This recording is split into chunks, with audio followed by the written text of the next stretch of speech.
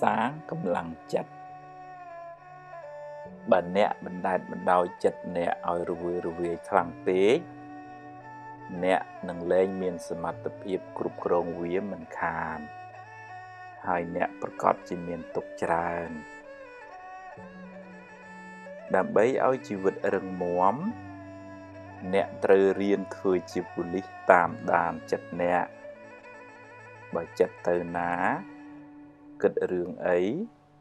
ត្រូវតាមមើលវាជាប្រចាំបើចិត្តល្អចិត្តរីករាយក៏ដឹងថាចិត្តល្អ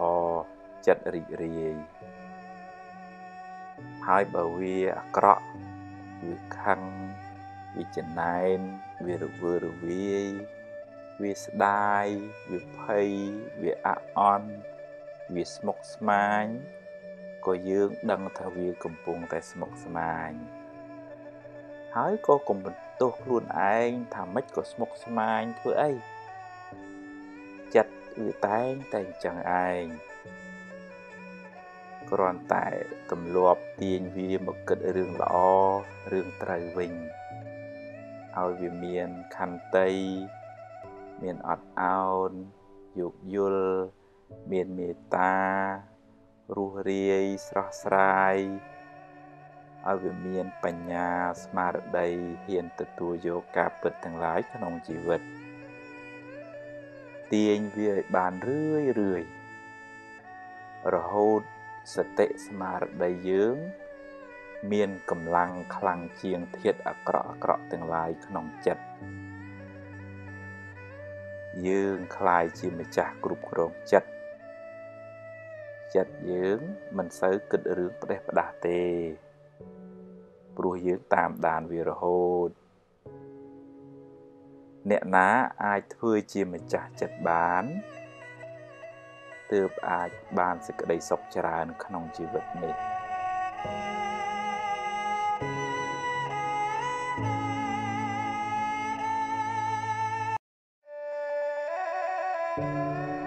សាងបុណ្យលាងបាប ពេលវេលាហួសទៅហើយ អ្នកមិនអាចបកក្រោយវិញបានទេ កម្មដែលអ្នកបានសាងហើយ ជាកម្មល្អក្តីអាក្រក់ក្តីអ្នកមិនអាចលុបវាចេញបានទេ តែបើអ្នកគិតថាខុសអ្នកអាចកែប្រែខ្លួន ប្រឹងសាងល្អឡើងវិញ អ្នក បានជាមនុស្សប្រសើរជាងមុន តែបាបនៅតែជាបាបដដែលព្រោះអ្នកបានធ្វើវារួចហើយបើសំឡប្រៃចាក់ទឹកទៅ វានឹងសាបបន្តិច តែជាតិប្រៃវានៅតែជាជាតិប្រៃដដែល វាមិនរត់ទៅណាទេ គ្រាន់តែលាយទឹកច្រើន យើង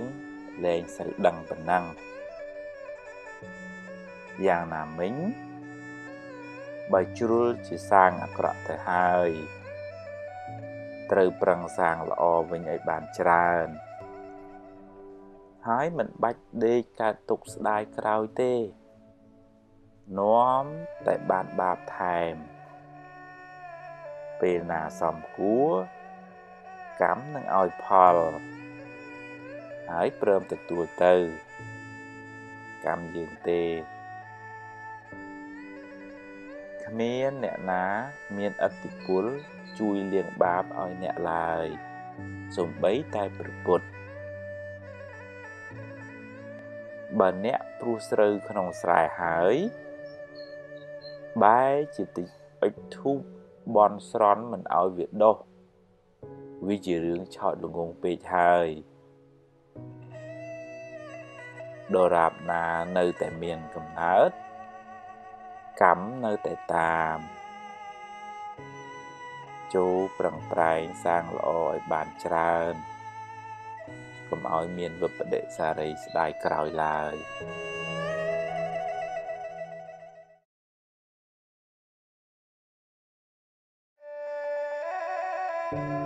សាំញ៉ាំច្រើន សាវ៉ាច្រើនសំញ៉ាំច្រើន ម្ដងយកនេះ ម្ដងយកនោះនាំឲ្យអ្នកស្មុគស្មាញច្រើនកើតទុកក៏ច្រើនដែរហើយគ្មានបានសម្រេចការណាមួយឲ្យប្រកបប្រជាទេយូរយូរទៅ គេក៏លែងទុកចិត្តទៀត មុននឹងសម្រេចចិត្តគួរគិតគូរឲ្យបានសពគ្រប់សួរយោបល់គេឲ្យបានច្រើនគ្នាសិនរួចបូកសរុបលទ្ធផល ហើយចុងក្រោយ អ្នកត្រូវជ្រើសរើសដោយខ្លួនឯងបើរើសយកមួយណាហើយកុំមិនទេនតាយដូរចុះដូរឡើងធ្វើអី ចាប់មួយណាឲ្យប្រកាសមួយនឹងខ្លួនមួយកុំជិះទូកពីរប្រយ័ត្នធ្លាក់ទឹក ត្រីរ៉ស់ក៏រួចទន្សាយក៏រួចមនុស្សសាវ៉ាច្រើនទទួលលទ្ធផលមិនសូវល្អទេ បើរើសយកផ្លូវណាហើយ ត្រូវដើរឲ្យដល់ទីបំផុត កុំទៅមុខទៅក្រោយអីដើរឲ្យអស់ផ្លូវសិនបើទាល់ច្រកចាំគិតទៀតហើយកុំទម្លាប់បន្ទោសគេបន្ទោសឯងអីវាជាជំរឿសរបស់យើងទេ បើផ្លូវនឹងខុសអ្នកអាចចាប់ផ្ដើមសារជាថ្មីហើយកុំស្ដាយអី ស្ដាយទៅនាំតែក្តៅក្រហាយឥតប្រយោជន៍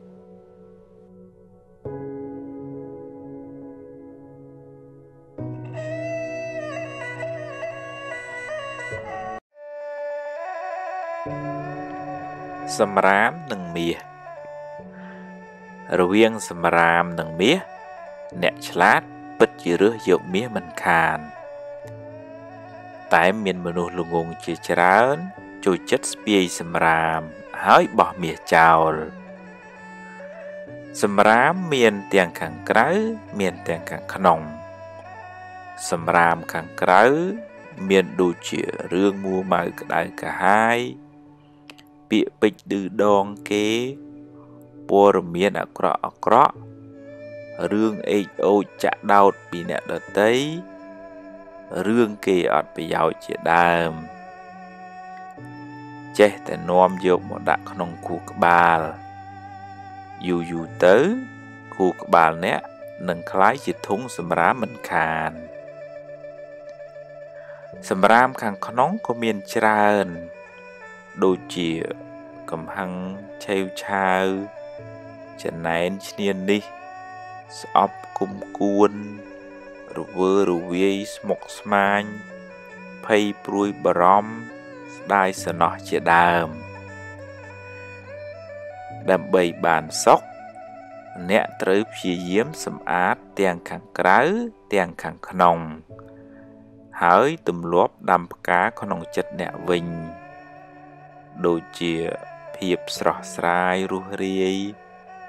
ស្មារតីរឹងប៉ឹងស្វាហាប់ខន្តីអត់ធន់ មេត្តាករុណាសន្តោសប្រោសប្រណីបញ្ញាស្មារតីជាដើម ចិត្តអ្នកនឹងស្រស់ដូចផ្កាភ្លឺថ្លាដូចមាសជីវិតអ្នកក៏បានសុខច្រើនដែរ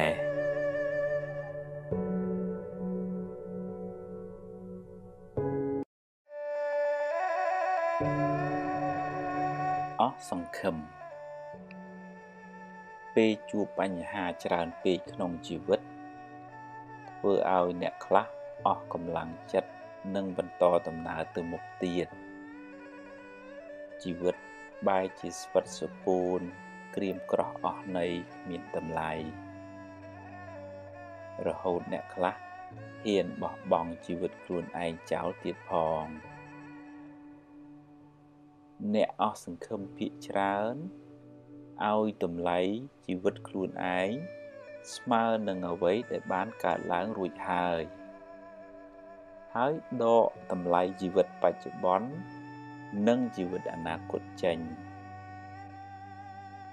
គេបានដាក់ច្រវាក់ខ្នោះគ្នាងខ្លួនឯងឲ្យនៅក្នុងគុកអតីតកាលតែបើគេគ្រាន់តែចាក់ចេញពីគុកអតីតកាលបន្តិច គេនឹងឃើញពន្លឺស្វាងស្វ័យនៃបច្ចុប្បន្ននិងអនាគតមិនខានជីវិតអតីតកាលបានស្លាប់បាត់ទៅហើយគ្មានតម្លៃអ្វីទៅដេកស្ដាយស្រណោះឡើយ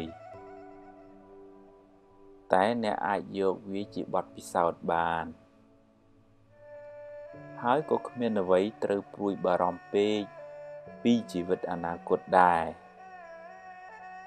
តែអ្នកត្រូវរស់នៅដោយក្តីសង្ឃឹមញញឹមព្យាយាមបំពេញការងារឲ្យអស់ពីលទ្ធភាពពេលបច្ចុប្បន្នចំណែកអនាគតគ្រាន់តែជាលទ្ធផលនៃការប្រឹងប្រែងរបស់អ្នកពីមុនមកនិងថ្ងៃនេះប៉ុណ្ណោះបើអ្នកនៅតែបន្តក្រៀមក្រំទៀតបច្ចុប្បន្នក៏ក្រៀមក្រំ អនាគតក៏រឹតតែក្រៀមក្រំទោះបីរស់នៅបានមួយថ្ងៃទៀតក៏ត្រូវរស់ដោយក្តីសង្ឃឹមដោយភាពស្រស់ស្រាយដោយទឹកចិត្តល្អដោយគុណធម៌ដែរសូមកុំស្លាប់មុនពេលអស់ជីវិតឡើយ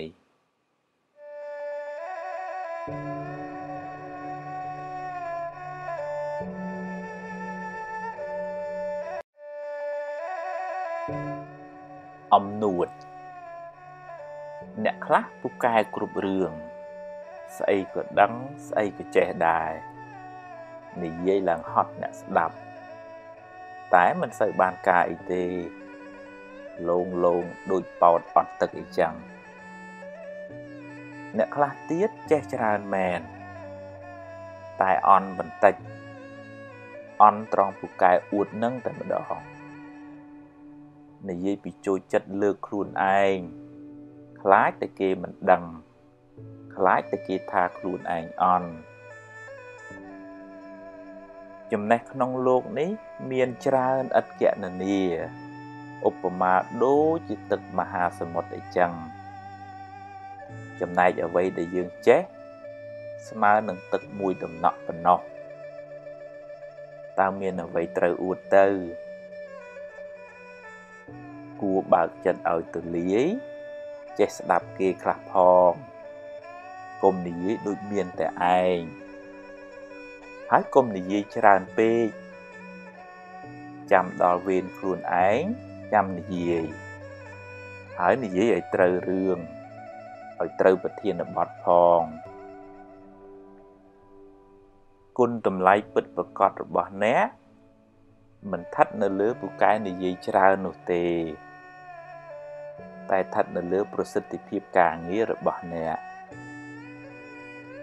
គួរចងចាំថា មនុស្សពូកែអួត ជាមនុស្សប្រហោងក្នុង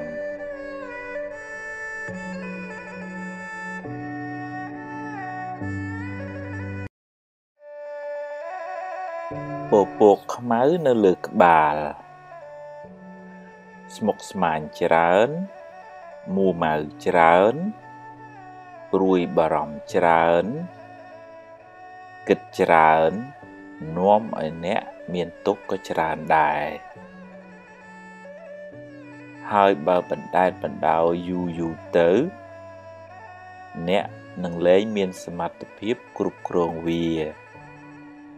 ជីវិតអ្នកនឹងវិលវល់រកសុខមិនសូវឃើញឡើយ អ្នកត្រូវចាប់ផ្ដើមតាមដានចិត្តអ្នកពីពេលនេះតទៅទម្លាប់វាឲ្យគិតរឿងល្អល្អរឿងបុណ្យកុសលរឿងបច្ចុប្បន្នរឿងណាហួសហើយឲ្យវាហួសទៅចុះកុំស្ដាយអីហើយរឿងណាមិនទាន់មកដល់ទេ ក៏កុំកើតទុកពេកអីដែរជួបរឿងណា ដោះរឿងនឹងទៅរៀនទាញចិត្តអ្នកឲ្យចេញពីរឿងមួម៉ៅក្តៅក្រហាយទាំងឡាយវាពិបាកណាស់តែអ្នកត្រូវតែទម្លាប់បន្តិចម្ដងបន្តិចម្ដងទម្លាប់តាមតាមដានវាទម្លាប់មើលវារឿយរឿយ ទម្លាប់អប់រំវាឲ្យមានខន្តីអត់ធន់មានមេត្តា មានភាពរុះរាយរាក់ទាក់អត់ឱនយោគយល់មានបញ្ញាស្មារតីហ៊ានទទួលស្គាល់ការពិតនៃជីវិតរឿងល្អក៏ព្រមទទួលរឿងមិនល្អ ក៏ប្រឹងដោះស្រាយទៅ ជីវិតគឺអញ្ចឹងឯងកុំស្មុគពេកអីប្រឹងទៅ ប្រឹងដោយក្តីសង្ឃឹមដោយភាពស្វាហាប់ដោយគុណធម៌ដោយភាពស្រស់ស្រាយធ្វើដូច្នេះបានចិត្តអ្នកនឹងស្រឡះស្រឡំច្រើន អ្នកនឹងមិនសូវមានទុកឡើយ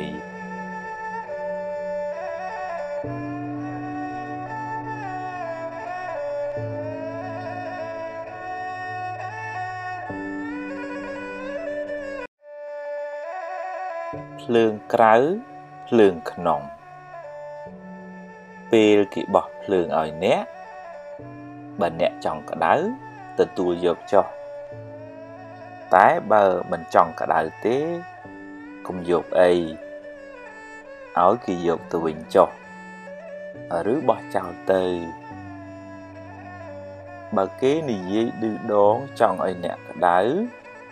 ហើយស្រាប់តែអ្នកក្តៅតាមពាក្យគេមែន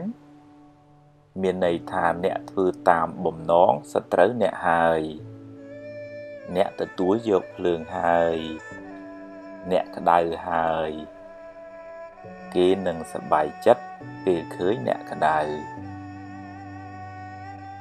អ្នកត្រូវរៀនធ្វើជាមនុស្សទឹក ត្រជាក់ពីខាងក្នុងមកបើគេចង់ដុតឲ្យអ្នកក្តៅប្រាប់គេថាយកទៅវិញចុះ យើងមិនត្រូវការភ្លើងទេ គេនឹងរែកពុនភ្លើងនោះត្រឡប់ទៅវិញ គេខឹងគេអាក្រក់ហើយបើអ្នកខឹងគេវិញ អ្នកក៏អាក្រក់ដែរទាំងពីរអ្នកមិនសូវខុសគ្នាប៉ុន្មានទេ កំហឹងបានដុតបំផ្លាញចិត្តគេឲ្យក្តៅរួរៀលដូចដេកអោបភ្លើង ហើយគេចង់យកភ្លើងនោះមកសាចដាក់អ្នកដែរតែអ្នកគុំទៅល្ងងអីគ្មានរឿងអីត្រូវទទួលយកភ្លើងនោះទេឲ្យគេយកទៅវិញចុះឬបោះចោលទៅ អ្នកមានតែចិត្តអាណិតអ្នកដេកអោបភ្លើងនោះទៅវិញទេអាណិតណាស់ព្រោះក្តៅអើយសែនក្តៅ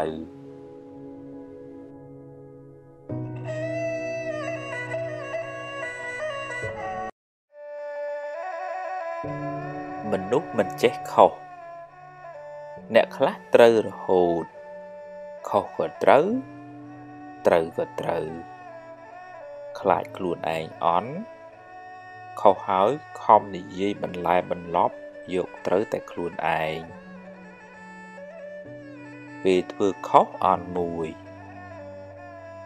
បិទបាំងកំហុសអន់មួយទៀត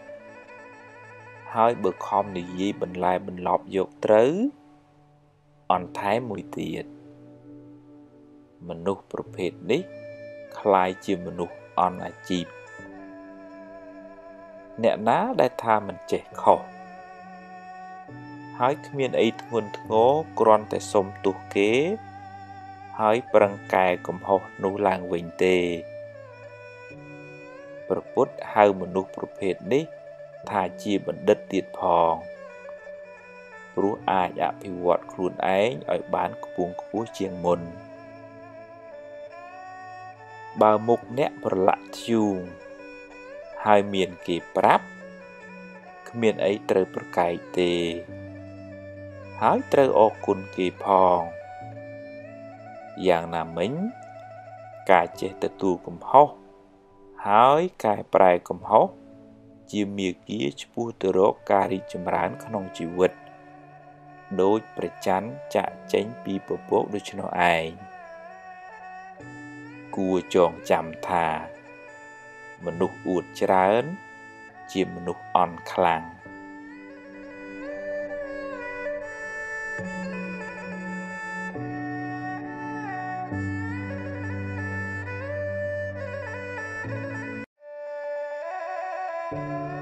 រក្សាមាត់មាត់អ្នកអាចជាអាវុធដ៏មុតស្រួចចាក់ធ្លាយពីត្រចៀកធ្លុះដល់បេះដូងគេ គ្មានចេញឈាមមួយដំណក់ទេ តែធ្វើឲ្យគេឈឺចាប់អស់មួយជីវិតក៏ថាបានមាត់អ្នកក៏អាចជាឱសថទឹកធ្វើឲ្យអ្នកកំពុងតែមានទុក្ខកង្វល់បានធូរស្បើយវិញក៏ថាបានដែរមុននឹងនិយាយទម្លាប់ឆែកមើលបេះដូងអ្នកជាមុនសិន ថាតើនិយាយដោយកំហឹងដោយចំណែនដោយបំណងចង់ឌឺដងឲ្យគេឈឺចាប់ឬដោយចេតនាល្អចង់ឲ្យគេបានប្រយោជន៍បើមានចេតនាល្អហើយនិយាយចុះហើយកុំនិយាយច្រើនពេកម្យ៉ាងទៀត ត្រូវចេះរកពាក្យសម្ដីណាពីរោះពិសាមកនិយាយផងកុំអាងថាខ្លួនឯងធំខ្លួនឯងជាមេឬក៏កុំអាងថាថាត្រូវហើយ ចេះតែលះទៅក៏មិនល្អដែរពេលខ្លះទោះបីយើងនិយាយត្រូវក៏ដោយតែនិយាយទាំងកំហឹង ក៏មិនសូវបានទទួលផលល្អដែរបើខឹងកុំអាននិយាយចាំបាត់ខឹងសិនសឹមនិយាយក៏មិនទាន់ហួសពេលដែររនៀបបាក់យករនៀបជួសសំដីហួសរកអ្វីមកជួសពុំបានឡើយ គុំទម្លាប់និយាយកាត់គេគុំកាត់ស្មានគុំព្រាវចាំច្បាស់សិនចាំនិយាយបើមិនដូច្នោះទេសម្ដីអ្នកនឹងคล้ายជាសម្ដីស្រូវស្រាលគ្មានន័យខ្លឹមសារចាញ់សំលេងបាក់សាបាក់សីយំមិនខាន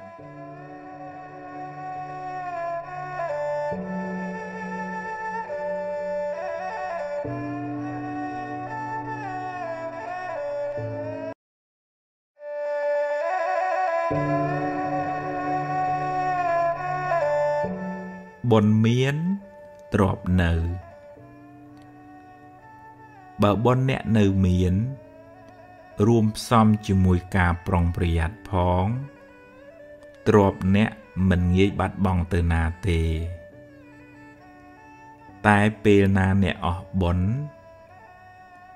ហើយអ្នកមានសេះសល់បាបពីមុនមកផងទ្របឃើញនៅនឹងភ្នែកក៏យកមិនបាន ឬត្រូវបាត់បង់ខូចខាតទៅវិញបាបកម្មនាំឲ្យរោគស៊ីមិនឡើង ឬខាតចុងខាតដើមមានដូចជាកឹបកេងទ្របគេជំពាក់លុយគេមិនសង សន្យាថាឲ្យហើយបែរជាមិនឲ្យវិញ សន្យាថាឲ្យច្រើន តែបែរជាឲ្យតិចវិញ កំណាញ់ស្វិតមិនចិញ្ចឹមមេដាបេដាជាដើមសេចក្តីលោភធ្វើឲ្យមនុស្សចង់បានទ្រព្យគេមកជារបស់ខ្លួនទ្រព្យនោះអាចបានមកមែនតែជាទ្រព្យក្តៅក្រហាយជាទ្រព្យមានពីបាបកម្មនោះនឹងតាមលងបន្លាចបុគ្គលនោះរហូតដល់ថ្ងៃស្លាប់ ហើយនឹងត្រូវរងទុកវែងឆ្ងាយក្នុងកំណើតតតទៅមុខទៀត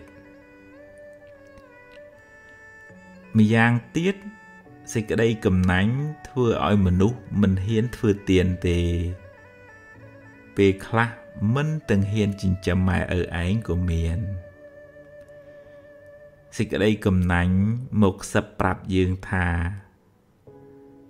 បើធ្វើទៅក្រែងអស់ តែបើតាមពិតទៅ នៅដំណាក់កាលចុងក្រោយ យើងគ្រប់គ្នាត្រូវទៅខ្លួនទៅទេគ្មានយកអ្វីទៅតាមខ្លួនបានបន្តិចសោះឡើយបើមិនបានធ្វើបន់ទេទ្របនោះគេចែកគ្នាអស់គ្មានបានជាប្រយោជន៍សម្រាប់ខ្លួនយើងទៅកាន់បរលោកឡើយ មានតែបន់ដែលខ្លួនយើងសន្សំរឿយរឿយទេទើបបានជាទីពឹងទៅក្នុងលោកខាងមុខបាននិយាយនេះមិនមែនមានន័យថាឲ្យឈប់រកស៊ីធ្វើតែទានឲ្យអស់ទៅនោះទេ តែគួរបែងចែកសម្រាប់សេចក្តីសុខបច្ចុប្បន្នផង សន្សំបុណ្យបានជាទីពឹងទៅក្នុងបរលោកនាយផង ព្រោះដំណើរកើតស្លាប់ គឺត្រូវធ្វើដំណើរតែម្នាក់ឯងគ្មានអ្នកណាមកគំដរអ្នកទេរីឯបុណ្យដែលនាំឲ្យអ្នកចម្រើនដោយទ្រព្យសម្បត្តិរកស៊ីធូគឺការចេះធ្វើទានសង្គ្រោះដល់អ្នកលំបាកដែលលោកហៅថាសង្កហទាននិងការចិញ្ចឹមមេដាបិតា ទំនុកបំរុងអ្នកមានសិលជាដើម ដែលលោកហៅថាបូជាទានបុគ្គលដែលមានចិត្តសប្បុរសមានចិត្តមេត្តាមិនកំណាញ់មិនគិតតែខ្លួនឯងរមែងទទួលបានសេចក្តីស្រឡាញ់សេចក្តីសុខតាំងពីបច្ចុប្បន្នរហូតបរលោកនាយ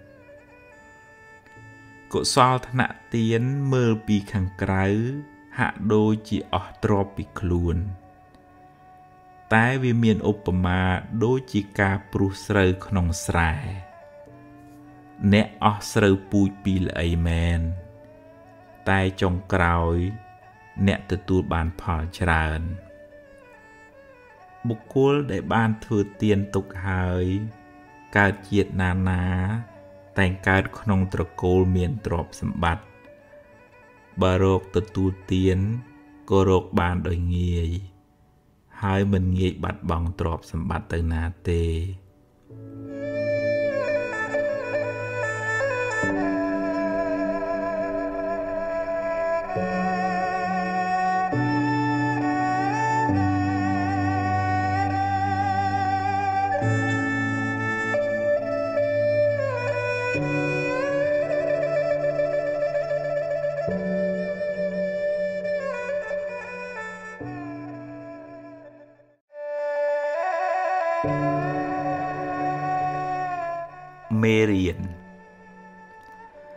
អាចថាមានពេលខ្លះ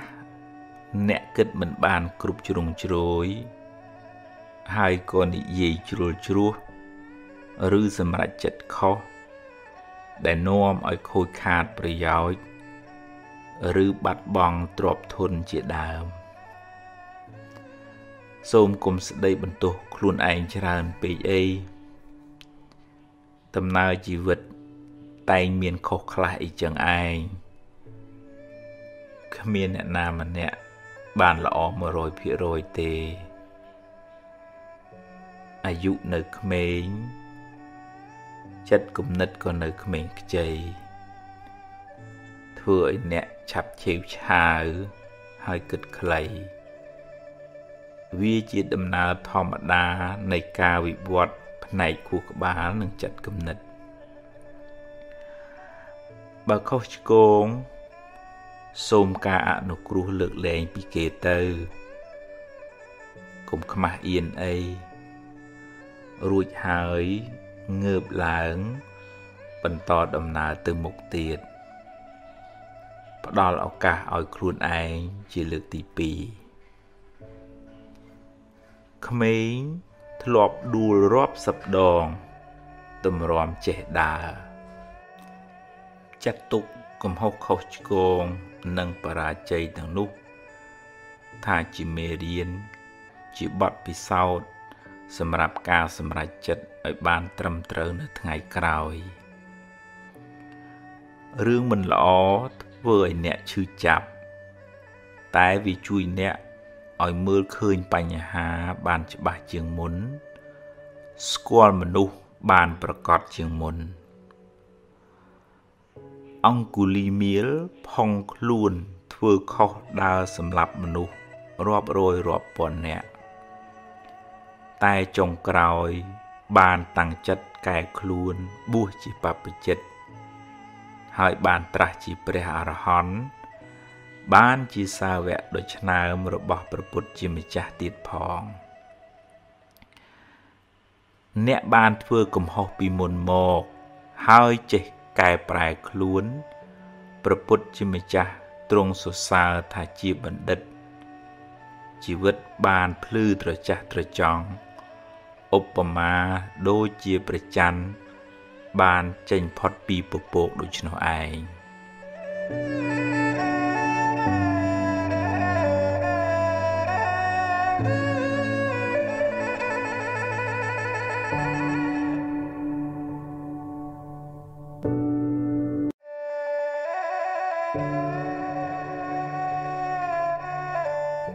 រួចពីកម្មពីពាវេរាពីអតីតមក អ្នកគ្មានវិធីរត់គេចពីវាបានទេ ព្រោះអ្នកមិនអាចបកក្រោយ ហើយកែទង្វើដែលអ្នកបានធ្វើក្នុងអតីតកាលបានឡើយ តែពាវេរាទៅថ្ងៃមុខអ្នកអាចជៀសបាន ដោយកម្លាំងនៃការរក្សាសិល សិលបានដល់ការប្រព្រឹត្តល្អដោយកាយវាចាចិត្តការមិនបៀតបៀនមិនធ្វើឲ្យអ្នកដទៃក្តៅក្រហាយ មានដូចជា ការមិនប៉ះពាល់ជីវិតអ្នកដទៃការមិនកັບកេងលួចទ្រព្យអ្នកដទៃការមិនធ្វើឲ្យកូនប្រពន្ធអ្នកដទៃក្តៅក្រហាយ ការមិនកុហកបោកប្រាស់ជាដើម ពេលអ្នកមិនបានធ្វើឲ្យអ្នកដតីក្តៅក្រហាយ គេក៏មិនមានចិត្តចងពៀមិនមានបំណងអាក្រក់ដាក់អ្នកវិញដែរដោយសារអ្នកមិនបានធ្វើអាក្រក់ដាក់អ្នកដតីអ្នកក៏មានចិត្តស្រស់ស្រាយ មិនភ័យខ្លាច មិនព្រួយបារម្ភរឿងមានទោសពៃឬខ្លាចគេធ្វើអាក្រក់ដាក់អ្នកវិញឡើយ។ នោះហើយជាចិត្តដែលរួចផុតពីពាវេរាមនុស្សមានពៀគឺជាមនុស្សដែលបៀតបៀនគេ ធ្វើឲ្យអ្នកដតីក្តៅក្រហាយ មនុស្សមានចិត្តចងគំនុំគុំគួន ខ្លួនក៏លំបាកព្រោះភ្លើងកំហាំងឆេះក្នុងចិត្តរាល់ថ្ងៃ ហើយគេក៏ក្តៅក្រហាយ ព្រោះទង្វើអាក្រក់របស់យើង។ ម្យ៉ាងទៀតពាវេរានោះនឹងជាប់តាមគ្នាវែងឆ្ងាយក្នុងសង្សារវដ្តបើអ្នកដាំពូជភ្លើង អ្នកនឹងបានផលក្តៅក្រហល់ក្រហាយត្រឡប់មកវិញបើអ្នកធ្វើឲ្យគេក្តៅក្រហាយ អ្នកនឹងបានភាពក្តៅក្រហាយនោះមកវិញគ្រាន់តែយូរឬឆាប់ប៉ុណ្ណោះ បើអ្នកបានសាងល្អរក្សាសិលពេលបច្ចុប្បន្នឈ្មោះថាអ្នកមិនបានសាងពាវេរាទៅថ្ងៃមុខតែបើអ្នកមានកម្មពាវេរាពីអតីតជាតិមក អ្នកត្រូវទទួលផលកម្មនោះវិញ អ្នកមិនអាចរត់គេចពីកម្មចាស់បានទេសូម្បីតែព្រះពុទ្ធជាម្ចាស់ ក៏ត្រូវទទួលផលកម្មចាស់ដែរតែដោយអំណាចនៃអំពើល្អដោយអំណាចនៃសិលដែលអ្នកបានរក្សាពេលបច្ចុប្បន្នកម្លាំងបុណ្យនោះ អាចជួយសម្រាលទុកបានខ្លះដែរតាមកម្លាំងរបស់វាឧបមាដូចជាអ្នក ស្លសម្លជ្រុលជាប្រៃទៅហើយ អ្នកអាចដាក់ទឹកថែម ដើម្បីឲ្យវាសាបបានខ្លះយ៉ាងណាមិញបើអ្នកបានជ្រុលជាធ្វើបាបកម្មខ្លះទៅហើយ អ្នកមិនអាចកែប្រែវាបានទេ តែអ្នកអាចធ្វើអំពើល្អថ្មី ដែលជួយអ្នក ឲ្យបានផលល្អផលថ្មីជាបន្តបន្ទាប់ចន្លោះចន្លោះពេលដែលបាបឲ្យផលនោះឯងយើងគ្រប់គ្នាគួរយល់ដឹងថាគ្មានវិធីសាស្ត្រណាគ្មានបុគ្គលណា ឬព្រះណា អាចបញ្ជាអ្នកឲ្យរួចពីផលនៃកម្មចាស់ដែលអ្នកបានធ្វើឡើយ ព្រោះបើអាចធ្វើបានមែនវាជារឿងអយុត្តិធម៌ណាស់ធ្វើអាក្រក់ហើយ ទៅសុំឲ្យរួចពីផលកម្មដែលខ្លួនបានធ្វើតែបើអ្នកប្រឹងប្រែងអប់រំចិត្តលះបង់នៅកិលេសអស់បានคล้ายជាព្រះអរហន្តហើយបរិនិព្វានកម្មលែងតាមតន់ កម្មរោគម្ចាស់លែងឃើញ ព្រោះព្រះអរហន្តលែងមានជាតិកំណើតតទៅមុខទៀតហើយអ្នកអាចធ្វើបុណ្យឧទ្ទិសកុសលជូនដល់មនុស្សសត្វដែលធ្លាប់មានពៀវរានឹងគ្នា ហើយតាំងចិត្តរក្សាសិលឲ្យបានល្អចាប់ពីពេលនេះតទៅបុណ្យកុសល ទឹកចិត្តមេត្តានឹងជួយអ្នកឲ្យបានសុខ មិនសូវជួបទុក្ខច្រើនឡើយ។រៀ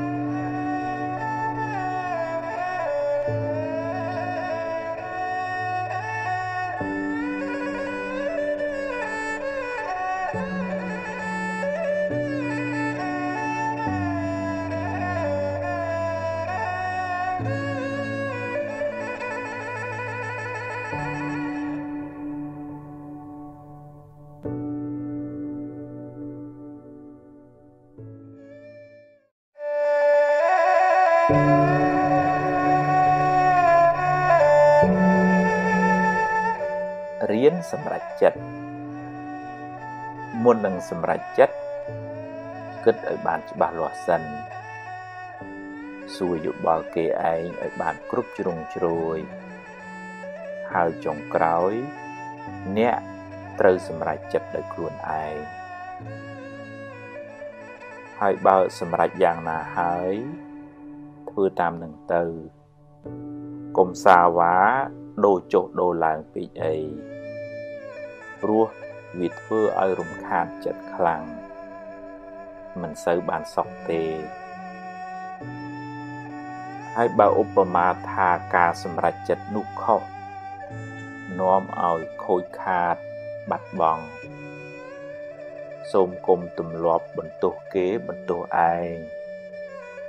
ឬមួម៉ៅក្តៅក្រហាយស្ដីបន្ទោសខ្លួនឯងយូរពេកអីចាត់ទុកថា វាជាផលនៃបាបចាស់ទៅចោះកុំស្ដាយពេកអីព្រោះស្ដាយទៅ បានត្រឹមតែខូចចិត្តយកវាជាមេរៀនគិតសារជាថ្មីឡើងវិញធ្វើឲ្យបានប្រសើរជាងមុន។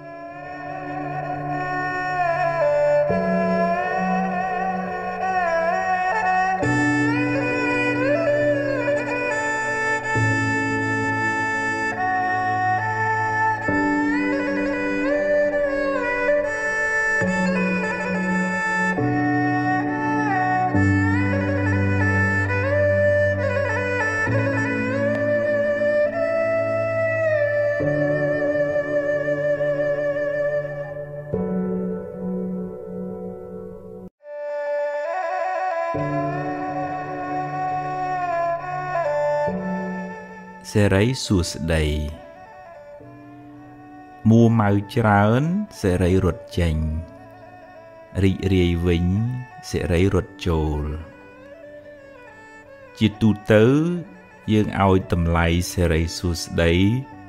ទៅលើរឿងល្អល្អរឿងសបាយសបាយមានលៀបមានជ័យជាដើម តែគួរចងចាំថា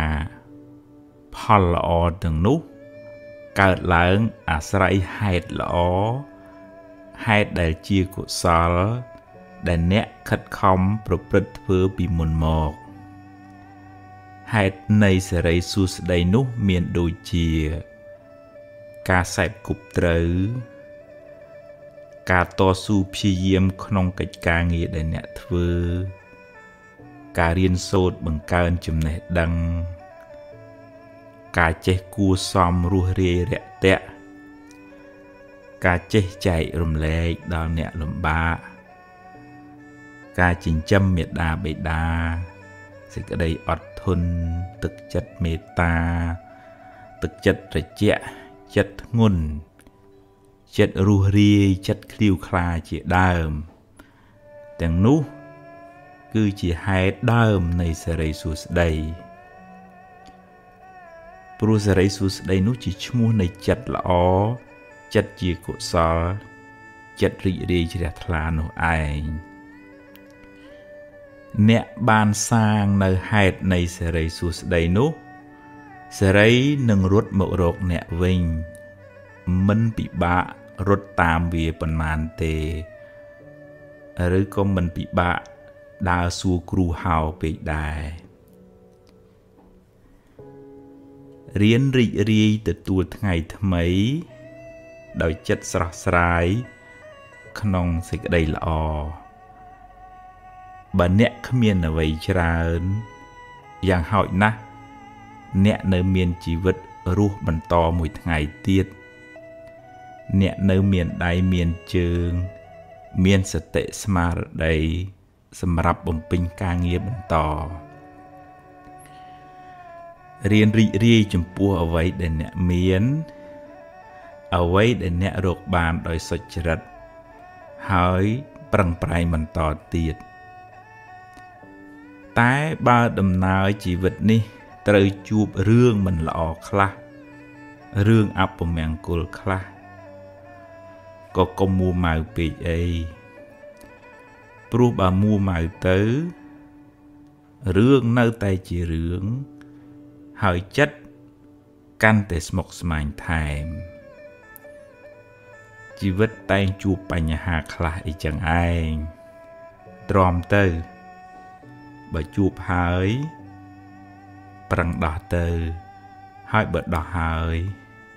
ត្រូវដើរហួសទៅមុខទៀតកុំស្ពាយរឿងសំពីងសំពងពេកសេរីសួស្តីមិននៅជាមួយយើងទេ ទុកពេលវេលាដែលនៅមានសេសសល់សម្រាប់គិតរឿងថ្មី ធ្វើការងារថ្មី សាងបុណ្យថ្មី ដើម្បីបានសេរីសួស្តីថ្មី thank you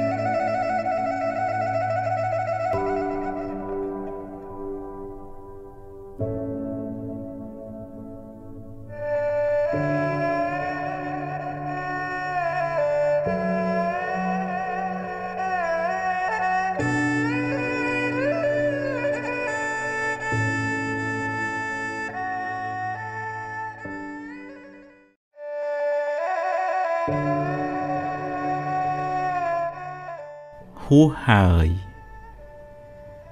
អតីតកាលល្អក្តីមិនល្អក្តី បានកន្លងហួសទៅហើយទោះបីអ្នកស្ដាយប៉ុណ្ណា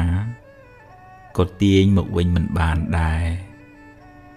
អនុញ្ញាតឲ្យវាប្រែប្រួលតាមដំណើរនៃធម្មជាតិរបស់វារឿងល្អជាផលនៃកម្មល្អដែលអ្នកបានសាង រឿងមិនល្អជាផលនៃអកុសលកម្មដែលអ្នកបានប្រព្រឹត្តពីមុនមកជីវិតរបស់មនុស្សម្នាក់ម្នាក់ប្រព្រឹត្តទៅតាមកម្លាំងកម្មដែលខ្លួនបានធ្វើពីអតីតផង កម្មក្នុងពេលបច្ចុប្បន្នផង អ្នកមិនអាចរត់គេចពីផលនៃកម្មបានឡើយ រឿងខ្លះកើតឡើងហួសពីការស្មានរបស់អ្នក ហើយអ្នកគ្មានសមត្ថភាព ទៅបង្គាប់បញ្ជារឿងខាងក្រៅបានទាំងស្រុងទេកម្លាំងអ្វីស្មើដោយកម្លាំងកម្មមិនមានឡើយណដ្ឋិកម្មੰសមੰពលំបើមានហេតុគ្រប់គ្រាន់ រឿងនឹងកើតឡើងអ្វីអ្វីមិនមែនជារឿងចៃដន្យទេបើអ្នកបានជួបរឿងមិនល្អហើយហើយអ្នកកើតចិត្តមូម៉ៅក្តៅក្រហាយអ្នកបានបង្កើនទុកនោះឲ្យមានទម្ងន់ទ្វេដងរឿងក៏អាក្រក់ចិត្តក៏មួម៉ៅ ទុកទាំងកាយទុកទាំងចិត្តណាស់ហើយចុះរឿងបានកន្លងផុតទៅហើយ ចាត់ទុកជាមេរៀន ជាបទពិសោធន៍សម្រាប់ការសម្រេចចិត្តលើកក្រោយ ចាប់ផ្ដើមសារជាថ្មី គិតរឿងថ្មី និយាយរឿងថ្មី ធ្វើកិច្ចការងារថ្មី លទ្ធផលក៏បានថ្មីដែរអតីតកាលមិនមែនជាផ្ទះសម្រាប់អ្នកនៅទេវាគ្រាន់តែជាស្រមោលទេតើតែបើរឿងអតីតកាលនោះជារឿងល្អជារឿងបុណ្យកុសល អ្នកអាចចងចាំ និងរំលឹករំលើកដល់អំពើល្អនោះរឿយរឿយ ដើម្បីឲ្យចិត្តបានរីករាយម្ដងទៀតបានបន់ម្ដងទៀត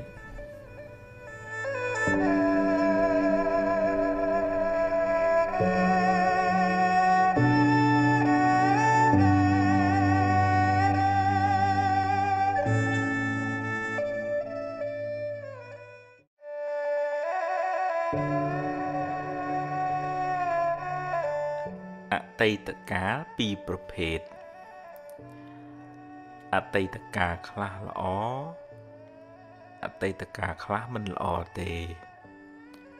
ជារឿងធម្មតាសម្រាប់ជីវិតមនុស្សម្នាក់ម្នាក់ហើយអតីតកាលទាំងពីរនោះ បានរលត់បាត់ទៅហើយ អ្នកមិនអាចបកក្រោយ ទៅកែប្រែវាបានទេ តែបើអ្នកគិតត្រូវ អ្នកអាចកែច្នៃវា បានជាប្រយោជន៍សម្រាប់សាងអនាគតល្អទៅខាងមុខបើអតីតកាលនោះជារឿងល្អជារឿងបុណ្យកុសល អ្នកអាចរំលឹករំលើកវាឡើងវិញ ដើម្បីឲ្យចិត្តបានជ្រះថ្លាម្ដងទៀតបានសប្បាយចិត្តម្ដងទៀត អ្នកក៏ឈ្មោះថាបានធ្វើបុណ្យម្ដងទៀតដែរដែលនៅក្នុងធម៌លោកហៅថាអបរចេតនា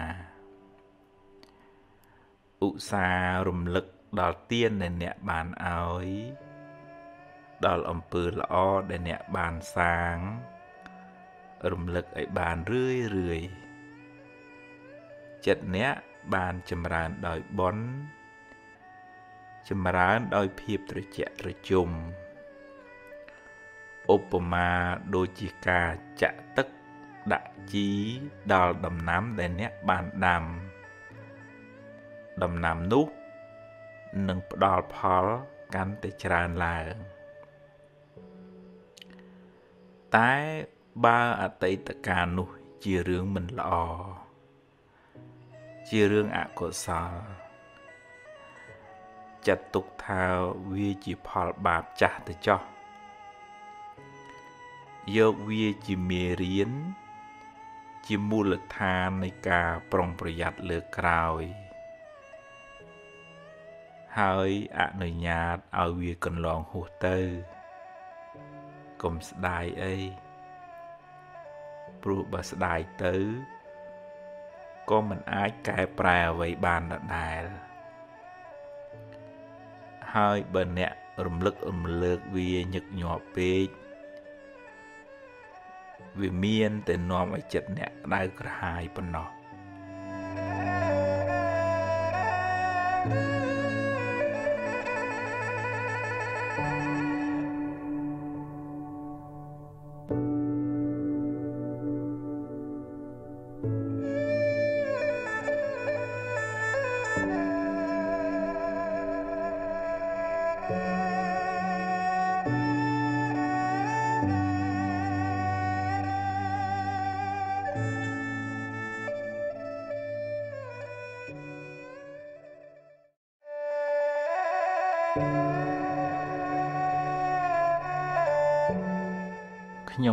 ធ្វើល្អហេតុអ្វីខ្ញុំនៅតែមានទុកច្រើន អ្នកខ្លះមានសមានចិត្តល្អមានចិត្តសប្បុរសអាណិតអាសូរជួយអ្នកដតីច្រើន តែបែរជាមិនសូវបានសមប្រកប ជួបរឿងទុកសោកមិនចេះចប់មិនចេះហើយ ពេលខ្លះ ជួយគេហើយបែរជាគេរមិលគុណនិយាយអាក្រក់រហូតដល់ធ្វើទុកបុកម្នេញមកវិញក៏សឹងមានអំពើល្អដែលអ្នកបានសាងហើយ នៅតែជាអំពើល្អដដែលមិនប្រែទៅជាអាក្រក់ទេគ្រាន់តែវាមិនទាន់មានពេលឲ្យផលប៉ុណ្ណោះ ចំណែករឿងមិនល្អរឿងអកុសលដែលអ្នកបានជួប វាជាផលនៃកម្មចាស់កម្មចាស់ដល់ពេលត្រូវឲ្យផល គួរស្វែងយល់ផងដែរថាបុណ្យកុសលមានច្រើនលំដាប់ ហើយបុណ្យទាំងនោះ ជួយអ្នកឲ្យបានស្រាលពីទុក្ខតាមលំដាប់ដែរ កុសលថ្នាក់ទៀនលះចិត្តកំណាញ់លះចិត្តជាប់ជំពាក់កុសលថ្នាក់ទៀននោះ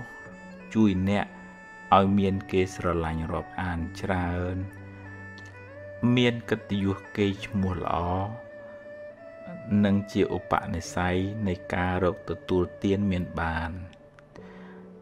តែកុសលថ្នាក់ទាននោះមិនអាចជួយអ្នក ឲ្យរួចផុតពីសេចក្តីទុក្ខផ្លូវចិត្តបានទេកុសលមួយទៀតដែលជួយអ្នកឲ្យរួចពីពាវេរាទៅថ្ងៃមុខគឺការរក្សាសិលបានដល់ការមិនបៀតបៀនមិនធ្វើឲ្យអ្នកដតីក្តៅក្រហាយ អ្នកជាមនុស្សមិនមានពៀទៅណាមកណាមិនសូវព្រួយបារម្ភក្នុងចិត្ត ព្រោះមិនបានធ្វើខុសហើយមិនសូវមានអ្នកមកបៀតបៀនអ្នកទេជៀសវាងតែអ្នកមានបាបកម្មពីអតីតជាតិមកកុសលធ្នាក់សិលជួយអ្នកឲ្យរួចផុតពីពាវេរាទៅថ្ងៃមុខតែវានៅតែមិនអាចជួយអ្នកឲ្យរួចផុតពីសេចក្តីទុក្ខផ្លូវចិត្តបានទាំងស្រុងឡើយ កុសលធ្នាក់ខ្ពស់ដែលអាចជួយអ្នកបានច្រើន ក្នុងការសម្រាលសេចក្តីទុក្ខពីផ្លូវចិត្ត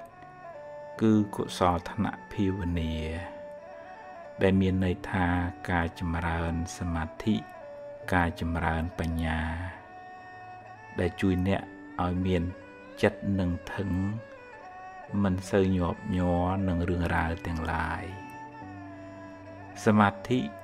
សំដៅលើការវឹកហាត់ចិត្តឲ្យស្ថិតនៅក្នុងអារម្មណ៍តែមួយ ដែលនាំឲ្យចិត្តបានស្ងប់រងាប់ បានត្រជាក់មិនសូវរវើរវាយមិនសូវច្របូកច្របល់ជួយអ្នកឲ្យបានសេចក្តីសុខតាមផ្លូវចិត្តច្រើន ចំណែកឯការចម្រើនបញ្ញាសំដៅលើការស្វែងយល់អំពីដំណើរកើត រលត់នៃសង្ខាររៀនលះបង់ការប្រកាន់ចំពោះរឿងរ៉ាវការទាស់ចិត្តនិងការជាប់ចិត្តចំពោះបញ្ហាទាំងឡាយពេលអ្នកបានលះបង់នៅសេចក្តីប្រកាន់នោះ ពីក្នុងចិត្តរឿងរ៉ាវទាំងឡាយកើតឡើងក៏កំណត់ដឹងថា ជាដំណើរនៃធម្មជាតិពេលមានហេតុក៏កើតឡើង ពេលអស់ហេតុក៏រលត់ទៅឧបមាដូចជាភ្លើងចង្គៀងពេលនៅប្រេងក៏នៅសល់ភ្លើង ពេលអស់ប្រេងអស់បញ្ឆេះភ្លើងក៏រលត់ទៅ អ្នកកំណត់ដឹង នៅដំណើរនៃសង្ខារយ៉ាងនេះ កាត់បន្ថយនៅសេចក្តីប្រកាន់សេចក្តីទុក្ខក៏ធូរស្បើយពីចិត្តអ្នក thank you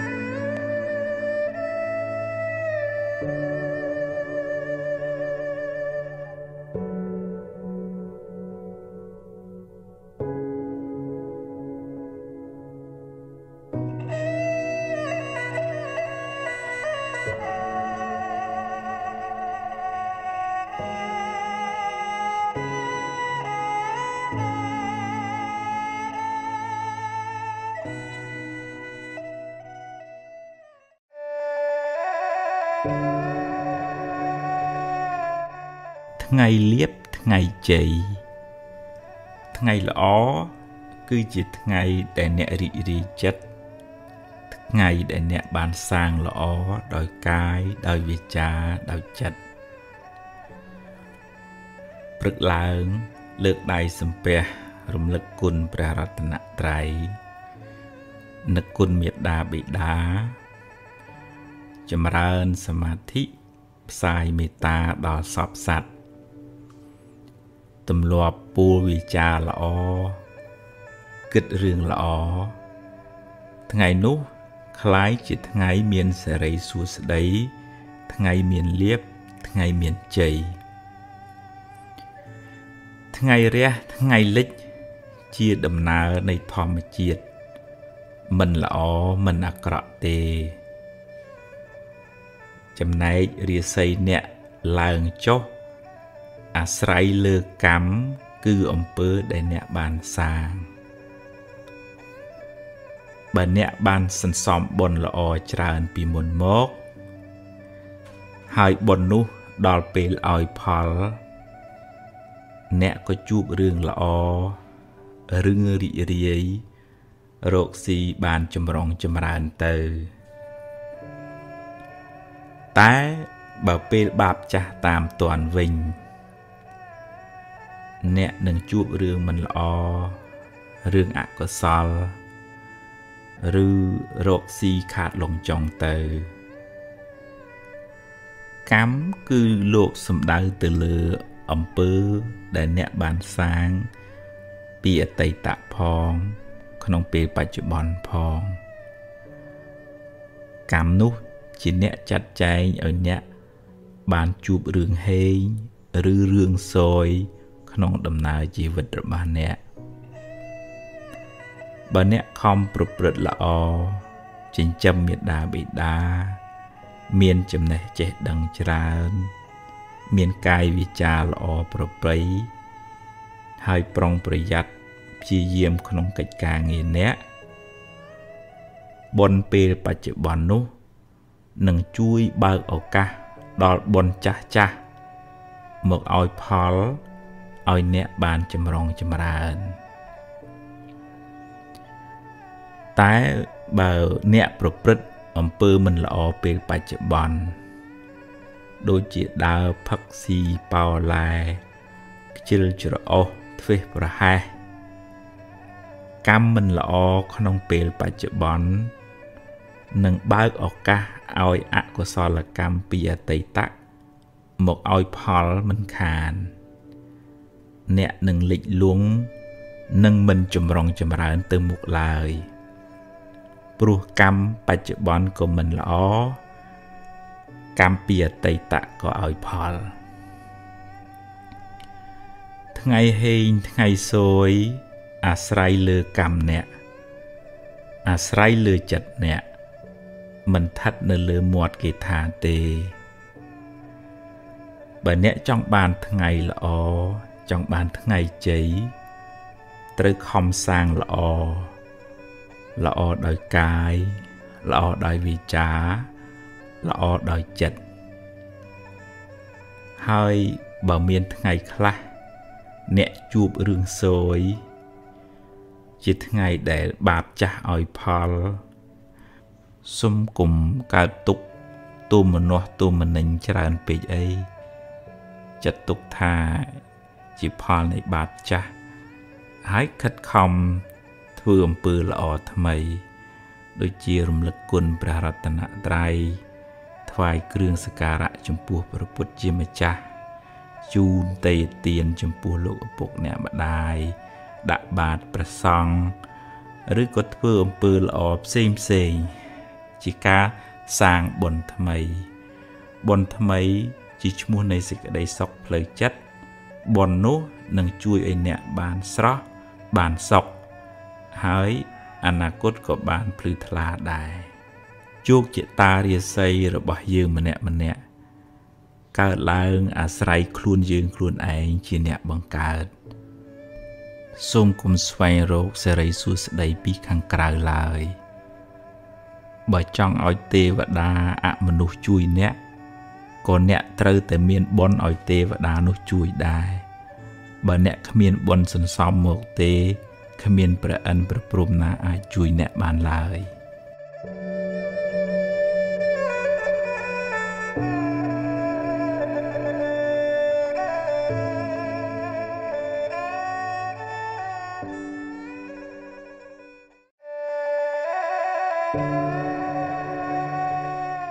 ទ្របគេ ទ្របយើង ក្នុងដំណើរនៃវដ្តសង្សារនេះមិនដឹងថាយើងម្នាក់ម្នាក់ជាប់ជំពាក់កម្មជាមួយអ្នកណាខ្លះធ្លាប់ធ្វើបាបធ្វើអាក្រក់ចងពៀជាមួយគ្នាពីជាតិណាមកទេកំហឹងគំនុំស្អប់ចងអាឃាតគ្នា ឬបាបកម្មណាមួយ សុទ្ធតែនាំឲ្យមានពៀវេរា កំណើតវិលវល់អន្ទូលទៅមក ដល់ពេលណាមួយ កម្មនោះនឹងវិលមករកអ្នកវិញពេលកម្មចាស់ឲ្យផល អ្នកក៏ត្រូវជួបរឿងមិនល្អព្រាត់ប្រាសឬខាតលងចុងទៅ អ្នក ធ្វើបាបកម្មអាក្រក់តែម្ដងទេ តែពេលកម្មឲ្យផលមិនមែនឲ្យតែម្ដងទេ ត្រូវឲ្យការគេថែមទៀតត្រូវទទួលផលកម្មនោះច្រើនដងឬច្រើនជាតិដោយសារចេតនាក្នុងការធ្វើកម្មនោះច្រើនដែរគឺចេតនាមុនពេលធ្វើលោកហៅថាពុព្វចេតនា ចេតនាពេលកំពុងធ្វើលោកហៅថាមញ្ញនចេតនានិងចេតនាដែលអ្នកធ្វើឲ្យសបាយក្នុងការធ្វើបាបនោះលោកហៅថាអបរចេតនាពេលធ្វើអាក្រក់អ្នកខ្លះសបាយណាស់ព្រោះវានាំឲ្យបានទ្របធនបានលៀបបានយួរ ឬឈ្នះគេដោយទង្វើអាក្រក់របស់ខ្លួន តែកុំភ្លេចថាការធ្វើបាបនោះ មានឧបមាដូចជាការផឹកទឹកឃ្មុំ ដែលលាយដោយថ្នាំពឹសដូច្នោះឯងឆ្ងាញ់ពីដំបូង តែចុងក្រោយត្រូវពុលស្លាប់យ៉ាងណាមិញទ្របរោគដោយការបៀតបៀនអ្នកដទៃ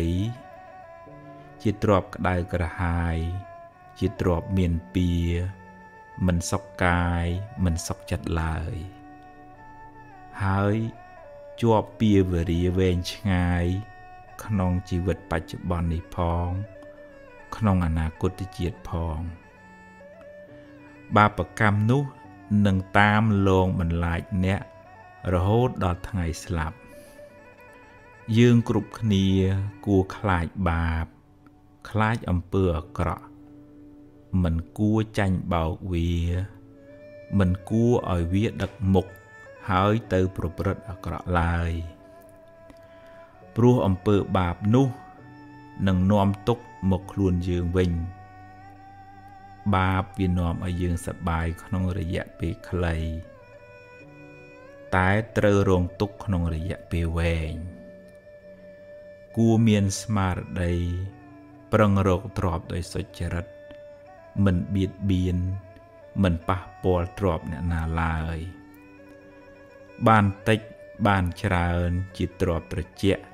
ជាទ្រពពោជ័យអ្នករស់នៅដោយសេចក្តីសុខមិនផិតភ័យមិនតក់ស្លុតក្នុងចិត្តឡើយ ព្រោះគ្មានអំពើបាបមកតាមលងបន្លាចអ្នក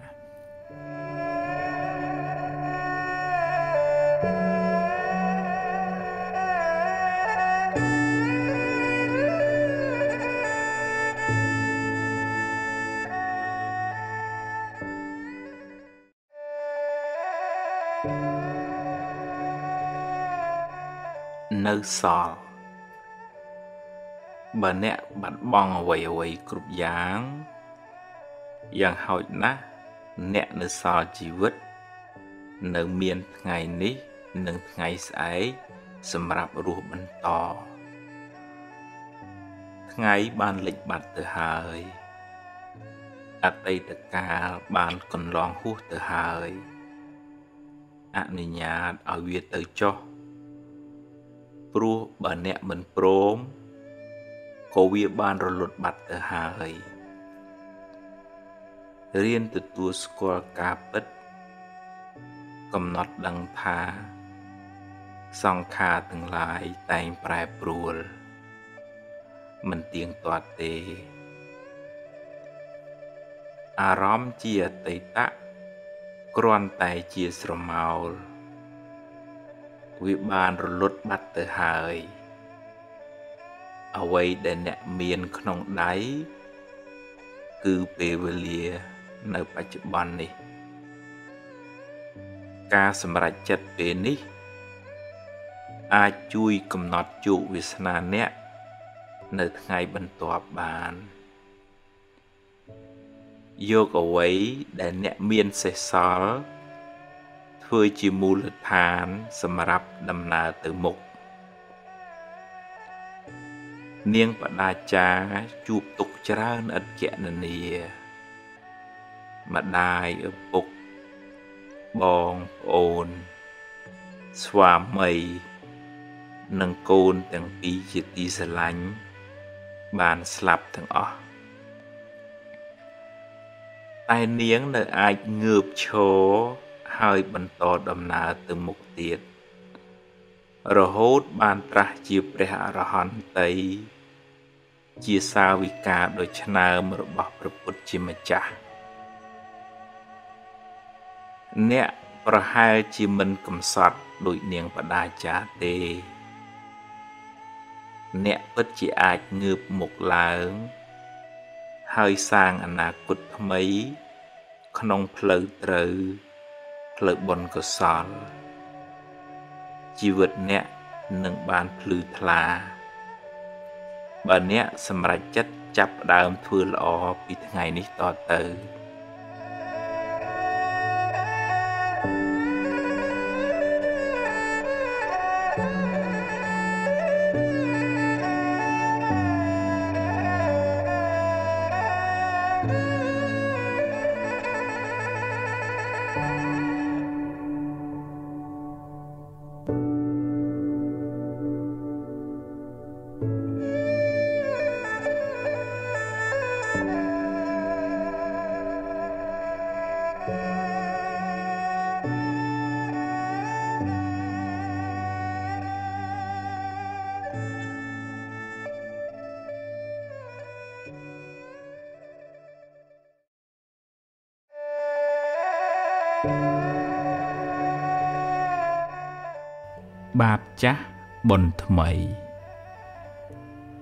ច្បាប់កម្មផល យើងម្នាក់ម្នាក់សុទ្ធតែធ្លាប់បានសាងបាបកម្មខ្លះពីអតីតជាតិមក កាលណាដល់ពេលដ៏សំគួរបាបចាស់នឹងឲ្យផល អ្នកក៏ជួបរឿងមិនល្អជួបប្រទះនៅបញ្ហា ឬមុខរបរត្រូវខាតបង់ទៅកម្ម ប្រៀបបានដូចជាស្រមោលអន្ទូលតាមប្រាន តែងជាប់តាមបុគ្គលអ្នកប្រព្រឹត្តនោះ ទៅក្នុងជាតិកំណើតតតទៅទោះបីខំរត់ទៅណាក៏មិនអាចរត់ផុតពីកម្លាំងកម្មដែរសូម្បីតែប្រពុតក៏មានបាបតាមឲ្យផលដែរ អ្នកធ្លាប់បៀតបៀនជីវិតគេពីអតីតជាតិមក កើតមកក្នុងជាតិនេះក៏សម្បូរជំងឺ ហើយអាយុមិនវែងទេ អ្នកធ្លាប់កឹបកេងទ្របគេនាំឲ្យរោគស៊ីមិនឡើង ឬខាតលងចុង ឬត្រូវបាត់បង់ភ្លើងឆេះទឹកលិចទៅ ចំណែកអ្នកដែលចូលចិត្តចរណែននន្ទាអ្នកដតីកើតមកជាតិណាណាច្រើនមានគេស្អប់ទៅណាមកណាខ្សត់មិត្តសម្បូរសត្រូវរីឯអ្នកចូលចិត្តខឹងមួម៉ៅច្រើនកើតមកមានរូបមិនស្អាត មុខមិនស្រស់ដូចគេ តែគួរចងចាំថារឿងមិនល្អជាផលនៃបាបចាស់រីឯភាពមួម៉ៅក្តៅក្រហាយជាបាបថ្មី ដែលធ្វើឲ្យរឿងកាន់តែអាក្រក់ឡើងផលកម្មចាស់គ្មានអ្នកណារត់គេចបានទេ តែអ្នកអាចសាងកម្មថ្មី កម្មល្អ ដែលនាំឲ្យជីវិតបានប្រសើរឡើងវិញជោគវាសនាជីវិតអ្នក មិនពឹងផ្អែកទាំងស្រុងទៅលើកម្មចាស់ទេ តែកម្មថ្មីកម្មបច្ចុប្បន្នមានឥទ្ធិពលខ្លាំងលើខ្សែជីវិតអ្នកបើអ្នកជួបរឿងមិនល្អ ចាត់ទុកថាជាផលនៃកម្មចាស់ទៅចោះខំប្រឹងដោះស្រាយហើយបើដោះហើយងើបឡើងដើរទៅមុខទៀតសូមគុំស្ពាយផលកម្មចាស់នោះតាមខ្លួនយូរពេកធ្ងន់ណាស់បើវាឲ្យផលម្ដងហើយឲ្យវាកន្លងផុតទៅ បើអ្នកមួម៉ៅនឹងវា វានឹងឧស្សាហ៍មករកអ្នកវិញមិនខាន។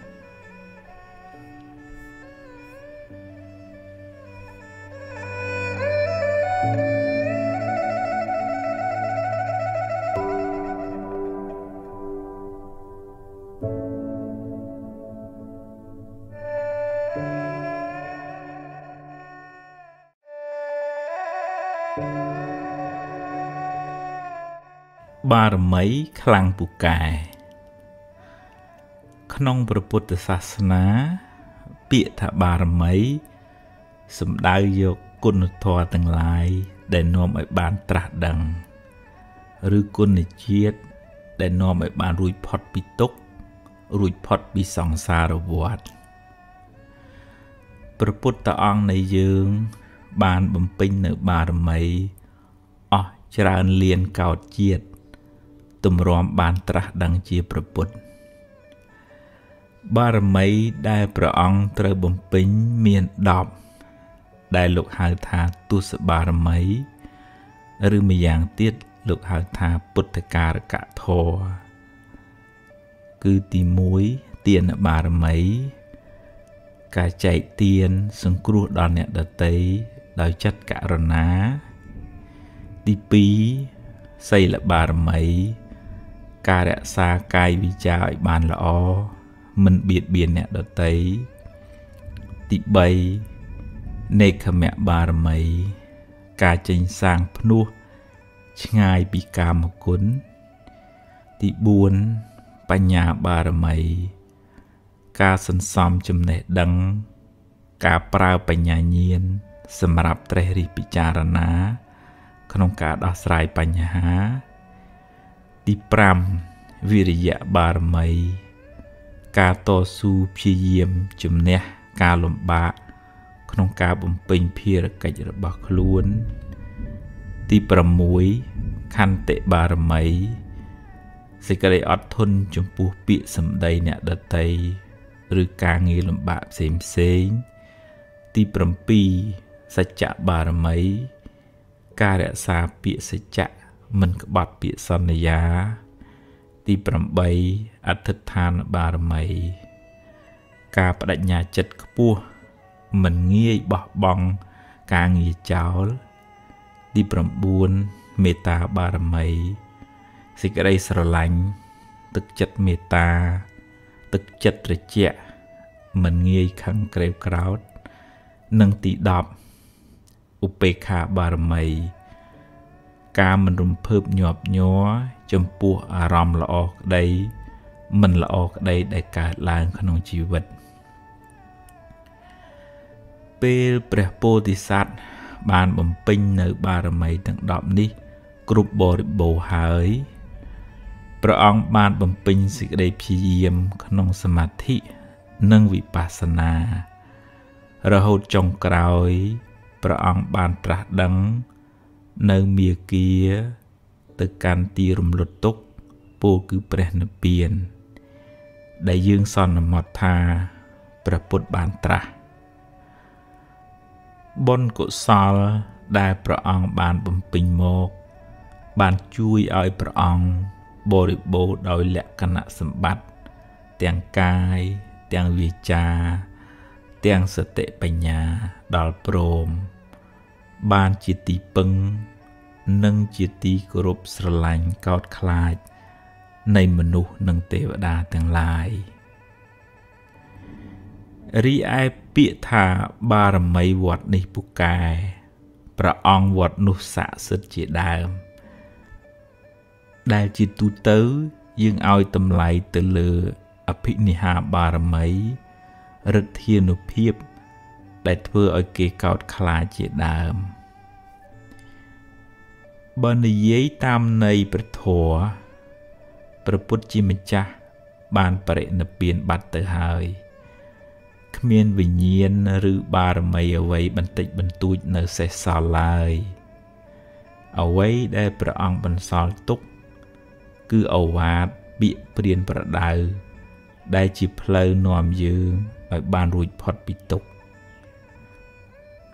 ព្រះពុទ្ធរូបជារូបស្នង ជារូបតំណាងព្រះពុទ្ធជាម្ចាស់សម្រាប់បានជាទីនឹករលឹក និងគោរពបូជា តែព្រះអង្គគ្មានចិត្តគ្មានវិញ្ញាណអ្វីមកដឹងរឿងយើងបែបបន់អ្វីឡើយព្រោះព្រះអង្គបានរំលត់ខណ្ឌទៅកាន់បរិនិព្វានហើយបើបងប្អូនទៅថ្វាយបង្គំព្រះពុទ្ធរូប សូមថ្វាយបង្គំដោយការដឹងគុណដែលព្រះអង្គជួយណែនាំយើងឲ្យបានសេចក្តីសុខថ្វាយបង្គំដោយសេចក្តីគោរពចំពោះគុណធម៌របស់ព្រះអង្គមិនគួរទៅថ្វាយបង្គំបួងសួងសុំឲ្យព្រះអង្គជួយយ៉ាងនេះយ៉ាងនោះទេព្រោះវាជាសទ្ធាដែលប្រាសចាកបញ្ញាឧបមាដូចអ្នកដំណើរប៉ុន្តែដើរទាំងពីការភ្នែក តែសូមចងចាំថាការថ្វាយបង្គំចំពោះព្រះពុទ្ធជាម្ចាស់ដោយសេចក្តីគោរពពិតប្រាកដដោយសមាទិដ្ឋិនឹងបានទទួលផលអានិសង្សច្រើនឥតគណនា តែផលនោះមិនមែនប្រពុតជាអ្នកផ្ដល់ឲ្យយើងទេ គឺផលកើតពីចិត្តជ្រះថ្លា ក្នុងចិត្តរបស់យើងផ្ទាល់ ដែលបានថ្វាយបង្គំចំពោះព្រះពុទ្ធជាម្ចាស់ដោយសទ្ធាប្រកបដោយបញ្ញារីឯរិទ្ធអានុភាពឬហេតុភេទផ្សេងផ្សេងអាចជាអានុភាពរបស់ពពួកអមនុស្សឬទេវតា ឬខ្មោចព្រាយដែលអាស្រ័យនៅទីនោះ ឬថែរក្សានៅតំបន់នោះ ជាអ្នកបណ្ដាលឲ្យមានឡើង តែដាច់ខាតមិនមែនជាបារមី ឬវិញ្ញាណរបស់ព្រះពុទ្ធឡើយពពួកអមនុស្សនៅទីនោះ អាស្រ័យនឹងព្រះពុទ្ធរូបក៏ទទួលនៅសក្ការៈបូជាផ្សេងផ្សេង ពីមនុស្សម្នាទាំងឡាយដែលយកទៅបូជានិយាយនេះមិនហាមឃាត់ថាឲ្យបងប្អូនឈប់គោរពបូជាទេវតាទេ តែត្រូវធ្វើដោយសមាទិដ្ឋិត្រឹមត្រូវកុំឲ្យคล้ายជាមង្គលភ្ញាក់ផ្អើលដែលផ្ទុយពីអវាទប្រពុតទៅវិញយើងអាចសម្ដែងការរាប់អាន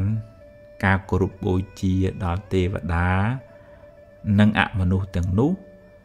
តាមរយៈការផ្សាយមេត្តាចិត្តការជូនបុណ្យកុសល ការថ្វាយគ្រឿងសក្ការៈផ្សេងផ្សេងឧបមាដូចជាការរាប់អានអ្នកចិត្តខាងដូច្នោះឯងសូមឲ្យគេបានសុខបានចម្រើន ហើយជួយថែរក្សាគ្នាទៅវិញទៅមកតែមិនគួរប្តេកផ្ដួលចិត្តបាត់បង់ជំហរលួងខ្លួនដើរតែបន់ស្រន់បួងសួងសុំសេចក្តីសុខពីគេឡើយ ហើយភ្លេចធ្វើមូលហេតុនៃសេចក្តីសុខនោះដោយខ្លួនឯង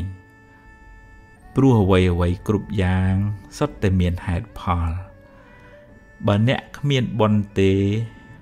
អង្វរកយ៉ាងម៉េចក៏ទេវតាមិនអាចជួយអ្នកបានដែរគេជួយយើងតលតែយើងមានបន់ខ្លួនយើងដែរដោយភាសាអង់គ្លេសមួយថា there is no free lunch បើអ្នកជាមនុស្សមានបន់មិនចាំបាច់សុំទេវតាឲ្យជួយក៏បានដែរគឺជាភារកិច្ចរបស់គេត្រូវតែជួយអ្នកដោយពេលដែលប្រពុតជាម្ចាស់នៃយើងទ្រង់ចុះចាប់បដិសន្ធិមានទេវតាមកថែរក្សាព្រះគររបស់ព្រះមេត្តាព្រះអង្គជាប្រចាំសូមចងចាំថា ទេវតាខ្លះជាសមាទិដ្ឋិទេវតាខ្លះជាមិច្ឆាទិដ្ឋិ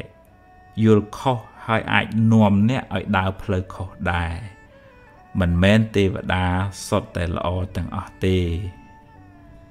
យើងមានទុកដោយយើង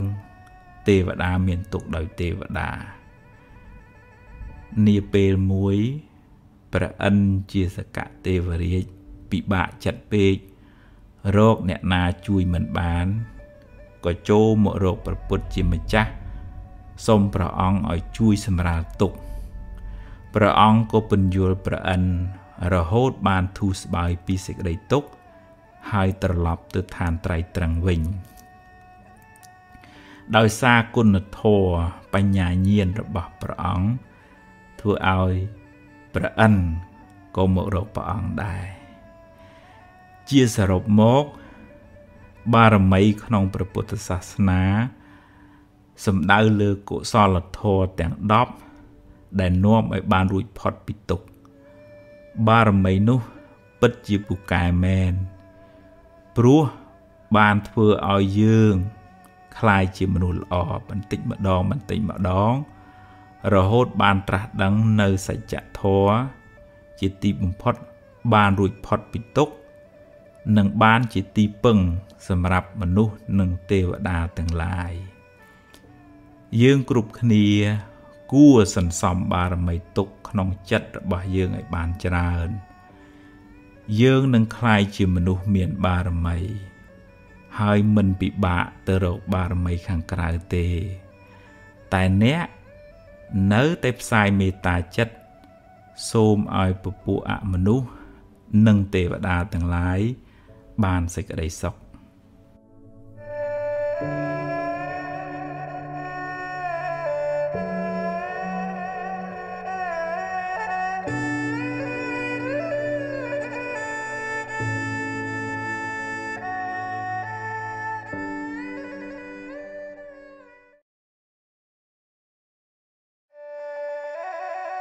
សាងកម្លាំងចិត្ត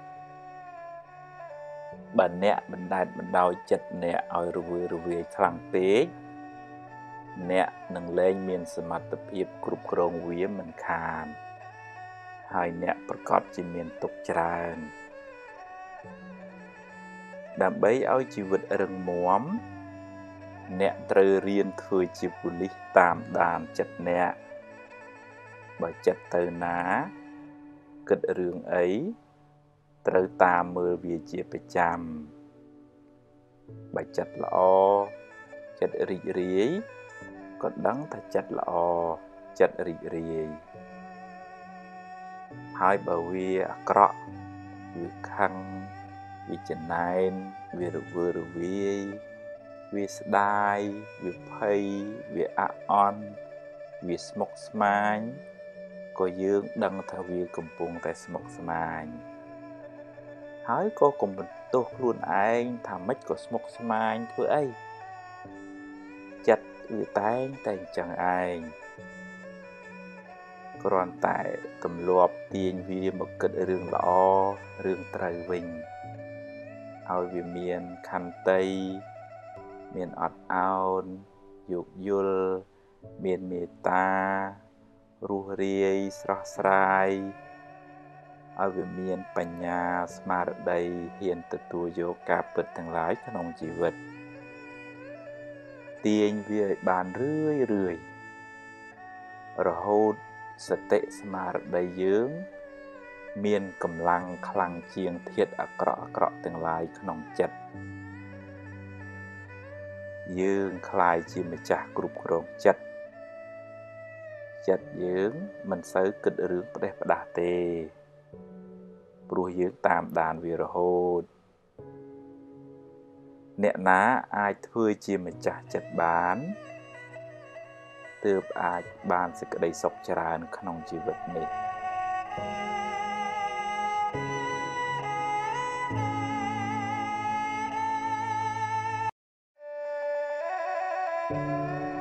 សាងបុណ្យលាងបាបពេលវេលាហួសទៅហើយ អ្នកមិនអាចបកក្រោយវិញបានទេ កម្មដែលអ្នកបានសាងហើយ ជាកម្មល្អក្តីអាក្រក់ក្តីអ្នកមិនអាចលុបវាចេញបានទេ តែបើអ្នកគិតថាខុសអ្នកអាចកែប្រែខ្លួន ប្រឹងសាងល្អឡើងវិញ អ្នកបានជាមនុស្សប្រសើរជាងមុន តែបាបនៅតែជាបាបដដែលព្រោះអ្នកបានធ្វើវារួចហើយបើសម្លប្រៃចាក់ទឹកទៅ វានឹងសាបបន្តិចតែជាតិប្រៃវានៅតែជាជាតិប្រៃដដែល វាមិនរត់ទៅណាទេគ្រាន់តែលាយទឹកច្រើន យើងលែងសូវដឹងប៉ុណ្ណឹង យ៉ាងណាមិញបើជ្រុលជាសាងអាក្រក់ទៅហើយត្រូវប្រឹងសាងល្អវិញឲ្យបានច្រើន ហើយមិនបាច់ដេកកើតទុកស្ដាយក្រោយទេនាំតែបានបាបថែម ពេលណាសំគួរកម្មនឹងឲ្យផល ហើយព្រមទទួលទៅ កម្មយើងទេ មានអ្នកណាមានអធិពលជួយលាងបាបឲ្យអ្នកឡើយសំបីតែព្រះពុទ្ធបើអ្នកព្រោះស្រូវក្នុងស្រែហើយបែរជាតិចអិចធូបបនស្រន់មិនឲ្យវាដុះវាជារឿងឆោតល្ងងពេកហើយដរាបណានៅតែមានកំណើត កម្មនៅតែតាមចូលប្រឹងប្រែងសាងល្អឲ្យបានច្រើនកុំឲ្យមានវិបដិសារីស្ដាយក្រោយឡើយ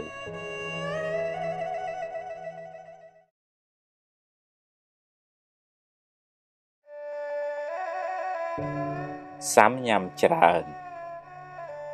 សាវ៉ាច្រើនសំញ៉ាំច្រើន ម្ដងយកនេះ ម្ដងយកនោះនាំឲ្យអ្នកស្មុគស្មាញច្រើនកើតទុកក៏ច្រើនដែរហើយគ្មានបានសម្រេចការណាមួយឲ្យប្រកបប្រជាទេយូរយូរទៅគេក៏លែងទុកចិត្តទៀតមុននឹងសម្រេចចិត្ត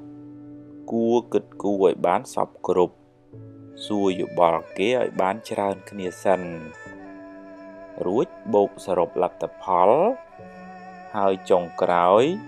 អ្នកត្រូវជ្រើសរើសដោយខ្លួនឯងបើរើសយកមួយណាហើយកុំមិនទេនតាយដូរចុះដូរឡើងធ្វើអីចាប់មួយណាឲ្យប្រកបមួយនឹងខ្លួនមួយកុំជិះទូកពីរប្រយ័ត្នធ្លាក់ទឹក ត្រីរស់ក៏រួចទន្សាយក៏រួចមនុស្សសាវ៉ាច្រើនទទួលលទ្ធផលមិនសូវល្អទេ បើរើសយកផ្លូវណាហើយ ត្រូវដើរឲ្យដល់ទីបំផុតកុំទៅមុខទៅក្រោយអីដើរឲ្យអស់ផ្លូវសិនបើទាល់ច្រកចាំគិតទៀត ហើយកុំទម្លាប់បន្ទោសគេបន្ទោសឯងអីវាជាជំរើសរបស់យើងទេ បើផ្លូវនឹងខុសអ្នកអាចចាប់ផ្ដើមសារជាថ្មី ហើយកុំស្ដាយអីស្ដាយទៅ នាំតែក្តៅក្រហាយឥតប្រយោជន៍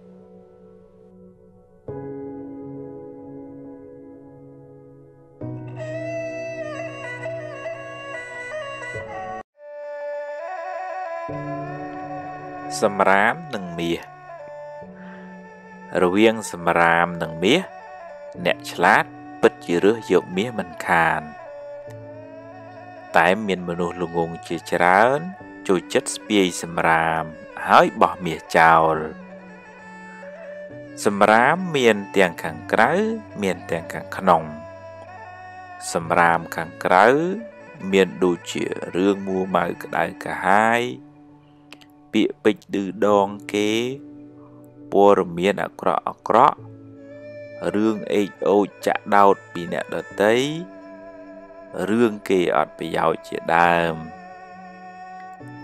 ចេះតែនាំយកមកដាក់ក្នុងគូក្បាលយូរយូរទៅ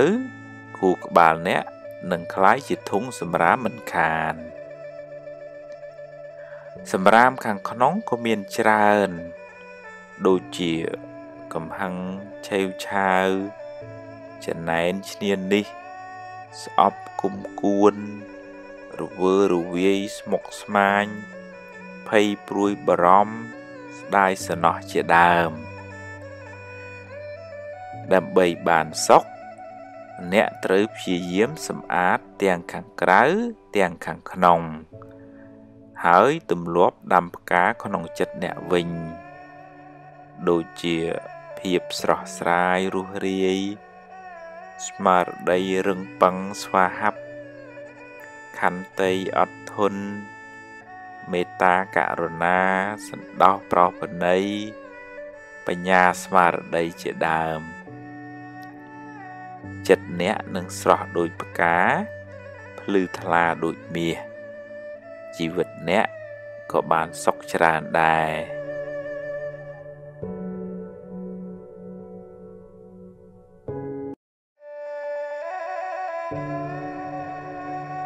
សង្ឃឹមពេលជួបបញ្ហាច្រើនពេកក្នុងជីវិតធ្វើឲ្យអ្នកខ្លះអស់កម្លាំងចិត្តនិងបន្តដំណើរទៅមុខទៀតជីវិតបែរជាស្វិតសពូនក្រៀមក្រោះអស់នៃមានតម្លៃរហូតអ្នកខ្លះ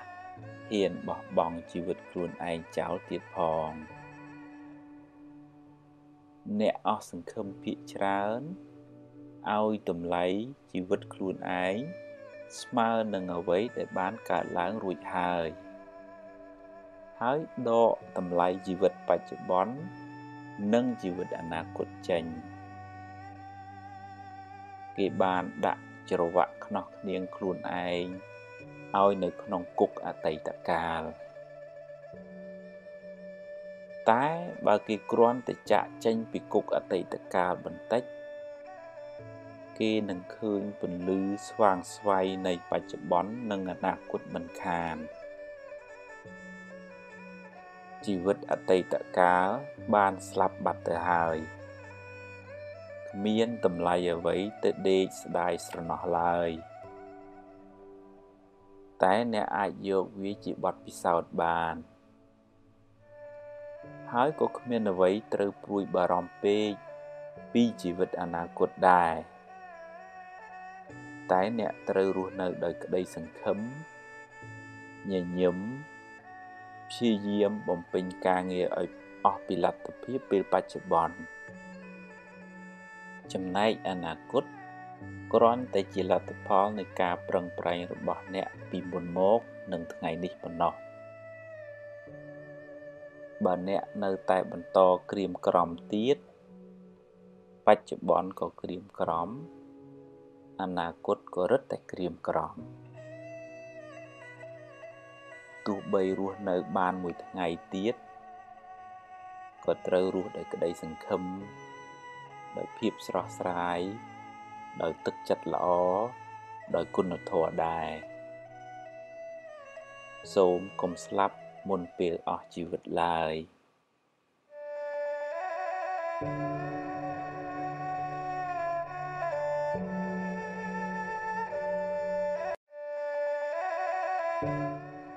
អំនួតអ្នកខ្លះពូកែគ្រប់រឿងស្អីក៏ដឹងស្អីក៏ចេះដែរនិយាយឡើងហត់អ្នកស្ដាប់ តែមិនសូវបានការអីទេ លងលងដូចប៉ោតអត់ទឹកអីចឹងអ្នកខ្លះទៀតចេះច្រើនមែនតែអន់បន្តិចអន់ត្រង់ពូកែអួតនឹងតែម្ដងនិយាយពីចូលចិត្តលើខ្លួនឯងខ្លាចតែគេមិនដឹងខ្លាចតែគេថាខ្លួនឯងអន់ចំណេះក្នុងលោកនេះមានច្រើនឥតគណនា ឧបមាដូចជាទឹកមហាសមុទ្រអីចឹងចំណែកអ្វីដែលយើងចេះស្មើនឹងទឹកមួយដំណក់ប៉ុណ្ណោះតើមានអ្វីត្រូវអួតទៅគួរបើកចិត្តឲ្យទូលាយចេះស្ដាប់គេខ្លះផងកុំនិយាយដូចមានតែឯងហើយកុំនិយាយច្រើនពេកចាំដល់វេនខ្លួនឯង ចាំនិយាយហើយនិយាយឲ្យត្រូវរឿងឲ្យត្រូវប្រធានបទផងគុណតម្លៃពិតប្រកបរបស់អ្នកមិនស្ថិតនៅលើពូកែនិយាយច្រើននោះទេ តែស្ថិតនៅលើប្រសិទ្ធភាពការងាររបស់អ្នកគួរចងចាំថា មនុស្សពូកែអួត ជាមនុស្សប្រហោងក្នុង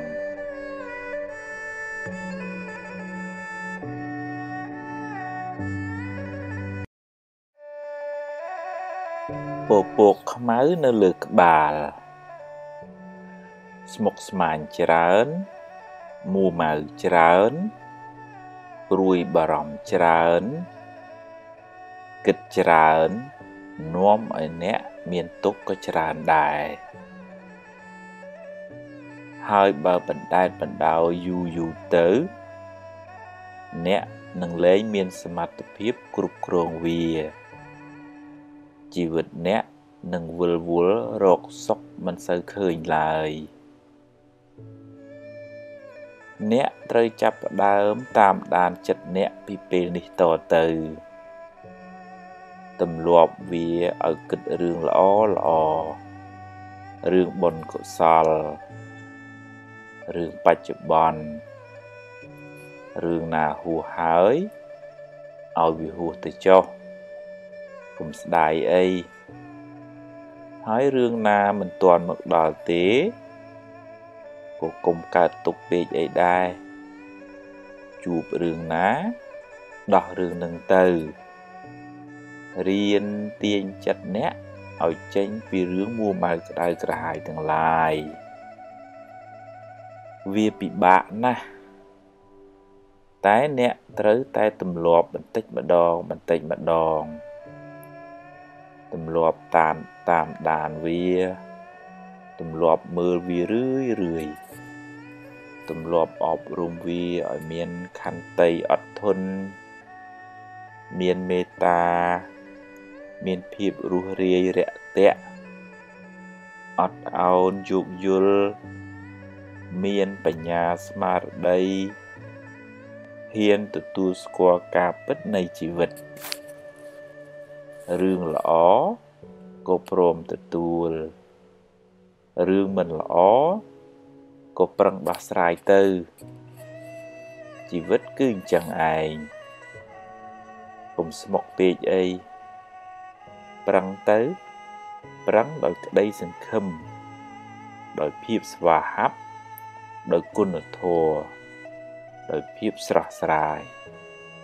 ធ្វើដូច្នេះបាន ចិត្តអ្នកនឹងស្រឡះស្រលំច្រើន អ្នកនឹងមិនសូវមានទុកឡើយ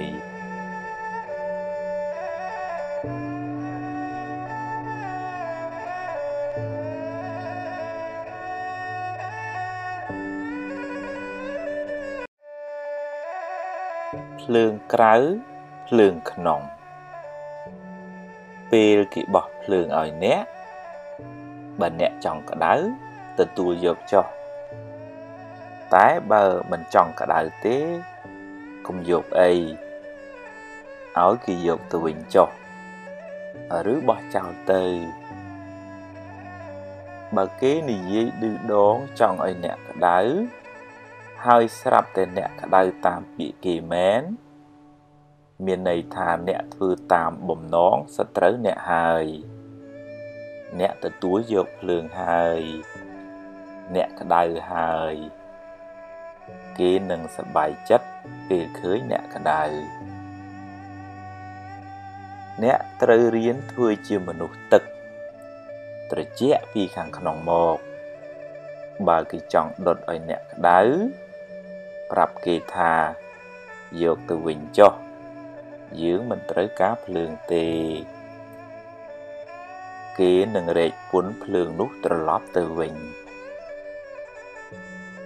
គេខឹងគេអាក្រក់ហើយបើអ្នកខឹងគេវិញ អ្នកក៏អាក្រក់ដែរទាំងពីរអ្នកមិនសូវខុសគ្នាប៉ុន្មានទេកំហឹងបានដុតបំផ្លាញចិត្តគេឲ្យក្តៅរួរៀលដូចដេកអោបភ្លើង ហើយគេចង់យកភ្លើងនោះមកសាចដាក់អ្នកដែរតែអ្នកកុំទៅល្ងងអី គ្មានរឿងអីត្រូវទទួលយកភ្លើងនោះទេឲ្យគេយកទៅវិញចុះឬបោះចោលទៅ អ្នកមានតែចិត្តអាណិតអ្នកដេកអោបភ្លើងនោះទៅវិញទេអាណិតណាស់ព្រោះក្តៅអើយសែនក្តៅ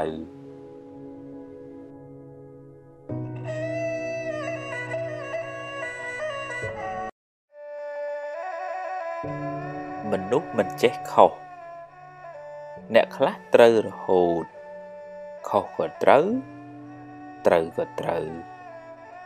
ខ្លាចខ្លួនឯងអន់ខុសហើយខំនិយាយបន្លែបន្លប់យកត្រូវតែខ្លួនឯងពេលធ្វើខុសអន់មួយបិទបាំងកំហុសអន់មួយទៀតហើយបើខំនិយាយបន្លែបន្លប់យកត្រូវ អន់ថែមមួយទៀតមនុស្សប្រភេទនេះคล้ายជាមនុស្សអន់អាជីពអ្នកណាដែលថាមិនចេះខុសហើយគ្មានអីធ្ងន់ធ្ងរគ្រាន់តែសុំទោសគេ ហើយប្រឹងកែកំហុសនោះឡើងវិញទេព្រះពុទ្ធហៅមនុស្សប្រភេទនេះ ថាជាបណ្ឌិតទៀតផង ព្រោះអាចអភិវឌ្ឍខ្លួនឯងឲ្យបានខ្ពង់ខ្ពស់ជាងមុនបើមុខអ្នកប្រឡាក់ធ្យូងហើយមានគេប្រាប់គ្មានអីត្រូវប្រកែកទេ ហើយត្រូវអរគុណគេផងយ៉ាងណាមិញ ការចេះទទួលកំហុសហើយកែប្រែកំហុសជាមាគ៌ាឆ្ពោះទៅរកការរីកចម្រើនក្នុងជីវិត ដោយប្រច័នចាក់ចេញពីពពកដូច្នោះឯងគួរចងចាំថា មនុស្សអួតច្រើន ជាមនុស្សអន់ខ្លាំង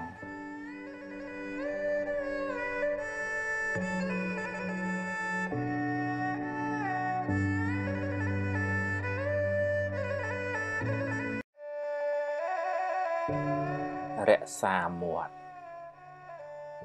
មាត់អ្នក អាចជាអាវុធដ៏មុតស្រួច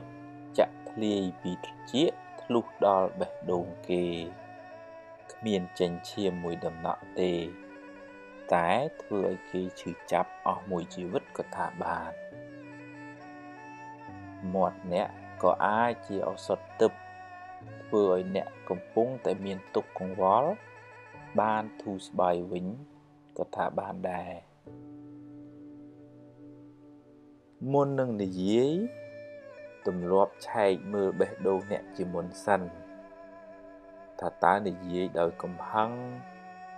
ដោយចំណែនដោយបំណងចង់ឌឺដងឲ្យគេឈឺចាប់ឬដោយចេតនាល្អ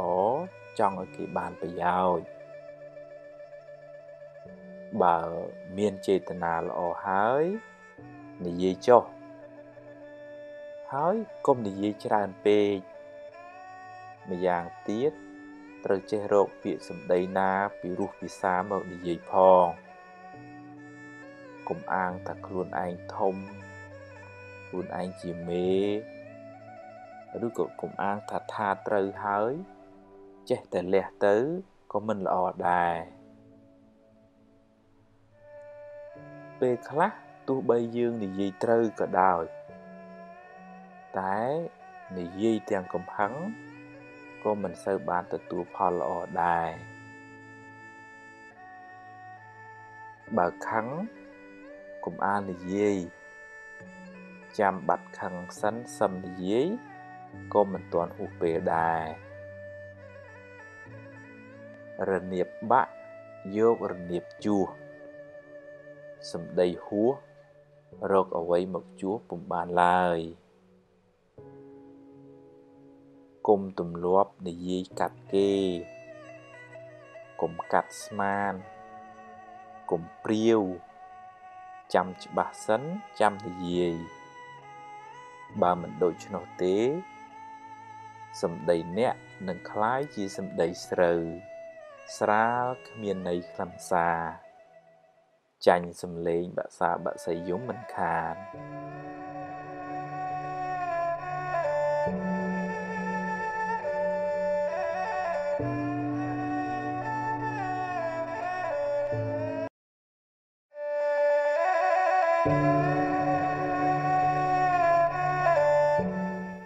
មានទ្របនៅ បើបុណ្យអ្នកនៅមាន រួមផ្សំជាមួយការប្រុងប្រយ័ត្នផងទ្របអ្នកមិនងាយបាត់បង់ទៅណាទេ តែពេលណាអ្នកអស់បុណ្យហើយអ្នកមានសេះសល់បាបពីមុនមកផងទ្របឃើញនៅនឹងភ្នែកក៏យកមិនបាន ឬត្រូវបាត់បង់ខូចខាតទៅវិញបាបកម្មនាំឲ្យរោគស៊ីមិនឡើង ឬខាតចុងខាតដើមមានដូចជាកឹបកេងទ្របគេជំពាក់លុយគេមិនសង សន្យាថាឲ្យហើយបែរជាមិនឲ្យវិញ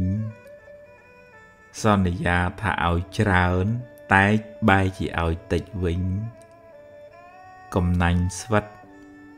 មិនចិញ្ចឹមមេដាបេដាជាដើមសេចក្តីលោភធ្វើឲ្យមនុស្សចង់បានទ្រព្យគេមកជារបស់ខ្លួនទ្រព្យនោះអាចបានមកមែនតែជាទ្រព្យក្តៅក្រហាយជាទ្រព្យមានពីបាបកម្មនោះនឹងតាមលងបន្លាចបុគ្គលនោះរហូតដល់ថ្ងៃស្លាប់ ហើយនឹងត្រូវរងទុកវែងឆ្ងាយក្នុងកំណើតតតទៅមុខទៀតម្យ៉ាងទៀតសេចក្តីកំណាញ់ធ្វើឲ្យមនុស្សមិនហ៊ានធ្វើទៀនទេ ពេលខ្លះមិនទាំងហ៊ានចិញ្ចឹមម៉ែឪឯងក៏មានសេចក្តីកំណាញ់មកសឹបប្រាប់យើងថាបើធ្វើទៅក្រែងអស់ តែបើតាមពិតទៅ នៅដំណាក់កាលចុងក្រោយ យើងគ្រប់គ្នាត្រូវទៅខ្លួនទៅទេគ្មានយកអ្វីទៅតាមខ្លួនបានបន្តិចសោះឡើយបើមិនបានធ្វើបន់ទេទ្របនោះគេចែកគ្នាអស់គ្មានបានជាប្រយោជន៍សម្រាប់ខ្លួនយើងទៅកាន់បរលោកឡើយ។ មានតែបនដែលខ្លួនយើងសន្សំរឿយរឿយទេទើបបានជាទីពឹងទៅក្នុងលោកខាងមុខបាននិយាយនេះមិនមែនមានន័យថាឲ្យឈប់រកស៊ីធ្វើតែទានឲ្យអស់ទៅនោះទេ តែគួរបែងចែកសម្រាប់សេចក្តីសុខបច្ចុប្បន្នផង សន្សំបុណ្យបានជាទីពឹងទៅក្នុងបរលោកនាយផង ព្រោះដំណើរកើតស្លាប់ គឺត្រូវធ្វើដំណើរតែម្នាក់ឯងគ្មានអ្នកណាមកគំដរអ្នកទេរីឯប៉ុនដែលនាំឲ្យអ្នកចម្រើនដោយទ្រព្យសម្បត្តិរកស៊ីធូគឺការចេះធ្វើទានសង្គ្រោះដល់អ្នកលំបាកដែលលោកហៅថាសង្កហទាននិងការចិញ្ចឹមមេដាបិតា ទំនុកបំរុងអ្នកមានសិលជាដើម ដែលលោកហៅថាបូជាទានបុគ្គលដែលមានចិត្តសប្បុរសមានចិត្តមេត្តា មិនកំណាញ់មិនគិតតែខ្លួនឯងរមែងទទួលបានសេចក្តីស្រឡាញ់សេចក្តីសុខតាំងពីបច្ចុប្បន្ន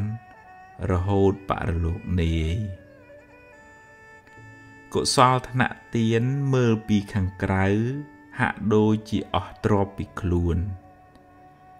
តែវាមានឧបមាដូចជាការព្រុសស្រូវក្នុងស្រែអ្នកអស់ស្រូវពូជពីល្អីមែនតែចុងក្រោយ អ្នកទទួលបានផលច្រើនបុគ្គលដែលបានធ្វើទានទុកហើយកើតជាតិណានា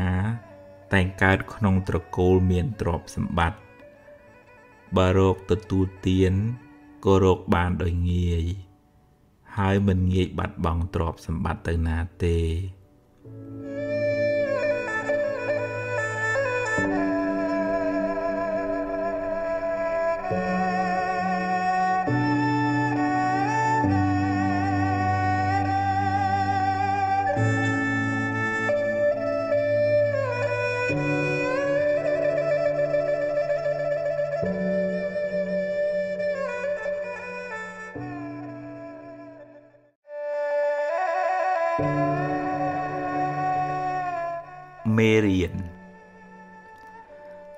ថាមានពេលខ្លះអ្នកគិតមិនបានគ្រប់ជ្រុងជ្រោយហើយក៏និយាយជ្រុលជ្រោះឬសម្រេចចិត្តខុសដែលនាំឲ្យខូចខាតប្រយោជន៍ឬបាត់បង់ទ្រព្យធនជាដើម សូមគុំស្ដីបន្ទោសខ្លួនឯងច្រើនពេកអី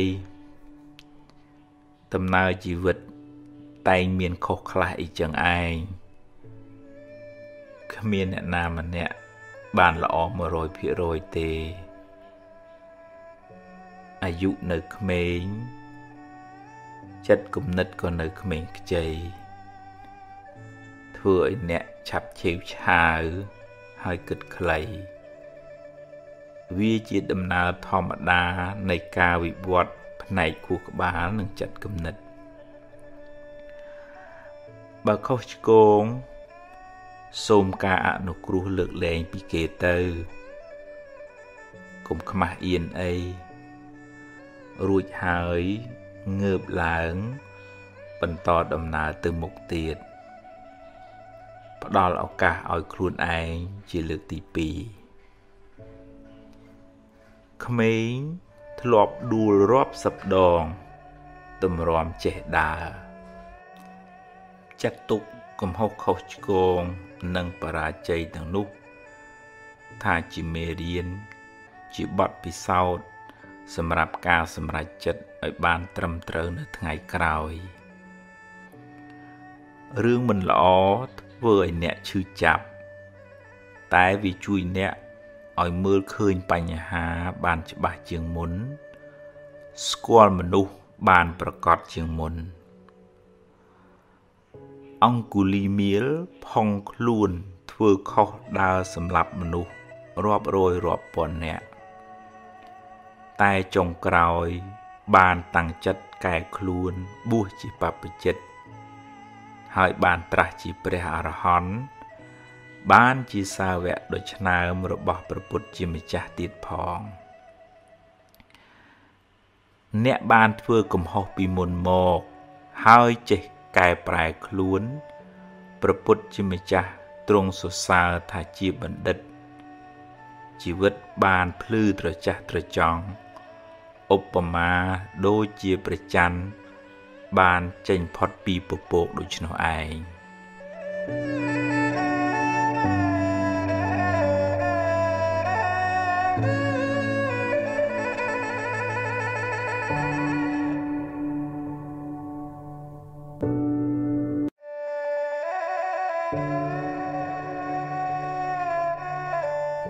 រួចពីកម្មពី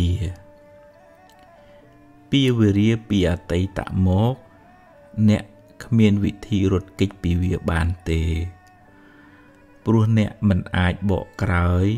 ហើយកែទង្វើដែលអ្នកបានធ្វើក្នុងអតីតកាលបានឡើយតែពីវេរាទៅថ្ងៃមុខអ្នកអាចជៀសបាន ដោយកម្លាំងនៃការរក្សាសិល សិលបានដល់ការប្រព្រឹត្តល្អដោយកាយវាចាចិត្តការមិនបៀតបៀនមិនធ្វើឲ្យអ្នកដទៃក្តៅក្រហាយ មានដូចជា ការមិនប៉ះពាល់ជីវិតអ្នកដទៃការមិនកັບកេងលួចទ្រព្យអ្នកដទៃការមិនធ្វើឲ្យកូនប្រពន្ធអ្នកដទៃក្តៅក្រហាយ ការមិនកុហកបោកប្រាស់ជាដើម ពេលអ្នកមិនបានធ្វើឲ្យអ្នកដតីក្តៅក្រហាយ គេក៏មិនមានចិត្តចងពៀមិនមានបំណងអាក្រក់ដាក់អ្នកវិញដែរដោយសារអ្នកមិនបានធ្វើអាក្រក់ដាក់អ្នកដតី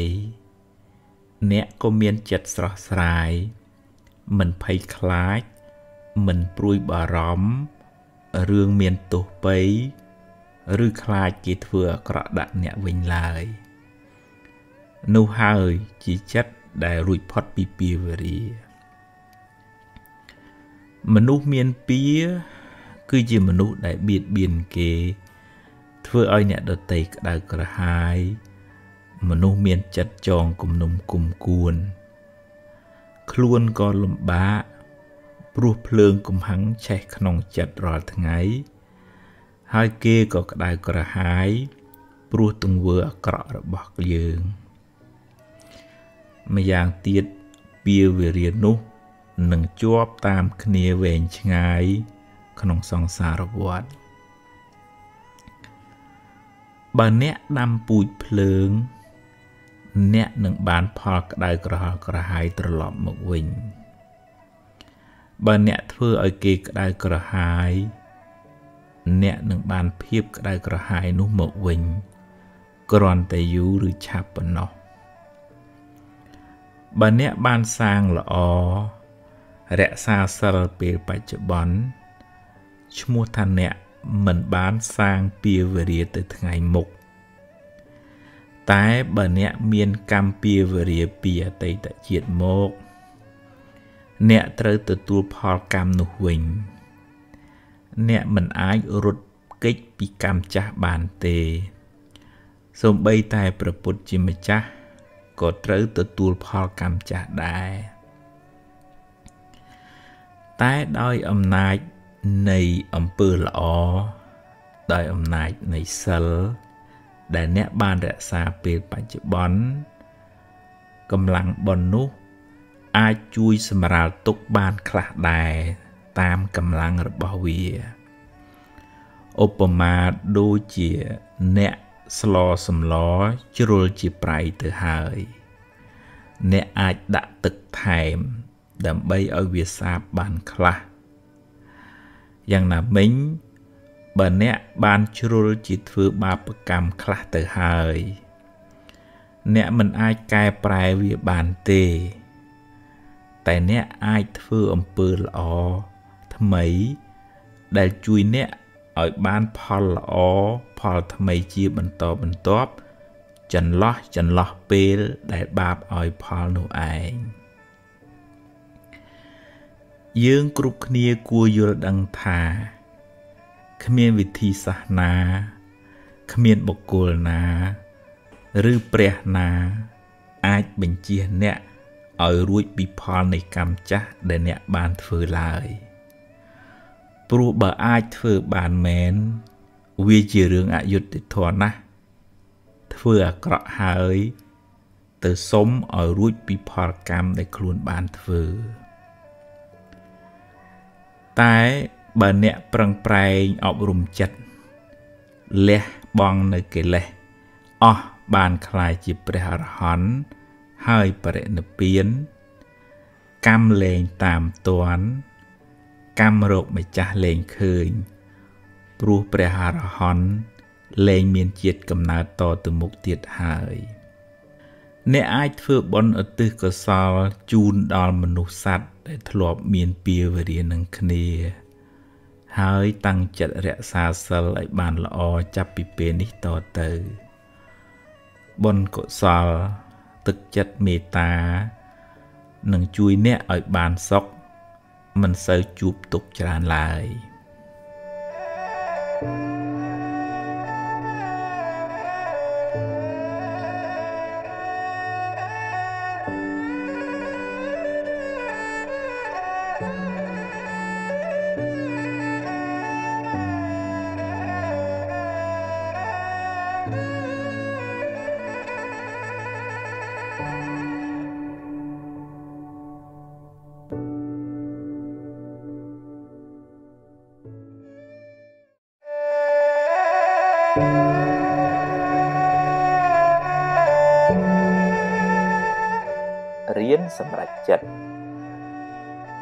មុននឹងសម្រេចចិត្តគិតឲ្យបានច្បាស់លាស់សិនសួរយោបល់គេឯងឲ្យបានគ្រប់ជ្រុងជ្រោយហើយចុងក្រោយ អ្នកត្រូវសម្រេចចិត្តដោយខ្លួនឯងហើយបើសម្រេចយ៉ាងណាហើយធ្វើតាមនឹងទៅកុំសាវ៉ាដូរចុះដូរឡើងពេកអីព្រោះ វាធ្វើឲ្យរំខានចិត្តខ្លាំងមិនសូវបានសុខទេហើយបើឧបមាថាការសម្រេចចិត្តនោះខុសនាំឲ្យខូចខាតបាត់បង់សូមគុំទម្លាប់បន្ទោសគេបន្ទោសឯងឬមួម៉ៅក្តៅក្រហាយស្ដីបន្ទោសខ្លួនឯងយូរពេកអីចាត់ទុកថា វាជាផលនៃបាបចាស់ទៅចោះ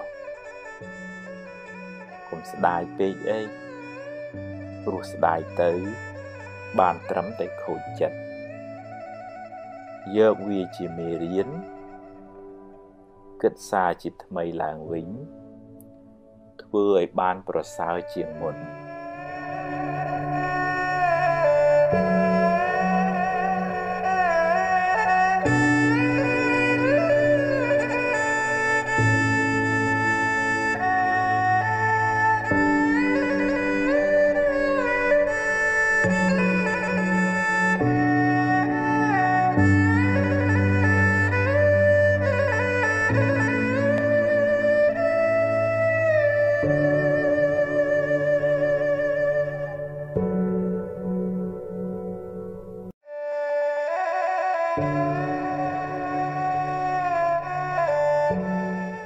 សេរីសួស្តីមួម៉ៅច្រើនសេរីរត់ចេញរីករាយវិញសេរីរត់ចូល ជាទូទៅយើងឲ្យតម្លៃសេរីសួស្តីទៅលើរឿងល្អល្អរឿងសបាយសបាយមានលៀបមានជ័យជាដើម តែគួរចងចាំថា ផលល្អទាំងនោះ កើតឡើងអាស្រ័យហេតុល្អហេតុដែលជាកុសល ដែលអ្នកខិតខំប្រព្រឹត្តធ្វើពីមុនមកហេតុនៃសេរីសួស្តីនោះមានដូចជា ការសែបគប់ត្រូវ ការតស៊ូព្យាយាមក្នុងកិច្ចការងារដែលអ្នកធ្វើ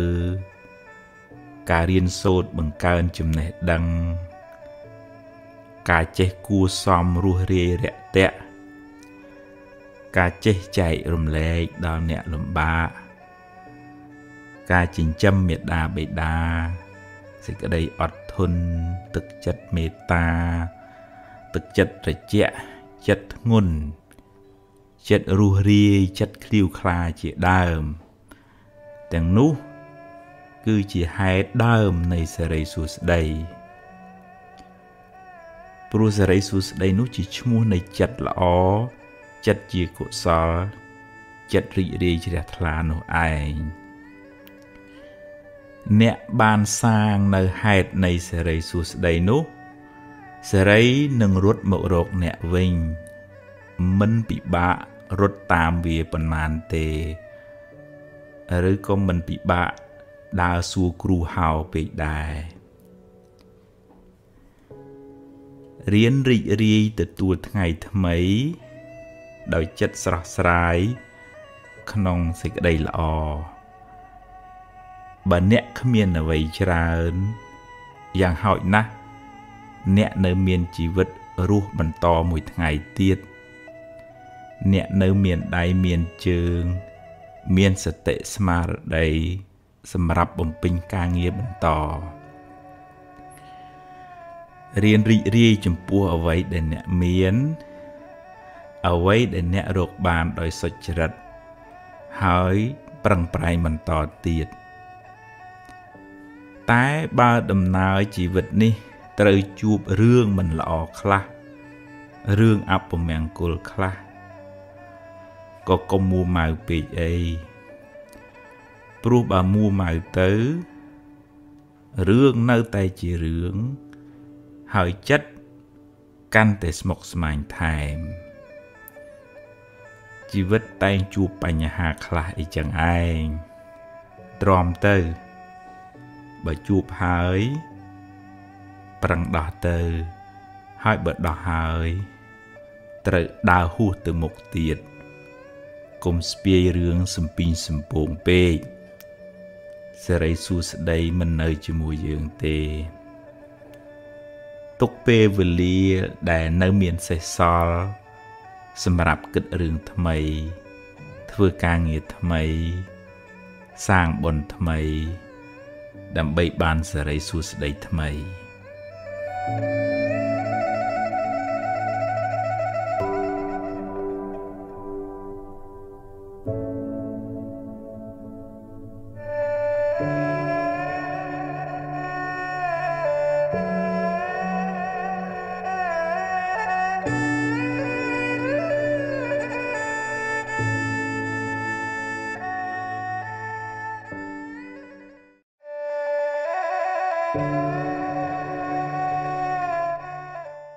សហើយអតីតកាលល្អក្តីមិនល្អក្តី បានកន្លងហួសទៅហើយទោះបីអ្នកស្ដាយប៉ុណ្ណាក៏ទាញមកវិញមិនបានដែរអនុញ្ញាតឲ្យវាប្រែប្រួលតាមដំណើរនៃធម្មជាតិរបស់វារឿងល្អជាផលនៃកម្មល្អដែលអ្នកបានសាង រឿងមិនល្អជាផលនៃអកុសលកម្មដែលអ្នកបានប្រព្រឹត្តពីមុនមកជីវិតរបស់មនុស្សម្នាក់ម្នាក់ប្រព្រឹត្តទៅតាមកម្លាំងកម្មដែលខ្លួនបានធ្វើពីអតីតផង កម្មក្នុងពេលបច្ចុប្បន្នផង អ្នកមិនអាចរត់គេចពីផលនៃកម្មបានឡើយ រឿងខ្លះកើតឡើងហួសពីការស្មានរបស់អ្នកហើយអ្នកគ្មានសមត្ថភាព ទៅបង្គាប់បញ្ជារឿងខាងក្រៅបានទាំងស្រុងទេកម្លាំងអ្វីស្មើដោយកម្លាំងកម្មមិនមានឡើយណដ្ឋិកម្មੰសមੰពលំបើមានហេតុគ្រប់គ្រាន់ រឿងនឹងកើតឡើងអ្វីអ្វីមិនមែនជារឿងចៃដន្យទេបើអ្នកបានជួបរឿងមិនល្អហើយ ហើយអ្នកកើតចិត្តមួម៉ៅក្តៅក្រហាយ អ្នកបានបង្កើនទុកនោះឲ្យមានទម្ងន់ទ្វេដងរឿងក៏អាក្រក់ចិត្តក៏មួម៉ៅ ទុកទាំងកាយ ទុកទាំងចិត្តណាស់ហើយចុះរឿងបានកន្លងផុតទៅហើយ ចាត់ទុកជាមេរៀន ជាបទពិសោធន៍សម្រាប់ការសម្រេចចិត្តលើកក្រោយ ចាប់ផ្ដើមសារជាថ្មី គិតរឿងថ្មី និយាយរឿងថ្មី ធ្វើកិច្ចការងារថ្មី លទ្ធផលក៏បានថ្មីដែរអតីតកាលមិនមែនជាផ្ទះសម្រាប់អ្នកនៅទេវាគ្រាន់តែជាស្រមោលទេតើតែបើរឿងអតីតកាលនោះជារឿងល្អជារឿងបុណ្យកុសល អ្នកអាចចងចាំ និងរំលឹករំលើកដល់អំពើល្អនោះរឿយរឿយ ដើម្បីឲ្យចិត្តបានរីករាយម្ដងទៀតបានបន់ម្ដងទៀត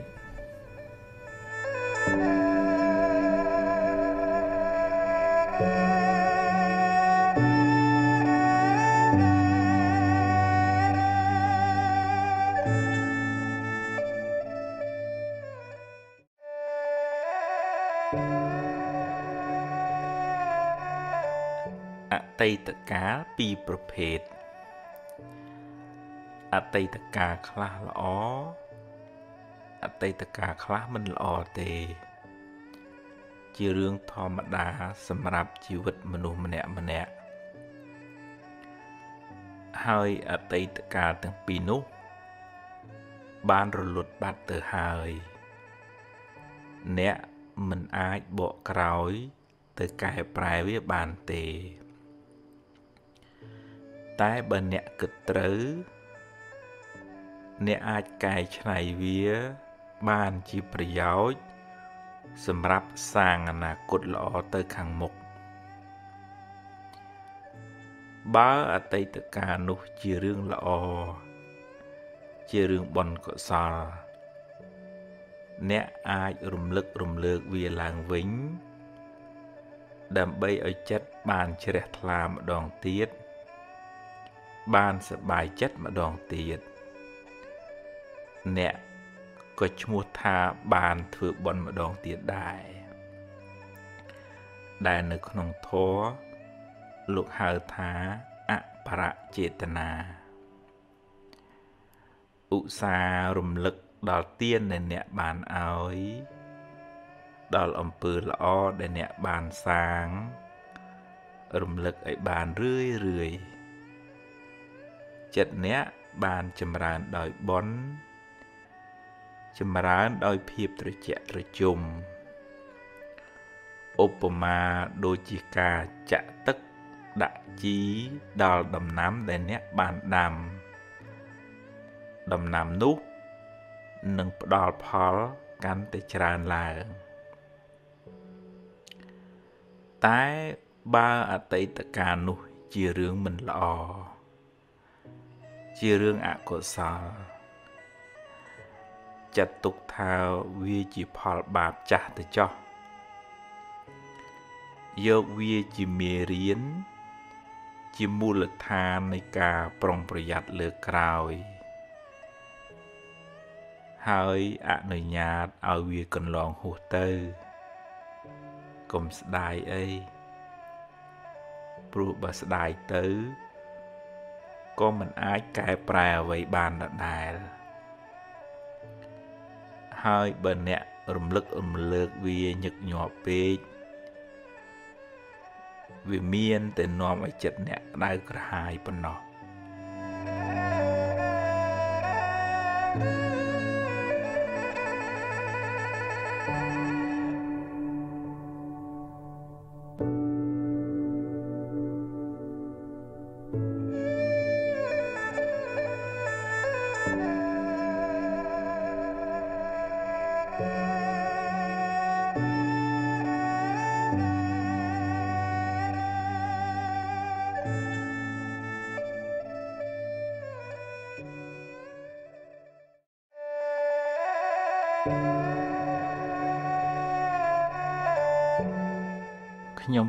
ធ្វើល្អហេតុអ្វីខ្ញុំនៅតែមានទុកច្រើន អ្នកខ្លះមានសមានចិត្តល្អមានចិត្តសប្បុរសអាណិតអាសូរជួយអ្នកដតីច្រើន តែបែរជាមិនសូវបានសមប្រកប ជួបរឿងទុកសោកមិនចេះចប់មិនចេះហើយ ពេលខ្លះ ជួយគេហើយបែរជាគេរមិលគុណនិយាយអាក្រក់រហូតដល់ធ្វើទុកបុកម្នេញមកវិញក៏សឹងមានអំពើល្អដែលអ្នកបានសាងហើយ នៅតែជាអំពើល្អដដែលមិនប្រែទៅជាអាក្រក់ទេគ្រាន់តែវាមិនទាន់មានពេលឲ្យផលប៉ុណ្ណោះ ចំណែករឿងមិនល្អរឿងអកុសលដែលអ្នកបានជួប វាជាផលនៃកម្មចាស់កម្មចាស់ដល់ពេលត្រូវឲ្យផល គួរស្វែងយល់ផងដែរថាបុណ្យកុសលមានច្រើនលំដាប់ ហើយបុណ្យទាំងនោះ ជួយអ្នកឲ្យបានស្រាលពីទុក្ខតាមលំដាប់ដែរ កុសលថ្នាក់ទៀនលះចិត្តកំណាញ់លះចិត្តជាប់ជំពាក់កុសលថ្នាក់ទៀននោះជួយអ្នកឲ្យមានគេស្រឡាញ់រាប់អានច្រើន មានកិត្តិយសគេឈ្មោះល្អនិងជាឧបនិស្ស័យនៃការរកទទួលទានមានបាន តែកុសលថ្នាក់ទាននោះមិនអាចជួយអ្នក ឲ្យរួចផុតពីសេចក្តីទុក្ខផ្លូវចិត្តបានទេកុសលមួយទៀតដែលជួយអ្នកឲ្យរួចពីពាវេរាទៅថ្ងៃមុខគឺការរក្សាសិលបានដល់ការមិនបៀតបៀនមិនធ្វើឲ្យអ្នកដតីក្តៅក្រហាយ អ្នកជាមនុស្សមិនមានពៀទៅណាមកណាមិនសូវព្រួយបារម្ភក្នុងចិត្ត ព្រោះមិនបានធ្វើខុសហើយមិនសូវមានអ្នកមកបៀតបៀនអ្នកទេជៀសវាងតែអ្នកមានបាបកម្មពីអតីតជាតិមកកុសលធ្នាក់សិលជួយអ្នកឲ្យរួចផុតពីពាវេរាទៅថ្ងៃមុខតែវានៅតែមិនអាចជួយអ្នកឲ្យរួចផុតពីសេចក្តីទុក្ខផ្លូវចិត្តបានទាំងស្រុងឡើយ កុសលធ្នាក់ខ្ពស់ដែលអាចជួយអ្នកបានច្រើន ក្នុងការសម្រាលសេចក្តីទុក្ខពីផ្លូវចិត្តគឺកុសលធ្នាក់ភាវនា ដែលមានន័យថាការចម្រើនសមាធិការចម្រើនបញ្ញា ដែលជួយអ្នកឲ្យមានចិត្តនឹងថឹងមិនសូវញាប់ញ័រនឹងរឿងរ៉ាវទាំងឡាយសមាធិ សំដៅលើការវឹកហាត់ចិត្តឲ្យស្ថិតនៅក្នុងអារម្មណ៍តែមួយ ដែលនាំឲ្យចិត្តបានស្ងប់រងាប់ បានត្រជាក់មិនសូវរវើរវាយមិនសូវច្របូកច្របល់ជួយអ្នកឲ្យបានសេចក្តីសុខតាមផ្លូវចិត្តច្រើន ចំណែកឯការចម្រើនបញ្ញាសំដៅលើការស្វែងយល់អំពីដំណើរកើត រលត់នៃសង្ខាររៀនលះបង់ការប្រកាន់ចំពោះរឿងរ៉ាវការទាស់ចិត្តនិងការជាប់ចិត្តចំពោះបញ្ហាទាំងឡាយពេលអ្នកបានលះបង់នៅសេចក្តីប្រកាន់នោះ ពីក្នុងចិត្តរឿងរ៉ាវទាំងឡាយកើតឡើងក៏កំណត់ដឹងថា ជាដំណើរនៃធម្មជាតិពេលមានហេតុក៏កើតឡើង ពេលអស់ហេតុក៏រលត់ទៅឧបមាដូចជាភ្លើងចង្គៀងពេលនៅប្រេងក៏នៅសល់ភ្លើង ពេលអស់ប្រេងអស់បញ្ឆេះភ្លើងក៏រលត់ទៅ អ្នកកំណត់ដឹង នៅដំណើរនៃសង្ខារយ៉ាងនេះ កាត់បន្ថយនៅសេចក្តីប្រកាន់សេចក្តីទុក្ខក៏ធូរស្បើយពីចិត្តអ្នក thank you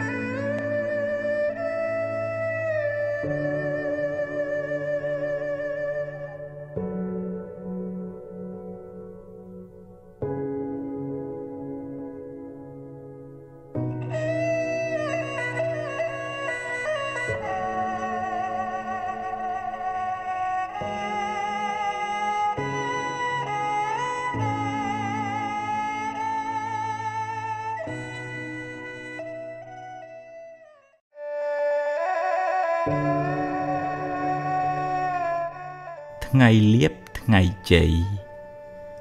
ថ្ងៃល្អគឺជាថ្ងៃដែលអ្នករីករាយចិត្ត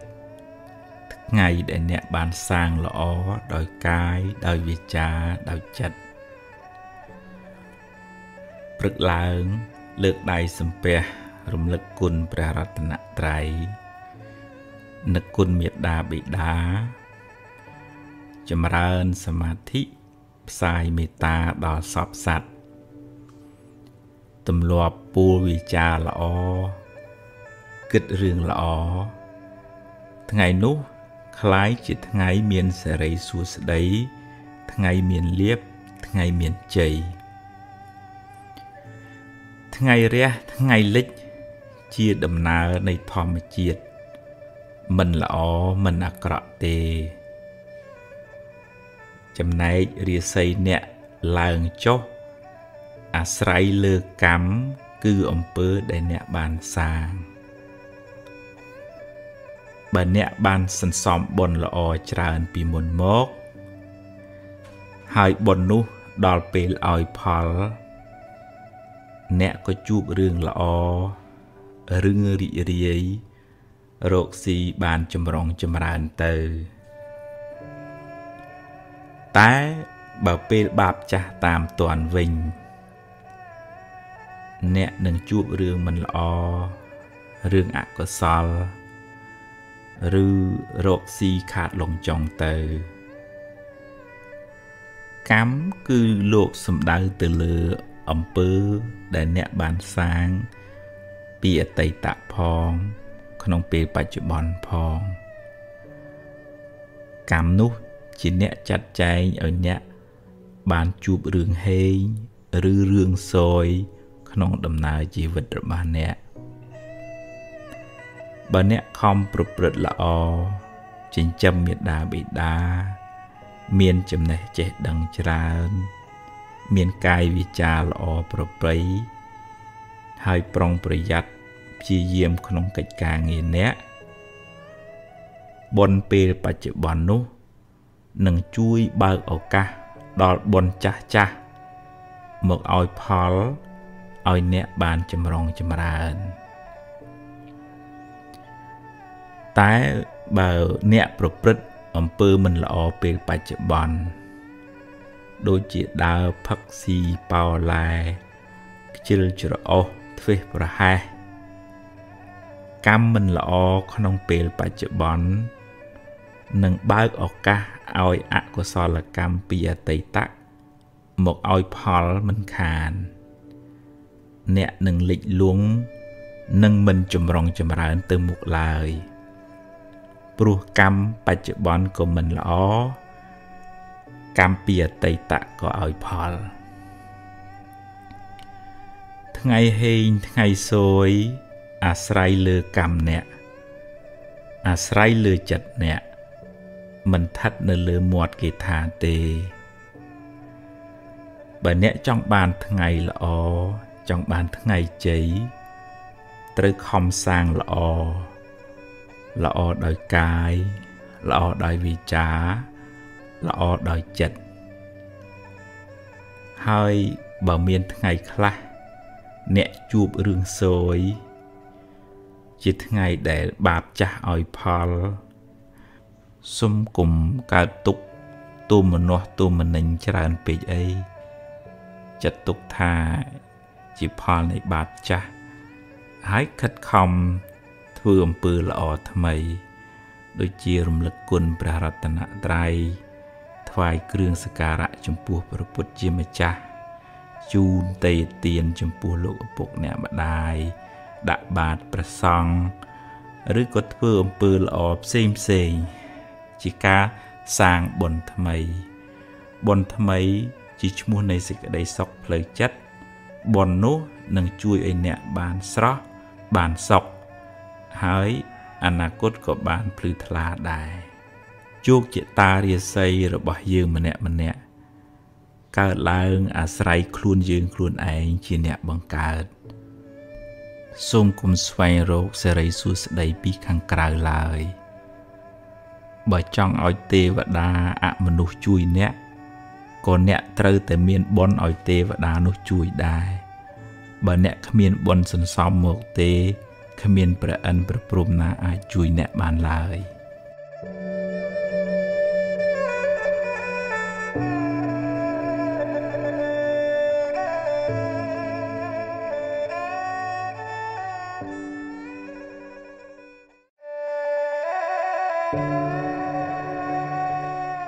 ទ្របគេ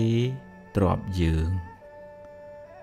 ក្នុងដំណើរនៃវដ្តសង្សារនេះមិនដឹងថាយើងម្នាក់ម្នាក់ជាប់ជំពាក់កម្មជាមួយអ្នកណាខ្លះធ្លាប់ធ្វើបាបធ្វើអាក្រក់ចងពៀជាមួយគ្នាពីជាតិណាមកទេកំហឹងគំនុំស្អប់ចងអាឃាតគ្នា ឬបាបកម្មណាមួយ សុទ្ធតែនាំឲ្យមានពៀវេរា កំណើតវិលវល់អន្ទូលទៅមក ដល់ពេលណាមួយ កម្មនោះនឹងវិលមករកអ្នកវិញ ពេលកម្មចាស់ឲ្យផល អ្នកក៏ត្រូវជួបរឿងមិនល្អព្រាត់ប្រាសឬខាតលងចុងទៅ អ្នក ធ្វើបាបកម្មអាក្រក់តែម្ដងទេ តែពេលកម្មឲ្យផលមិនមែនឲ្យតែម្ដងទេ ត្រូវឲ្យការគេថែមទៀតត្រូវទទួលផលកម្មនោះច្រើនដងឬច្រើនជាតិដោយសារចេតនាក្នុងការធ្វើកម្មនោះច្រើនដែរគឺចេតនាមុនពេលធ្វើលោកហៅថាពុព្វចេតនា ចេតនាពេលកំពុងធ្វើលោកហៅថាមញ្ញនចេតនានិងចេតនាដែលអ្នកធ្វើឲ្យសបាយក្នុងការធ្វើបាបនោះលោកហៅថាអបរចេតនាពេលធ្វើអាក្រក់អ្នកខ្លះសបាយណាស់ព្រោះវានាំឲ្យបានទ្រពធនបានលៀបបានយួរ ឬឈ្នះគេដោយទង្វើអាក្រក់របស់ខ្លួន តែកុំភ្លេចថាការធ្វើបាបនោះ មានឧបមាដូចជាការផឹកទឹកឃ្មុំ ដែលលាយដោយថ្នាំពឹសដូច្នោះឯងឆ្ងាញ់ពីដំបូង តែចុងក្រោយត្រូវពុលស្លាប់យ៉ាងណាមិញទ្របរោគដោយការបៀតបៀនអ្នកដតី ជាទ្របក្តៅក្រហាយ ជាទ្របមានពៀមិនសុខកាយមិនសុខចិត្តឡើយ ហើយជាប់ពៀវរាវែងឆ្ងាយ ក្នុងជីវិតបច្ចុប្បន្ននេះផង ក្នុងអនាគតជាតិផង បាបកម្មនោះនឹងតាមលងបន្លាចអ្នករហូតដល់ថ្ងៃស្លាប់ យើងគ្រប់គ្នាគួរខ្លាចបាប ខ្លាចអំពើអាក្រក់មិនគួរចាញ់បោកវា មិនគួរឲ្យវាដឹកមុខហើយទៅប្រព្រឹត្តអាក្រក់ឡើយព្រោះអំពើបាបនោះនឹងនាំទុកមកខ្លួនយើងវិញ បាបវានាំឲ្យយើងសប្បាយក្នុងរយៈពេលខ្លីតែត្រូវរងទុកក្នុងរយៈពេលវែងគួរមានស្មារតី ប្រឹងរកទ្រពដោយសុចរិត មិនបៀតបៀនមិនប៉ះពាល់ទ្រពអ្នកណាឡើយ បានតិចបានច្រើនជាទ្រពត្រជាក់ជាទ្រពពោជ័យអ្នករស់នៅដោយសេចក្តីសុខមិនផិតភ័យមិនតក់ស្លុតក្នុងចិត្តឡើយ ព្រោះ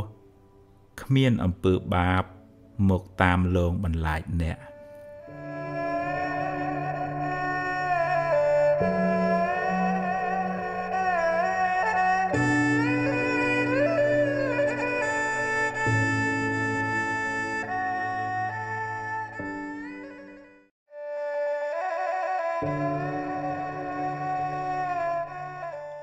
សល់បើអ្នកបាត់បង់អ្វីអ្វីគ្រប់យ៉ាងយ៉ាងហោចណាស់អ្នកនៅសល់ជីវិត នៅមានថ្ងៃនេះនិងថ្ងៃស្អែកសម្រាប់រស់បន្តថ្ងៃបានលិចបាត់ទៅហើយអតីតកាលបានកន្លងហួសទៅហើយអនុញ្ញាតឲ្យវាទៅចុះ ព្រោះបើអ្នកមិនព្រមក៏វាបានរលត់បាត់ទៅហើយរៀនទទួលស្គាល់ការពិត កំណត់ដឹងថា សង្ខារទាំងឡាយតែងប្រែប្រួល មិនទៀងទាត់ទេ អារម្មណ៍ជាអតីតគ្រាន់តែជាស្រមោល វាបានរលត់បាត់ទៅហើយអ្វីដែលអ្នកមានក្នុងដៃគឺពេលវេលានៅបច្ចុប្បន្ននេះ ការសម្រេចចិត្តពេលនេះ អាចជួយកំណត់ជោគវាសនាអ្នកនៅថ្ងៃបន្ទាប់បានយកអ្វីដែលអ្នកមានសេសសល់ ធ្វើជាមូលដ្ឋានសម្រាប់ដំណើរទៅមុខនាងបដាចាជួបទុកច្រើនឥតគណនាម្ដាយឪពុកបងប្អូន ស្វាមីនិងកូនទាំងពីរជាទីស្រឡាញ់បានស្លាប់ទាំងអស់តែនាងនៅអាចងើបឈរ ហើយបន្តដំណើរទៅមុខទៀតរហូតបានត្រាស់ជាព្រះអរហន្តីជាសាវិកាដ៏ឆ្នើមរបស់ព្រះពុទ្ធជាម្ចាស់អ្នកប្រហែលជាមិនកំសត់ដូចនាងបដាចាទេ អ្នកពិតជាអាចងើបមុខឡើង ហើយសាងអនាគតថ្មី ក្នុងផ្លូវត្រូវ ផ្លូវបុណ្យកុសល ជីវិតអ្នកនឹងបានភ្លឺថ្លាបើអ្នកសម្រេចចិត្តចាប់ផ្ដើមធ្វើល្អពីថ្ងៃនេះតទៅ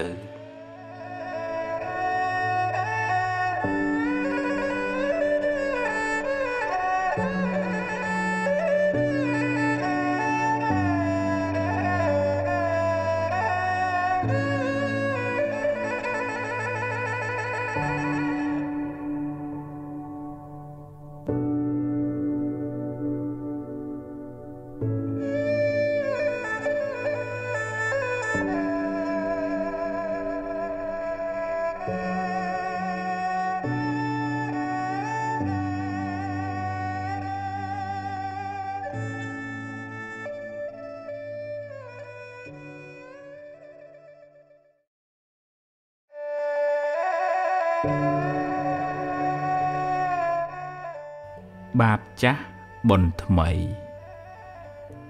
តាមច្បាប់កម្មផល យើងម្នាក់ម្នាក់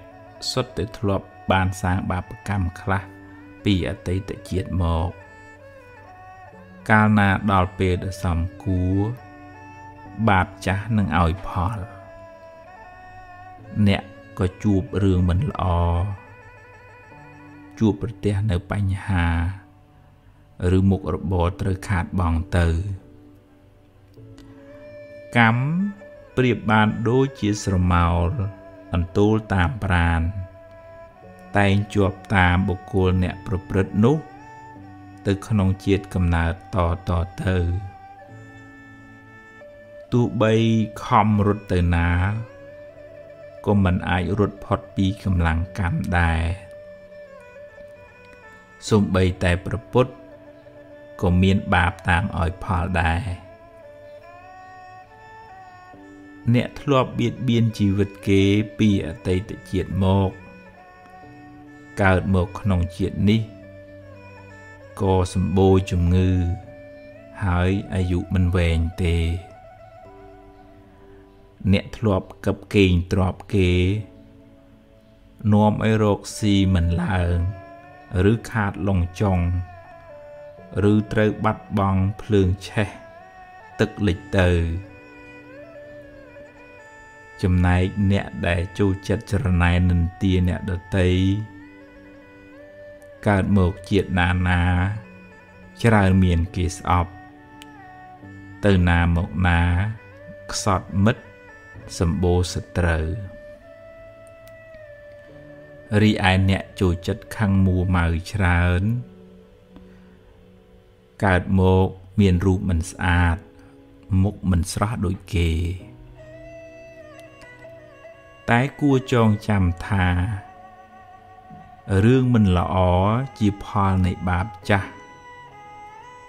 រីឯភាពមួម៉ៅក្តៅក្រហាយជាបាបថ្មី ដែលធ្វើឲ្យរឿងកាន់តែអាក្រក់ឡើងផលកម្មចាស់គ្មានអ្នកណារត់គេចបានទេ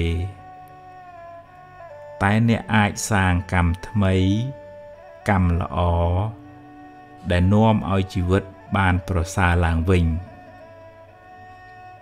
ជោគវាសនាជីវិតអ្នកមិនពឹងផ្អែកទាំងស្រុងទៅលើកម្មចាស់ទេ តែកម្មថ្មីកម្មបច្ចុប្បន្នមានឥទ្ធិពលខ្លាំងលើខ្សែជីវិតអ្នកបើអ្នកជួបរឿងមិនល្អ ចាត់ទុកថាជាផលនៃកម្មចាស់ទៅចោះខំប្រឹងដោះស្រាយហើយបើដោះហើយងើបឡើងដើរទៅមុខទៀតសូមគុំស្ពាយផលកម្មចាស់នោះតាមខ្លួនយូរពេកធ្ងន់ណាស់បើវាឲ្យផលម្ដងហើយឲ្យវាកន្លងផុតទៅ បើអ្នកមួម៉ៅនឹងវា វានឹងឧស្សាហ៍មករកអ្នកវិញមិនខាន។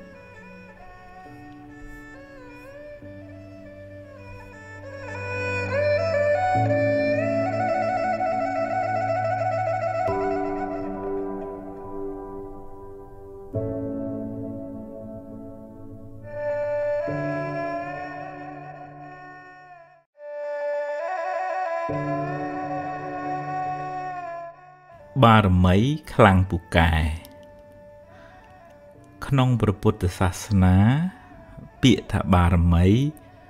សំដៅយកគុណធម៌ទាំងឡាយដែលនាំឲ្យបានត្រាស់ដឹង ឬគុណជាតិដែលនាំឲ្យបានរួចផុតពីទុក្ខរួចផុតពីសង្សារវដ្តព្រះពុទ្ធអង្គនៃយើង បានបំពេញនៅបារមីអស់ច្រើនលានកោតជាតិ ទម្រាំបានត្រាស់ដឹងជាប្រពុតបារមីដែលព្រះអង្គត្រូវបំពេញមាន10ដែលលោកហៅថាទុសបារមី ឬម្យ៉ាងទៀតលោកហៅថាពុទ្ធការកធរគឺទី1ទានបារមី ការចែកទាន សង្គ្រោះដល់អ្នកដតីដោយចិត្តករុណា ទី2សីលបារមី ការរក្សាកាយវិចារឲ្យបានល្អមិនបៀតបៀនអ្នកដទៃ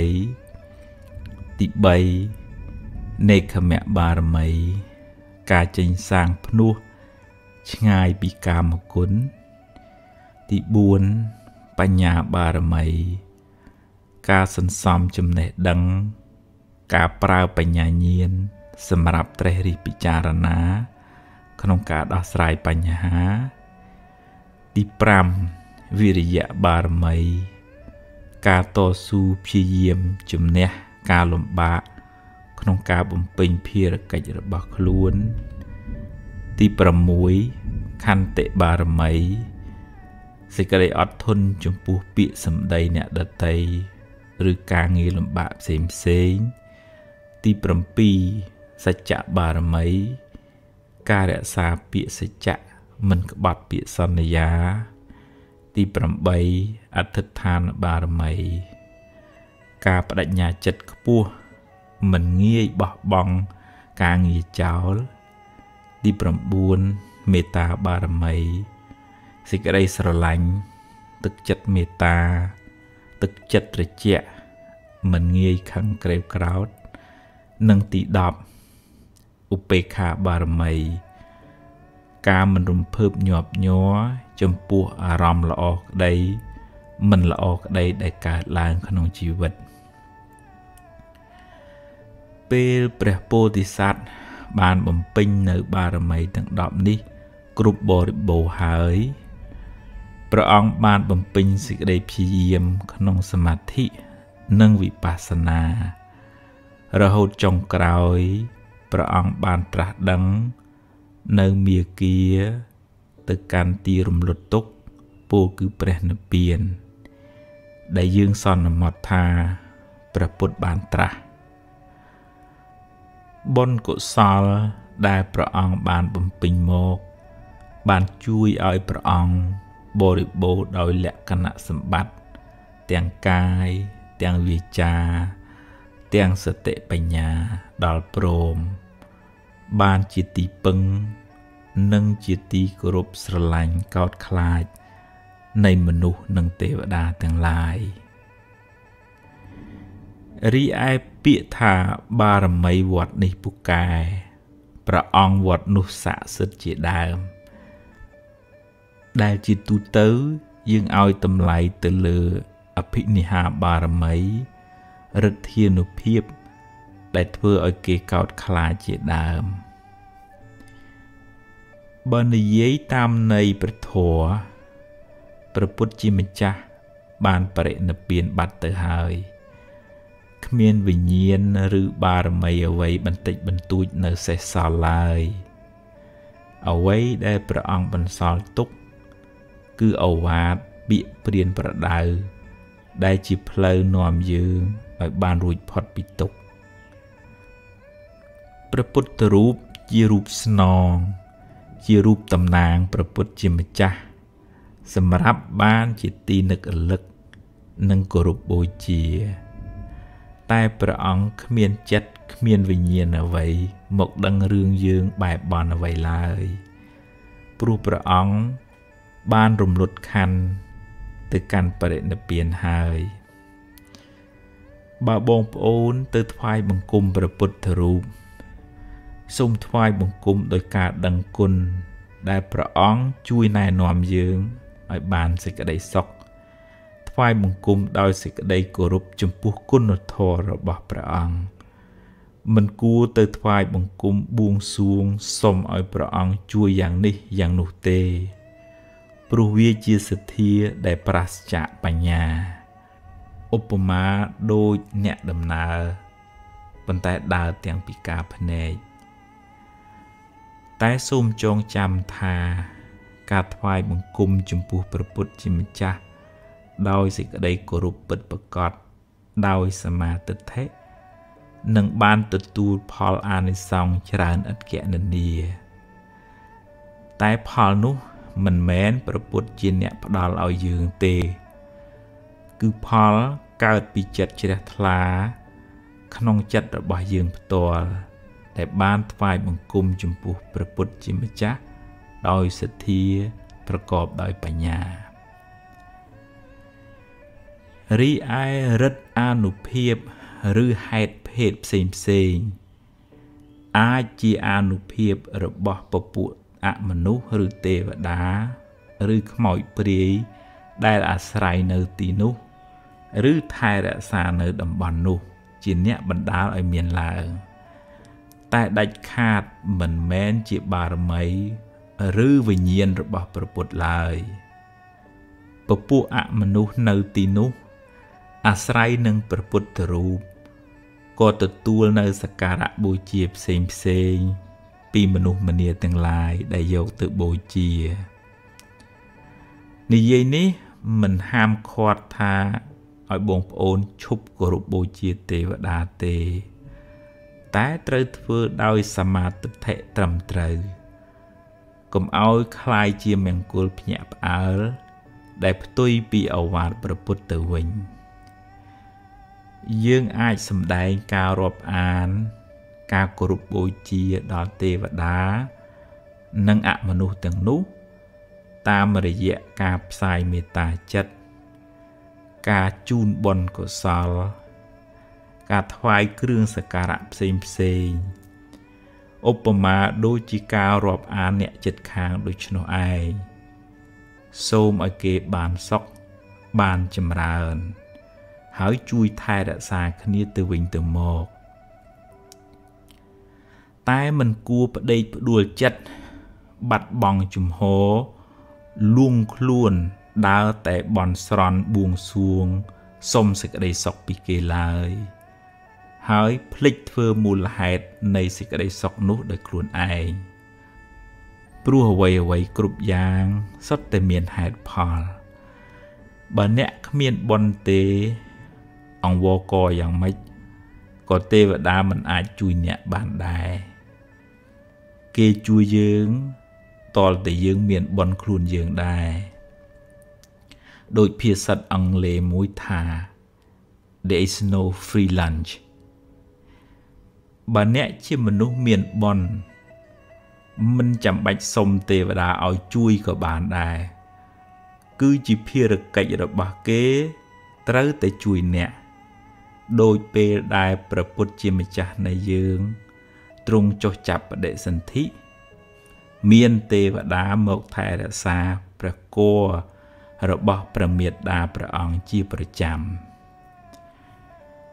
សូមចងចាំថា ទេវតាខ្លះជាសមាទិដ្ឋិទេវតាខ្លះជាមិច្ឆាទិដ្ឋិយល់ខុសហើយអាចនាំអ្នកឲ្យដើរផ្លូវខុសដែរមិនមែនទេវតាសុទ្ធតែល្អទាំងអស់ទេ យើងមានទុកដោយយើង ទេវតាមានទុកដោយទេវតានាពេលមួយព្រះឥន្ទជាសកទេវរាជពិបាកចិត្តពេក រកអ្នកណាជួយមិនបានក៏ចូលមករកព្រះពុទ្ធជាម្ចាស់សូមព្រះអង្គឲ្យជួយសម្រាលទុក្ខព្រះអង្គក៏ពន្យល់ព្រះឥន្ទរហូតបានធូរស្បើយពីសេចក្តីទុក្ខហើយត្រឡប់ទៅឋានត្រៃត្រឹងវិញដោយសារគុណធម៌បញ្ញាញាណរបស់ព្រះអង្គធ្វើឲ្យព្រះអិនក៏មករកព្រះអង្គដែរ ជាសរុបមកបារមីក្នុងព្រះពុទ្ធសាសនាសំដៅលើកុសលធម៌ទាំង10ដែលនាំឲ្យបានរួចផុតពីទុក្ខបារមីនោះពិតជាពូកែមែនព្រោះបានធ្វើឲ្យយើងคล้ายជាមនុស្សល្អបន្តិចម្ដងបន្តិចម្ដង រហូតបានត្រាស់ដឹងនៅសច្ចធម៌ជាទីបំផុតបានរួចផុតពីទុក្ខ និងបានជាទីពឹងសម្រាប់មនុស្សនិងទេវតាទាំងឡាយយើងគ្រប់គ្នា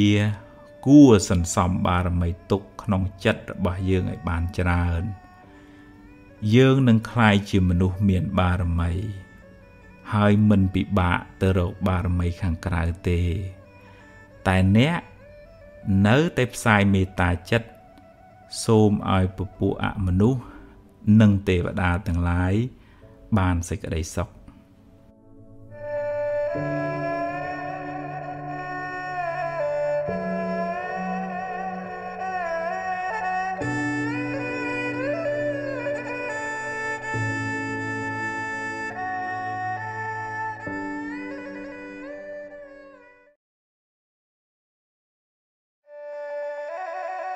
សាកម្លាំងចិត្ត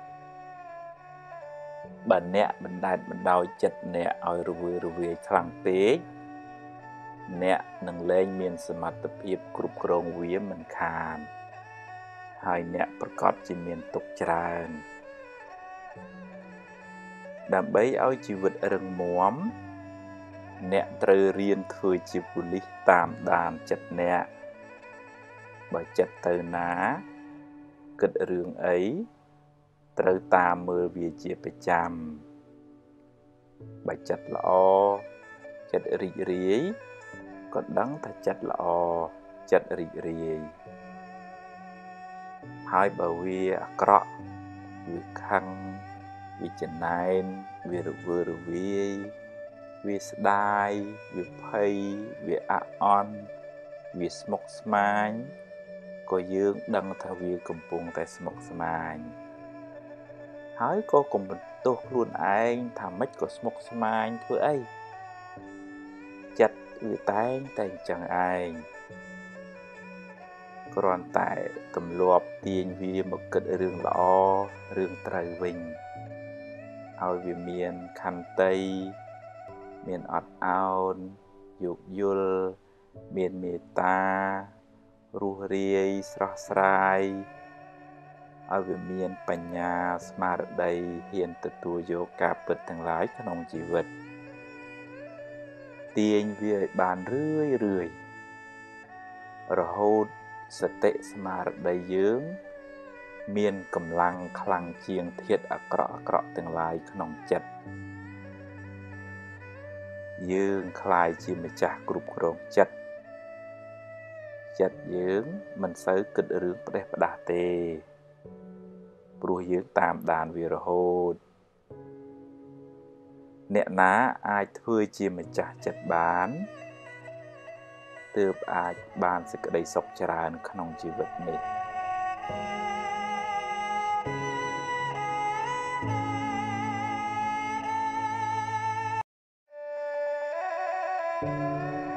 សាងបុណ្យលាងបាបពេលវេលាហួសទៅហើយ អ្នកមិនអាចបកក្រោយវិញបានទេ កម្មដែលអ្នកបានសាងហើយ ជាកម្មល្អក្តីអាក្រក់ក្តីអ្នកមិនអាចលុបវាចេញបានទេ តែបើអ្នកគិតថាខុសអ្នកអាចកែប្រែខ្លួន ប្រឹងសាងល្អឡើងវិញ អ្នកបានជាមនុស្សប្រសើរជាងមុន តែបាបនៅតែជាបាបដដែលព្រោះអ្នកបានធ្វើវារួចហើយបើសម្លប្រៃចាក់ទឹកទៅ វានឹងសាបបន្តិចតែជាតិប្រៃវានៅតែជាជាតិប្រៃដដែល វាមិនរត់ទៅណាទេគ្រាន់តែលាយទឹកច្រើន យើងលែងសូវដឹងប៉ុណ្ណឹង យ៉ាងណាមិញបើជ្រុលជាសាងអាក្រក់ទៅហើយត្រូវប្រឹងសាងល្អវិញឲ្យបានច្រើន ហើយមិនបាច់ដេកកើតទុកស្ដាយក្រោយទេនាំតែបានបាបថែម ពេលណាសំគួរកម្មនឹងឲ្យផល ហើយព្រមទទួលទៅ កម្មយើងទេ គ្មានអ្នកណាមានអធិពលជួយលាងបាបឲ្យអ្នកឡើយសំបីតែព្រះពុទ្ធបើអ្នកព្រោះស្រូវក្នុងស្រែហើយបែរជាតិចអិចធូបបនស្រន់មិនឲ្យវាដុះវាជារឿងឆោតល្ងងពេកហើយដរាបណានៅតែមានកំណើត កម្មនៅតែតាមចូលប្រឹងប្រែងសាងល្អឲ្យបានច្រើនកុំឲ្យមានវិបដិសារីស្ដាយក្រោយឡើយ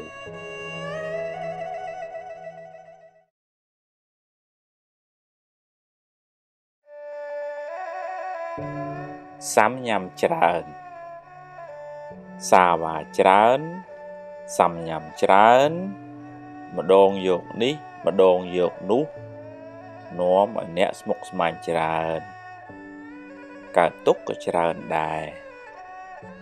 ហើយគ្មានបានសម្រេចការណាមួយឲ្យប្រកបប្រជាទេយូរយូរទៅគេក៏លែងទុកចិត្តទៀតមុននឹងសម្រេចចិត្តគួរគិតគូរឲ្យបានសពគ្រប់សួរយោបល់គេឲ្យបានច្រើនគ្នាសិន រួចបូកសរុបលទ្ធផល ហើយចុងក្រោយ អ្នកត្រូវជ្រើសរើសដោយខ្លួនឯងបើរើសយកមួយណាហើយកុំមិនទេនតាយដូរចុះដូរឡើងធ្វើអីចាប់មួយណាឲ្យប្រកបមួយនឹងខ្លួនមួយកុំជីកទូកពីរប្រយ័ត្នធ្លាក់ទឹក ត្រីរស់ក៏រួចទន្សាយក៏រួចមនុស្សសាវ៉ាច្រើនទទួលលទ្ធផលមិនសូវល្អទេ បើរើសយកផ្លូវណាហើយ ត្រូវដើរឲ្យដល់ទីបំផុតកុំទៅមុខទៅក្រោយអីដើរឲ្យអស់ផ្លូវសិនបើទាល់ច្រកចាំគិតទៀត ហើយកុំទម្លាប់បន្ទោសគេបន្ទោសឯងអីវាជាជំរឿសរបស់យើងទេ បើផ្លូវនឹងខុសអ្នកអាចចាប់ផ្ដើមសារជាថ្មី ហើយកុំស្ដាយអីស្ដាយទៅ នាំតែក្តៅក្រហាយឥតប្រយោជន៍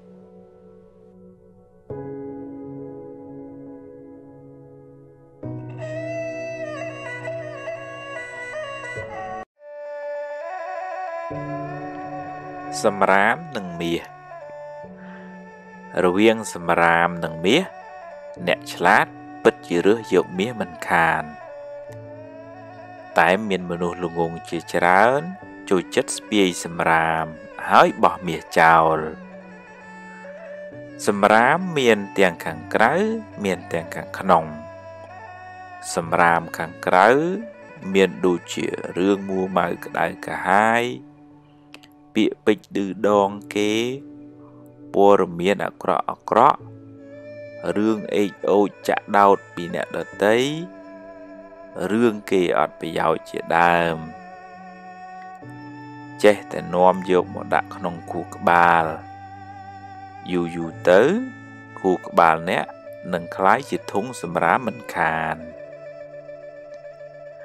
សម្រាមខាងក្នុងក៏មានច្រើន ដូចជាកំហឹងឆេវឆាវ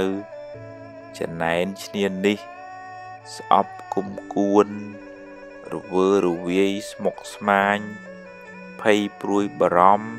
ស្ដាយសំណោះជាដើម ដើម្បីបានសុខអ្នកត្រូវព្យាយាមសម្អាតទាំងខាងក្រៅទាំងខាងក្នុង ហើយទម្លាប់ដាំផ្កាក្នុងចិត្តអ្នកវិញ ដូចជាភាពស្រស់ស្រាយរស់រាយ ស្មារតីរឹងប៉ឹងស្វាហាប់ខន្តីអត់ធន់មេត្តាករុណាសន្តោសប្រោសប្រណីបញ្ញាស្មារតីជាដើម ចិត្តអ្នកនឹងស្រស់ដូចផ្កាភ្លឺថ្លាដូចមាសជីវិតអ្នកក៏បានសុខច្រើនដែរ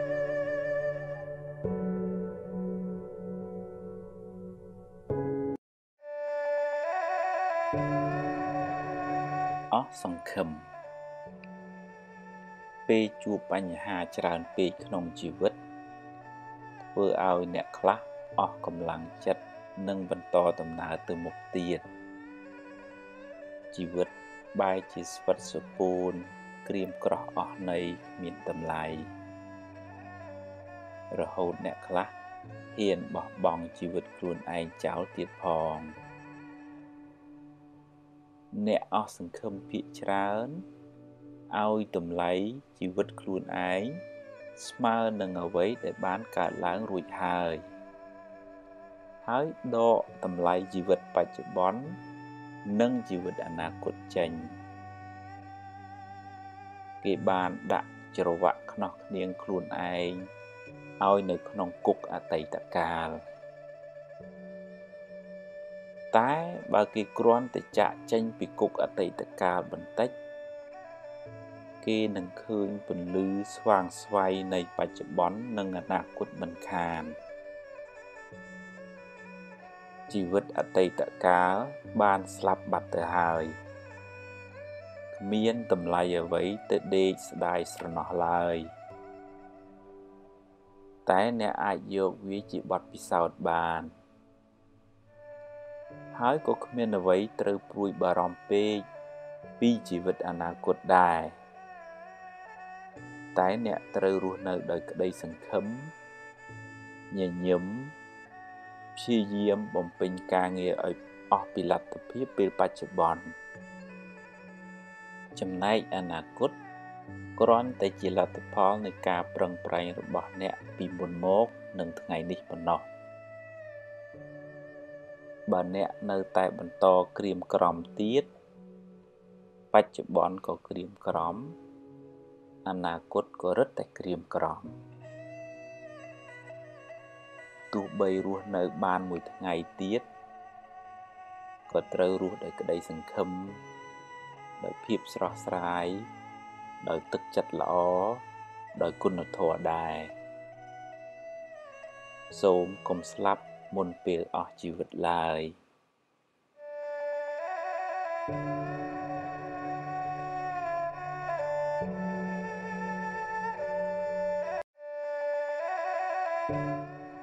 អំនួតអ្នកខ្លះពូកែគ្រប់រឿងស្អីក៏ដឹងស្អីក៏ចេះដែរនិយាយឡើងហត់អ្នកស្ដាប់ តែមិនសូវបានការអីទេ លងលងដូចប៉ោតអត់ទឹកអីចឹងអ្នកខ្លះទៀតចេះច្រើនមែនតែអន់បន្តិចអន់ត្រង់ពូកែអួតនឹងតែម្ដងនិយាយពីចូលចិត្តលើកខ្លួនឯងខ្លាចតែគេមិនដឹង ខ្លាចតែគេថាខ្លួនឯងអន់ចំណេះក្នុងโลกនេះមានច្រើនឥតគណនា ឧបមាដូចជាទឹកមហាសមុទ្រអីចឹងចំណែកអ្វីដែលយើងចេះស្មើនឹងទឹកមួយដំណក់ប៉ុណ្ណោះតើមានអ្វីត្រូវអួតទៅគួរបើកចិត្តឲ្យទូលាយចេះស្ដាប់គេខ្លះផងកុំនិយាយដូចមានតែឯងហើយកុំនិយាយច្រើនពេកចាំដល់វេនខ្លួនឯង ចាំនិយាយហើយនិយាយឲ្យត្រូវរឿងឲ្យត្រូវប្រធានបទផងគុណតម្លៃពិតប្រកបរបស់អ្នកមិនថិតនៅលើពូកែនិយាយច្រើននោះទេ តែស្ថិតនៅលើប្រសិទ្ធភាពការងាររបស់អ្នកគួរចងចាំថា មនុស្សពូកែអួត ជាមនុស្សប្រហោងក្នុង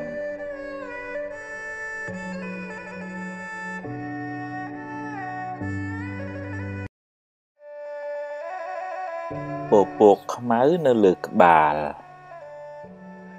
ស្មុកស្មាញច្រើនមួម៉ៅច្រើនព្រួយបារម្ភច្រើនគិតច្រើន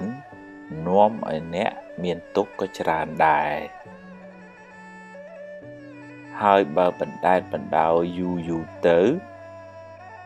អ្នកនឹងលែងមានសមត្ថភាពគ្រប់គ្រងវា ជីវិតអ្នកនឹងវិលវល់រកសុខមិនសូវឃើញឡើយ។អ្នកត្រូវចាប់ផ្ដើមតាមដានចិត្តអ្នកពីពេលនេះតទៅទម្លាប់វាឲ្យគិតរឿងល្អល្អរឿងបុណ្យកុសលរឿងបច្ចុប្បន្នរឿងណាហួសហើយឲ្យវាហួសទៅចុះ កុំស្ដាយអីហើយរឿងណាមិនទាន់មកដល់ទេក៏កុំកើតទុកពេកអីដែរជួបរឿងណាដោះរឿងនឹងទៅរៀនទាញចិត្តអ្នកឲ្យចេញពីរឿងមួម៉ៅក្តៅក្រហាយទាំងឡាយវាពិបាកណាស់តែអ្នកត្រូវតែទម្លាប់បន្តិចម្ដងបន្តិចម្ដង ទម្លាប់តាមតាមដានវាទម្លាប់មើលវារឿយរឿយទម្លាប់អប់រំវាឲ្យមានខន្តីអត់ធន់មានមេត្តា មានភាពរុះរាយរាក់ទាក់អត់អោនយោគយល់មានបញ្ញាស្មារតីហ៊ានទទួលស្គាល់ការពិតនៃជីវិត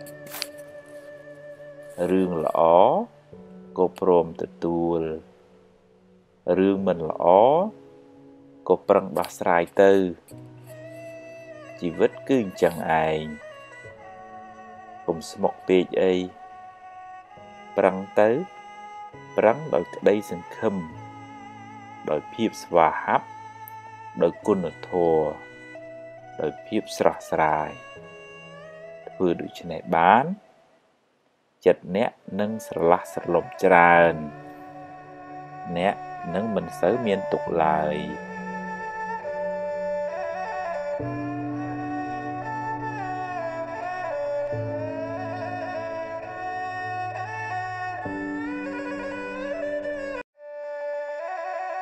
ភ្លើងក្រៅភ្លើងក្នុងពេលគេបោះភ្លើងឲ្យអ្នកបើអ្នកចង់ក្តៅ ទទួលយកចុះតែបើមិនចង់ក្តៅទេកុំយកអីឲ្យគេយកទៅវិញចុះឬបោះចោលទៅបើគេនិយាយឌឺដងចង់ឲ្យអ្នកក្តៅហើយស្រាប់តែអ្នកក្តៅតាមពាក្យគេមែនមានន័យថាអ្នកធ្វើតាមបំណងសត្រូវអ្នកហើយអ្នកទទួលយកភ្លើងហើយ អ្នកក្តៅហើយ គេនឹងសប្បាយចិត្តពេលឃើញអ្នកក្តៅអ្នកត្រូវរៀនធ្វើជាមនុស្សទឹក ត្រជាក់ពីខាងក្នុងមកបើគេចង់ដុតឲ្យអ្នកក្តៅប្រាប់គេថាយកទៅវិញចុះយើងមិនត្រូវការភ្លើងទេ គេនឹងរែកពុនភ្លើងនោះត្រឡប់ទៅវិញ គេខឹងគេអាក្រក់ហើយបើអ្នកខឹងគេវិញ អ្នកក៏អាក្រក់ដែរទាំងពីរអ្នកមិនសូវខុសគ្នាប៉ុន្មានទេកំហឹងបានដុតបំផ្លាញចិត្តគេឲ្យក្តៅរួរៀលដូចដេកអោបភ្លើង ហើយគេចង់យកភ្លើងនោះមកសាចដាក់អ្នកដែរតែអ្នកកុំទៅល្ងងអី គ្មានរឿងអីត្រូវទទួលយកភ្លើងនោះទេឲ្យគេយកទៅវិញចុះឬបោះចោលទៅ អ្នកមានតែចិត្តអាណិតអ្នកដេកអោបភ្លើងនោះទៅវិញទេអាណិតណាស់ព្រោះក្តៅអើយសែនក្តៅ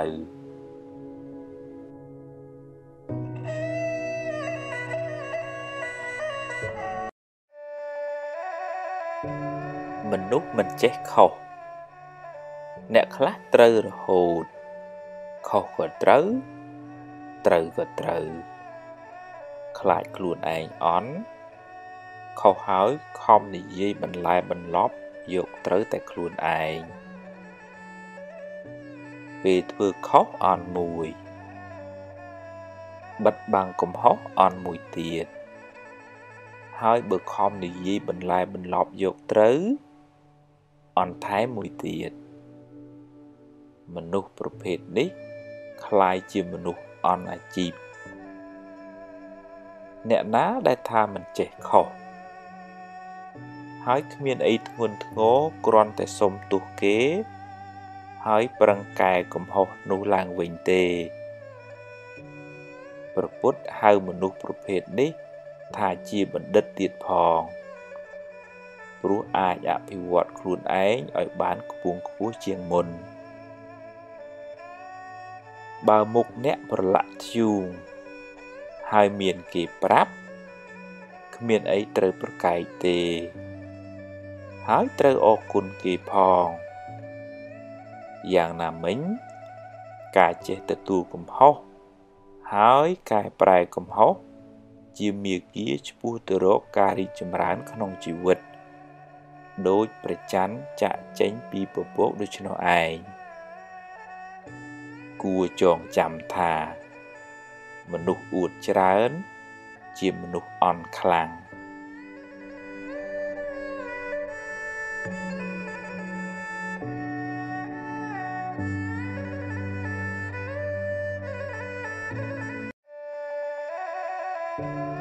រក្សាមាត់មាត់អ្នក អាចជាអាវុធដ៏មុតស្រួច ចាក់ធ្លាយពីត្រចៀកធ្លុះដល់បេះដូងគេគ្មានចិញ្ចៀមមួយដំណក់ទេ តែធ្វើឲ្យគេឈឺចាប់អស់មួយជីវិតក៏ថាបានមាត់អ្នកក៏អាចជាឱសថទឹកធ្វើឲ្យអ្នកកំពុងតែមានទុក្ខកង្វល់បានធូរស្បើយវិញ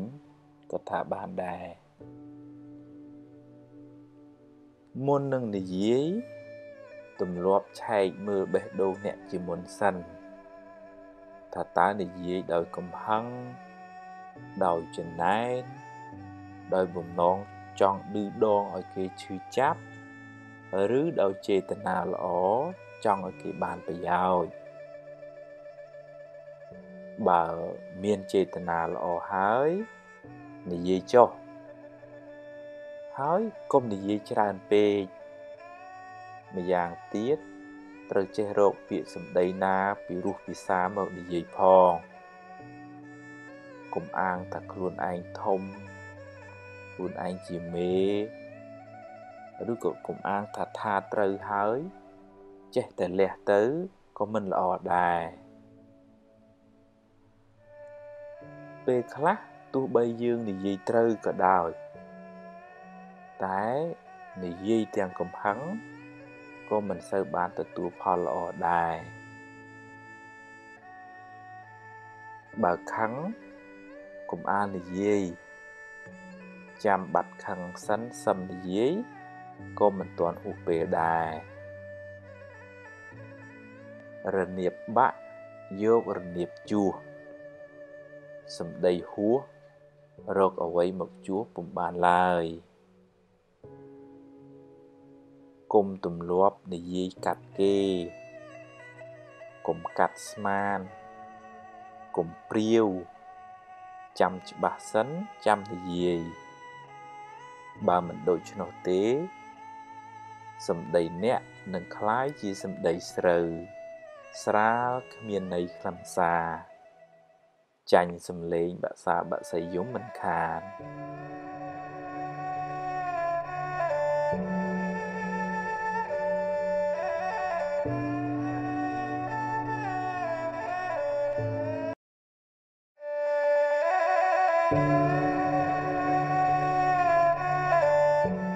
បុណ្យមាន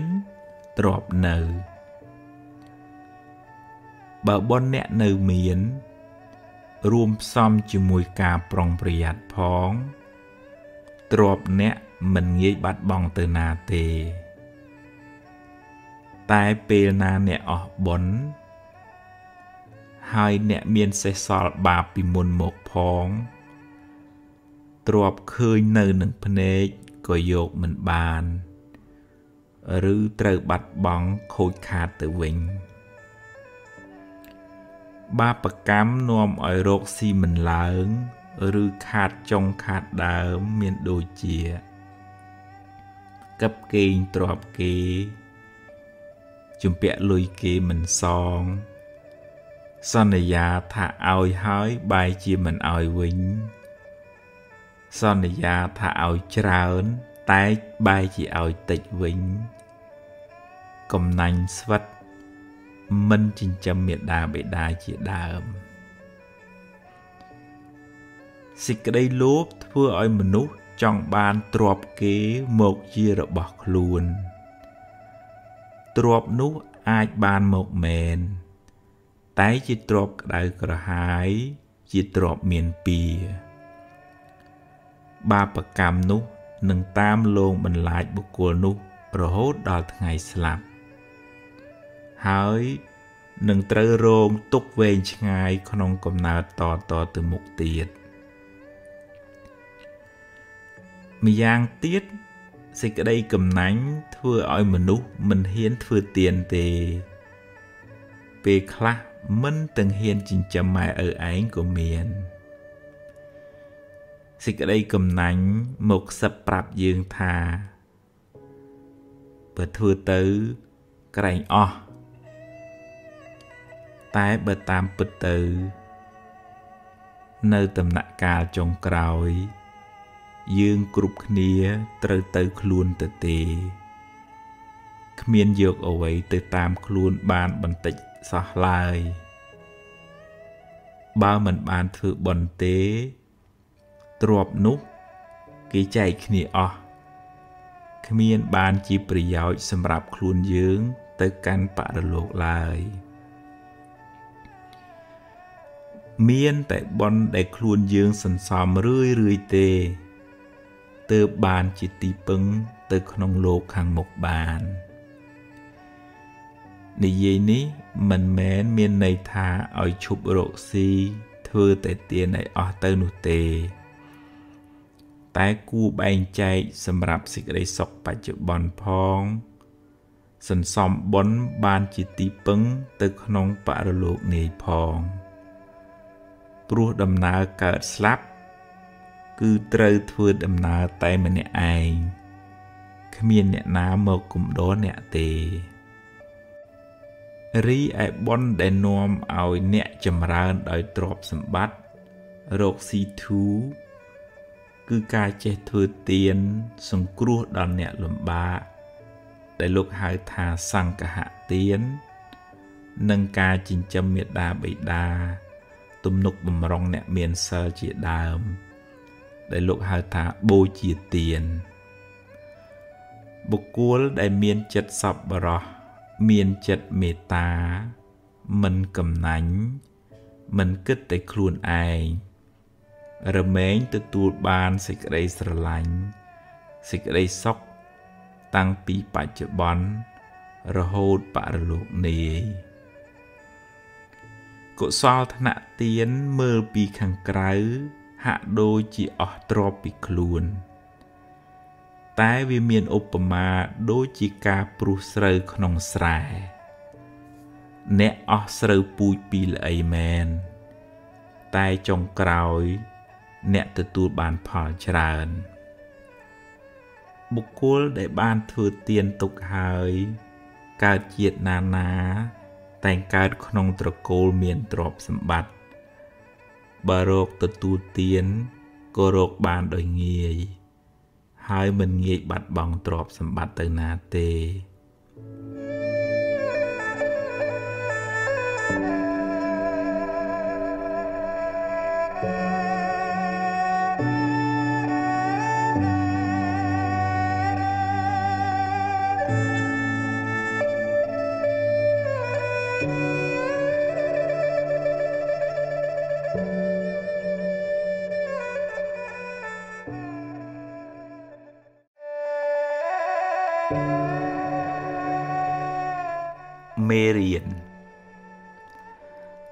ថាមានពេលខ្លះអ្នកគិតមិនបានគ្រប់ជ្រុងជ្រោយហើយក៏និយាយជ្រុលជ្រោះឬសម្រេចចិត្តខុសដែលនាំឲ្យខូចខាតប្រយោជន៍ឬបាត់បង់ទ្រព្យធនជាដើម សូមគុំស្ដីបន្ទោសខ្លួនឯងច្រើនពេកអីដំណើរជីវិតតែងមានខុសខ្លះអីចឹងឯង គ្មានអ្នកណាម្នាក់បានល្អ100%ទេអាយុនៅក្មេងចិត្តគំនិតក៏នៅក្មេងខ្ចីធ្វើឲ្យអ្នកឆាប់ឆេវឆាវហើយគិតខ្លីវាជាដំណើរធម្មតានៃការវិវត្តផ្នែកខួរក្បាលនិងចិត្តគំនិតបើខុសឆ្គង សូមការអនុគ្រោះលើកលែងពីគេទៅកុំខ្មាស់អៀនអីរួចហើយងើបឡើង បន្តដំណើរទៅមុខទៀតផ្ដល់ឱកាសឲ្យខ្លួនឯងជាលើកទី2ក្មេងធ្លាប់ដួលរាប់សិបដងតម្រាំចេះដើរចាត់ទុកកំហុសខុសឆ្គង និងបរាជ័យទាំងនោះ ថាជាមេរៀន ជាបទពិសោធន៍សម្រាប់ការសម្រេចចិត្តឲ្យបានត្រឹមត្រូវនៅថ្ងៃក្រោយរឿងមិនល្អធ្វើឲ្យអ្នកឈឺចាប់ តែវាជួយអ្នកឲ្យមើលឃើញបញ្ហាបានច្បាស់ជាងមុន ស្គាល់មនុស្សបានប្រកបជាងមុន អង្គុលីមៀលផុងខ្លួនធ្វើខុសដើរសម្លាប់មនុស្សរាប់រយរាប់ពាន់នាក់តែចុងក្រោយ បានតាំងចិត្តកែខ្លួនបួសជាបព្វជិត ហើយបានត្រាស់ជាព្រះអរហន្តបានជាសាវកដ៏ឆ្នើមរបស់ព្រះពុទ្ធជាម្ចាស់ទៀតផង អ្នកបានធ្វើកំហុសពីមុនមក ហើយចេះ កែប្រែខ្លួនព្រះពុទ្ធជាម្ចាស់ទ្រង់សរសើរថាជាបណ្ឌិត ជីវិតបានភ្លឺត្រចះត្រចង់ឧបមាដូចជាប្រច័នបានចេញផុតពីពពកដូច្នោះឯង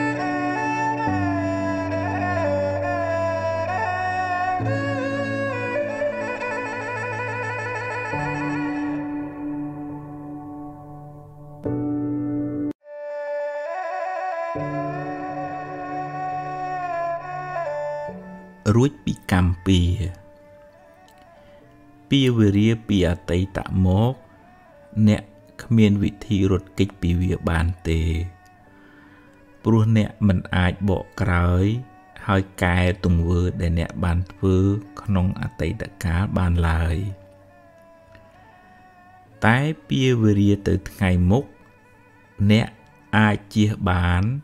ដោយកម្លាំងនៃការរក្សាសិល សិលបានដល់ការប្រព្រឹត្តល្អដោយកាយវាចាចិត្ត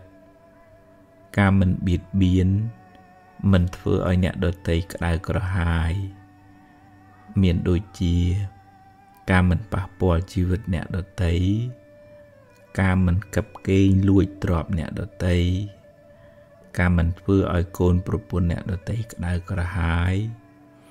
ការមិនកុហកបោកប្រាស់ជាដើម ពេលអ្នកមិនបានធ្វើឲ្យអ្នកដតីក្តៅក្រហាយ គេក៏មិនមានចិត្តចងពៀមិនមានបំណងអាក្រក់ដាក់អ្នកវិញដែរដោយសារអ្នកមិនបានធ្វើអាក្រក់ដាក់អ្នកដតីអ្នកក៏មានចិត្តស្រស់ស្រាយ មិនភ័យខ្លាច មិនព្រួយបារម្ភរឿងមានទោសពៃ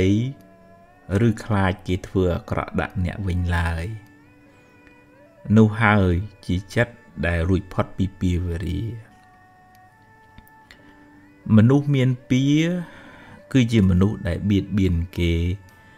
ធ្វើឲ្យអ្នកដតីក្តៅក្រហាយ មនុស្សមានចិត្តចងគំនុំគុំគួន ខ្លួនក៏លំបាកព្រោះភ្លើងកំហាំងឆេះក្នុងចិត្តរាល់ថ្ងៃ ហើយគេក៏ក្តៅក្រហាយ ព្រោះទង្វើអាក្រក់របស់យើង។ ម្យ៉ាងទៀត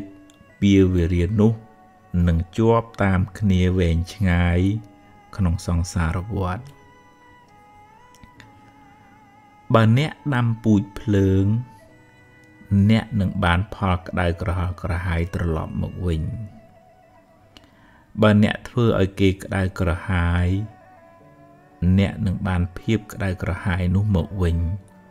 គ្រាន់តែយូរឬឆាប់ប៉ុណ្ណោះ បើអ្នកបានសាងល្អរក្សាសិលពេលបច្ចុប្បន្នឈ្មោះថាអ្នកមិនបានសាងពាវរាទៅថ្ងៃមុខតែបើអ្នកមានកម្មពាវរាពីអតីតជាតិមក អ្នកត្រូវទទួលផលកម្មនោះវិញ អ្នកមិនអាចរត់គេចពីកម្មចាស់បានទេសូម្បីតែព្រះពុទ្ធជាម្ចាស់ ក៏ត្រូវទទួលផលកម្មចាស់ដែរតែដោយអំណាចនៃអំពើល្អដោយអំណាចនៃសិលដែលអ្នកបានរក្សាពេលបច្ចុប្បន្នកម្លាំងបុណ្យនោះអាចជួយសម្រាលទុកបានខ្លះដែរតាមកម្លាំងរបស់វាឧបមាដូចជាអ្នក ស្លសម្លជ្រុលជាប្រៃទៅហើយ អ្នកអាចដាក់ទឹកថែម ដើម្បីឲ្យវាសាបបានខ្លះយ៉ាងណាមិញបើអ្នកបានជ្រុលជាធ្វើបាបកម្មខ្លះទៅហើយ អ្នកមិនអាចកែប្រែវាបានទេ តែអ្នកអាចធ្វើអំពើល្អថ្មី ដែលជួយអ្នក ឲ្យបានផលល្អផលថ្មីជាបន្តបន្ទាប់ចន្លោះចន្លោះពេលដែលបាបឲ្យផលនោះឯងយើងគ្រប់គ្នាគួរយល់ដឹងថាគ្មានវិធីសាស្ត្រណាគ្មានបុគ្គលណា ឬព្រះណា អាចបញ្ជាអ្នកឲ្យរួចពីផលនៃកម្មចាស់ដែលអ្នកបានធ្វើឡើយ ព្រោះបើអាចធ្វើបានមែនវាជារឿងអយុត្តិធម៌ណាស់ធ្វើអាក្រក់ហើយ ទៅសុំឲ្យរួចពីផលកម្មដែលខ្លួនបានធ្វើតែបើអ្នកប្រឹងប្រែងអប់រំចិត្តលះបង់នៅកិលេសអស់បានคล้ายជាព្រះអរហន្តហើយបរិនិព្វានកម្មលែងតាមតន់ កម្មរោគម្ចាស់លែងឃើញ ព្រោះព្រះអរហន្តលែងមានជាតិកំណើតតទៅមុខទៀតហើយអ្នកអាចធ្វើបុណ្យឧទ្ទិសកុសលជូនដល់មនុស្សសត្វដែលធ្លាប់មានពាវរានឹងគ្នា ហើយតាំងចិត្តរក្សាសិលឲ្យបានល្អចាប់ពីពេលនេះតទៅបុណ្យកុសល ទឹកចិត្តមេត្តានឹងជួយអ្នកឲ្យបានសុខ មិនសូវជួបទុក្ខច្រើនឡើយ។រៀន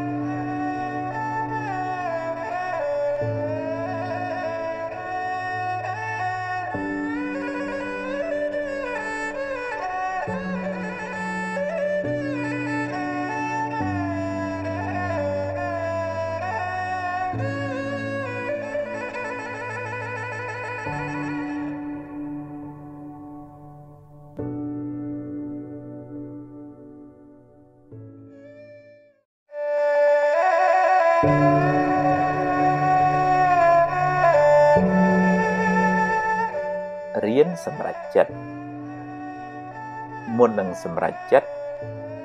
គិតឲ្យបានច្បាស់លាស់សិនសួរយោបល់គេឯងឲ្យបានគ្រប់ជ្រុងជ្រោយហើយចុងក្រោយ អ្នកត្រូវសម្រេចចិត្តដោយខ្លួនឯងហើយបើសម្រេចយ៉ាងណាហើយធ្វើតាមនឹងទៅកុំសាវ៉ាដូរចុះដូរឡើងពេកអីព្រោះ វាធ្វើឲ្យរំខានចិត្តខ្លាំងមិនសូវបានសុខទេហើយបើឧបមាថាការសម្រេចចិត្តនោះខុសនាំឲ្យខូចខាតបាត់បង់សូមគុំទម្លាប់បន្ទោសគេបន្ទោសឯងឬមួម៉ៅក្តៅក្រហាយស្ដីបន្ទោសខ្លួនឯងយូរពេកអីចាត់ទុកថា វាជាផលនៃបាបចាស់ទៅចោះកុំស្ដាយពេកអីព្រោះស្ដាយទៅ បានត្រឹមតែខូចចិត្តយកវាជាមេរៀនគិតសារជាថ្មីឡើងវិញធ្វើឲ្យបានប្រសើរជាងមុន។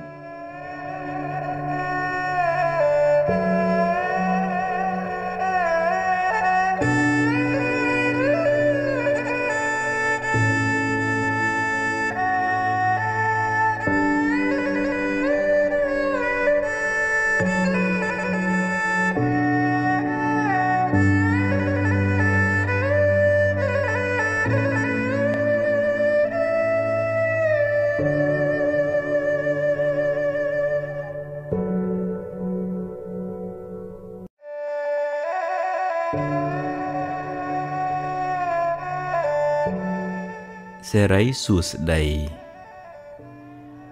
មួម៉ៅច្រើនសេរីរត់ចេញរីករាយវិញសេរីរត់ចូលជាទូទៅយើងឲ្យតម្លៃសេរីសួស្តីទៅលើរឿងល្អល្អរឿងសបាយសបាយមានលៀបមានជ័យជាដើម តែគួរចងចាំថា ផលល្អទាំងនោះ កើតឡើងអាស្រ័យហេតុល្អហេតុដែលជាកុសល ដែលអ្នកខិតខំប្រព្រឹត្តធ្វើពីមុនមកហេតុនៃសេរីសួស្តីនោះមានដូចជា ការសែបគប់ត្រូវ ការតស៊ូព្យាយាមក្នុងកិច្ចការងារដែលអ្នកធ្វើ ការរៀនសូត្របង្កើនចំណេះដឹង ការចេះគួសមរស់រាយរាក់ទាក់ការចេះចែករំលែកដល់អ្នកលំបាកការចិញ្ចឹមមេដាបេដាសេចក្តីអត់ធន់ទឹកចិត្តមេត្តា ទឹកចិត្តត្រជាក់ចិត្តធ្ងន់ចិត្តរស់រាយចិត្តឃ្លាវខ្លាជាដើម ទាំងនោះ គឺជាហេតុដើមនៃសេរីសួស្តី ព្រោះសេរីសួស្តីនោះជាឈ្មោះនៃចិត្តល្អចិត្តជាកុសល ចិត្តរីករាយជ្រះថ្លានោះឯងអ្នកបានសាងនៅហេតុនៃសេរីសួស្តីនោះសេរីនឹងរត់មករកអ្នកវិញមិនពិបាករត់តាមវាប៉ុន្មានទេឬក៏មិនពិបាកដើរសួរគ្រូហៅពេកដែរ រៀនរីករាយទទួលថ្ងៃថ្មី ដោយចិត្តស្រស់ស្រាយក្នុងសេចក្តីល្អបើអ្នកគ្មានអ្វីច្រើនយ៉ាងហោចណាស់អ្នកនៅមានជីវិតរស់បន្តមួយថ្ងៃទៀតអ្នកនៅមានដៃមានជើង មានសតិស្មារតីសម្រាប់បំពេញការងារបន្ត រៀនរីករាយចំពោះអ្វីដែលអ្នកមានអ្វីដែលអ្នករកបានដោយសុចរិតហើយប្រឹងប្រែងបន្តទៀតតែបើដំណើរជីវិតនេះត្រូវជួបរឿងមិនល្អខ្លះរឿងអពមង្គលខ្លះក៏កុំមួម៉ៅពេកអីព្រោះបើមួម៉ៅទៅរឿងនៅតែជារឿង ហើយចិត្តកាន់តែស្មុគស្មាញថែមជីវិតតែងជួបបញ្ហាខ្លះអីចឹងឯងទ្រាំទៅបើជួបហើយប្រឹងដោះទៅហើយបើដោះហើយ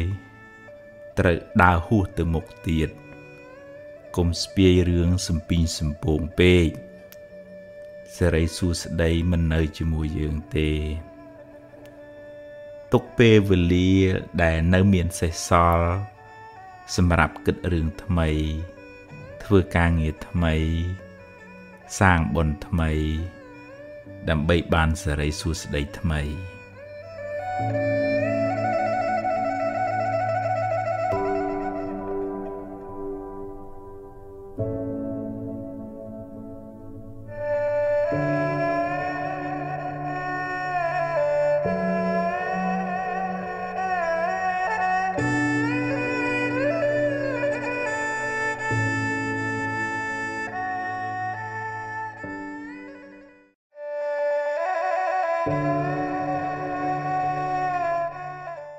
ហួសហើយអតីតកាលល្អក្តីមិនល្អក្តី បានកន្លងហួសទៅហើយទោះបីអ្នកស្ដាយប៉ុណ្ណាក៏ទាញមកវិញមិនបានដែរអនុញ្ញាតឲ្យវាប្រែប្រួលតាមដំណើរនៃធម្មជាតិរបស់វារឿងល្អជាផលនៃកម្មល្អដែលអ្នកបានសាង រឿងមិនល្អជាផលនៃអកុសលកម្មដែលអ្នកបានប្រព្រឹត្តពីមុនមកជីវិតរបស់មនុស្សម្នាក់ម្នាក់ប្រព្រឹត្តទៅតាមកម្លាំងកម្មដែលខ្លួនបានធ្វើពីអតីតផង កម្មក្នុងពេលបច្ចុប្បន្នផង អ្នកមិនអាចរត់គេចពីផលនៃកម្មបានឡើយ រឿងខ្លះកើតឡើងហួសពីការស្មានរបស់អ្នក ហើយអ្នកគ្មានសមត្ថភាព ទៅបង្គាប់បញ្ជារឿងខាងក្រៅបានទាំងស្រុងទេកម្លាំងអ្វីស្មើដោយកម្លាំងកម្មមិនមានឡើយណដ្ឋិកម្មੰសមੰពលំបើមានហេតុគ្រប់គ្រាន់ រឿងនឹងកើតឡើងអ្វីអ្វីមិនមែនជារឿងចៃដន្យទេបើអ្នកបានជួបរឿងមិនល្អហើយ ហើយអ្នកកើតចិត្តមួម៉ៅក្តៅក្រហាយ អ្នកបានបង្កើនទុកនោះឲ្យមានទម្ងន់ទ្វេដងរឿងក៏អាក្រក់ចិត្តក៏មួម៉ៅ ទុកទាំងកាយទុកទាំងចិត្តណាស់ហើយចុះរឿងបានកន្លងផុតទៅហើយ ចាត់ទុកជាមេរៀន ជាបទពិសោធន៍សម្រាប់ការសម្រេចចិត្តលើកក្រោយ ចាប់ផ្ដើមសារជាថ្មី គិតរឿងថ្មី និយាយរឿងថ្មី ធ្វើកិច្ចការងារថ្មី លទ្ធផលក៏បានថ្មីដែរអតីតកាលមិនមែនជាផ្ទះសម្រាប់អ្នកនៅទេវាគ្រាន់តែជាស្រមោលទេតើតែបើរឿងអតីតកាលនោះជារឿងល្អជារឿងបុណ្យកុសល អ្នកអាចចងចាំ និងរំលឹករំលើកដល់អំពើល្អនោះរឿយរឿយ ដើម្បីឲ្យចិត្តបានរីករាយម្ដងទៀតបានបន់ម្ដងទៀត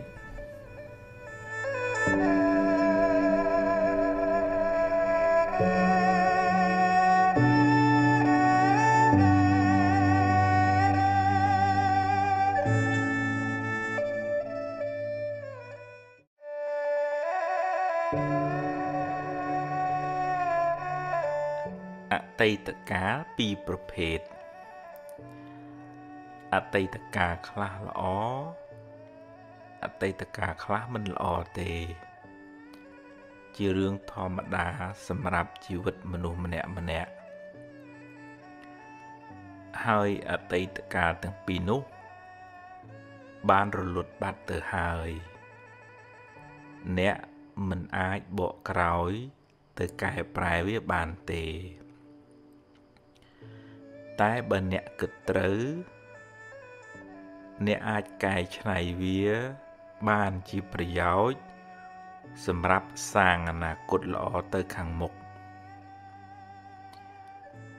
បើអតីតកាលនោះជារឿងល្អជារឿងបុណ្យកុសល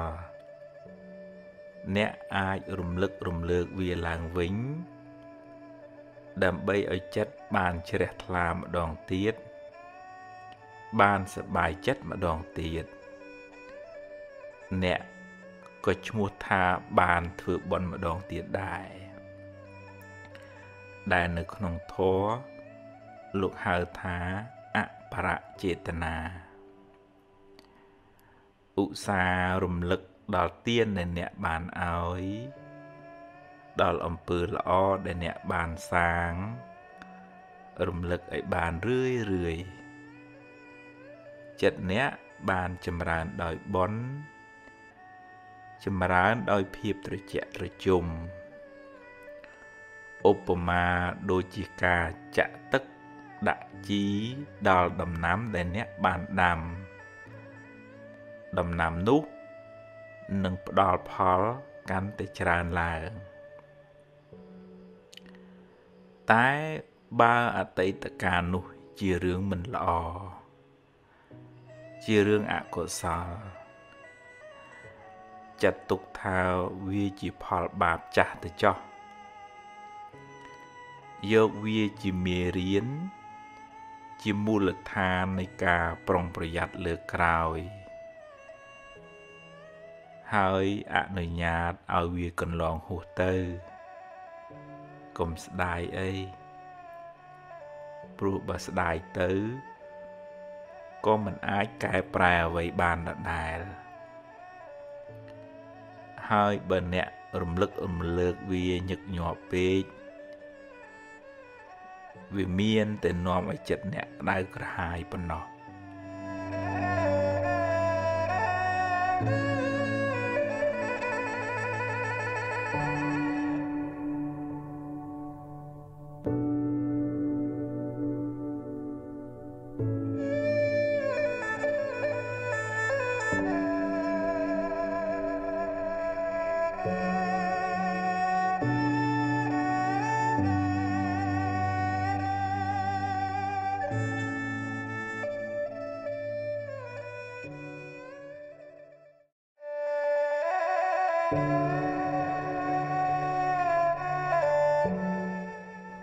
ខំធ្វើល្អហេតុអ្វីខ្ញុំនៅតែមានទុកច្រើន អ្នកខ្លះមានសមានចិត្តល្អមានចិត្តសប្បុរសអាណិតអាសូរជួយអ្នកដតីច្រើន តែបែរជាមិនសូវបានសមប្រកប ជួបរឿងទុកសោកមិនចេះចប់មិនចេះហើយ ពេលខ្លះ ជួយគេហើយបែរជាគេរមិលគុណនិយាយអាក្រក់រហូតដល់ធ្វើទុកបុកម្នេញមកវិញក៏សង្មានអំពើល្អដែលអ្នកបានសាងហើយ នៅតែជាអំពើល្អដដែលមិនប្រែទៅជាអាក្រក់ទេគ្រាន់តែវាមិនទាន់មានពេលឲ្យផលប៉ុណ្ណោះ ចំណែករឿងមិនល្អរឿងអកុសលដែលអ្នកបានជួប វាជាផលនៃកម្មចាស់កម្មចាស់ដល់ពេលត្រូវឲ្យផលគួរស្វែងយល់ផងដែរថាបុណ្យកុសលមានច្រើនលំដាប់ ហើយបុណ្យទាំងនោះ ជួយអ្នកឲ្យបានស្រាលពីទុកតាមលំដាប់ដែរ កុសលថ្នាក់ទៀនលះចិត្តកំណាញ់លះចិត្តជាប់ជំពាក់កុសលថ្នាក់ទៀននោះ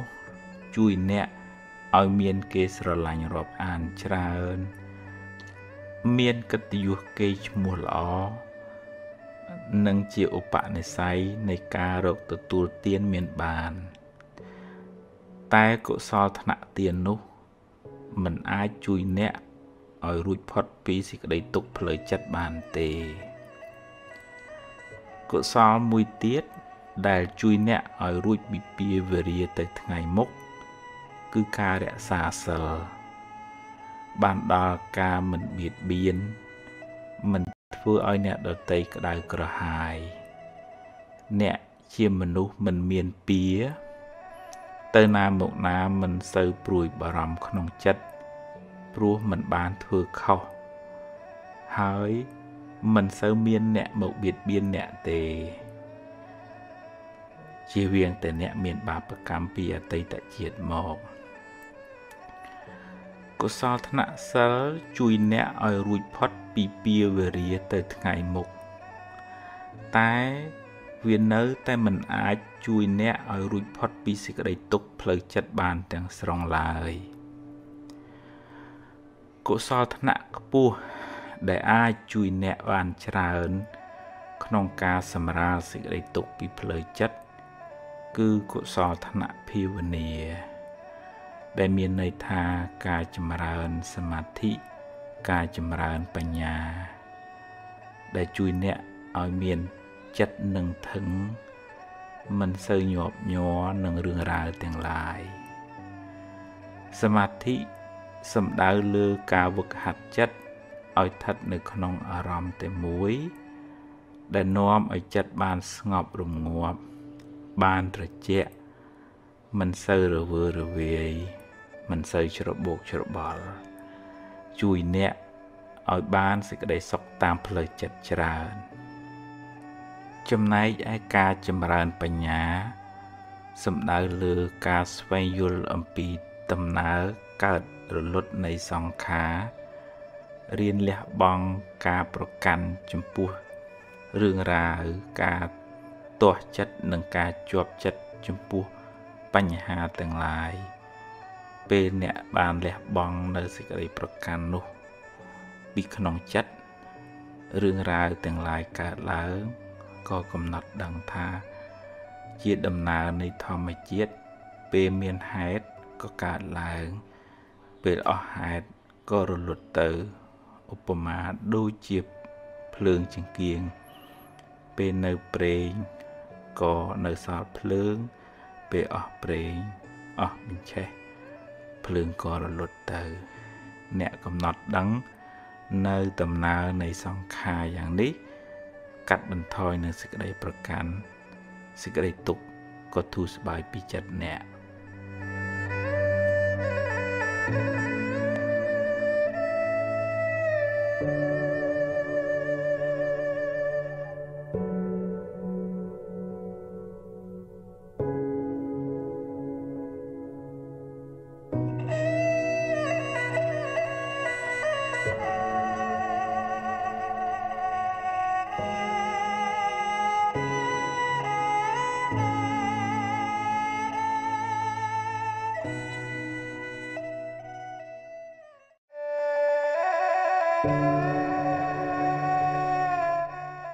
ថ្ងៃលៀបថ្ងៃជ័យថ្ងៃល្អគឺជាថ្ងៃដែលអ្នករីករាយចិត្តថ្ងៃដែលអ្នកបានសាងល្អដោយកាយដោយវាចាដោយចិត្តព្រឹកឡើង លើកដៃសំពះរំលឹកគុណព្រះរតនត្រ័យនឹកគុណមេត្តាបិតាចម្រើនសមាធិផ្សាយមេត្តាដល់សពសត្វ ទម្លាប់ពូលវិចារល្អគិតរឿងល្អថ្ងៃនោះคล้ายជាថ្ងៃមានសេរីសួស្តីថ្ងៃមានលៀបថ្ងៃមានជ័យថ្ងៃរះថ្ងៃលិចជាដំណើរនៃធម្មជាតិមិនល្អមិនអាក្រក់ទេ ចំណែករាសីអ្នកឡើងចុះ អាស្រ័យលើកម្មគឺអំពើដែលអ្នកបានសាងបើអ្នកបានសន្សំបុណ្យល្អច្រើនពីមុនមក ហើយបុណ្យនោះដល់ពេលឲ្យផល អ្នកក៏ជួបរឿងល្អរឿងរីករាយរកស៊ីបានចម្រុងចម្រើនទៅតែបើពេលបាបចាស់តាមតាន់វិញ អ្នកនឹងជួបរឿងមិនល្អរឿងអកុសល ឬរកស៊ីខាតលងចង់ទៅ កម្មគឺលោកសំដៅទៅលើអំពើដែលអ្នកបានសាង ពីអតីតផង ក្នុងពេលបច្ចុប្បន្នផង កម្មនោះជាអ្នកចាត់ចែងឲ្យអ្នកបានជួបរឿងហេងឬរឿងសោយ ក្នុងដំណើរជីវិតរបស់អ្នកបើអ្នកខំប្រព្រឹត្តល្អចិញ្ចឹមមេដាបិតា មានចំណេះចេះដឹងច្រើន មានកាយវិការល្អប្រប្រៃហើយប្រុងប្រយ័ត្នព្យាយាមក្នុងកិច្ចការងារអ្នកបុណ្យពេលបច្ចុប្បន្ននោះនឹងជួយបើកឱកាសដល់បុណ្យចាស់ចាស់មកឲ្យផល ឲ្យអ្នកបានចម្រុងចម្រើន តែបើអ្នកប្រព្រឹត្តអំពើមិនល្អពេលបច្ចុប្បន្នដូចជាដើរផឹកស៊ីប៉ោឡែខ្ជិលច្រអូសធ្វេសប្រហែសកម្មមិនល្អក្នុងពេលបច្ចុប្បន្ននឹងបើកឱកាសឲ្យអកុសលកម្មពីអតីតមកឲ្យផលមិនខាន។ អ្នកនឹងលិចលង់និងមិនចម្រុងចម្រើនទៅមុខឡើយព្រោះកម្មបច្ចុប្បន្នក៏មិនល្អកម្មពីអតីតក៏ឲ្យផល ថ្ងៃហេងថ្ងៃសួយ អាស្រ័យលើកម្មអ្នក អាស្រ័យលើចិត្តអ្នកមិនឋិតនៅលើមាត់គេថាទេបើអ្នកចង់បានថ្ងៃល្អ ចង់បានថ្ងៃជ័យត្រូវខំសាងល្អល្អដោយកាយល្អដោយវាចាល្អដោយចិត្តហើយបើមានថ្ងៃខ្លះអ្នកជួបរឿងសោយជាថ្ងៃដែលបាបចាស់ឲ្យផលសុំគុំកើតទុកទូមនោះទូមនិញច្រើនពេកអីចិត្តទុកថា ជាផលនៃបាបចាស់ហើយខិតខំធ្វើអំពើល្អថ្មី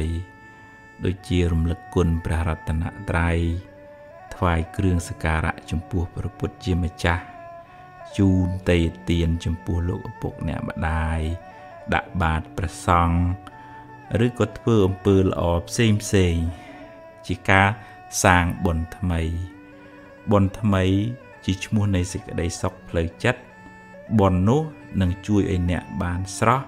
បានសុខហើយអនាគតក៏បានភ្លឺថ្លាដែរ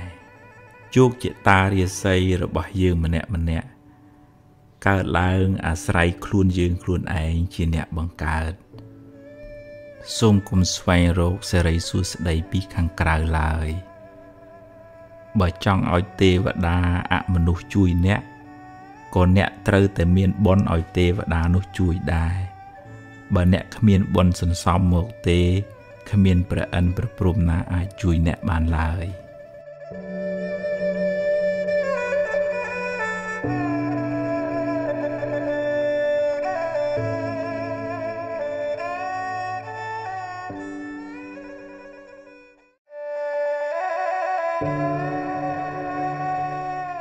ទ្របគេ ទ្របយើង ក្នុងដំណើរនៃវដ្តសង្សារនេះមិនដឹងថាយើងម្នាក់ម្នាក់ជាប់ជំពាក់កម្មជាមួយអ្នកណាខ្លះធ្លាប់ធ្វើបាបធ្វើអាក្រក់ចងពៀជាមួយគ្នាពីជាតិណាមកទេកំហឹងគំនុំស្អប់ចងអាឃាតគ្នា ឬបាបកម្មណាមួយ សុទ្ធតែនាំឲ្យមានពៀវេរាកំណើតវិលវល់អន្ទូលទៅមកដល់ពេលណាមួយ កម្មនោះនឹងវិលមករកអ្នកវិញ ពេលកម្មចាស់ឲ្យផល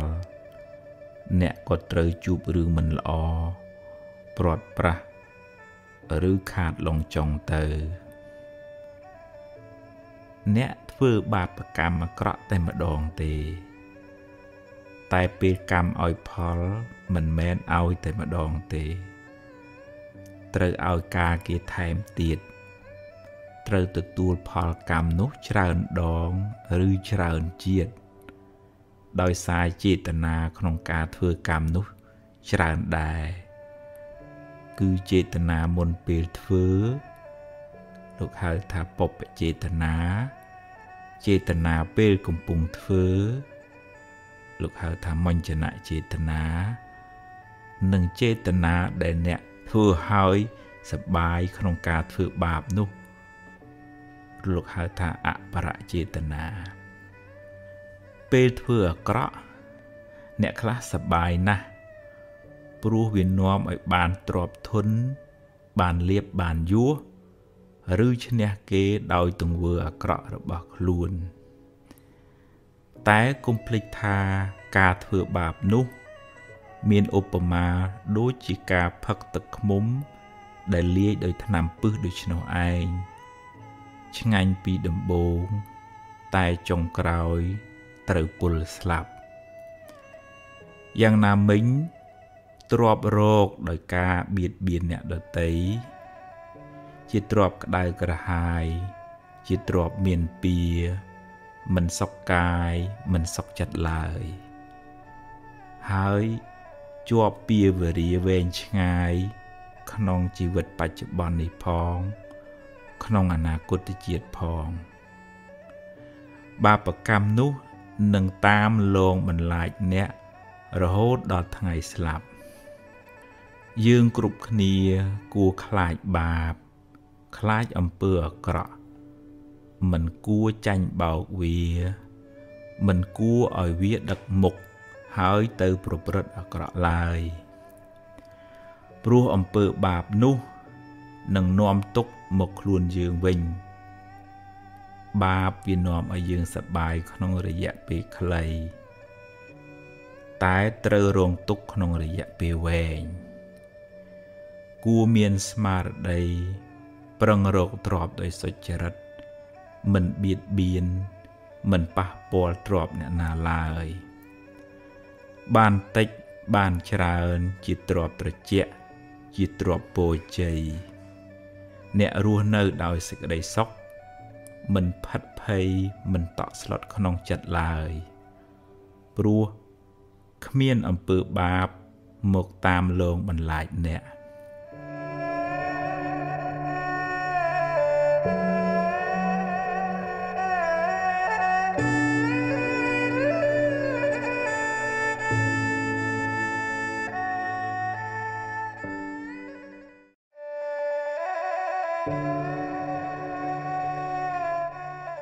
នៅសល់បើអ្នកបាត់បង់អ្វីអ្វីគ្រប់យ៉ាងយ៉ាងហោចណាស់អ្នកនៅសល់ជីវិត នៅមានថ្ងៃនេះនិងថ្ងៃស្អែក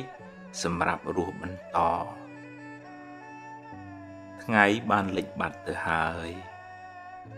អតីតកាលបានកន្លងហួសទៅហើយអនុញ្ញាតឲ្យវាទៅចុះ ព្រោះបើអ្នកមិនព្រមក៏វាបានរលត់បាត់ទៅហើយរៀនទទួលស្គាល់ការពិត កំណត់ដឹងថា សង្ខារទាំងឡាយតែងប្រែប្រួល មិនទៀងទាត់ទេ អារម្មណ៍ជាអតីតគ្រាន់តែជាស្រមោល វាបានរលត់បាត់ទៅហើយអ្វីដែលអ្នកមានក្នុងដៃគឺពេលវេលានៅបច្ចុប្បន្ននេះ ការសម្រេចចិត្តពេលនេះ អាចជួយកំណត់ជោគវាសនាអ្នកនៅថ្ងៃបន្ទាប់បានយកអ្វីដែលអ្នកមានសេះសល់ ធ្វើជាមូលដ្ឋានសម្រាប់ដំណើរទៅមុខនាងបដាចាជួបទុកច្រើនឥតគណនាម្ដាយឪពុកបងប្អូន ស្វាមីនិងកូនទាំងពីរជាទីស្រឡាញ់បានស្លាប់ទាំងអស់តែនាងនៅអាចងើបឈរ ហើយបន្តដំណើរទៅមុខទៀតរហូតបានត្រាស់ជាព្រះអរហន្តី ជាសាវិកាដ៏ឆ្នើមរបស់ព្រះពុទ្ធជាម្ចាស់អ្នកប្រហែលជាមិនកំសត់ដូចនាងបដាចាទេ អ្នកពិតជាអាចងើបមុខឡើង ហើយសាងអនាគតថ្មី ក្នុងផ្លូវត្រូវ ផ្លូវបុណ្យកុសល ជីវិតអ្នកនឹងបានភ្លឺថ្លាបើអ្នកសម្រេចចិត្តចាប់ផ្ដើមធ្វើល្អពីថ្ងៃនេះតទៅ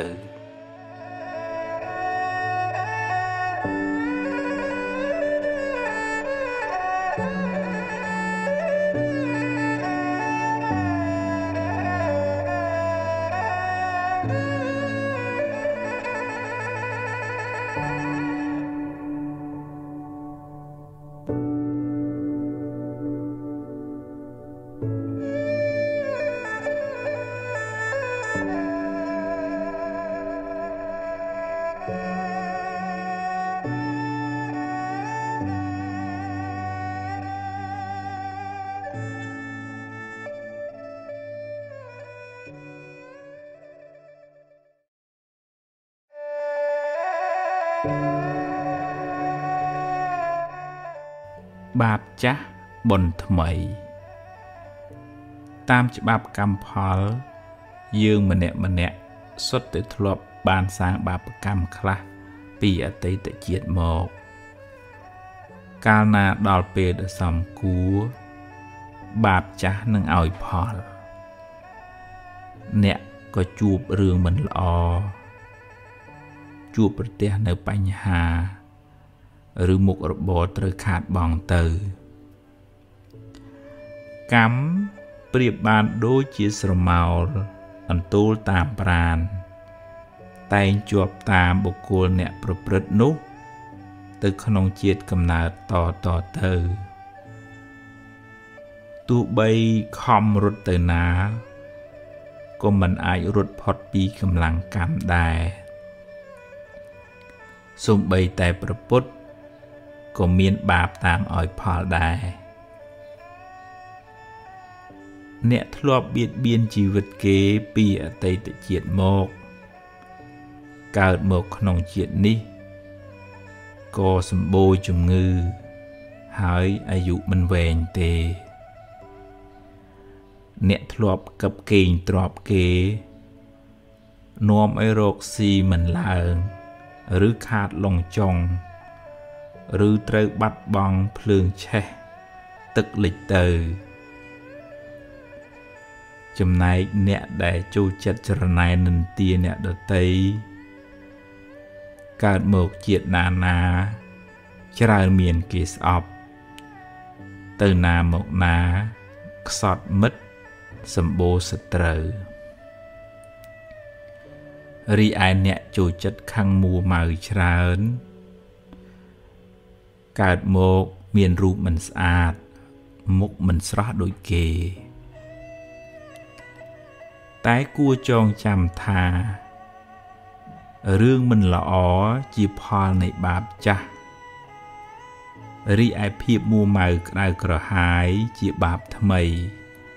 ដែលធ្វើឲ្យរឿងកាន់តែអាក្រក់ឡើងផលកម្មចាស់គ្មានអ្នកណារត់គេចបានទេ តែអ្នកអាចសាងកម្មថ្មី កម្មល្អ ដែលនាំឲ្យជីវិតបានប្រសើរឡើងវិញជោគវាសនាជីវិតអ្នកមិនពឹងផ្អែកទាំងស្រុងទៅលើកម្មចាស់ទេ តែកម្មថ្មីកម្មបច្ចុប្បន្នមានឥទ្ធិពលខ្លាំងលើខ្សែជីវិតអ្នកបើអ្នកជួបរឿងមិនល្អ ចាត់ទុកថាជាផលនៃកម្មចាស់ទៅចោះខំប្រឹងដោះស្រាយហើយបើដោះហើយងើបឡើងដើរទៅមុខទៀតសូមគុំស្ពាយផលកម្មចាស់នោះតាមខ្លួនយូរពេកធ្ងន់ណាស់បើវាឲ្យផលម្ដងហើយឲ្យវាកន្លងផុតទៅ បើអ្នកមួម៉ៅនឹងវា វានឹងឧស្សាហ៍មករកអ្នកវិញមិនខាន។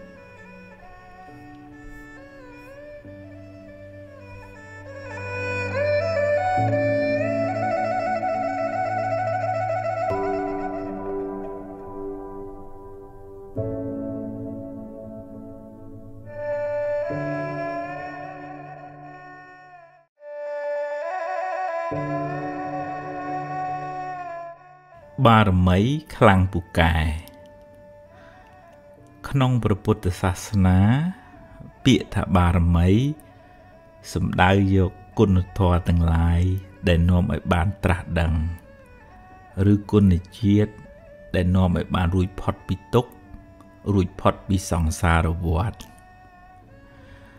ព្រះពុទ្ធអង្គនៃយើង បានបំពេញនៅបារមីអស់ច្រើនលានកោតជាតិ ទម្រាំបានត្រាស់ដឹងជាប្រពុតបារមីដែលព្រះអង្គត្រូវបំពេញមាន10ដែលលោកហៅថាទុសបារមី ឬម្យ៉ាងទៀតលោកហៅថាពុទ្ធការកធរ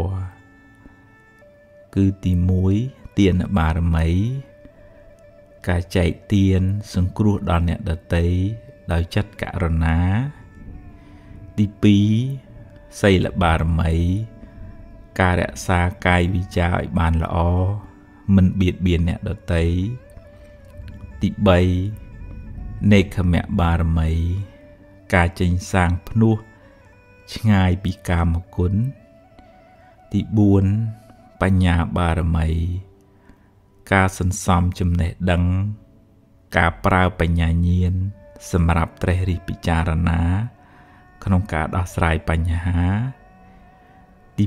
5វិរិយៈបារមី ការតស៊ូព្យាយាមជំនះការលំបាកក្នុងការបំពេញភារកិច្ចរបស់ខ្លួន ទី6ខន្តិបារមីសេចក្តីអត់ធន់ចំពោះពាក្យសម្ដីអ្នកដតីឬការងារលំបាកផ្សេងផ្សេងទី7សច្ចៈបារមី ការរក្សាពាក្យសច្ចៈ មិនក្បត់ពាក្យសន្យា ទី8អធិដ្ឋានបារមី ការបដិញ្ញាចិត្តខ្ពស់មិនងាយបោះបង់ការងារចោល ទី9មេត្តាបារមីសេចក្តីស្រឡាញ់ទឹកចិត្តមេត្តា ទឹកចិត្តត្រជាក់មិនងាយខឹងក្រេវក្រោធនិងទី10ឧបេក្ខាបារមី ការមិនរំភើបញាប់ញ័រចំពោះអារម្មណ៍ល្អក្តី មិនល្អក្តីដែលកើតឡើងក្នុងជីវិតពេលព្រះពោធិសត្វបានបំពេញនៅបារមីទាំង10នេះគ្រប់បរិបូរហើយព្រះអង្គបានបំពេញសេចក្តីព្យាយាមក្នុងសមាធិនិងវិបស្សនា រហូតចុងក្រោយព្រះអង្គបានត្រាស់ដឹង នៅមាគាទៅកាន់ទីរំលត់ទុកពោលគឺព្រះនិព្វាន ដែលយើងសន្មត់ថាព្រះពុទ្ធបានត្រាស់បុណ្យកុសលដែលព្រះអង្គបានបំពេញមក បានជួយឲ្យព្រះអង្គបរិបូរដោយលក្ខណៈសម្បត្តិទាំងកាយទាំងវាចា ទាំងសតិបញ្ញាដល់ព្រម បានជាទីពឹង និងជាទីគោរពស្រឡាញ់កោតខ្លាច នៃមនុស្សនិងទេវតាទាំងឡាយ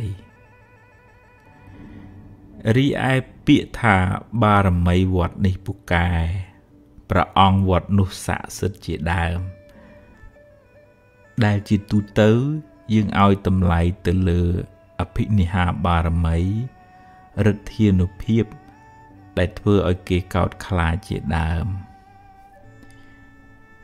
បើនិយាយតាមន័យព្រះធម៌ព្រះពុទ្ធជាម្ចាស់បានបរិនិព្វានបាត់ទៅហើយគ្មានវិញ្ញាណឬបារមីអ្វីបន្តិចបន្តួចនៅសេសសល់ឡើយអ្វីដែលព្រះអង្គបន្សល់ទុក គឺអវាទពាក្យព្រានប្រដៅដែលជាផ្លូវនាំយើងឲ្យបានរួចផុតពីទុក្ខ ព្រះពុទ្ធរូបជារូបស្នង ជារូបតំណាងព្រះពុទ្ធជាម្ចាស់សម្រាប់បានជាទីនឹករលឹក និងគោរពបូជា តែព្រះអង្គគ្មានចិត្តគ្មានវិញ្ញាណអ្វីមកដឹងរឿងយើងបែបបន់អ្វីឡើយព្រោះព្រះអង្គបានរំលត់ខណ្ឌ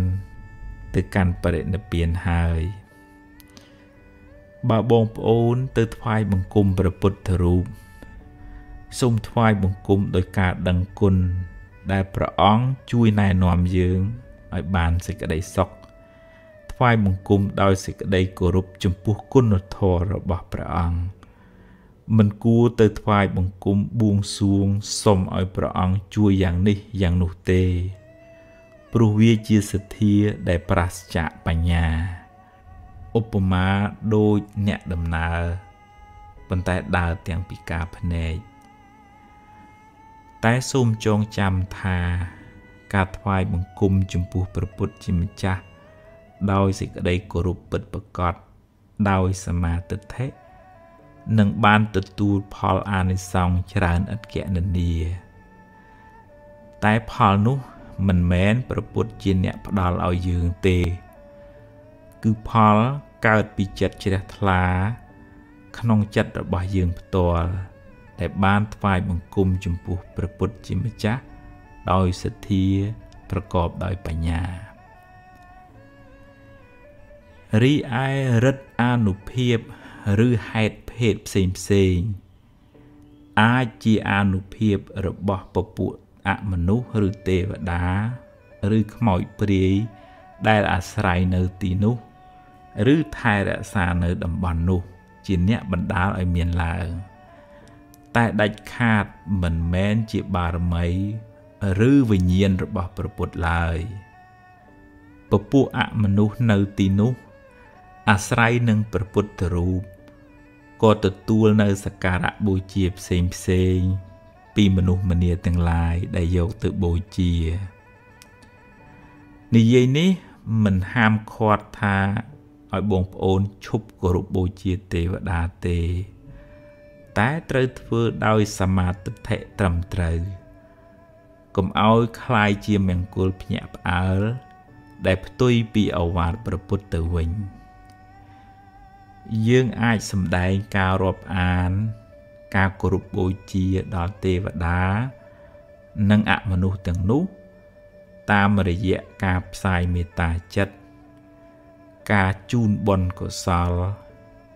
ការថ្វាយគ្រឿងសក្ការៈផ្សេងផ្សេងឧបមាដូចជាការរាប់អានអ្នកចិត្តខាងដូចនោះឯងសូមឲ្យគេបានសុខបានចម្រើន ហើយជួយថែរក្សាគ្នាទៅវិញទៅមកតែមិនគួរប្តេកផ្ដួលចិត្តបាត់បង់ជំហរលួងខ្លួន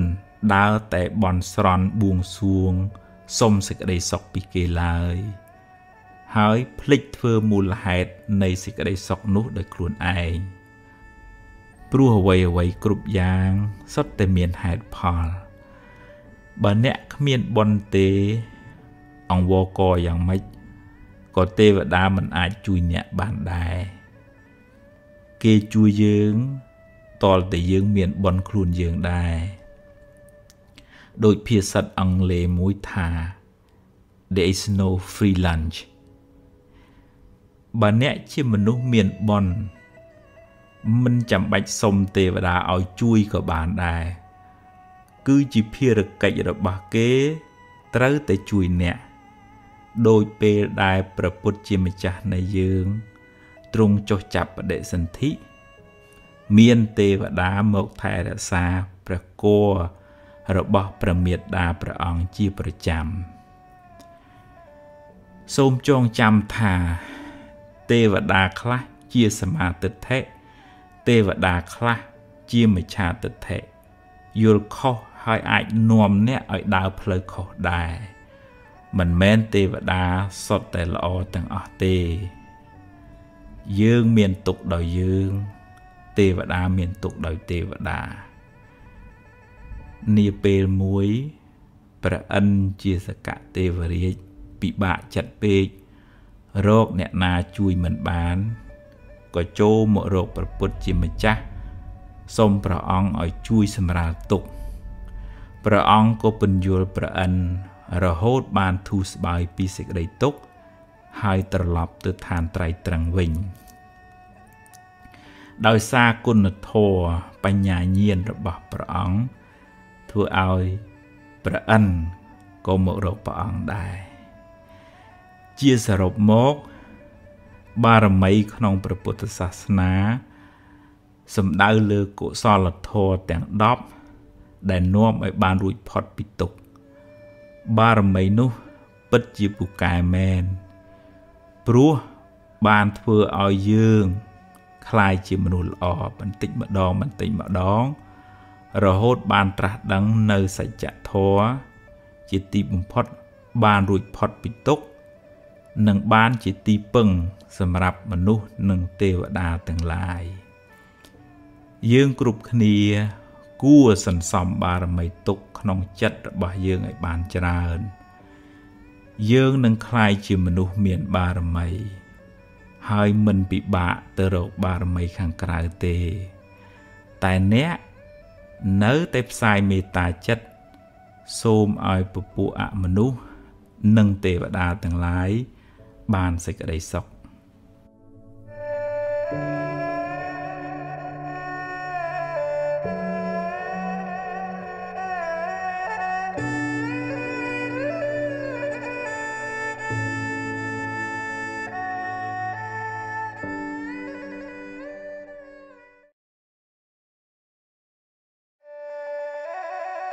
សាងកម្លាំងចិត្ត បើអ្នកបណ្ដែតបណ្ដោយចិត្តអ្នកឲ្យរវើរវាយខ្លាំងពេក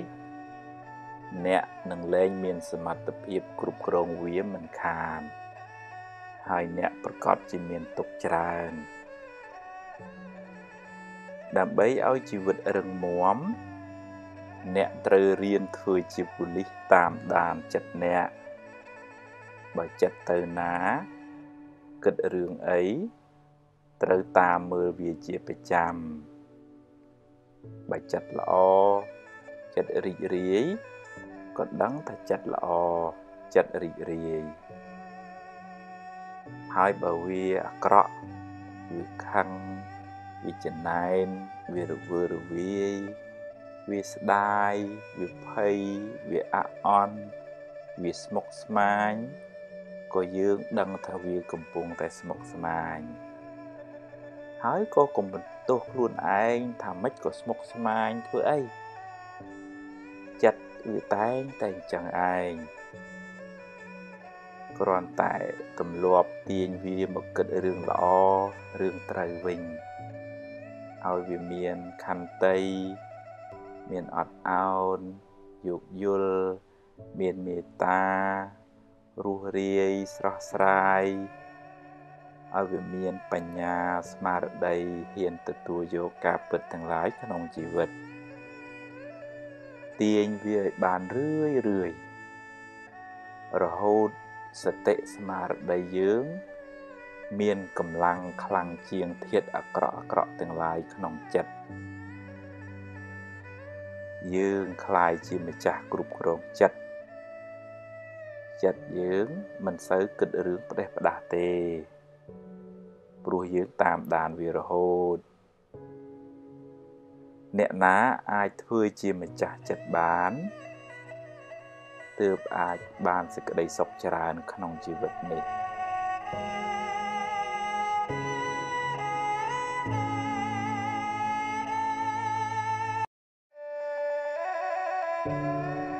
សាងបុណ្យលៀងបាបពេលវេលាហួសទៅហើយ អ្នកមិនអាចបកក្រោយវិញបានទេ កម្មដែលអ្នកបានសាងហើយ ជាកម្មល្អក្តីអាក្រក់ក្តី អ្នកមិនអាចលុបវាចេញបានទេ តែបើអ្នកគិតថាខុសអ្នកអាចកែប្រែខ្លួន ប្រឹងសាងល្អឡើងវិញ អ្នកបានជាមនុស្សប្រសើរជាងមុន តែបាបនៅតែជាបាបដដែលព្រោះអ្នកបានធ្វើវារួចហើយបើសម្លប្រៃចាក់ទឹកទៅវានឹងសាបបន្តិចតែជាតិប្រៃវានៅតែជាជាតិប្រៃដដែលវាមិនរត់ទៅណាទេគ្រាន់តែលាយទឹកច្រើនយើងលែងសូវដឹងប៉ុណ្ណឹង យ៉ាងណាមិញបើជ្រុលជាសាងអាក្រក់ទៅហើយត្រូវប្រឹងសាងល្អវិញឲ្យបានច្រើន ហើយមិនបាច់ដេកកើតទុកស្ដាយក្រោយទេនាំតែបានបាបថែម ពេលណាសំគួរកម្មនឹងឲ្យផល ហើយព្រមទទួលទៅកម្មយើងទេ គ្មានអ្នកណាមានអធិពលជួយលាងបាបឲ្យអ្នកឡើយសំបីតែព្រះពុទ្ធបើអ្នកព្រោះស្រូវក្នុងស្រែហើយបែរជាតិចអុចធូបបនស្រន់មិនឲ្យវាដុះវាជារឿងឆោតល្ងងពេកហើយដរាបណានៅតែមានកំណើត កម្មនៅតែតាមចូលប្រឹងប្រែងសាងល្អឲ្យបានច្រើនកុំឲ្យមានវិបដិសារីស្ដាយក្រោយឡើយ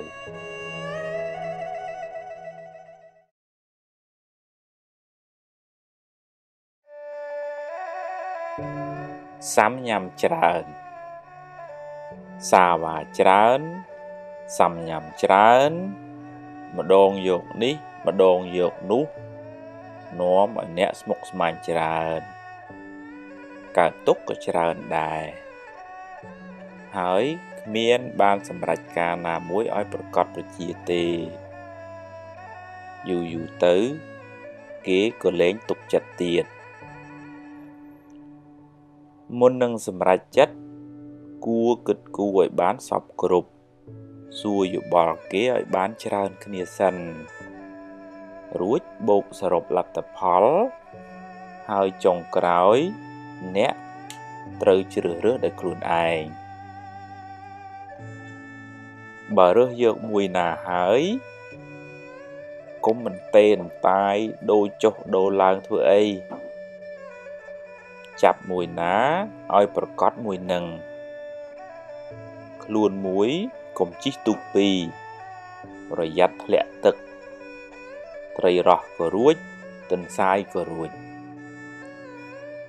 មនុស្សសាវ៉ាច្រើនទទួលលទ្ធផលមិនសូវល្អទេ បើរើសយកផ្លូវណាហើយត្រូវដើរឲ្យដល់ទីបំផុត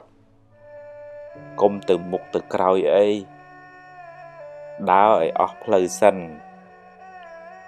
បើទាល់ច្រកចាំគិតទៀត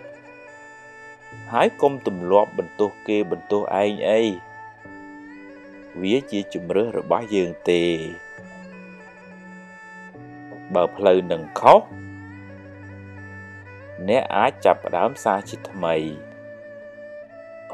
ហើយកុំស្ដាយអីស្ដាយទៅ នាំតែក្តៅក្រហាយឥតប្រយោជន៍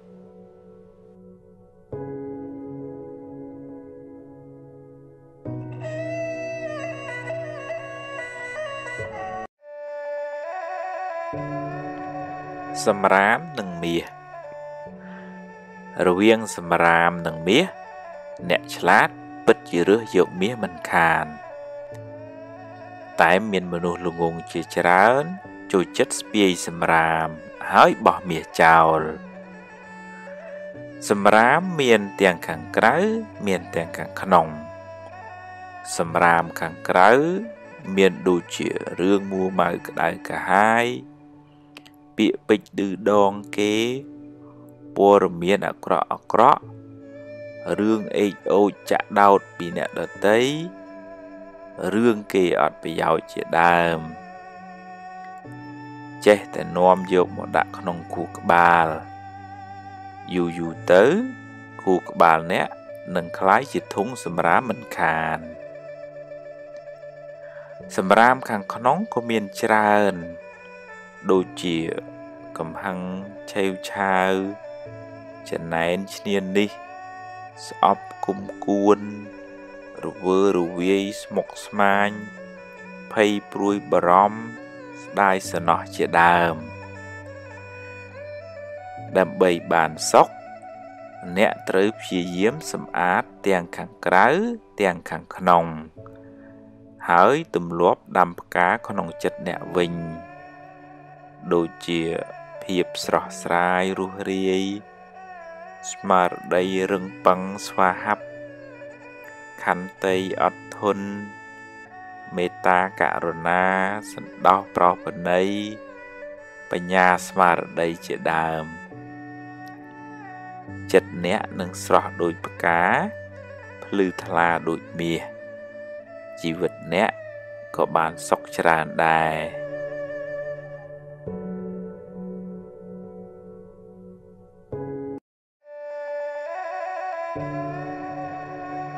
ស់សង្ឃឹម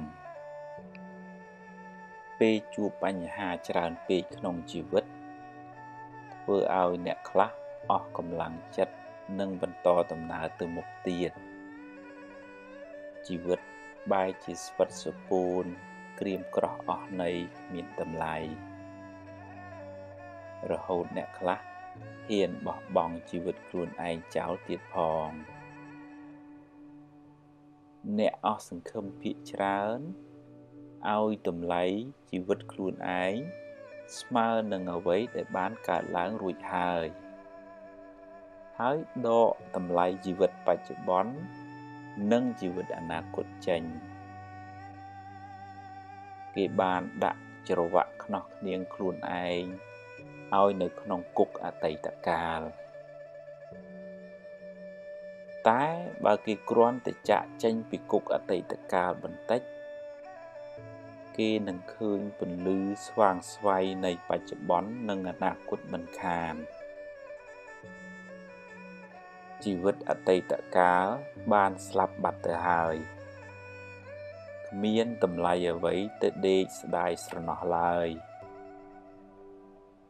តែអ្នកអាចយកវាជាបទពិសោធន៍បាន ហើយក៏គ្មានអ្វីត្រូវព្រួយបារម្ភពេកពីជីវិតអនាគតដែរតែអ្នកត្រូវរស់នៅដោយក្តីសង្ឃឹមញញឹមព្យាយាមបំពេញការងារឲ្យអស់ពីលទ្ធភាពពេលបច្ចុប្បន្នចំណែកអនាគតគ្រាន់តែជាលទ្ធផលនៃការប្រឹងប្រែងរបស់អ្នកពីមុនមក និងថ្ងៃនេះប៉ុណ្ណោះ បើអ្នកនៅតែបន្តក្រៀមក្រំទៀតបច្ចុប្បន្នក៏ក្រៀមក្រំ អនាគតក៏រឹតតែក្រៀមក្រំទោះបីរស់នៅបានមួយថ្ងៃទៀតក៏ត្រូវរស់ដោយក្តីសង្ឃឹមដោយភាពស្រស់ស្រាយដោយទឹកចិត្តល្អដោយគុណធម៌ដែរសូមកុំស្លាប់ មុនពេលអស់ជីវិតឡើយ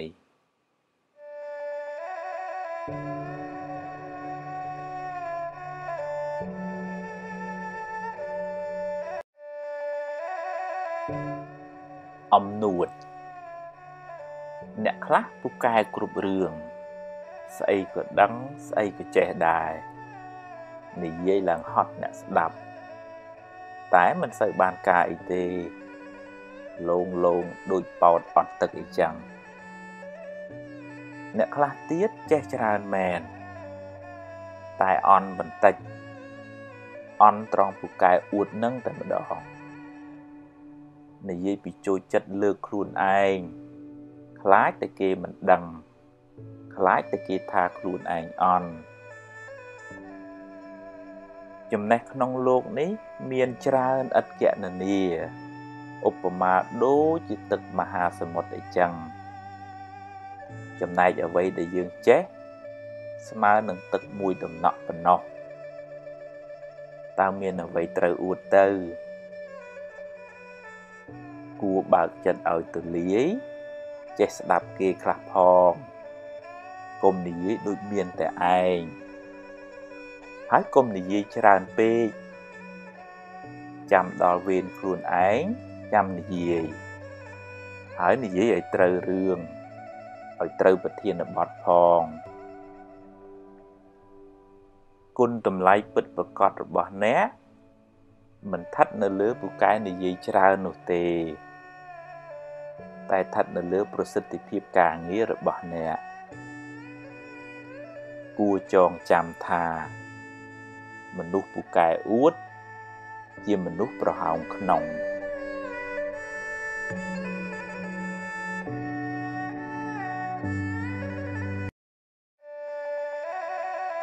ពពកខ្មៅនៅលើក្បាល ស្មុកស្មាញច្រើនមួម៉ៅច្រើនព្រួយបារម្ភច្រើន គិតច្រើននាំឲ្យអ្នកមានទុក្ខក៏ច្រើនដែរហើយបើបណ្ដែតបណ្ដោយយូរយូរទៅ អ្នកនឹងលែងមានសមត្ថភាពគ្រប់គ្រងវា ជីវិតអ្នកនឹងវិលវល់រកសុខមិនសូវឃើញឡើយអ្នកត្រូវចាប់ផ្ដើមតាមដានចិត្តអ្នកពីពេលនេះតទៅទម្លាប់វាឲ្យគិតរឿងល្អល្អរឿងបុណ្យកុសលរឿងបច្ចុប្បន្ន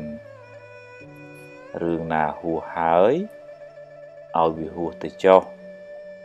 កុំស្ដាយអីហើយរឿងណាមិនទាន់មកដល់ទេក៏កុំកើតទុកពេកអីដែរជួបរឿងណាដោះរឿងនឹងទៅរៀនទាញចិត្តអ្នកឲ្យចេញពីរឿងមួម៉ៅក្តៅក្រហាយទាំងឡាយវាពិបាកណាស់តែអ្នកត្រូវតែទម្លាប់បន្តិចម្ដងបន្តិចម្ដង ទម្លាប់តាមតាមដានវាទម្លាប់មើលវារឿយរឿយ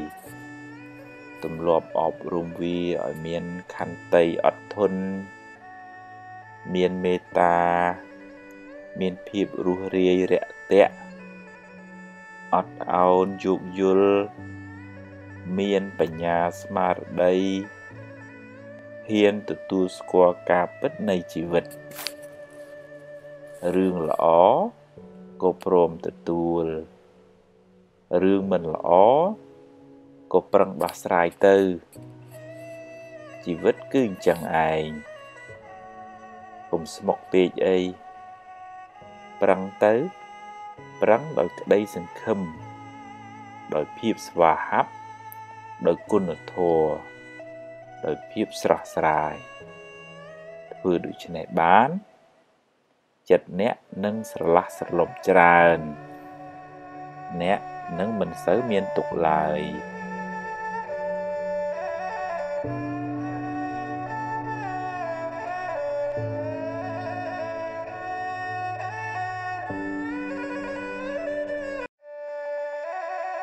ភ្លើងក្រៅ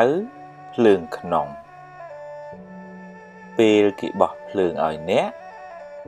បើអ្នកចង់ក្តៅ ទទួលយកចុះតែបើមិនចង់ក្តៅទេកុំយកអីឲ្យគេយកទៅវិញចុះឬបោះចោលទៅបើគេនិយាយឌឺដងចង់ឲ្យអ្នកក្តៅហើយស្រាប់តែអ្នកក្តៅតាមពាក្យគេមែនមានន័យថាអ្នកធ្វើតាមបំណងសត្រូវអ្នកហើយអ្នកទទួលយកភ្លើងហើយ អ្នកក្តៅហើយ គេនឹងសប្បាយចិត្តពេលឃើញអ្នកក្តៅអ្នកត្រូវរៀនធ្វើជាមនុស្សទឹក ត្រជាក់ពីខាងក្នុងមកបើគេចង់ដុតឲ្យអ្នកក្តៅប្រាប់គេថាយកទៅវិញចុះយើងមិនត្រូវការភ្លើងទេ គេនឹងរែកពុនភ្លើងនោះត្រឡប់ទៅវិញ គេខឹងគេអាក្រក់ហើយបើអ្នកខឹងគេវិញ អ្នកក៏អាក្រក់ដែរ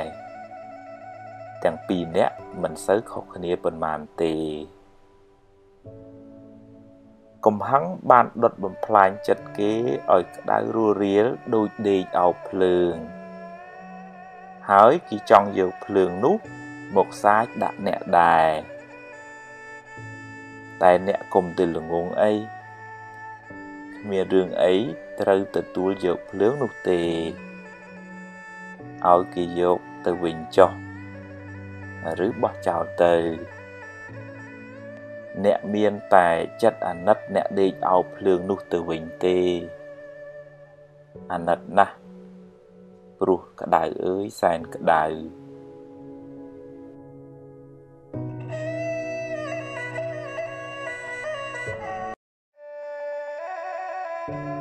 មនុស្សមិនចេះខុសអ្នកខ្លះត្រូវរហូតខុសក៏ត្រូវត្រូវក៏ត្រូវខ្លាចខ្លួនឯងអន់ខុសហើយខំនិយាយបន្លែបន្លប់យកត្រូវតែខ្លួនឯងពេលធ្វើខុសអន់មួយបិទបាំងកំហុសអន់មួយទៀតហើយបើខំនិយាយបន្លែបន្លប់យកត្រូវ អន់ថែមមួយទៀតមនុស្សប្រភេទនេះคล้ายជាមនុស្សអន់អាជីពអ្នកណាដែលថាមិនចេះខុសហើយគ្មានអីធ្ងន់ធ្ងរគ្រាន់តែសុំទោសគេ ហើយប្រឹងកែកំហុសនោះឡើងវិញទេព្រះពុទ្ធហៅមនុស្សប្រភេទនេះថាជាបណ្ឌិតទៀតផង ព្រោះអាចអភិវឌ្ឍខ្លួនឯងឲ្យបានខ្ពង់ខ្ពស់ជាងមុនបើមុខអ្នកប្រឡាក់ធ្យូងហើយមានគេប្រាប់គ្មានអីត្រូវប្រកែកទេ ហើយត្រូវអរគុណគេផងយ៉ាងណាមិញការចេះទទួលកំហុសហើយកែប្រែកំហុសជាមាគាឆ្ពោះទៅរកការរីកចម្រើនក្នុងជីវិត ដោយប្រច័នចាក់ចេញពីពពកដូច្នោះឯង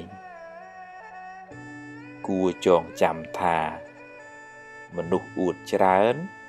ជាមនុស្សអន់ខ្លាំង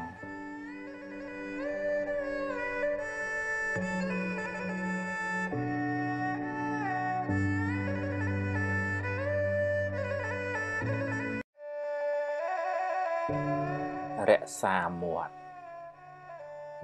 មាត់អ្នក អាចជាអាវុធដ៏មុតស្រួច ចាក់ធ្លាយពីត្រចៀកធ្លុះដល់បេះដូងគេគ្មានចិញ្ចៀមមួយដំណក់ទេ តែធ្វើឲ្យគេឈឺចាប់អស់មួយជីវិតក៏ថាបានមាត់អ្នកក៏អាចជាឱសថទឹកធ្វើឲ្យអ្នកកំពុងតែមានទុក្ខកង្វល់បានធូរស្បើយវិញក៏ថាបានដែរ មុននឹងនិយាយទម្លាប់ឆែកមើលបេះដូងអ្នកជាមុនសិនថាតើនិយាយដោយកំហឹងដោយចំណែនដោយបំណងចង់ឌឺដងឲ្យគេឈឺចាប់ឬដោយចេតនាល្អចង់ឲ្យគេបានប្រយោជន៍បើមានចេតនាល្អហើយនិយាយចុះ ហើយកុំនិយាយច្រើនពេកម្យ៉ាងទៀតត្រូវចេះរកពាក្យសម្ដីណាពីរោះពិសាមកនិយាយផងកុំអាងថាខ្លួនឯងធំខ្លួនឯងជាមេឬក៏កុំអាងថាថាត្រូវហើយ ចេះតែលះទៅក៏មិនល្អដែរពេលខ្លះទោះបីយើងនិយាយត្រូវក៏ដោយ តែនិយាយទាំងកំហឹងក៏មិនសូវបានទទួលផលល្អដែរបើខឹងកុំអាលនិយាយចាំបាត់ខឹងសិនសឹមនិយាយក៏មិនទាន់ហួសពេលដែររនៀបបាក់យករនៀបជួសសំដីហួសរកអ្វីមកជួសពុំបានឡើយ គុំទម្លាប់និយាយកាត់គេគុំកាត់ស្មានគុំព្រាវចាំច្បាស់សិនចាំនិយាយបើមិនដូច្នោះទេសម្ដីអ្នកនឹងคล้ายជាសម្ដីស្រូវស្រាលគ្មានន័យខ្លឹមសារចាញ់សំលេងបាក់សាបាក់សីយំមិនខាន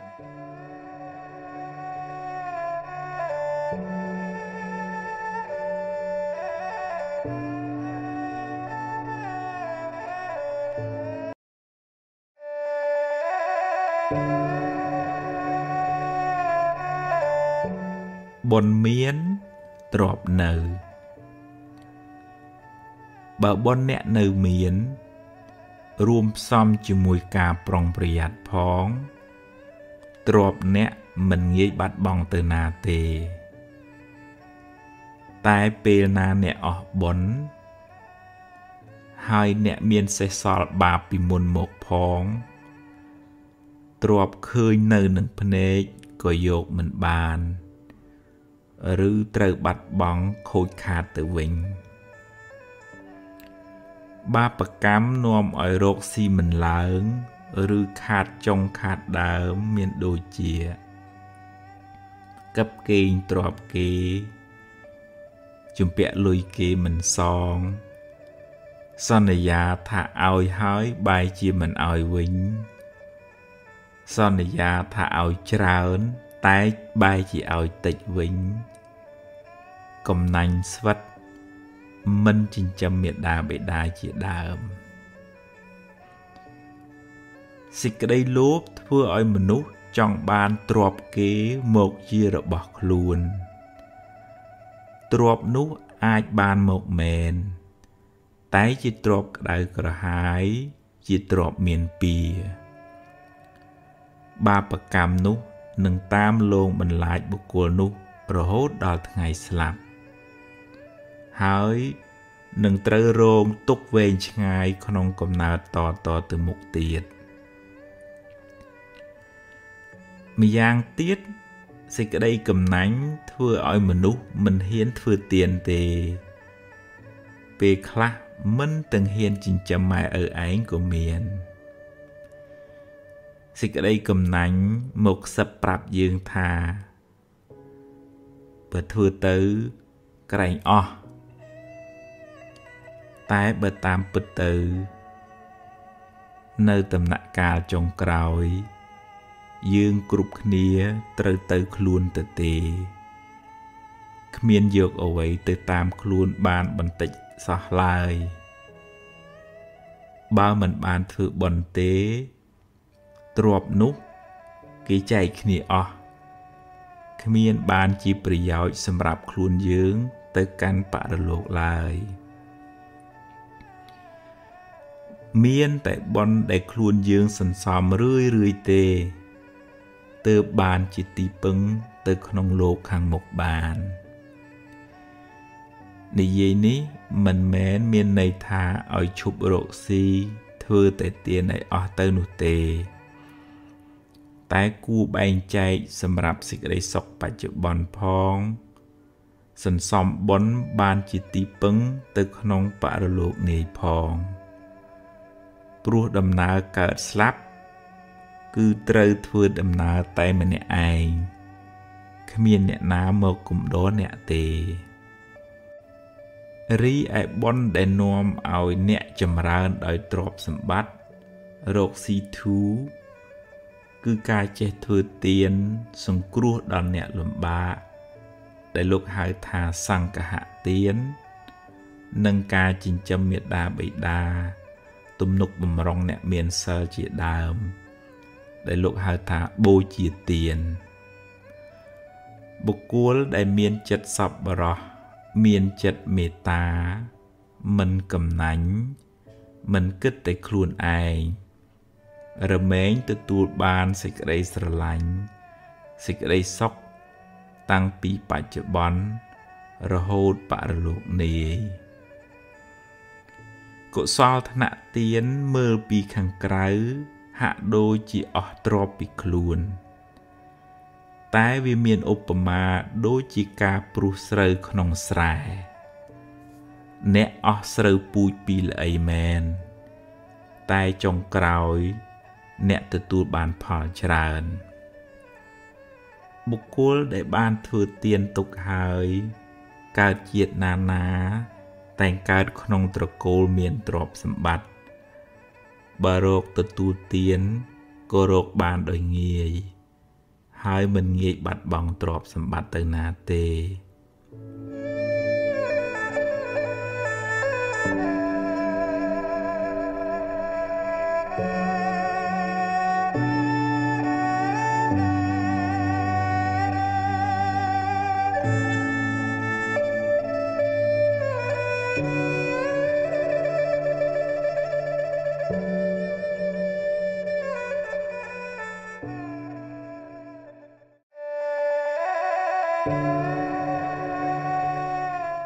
មេរៀន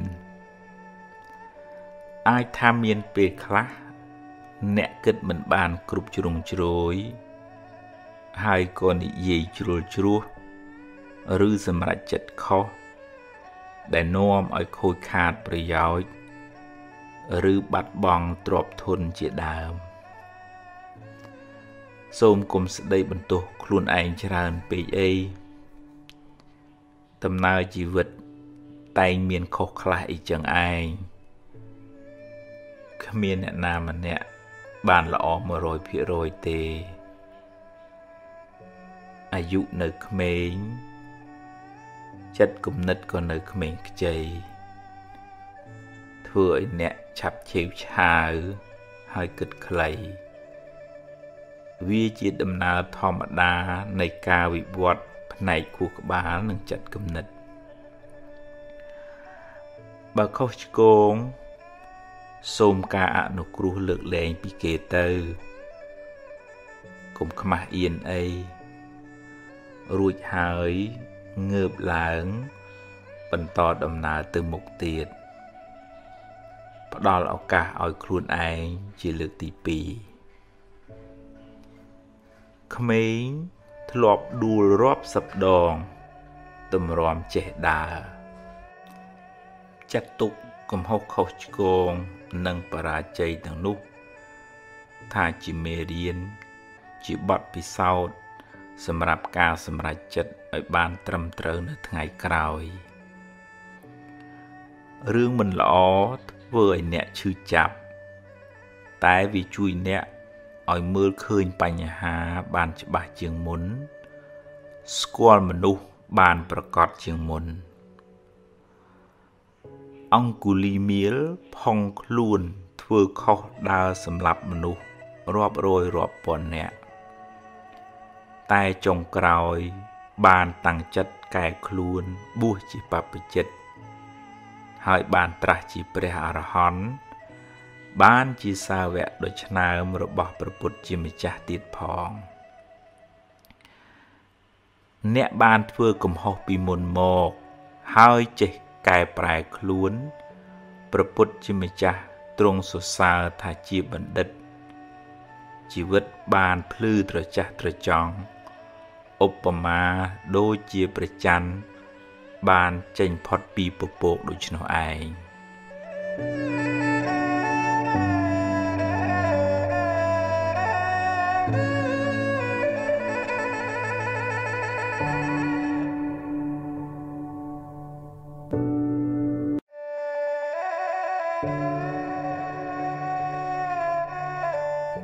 រួចពីកម្មពៀ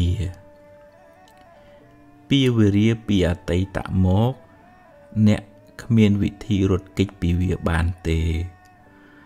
ព្រោះអ្នកមិនអាចបកក្រោយ ហើយកែទង្វើដែលអ្នកបានធ្វើក្នុងអតីតកាលបានឡើយ តែពីវេរាទៅថ្ងៃមុខអ្នកអាចជៀសបាន ដោយកម្លាំងនៃការរក្សាសិល សិលបានដល់ការប្រព្រឹត្តល្អដោយកាយវាចាចិត្តការមិនបៀតបៀនមិនធ្វើឲ្យអ្នកដទៃក្តៅក្រហាយ មានដូចជា ការមិនប៉ះពាល់ជីវិតអ្នកដទៃការមិនកាប់កេងលួចទ្រព្យអ្នកដទៃការមិនធ្វើឲ្យកូនប្រពន្ធអ្នកដទៃក្តៅក្រហាយ ការមិនកុហកបោកប្រាស់ជាដើម ពេលអ្នកមិនបានធ្វើឲ្យអ្នកដទៃក្តៅក្រហាយ គេក៏មិនមានចិត្តចងពៀមិនមានបំណងអាក្រក់ដាក់អ្នកវិញដែរដោយសារអ្នកមិនបានធ្វើអាក្រក់ដាក់អ្នកដទៃអ្នកក៏មានចិត្តស្រស់ស្រាយ មិនភ័យខ្លាច មិនព្រួយបារម្ភរឿងមានទោសពៃឬខ្លាចគេធ្វើអាក្រក់ដាក់អ្នកវិញឡើយ នោះហើយជាចិត្តដែលរួចផុតពីពីវេរាមនុស្សមានពៀគឺជាមនុស្សដែលបៀតបៀនគេ ធ្វើឲ្យអ្នកដតីក្តៅក្រហាយ មនុស្សមានចិត្តចងគំនុំគុំគួន ខ្លួនក៏លំបាកព្រោះភ្លើងកំហាំងឆេះក្នុងចិត្តរាល់ថ្ងៃ ហើយគេក៏ក្តៅក្រហាយ ព្រោះទង្វើអាក្រក់របស់យើង ម្យ៉ាងទៀតពាវេរានោះនឹងជាប់តាមគ្នាវែងឆ្ងាយ ក្នុងសង្សារវដ្តបើអ្នកដាំពូជភ្លើង អ្នកនឹងបានផលក្តៅក្រហល់ក្រហាយត្រឡប់មកវិញបើអ្នកធ្វើឲ្យគេក្តៅក្រហាយ អ្នកនឹងបានភាពក្តៅក្រហាយនោះមកវិញគ្រាន់តែយូរឬឆាប់ប៉ុណ្ណោះ បើអ្នកបានសាងល្អរក្សាសិលពេលបច្ចុប្បន្នឈ្មោះថាអ្នកមិនបានសាងពាវេរាទៅថ្ងៃមុខតែបើអ្នកមានកម្មពាវេរាពីអតីតជាតិមកអ្នកត្រូវទទួលផលកម្មនោះវិញអ្នកមិនអាចរត់គេចពីកម្មចាស់បានទេសូម្បីតែព្រះពុទ្ធជាម្ចាស់ ក៏ត្រូវទទួលផលកម្មចាស់ដែរតែដោយអំណាចនៃអំពើល្អដោយអំណាចនៃសិលដែលអ្នកបានរក្សាពេលបច្ចុប្បន្នកម្លាំងបុណ្យនោះ អាចជួយសម្រាលទុកបានខ្លះដែរតាមកម្លាំងរបស់វាឧបមាដូចជាអ្នក ស្លសម្លជ្រុលជាប្រៃទៅហើយ អ្នកអាចដាក់ទឹកថែម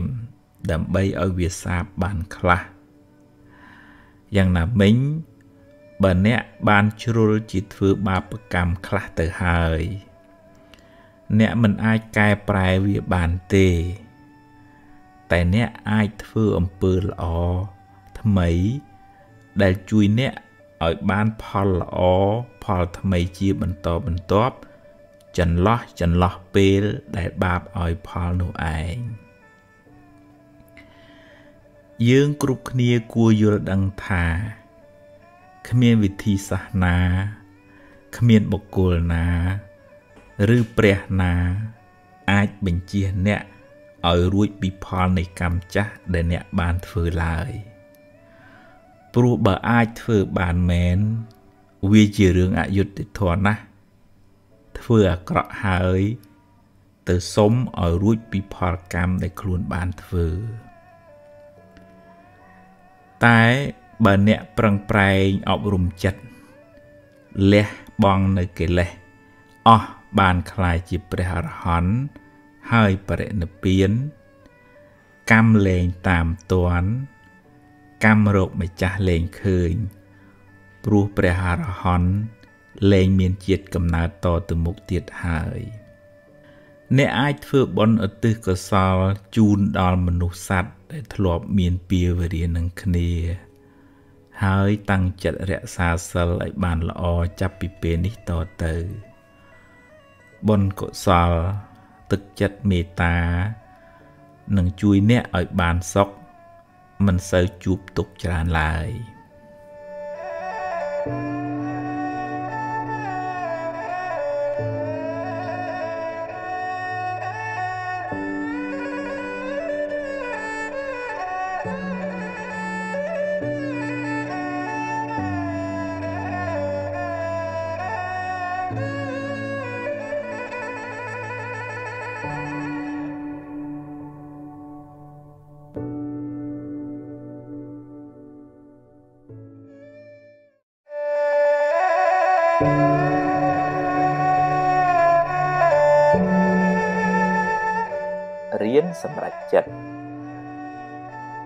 ននឹងសម្រេចចិត្ត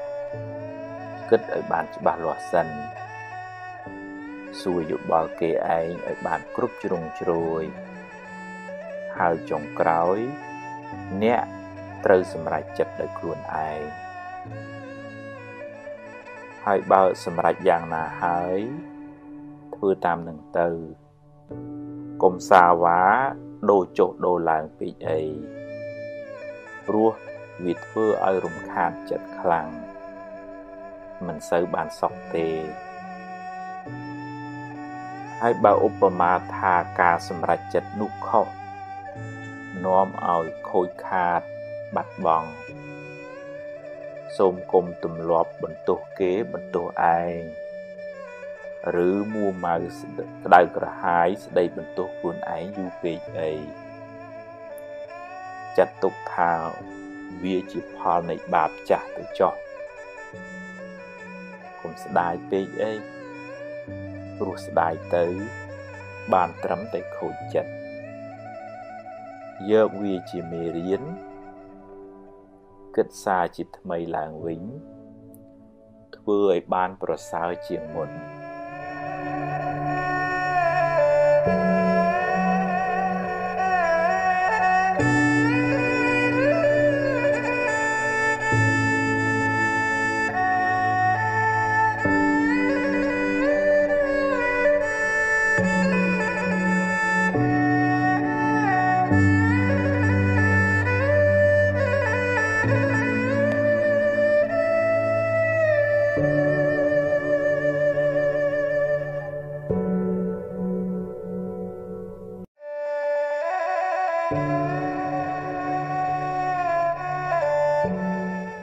សេរីសួស្តីមួម៉ៅច្រើនសេរីរត់ចេញរីករាយវិញសេរីរត់ចូលជាទូទៅយើងឲ្យតម្លៃសេរីសួស្តីទៅលើរឿងល្អល្អរឿងសបាយសបាយមានលៀបមានជ័យជាដើម តែគួរចងចាំថា ផលល្អទាំងនោះកើតឡើងអាស្រ័យហេតុល្អហេតុដែលជាកុសល ដែលអ្នកខិតខំប្រព្រឹត្តធ្វើពីមុនមកហេតុនៃសេរីសួស្តីនោះមានដូចជា ការសែបគប់ត្រូវ ការតស៊ូព្យាយាមក្នុងកិច្ចការងារដែលអ្នកធ្វើ ការរៀនសូត្របង្កើនចំណេះដឹង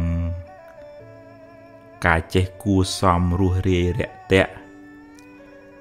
ការចេះចែករំលែកដល់អ្នកលំបាកការចិញ្ចឹមមេដាបេដាសេចក្តីអត់ធន់ទឹកចិត្តមេត្តា ទឹកចិត្តត្រជាក់ចិត្តធ្ងន់ចិត្តរស់រាយចិត្តឃ្លាវខ្លាជាដើម ទាំងនោះ គឺជាហេតុដើមនៃសេរីសួស្តី ព្រោះសេរីសួស្តីនោះជាឈ្មោះនៃចិត្តល្អចិត្តជាកុសល ចិត្តរីករាយជ្រះថ្លានោះឯងអ្នកបានសាងនៅហេតុនៃសេរីសួស្តីនោះសេរីនឹងរត់មករកអ្នកវិញមិនពិបាករត់តាមវាប៉ុន្មានទេឬក៏មិនពិបាកដើរសួរគ្រូហៅពេកដែរ រៀនរីករាយទទួលថ្ងៃថ្មី ដោយចិត្តស្រស់ស្រាយក្នុងសេចក្តីល្អបើអ្នកគ្មានអ្វីច្រើនយ៉ាងហោចណាស់អ្នកនៅមានជីវិតរស់បន្តមួយថ្ងៃទៀតអ្នកនៅមានដៃមានជើង មានសតិស្មារតីសម្រាប់បំពេញការងារបន្ត រៀនរីករាយចំពោះអ្វីដែលអ្នកមានអ្វីដែលអ្នករកបានដោយសុចរិតហើយប្រឹងប្រែងបន្តទៀតតែបើដំណើរជីវិតនេះត្រូវជួបរឿងមិនល្អខ្លះរឿងអពមង្គលខ្លះក៏កុំមួម៉ៅពេកអីព្រោះបើមួម៉ៅទៅរឿងនៅតែជារឿង ហើយចិត្តកាន់តែស្មុគស្មាញថែមជីវិតតែងជួបបញ្ហាខ្លះអីចឹងឯងទ្រាំទៅបើជួបហើយប្រឹងដោះទៅ ហើយបើដោះហើយត្រូវដើរហួសទៅមុខទៀតកុំស្ពាយរឿងសំពីងសំពងពេកសេរីសួស្តីមិននៅជាមួយយើងទេ ទុកពេលវេលា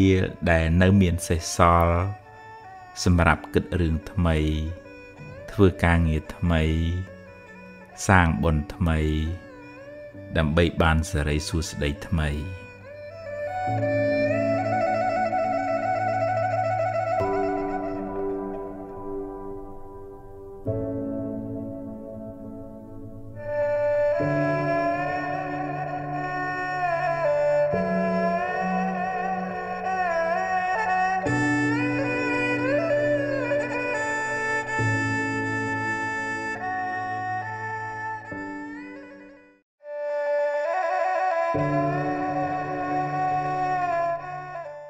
ហួសហើយអតីតកាលល្អក្តីមិនល្អក្តី បានកន្លងហួសទៅហើយទោះបីអ្នកស្ដាយប៉ុណ្ណាក៏ទាញមកវិញមិនបានដែរអនុញ្ញាតឲ្យវាប្រែប្រួលតាមដំណើរនៃធម្មជាតិរបស់វារឿងល្អជាផលនៃកម្មល្អដែលអ្នកបានសាង រឿងមិនល្អជាផលនៃអកុសលកម្មដែលអ្នកបានប្រព្រឹត្តពីមុនមកជីវិតរបស់មនុស្សម្នាក់ម្នាក់ប្រព្រឹត្តទៅតាមកម្លាំងកម្មដែលខ្លួនបានធ្វើពីអតីតផង កម្មក្នុងពេលបច្ចុប្បន្នផង អ្នកមិនអាចរត់គេចពីផលនៃកម្មបានឡើយ រឿងខ្លះកើតឡើងហួសពីការស្មានរបស់អ្នកហើយអ្នកគ្មានសមត្ថភាព ទៅបង្គាប់បញ្ជារឿងខាងក្រៅបានទាំងស្រុងទេ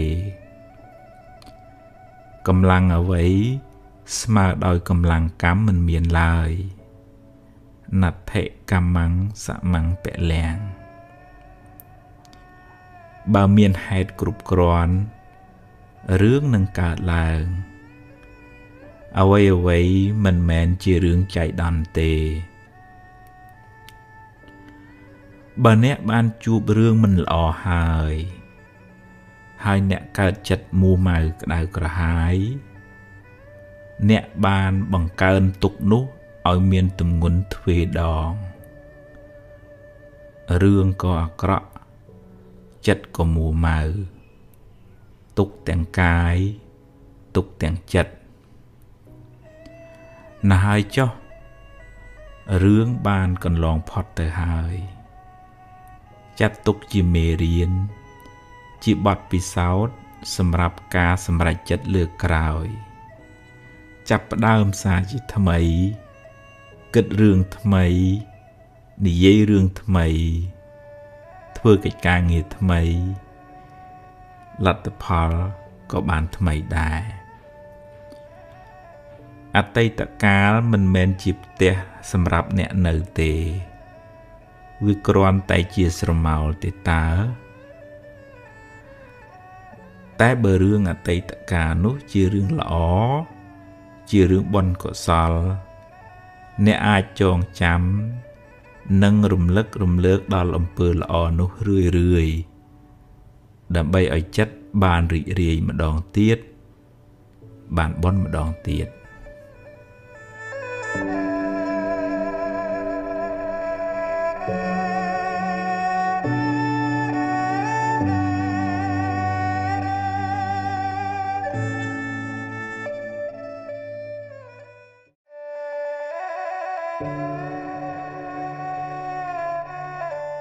អតីតកាលពីរប្រភេទ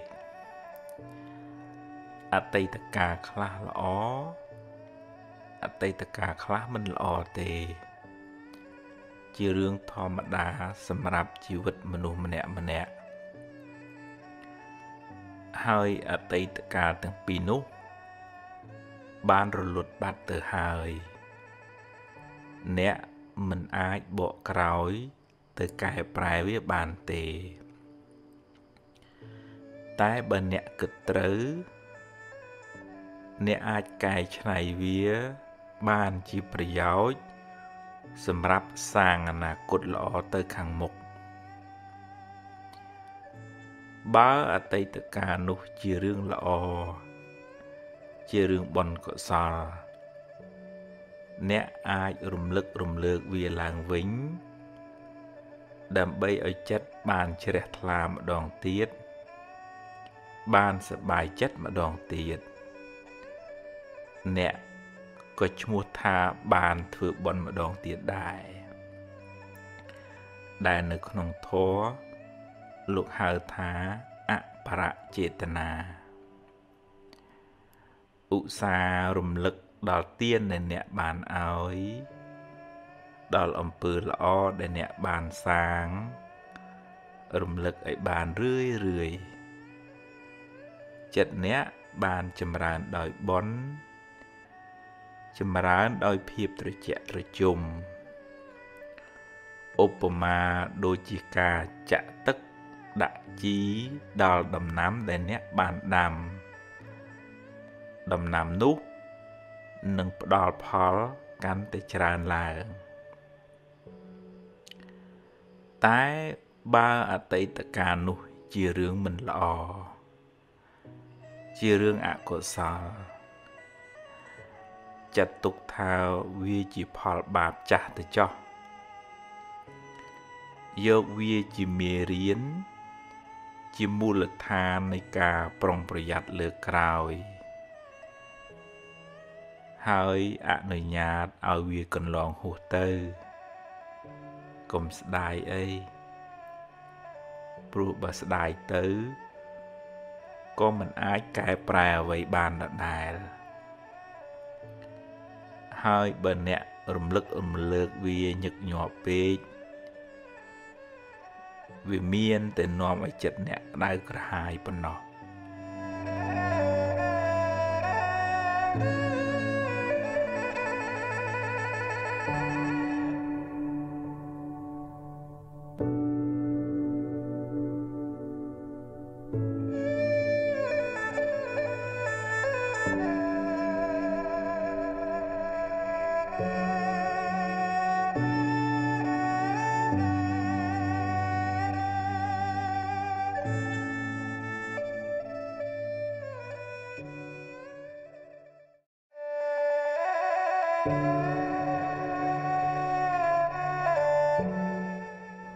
ខ្ញុំខំធ្វើល្អហេតុអ្វីខ្ញុំនៅតែមានទុកច្រើន អ្នកខ្លះមានសមានចិត្តល្អមានចិត្តសប្បុរសអាណិតអាសូរជួយអ្នកដតីច្រើន តែបែរជាមិនសូវបានសមប្រកប ជួបរឿងទុកសោកមិនចេះចប់មិនចេះហើយ ពេលខ្លះ ជួយគេហើយបែរជាគេរមិលគុណនិយាយអាក្រក់រហូតដល់ធ្វើទុកបុកម្នេញមកវិញក៏សឹងមានអំពើល្អដែលអ្នកបានសាងហើយ នៅតែជាអំពើល្អដដែលមិនប្រែទៅជាអាក្រក់ទេគ្រាន់តែវាមិនទាន់មានពេលឲ្យផលប៉ុណ្ណោះ ចំណែករឿងមិនល្អរឿងអកុសលដែលអ្នកបានជួប វាជាផលនៃកម្មចាស់កម្មចាស់ដល់ពេលត្រូវឲ្យផល គួរស្វែងយល់ផងដែរថាបុណ្យកុសលមានច្រើនលំដាប់ ហើយបុណ្យទាំងនោះ ជួយអ្នកឲ្យបានស្រាលពីទុកតាមលំដាប់ដែរ កុសលថ្នាក់ទៀនលះចិត្តកំណាញ់លះចិត្តជាប់ជំពាក់កុសលថ្នាក់ទៀននោះជួយអ្នកឲ្យមានគេស្រឡាញ់រាប់អានច្រើន មានកិត្តិយសគេឈ្មោះល្អនិងជាឧបនិស្ស័យនៃការរកទទួលទានមានបាន តែកុសលថ្នាក់ទាននោះ មិនអាចជួយអ្នក ឲ្យរួចផុតពីសេចក្តីទុក្ខផ្លូវចិត្តបានទេកុសលមួយទៀតដែលជួយអ្នកឲ្យរួចពីពាវេរាទៅថ្ងៃមុខគឺការរក្សាសិលបានដល់ការមិនបៀតបៀនមិនធ្វើឲ្យអ្នកដតីក្តៅក្រហាយ អ្នកជាមនុស្សមិនមានពៀទៅណាមកណាមិនសូវព្រួយបារម្ភក្នុងចិត្ត ព្រោះមិនបានធ្វើខុសហើយមិនសូវមានអ្នកមកបៀតបៀនអ្នកទេជាវៀងតែអ្នកមានបាបកម្មពីអតីតជាតិមកកុសលធ្នាក់សិលជួយអ្នកឲ្យរួចផុតពីពាវេរាទៅថ្ងៃមុខតែវានៅតែមិនអាចជួយអ្នកឲ្យរួចផុតពីសេចក្តីទុក្ខផ្លូវចិត្តបានទាំងស្រុងឡើយ កុសលធ្នាក់ខ្ពស់ដែលអាចជួយអ្នកបានច្រើន ក្នុងការសម្រាលសេចក្តីទុក្ខពីផ្លូវចិត្តគឺកុសលធ្នាក់ភាវនា ដែលមានន័យថាការចម្រើនសមាធិការចម្រើនបញ្ញា ដែលជួយអ្នកឲ្យមានចិត្តនឹងធឹងមិនសូវញាប់ញ័រនឹងរឿងរ៉ាវទាំងឡាយសមាធិ សំដៅលើការវឹកហាត់ចិត្តឲ្យស្ថិតនៅក្នុងអារម្មណ៍តែមួយ ដែលនាំឲ្យចិត្តបានស្ងប់រងាប់បានត្រជាក់មិនសូវរវើរវាយមិនសូវច្របូកច្របល់ជួយអ្នកឲ្យបានសេចក្តីសុខតាមផ្លូវចិត្តច្រើន ចំណែកឯការចម្រើនបញ្ញាសំដៅលើការស្វែងយល់អំពីដំណើរកើត រលត់នៃសង្ខាររៀនលះបង់ការប្រកាន់ចំពោះរឿងរ៉ាវការទាស់ចិត្តនិងការជាប់ចិត្តចំពោះបញ្ហាទាំងឡាយពេលអ្នកបានលះបង់នៅសេចក្តីប្រកាន់នោះ ពីក្នុងចិត្តរឿងរ៉ាវទាំងឡាយកើតឡើងក៏កំណត់ដឹងថា ជាដំណើរនៃធម្មជាតិពេលមានហេតុក៏កើតឡើង ពេលអស់ហេតុក៏រលត់ទៅឧបមាដូចជាភ្លើងចង្គៀងពេលនៅប្រេងក៏នៅសល់ភ្លើង ពេលអស់ប្រេងអស់បញ្ឆេះភ្លើងក៏រលត់ទៅ អ្នកកំណត់ដឹង នៅដំណើរនៃសង្ខារយ៉ាងនេះ កាត់បន្ថយនៅសេចក្តីប្រកាន់សេចក្តីទុក្ខក៏ធូរស្បើយពីចិត្តអ្នក thank you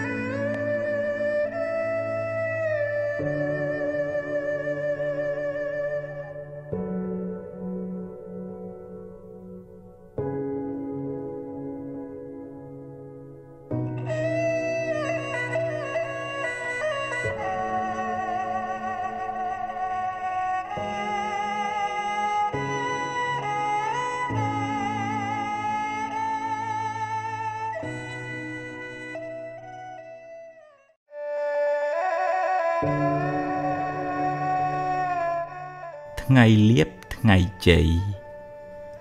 ថ្ងៃល្អគឺជាថ្ងៃដែលអ្នករីករាយចិត្តថ្ងៃដែលអ្នកបានសាងល្អដោយកាយដោយវាចាដោយចិត្តព្រឹកឡើង លើកដៃសំពះរំលឹកគុណព្រះរតនត្រ័យនឹកគុណមេត្តាបិតាចម្រើនសមាធិផ្សាយមេត្តាដល់សពសត្វ ទម្លាប់ពូលវិចារល្អគិតរឿងល្អថ្ងៃនោះคล้ายជាថ្ងៃមានសេរីសួស្តីថ្ងៃមានលៀបថ្ងៃមានជ័យថ្ងៃរះថ្ងៃលិចជាដំណើរនៃធម្មជាតិមិនល្អមិនអាក្រក់ទេ ចំណែករាសីអ្នកឡើងចុះ អាស្រ័យលើកម្មគឺអំពើដែលអ្នកបានសាងបើអ្នកបានសន្សំបុណ្យល្អច្រើនពីមុនមក ហើយបុណ្យនោះដល់ពេលឲ្យផល អ្នកក៏ជួបរឿងល្អរឿងរីករាយរកស៊ីបានចម្រុងចម្រើនទៅតែបើពេលបាបចាស់តាមតាន់វិញ អ្នកនឹងជួបរឿងមិនល្អរឿងអកុសល ឬរកស៊ីខាតលងចង់ទៅ កម្មគឺលោកសំដៅទៅលើអំពើដែលអ្នកបានសាង ពីអតីតផង ក្នុងពេលបច្ចុប្បន្នផង កម្មនោះជាអ្នកចាត់ចែងឲ្យអ្នកបានជួបរឿងហេងឬរឿងសោយ ក្នុងដំណើរជីវិតរបស់អ្នកបើអ្នកខំប្រព្រឹត្តល្អចិញ្ចឹមមេដាបិតា មានចំណេះចេះដឹងច្រើន មានកាយវាចាល្អប្រប្រៃហើយប្រុងប្រយ័ត្នព្យាយាមក្នុងកិច្ចការងារអ្នកបុណ្យពេលបច្ចុប្បន្ននោះនឹងជួយបើកឱកាសដល់បុណ្យចាស់ចាស់មកឲ្យផល ឲ្យអ្នកបានចម្រុងចម្រើន តែបើអ្នកប្រព្រឹត្តអំពើមិនល្អពេលបច្ចុប្បន្នដូចជាដើរផឹកស៊ីប៉ោឡែខ្ជិលច្រអូសធ្វេសប្រហែសកម្មមិនល្អក្នុងពេលបច្ចុប្បន្ននឹងបើកឱកាសឲ្យអកុសលកម្មពីអតីតមកឲ្យផលមិនខាន អ្នកនឹងលិចលង់នឹងមិនចម្រុងចម្រើនទៅមុខឡើយព្រោះកម្មបច្ចុប្បន្នក៏មិនល្អកម្មពីអតីតក៏ឲ្យផល ថ្ងៃហេងថ្ងៃសួយ អាស្រ័យលើកម្មអ្នកអាស្រ័យលើចិត្តអ្នកមិនឋិតនៅលើមាត់គេថាទេបើអ្នកចង់បានថ្ងៃល្អ ចង់បានថ្ងៃជ័យត្រូវខំសាងល្អល្អដោយកាយល្អដោយវាចាល្អដោយចិត្តហើយបើមានថ្ងៃខ្លះអ្នកជួបរឿងសោយជាថ្ងៃដែលបាបចាស់ឲ្យផលសុំគុំកើតទុកទុំមនោះទុំមនិញច្រើនពេកអីចិត្តទុកថា ជាផលនៃបាបចាស់ហើយខិតខំធ្វើអំពើល្អថ្មី ដូចជារំលឹកគុណព្រះរតនត្រ័យថ្វាយគ្រឿងសក្ការៈចំពោះព្រះពុទ្ធជាម្ចាស់ជូនទេទានចំពោះលោកឪពុកអ្នកម្ដាយដាក់បាតព្រះសង្ឃឬក៏ធ្វើអំពើល្អផ្សេងផ្សេងជាការសាងបុណ្យថ្មីបុណ្យថ្មីជាឈ្មោះនៃសេចក្តីសុខផ្លូវចិត្ត បុណ្យនោះនឹងជួយឲ្យអ្នកបានស្រស់បានសុខហើយអនាគតក៏បានភ្លឺថ្លាដែរជោគជតារាសីរបស់យើងម្នាក់ម្នាក់កើតឡើងអាស្រ័យខ្លួនយើងខ្លួនឯងជាអ្នកបង្កើតសូមគុំស្វែងរកសេរីសួស្តីពីខាងក្រៅឡើយបើចង់ឲ្យទេវតាអមនុស្សជួយអ្នក ក៏អ្នកត្រូវតែមានបុណ្យឲ្យទេវតានោះជួយដែរបើអ្នកគ្មានបុណ្យសន្សំមកទេ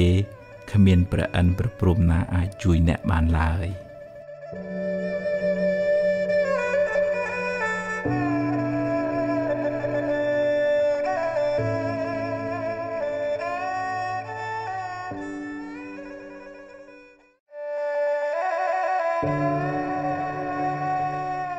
ទ្របគេ ទ្របយើង ក្នុងដំណើរនៃវដ្តសង្សារនេះ មិនដឹងថាយើងម្នាក់ម្នាក់ជាប់ជំពាក់កម្មជាមួយអ្នកណាខ្លះធ្លាប់ធ្វើបាបធ្វើអាក្រក់ចងពៀជាមួយគ្នាពីជាតិណាមកទេកំហឹងគំនុំស្អប់ចងអាឃាតគ្នា ឬបាបកម្មណាមួយ សុទ្ធតែនាំឲ្យមានពៀវេរាកំណើតវិលវល់អន្ទូលទៅមកដល់ពេលណាមួយ កម្មនោះនឹងវិលមករកអ្នកវិញពេលកម្មចាស់ឲ្យផល អ្នកក៏ត្រូវជួបរឿងមិនល្អព្រាត់ប្រាសឬខាតលងចុងទៅ អ្នក ធ្វើបាបកម្មអាក្រក់តែម្ដងទេ តែពេលកម្មឲ្យផលមិនមែនឲ្យតែម្ដងទេ ត្រូវឲ្យការគេថែមទៀតត្រូវទទួលផលកម្មនោះច្រើនដងឬច្រើនជាតិដោយសារចេតនាក្នុងការធ្វើកម្មនោះច្រើនដែរគឺចេតនាមុនពេលធ្វើលោកហៅថាពុព្វចេតនា ចេតនាពេលកំពុងធ្វើលោកហៅថាមញ្ញនចេតនានិងចេតនាដែលអ្នកធ្វើឲ្យសបាយក្នុងការធ្វើបាបនោះលោកហៅថាអបរចេតនាពេលធ្វើអាក្រក់អ្នកខ្លះសបាយណាស់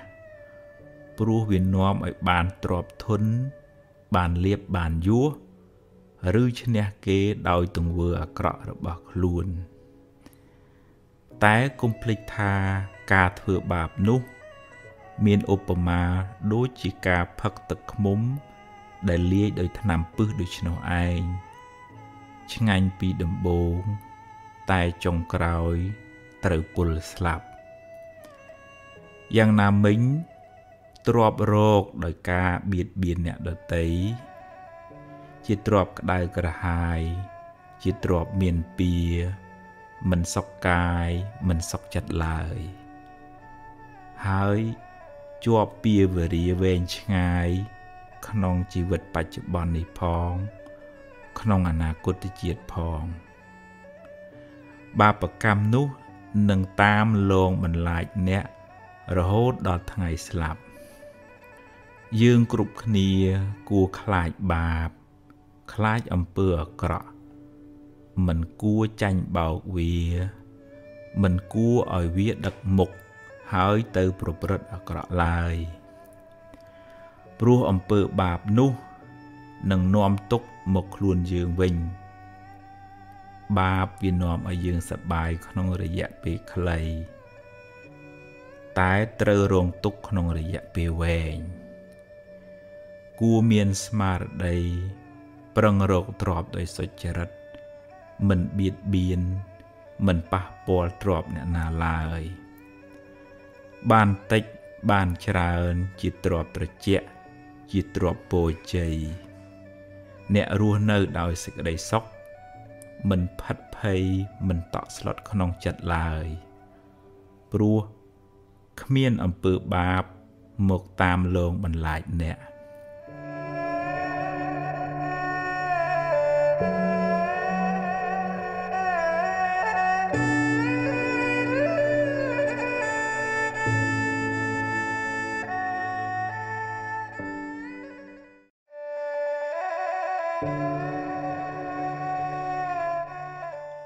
សល់បើអ្នកបាត់បង់អ្វីអ្វីគ្រប់យ៉ាងយ៉ាងហោចណាស់អ្នកនៅសល់ជីវិត នៅមានថ្ងៃនេះនិងថ្ងៃស្អែកសម្រាប់រស់បន្តថ្ងៃបានលិចបាត់ទៅហើយអតីតកាលបានកន្លងហួសទៅហើយអនុញ្ញាតឲ្យវាទៅចុះ ព្រោះបើអ្នកមិនព្រមក៏វាបានរលត់បាត់ទៅហើយរៀនទទួលស្គាល់ការពិត កំណត់ដឹងថា សង្ខារទាំងឡាយតែងប្រែប្រួល មិនទៀងទាត់ទេ អារម្មណ៍ជាអតីតៈគ្រាន់តែជាស្រមោល វាបានរលត់បាត់ទៅហើយអ្វីដែលអ្នកមានក្នុងដៃគឺពេលវេលានៅបច្ចុប្បន្ននេះ ការសម្រេចចិត្តពេលនេះ អាចជួយកំណត់ជោគវាសនាអ្នកនៅថ្ងៃបន្ទាប់បានយកអ្វី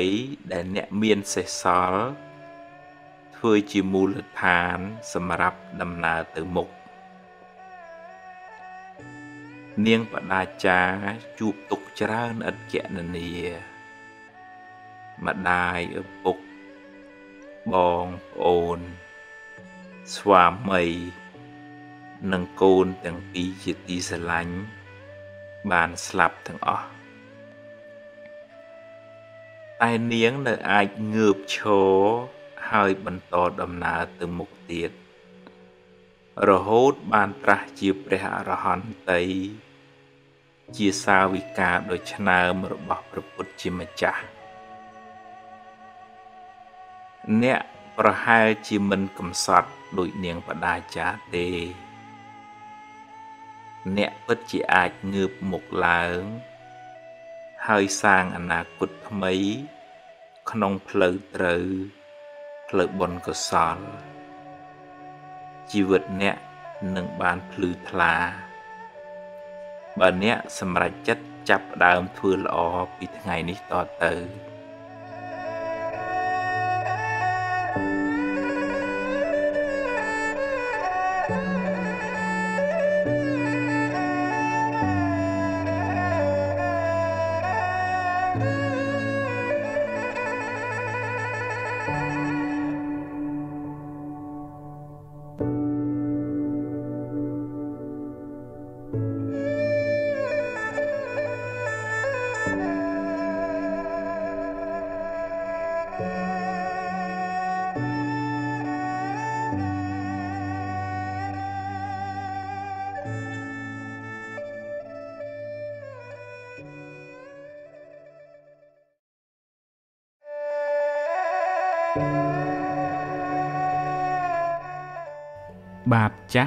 បុណ្យថ្មី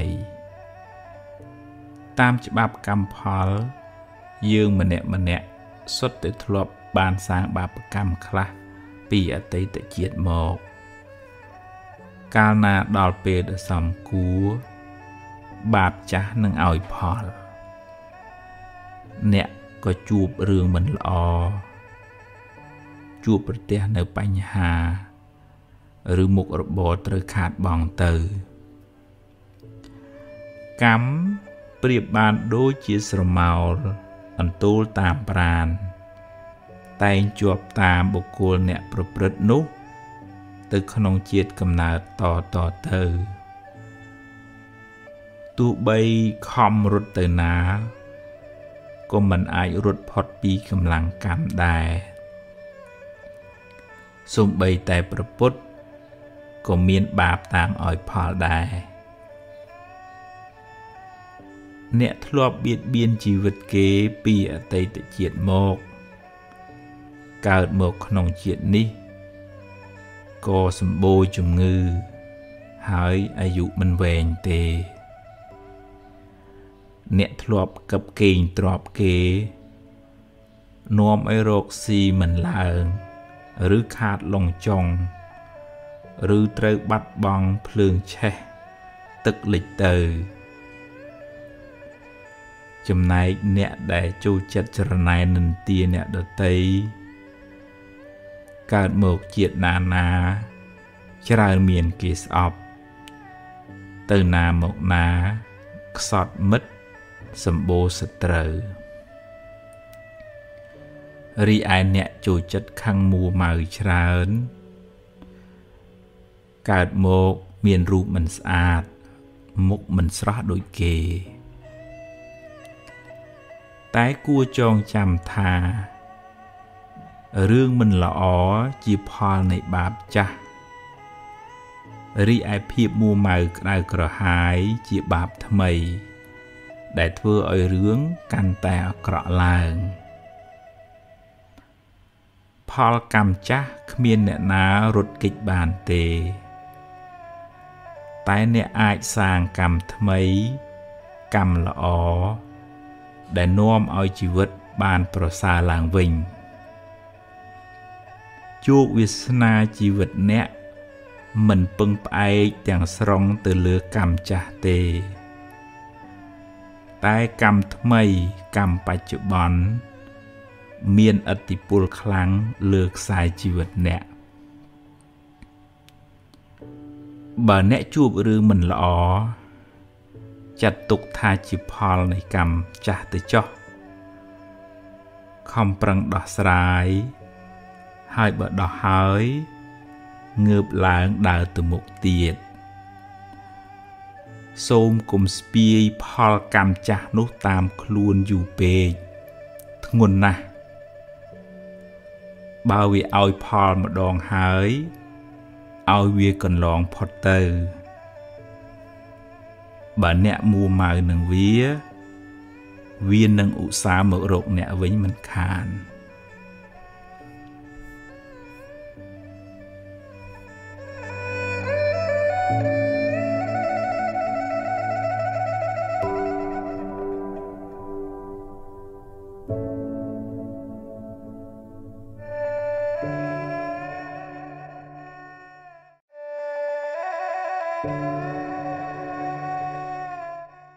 បារមីខ្លាំងពូកែ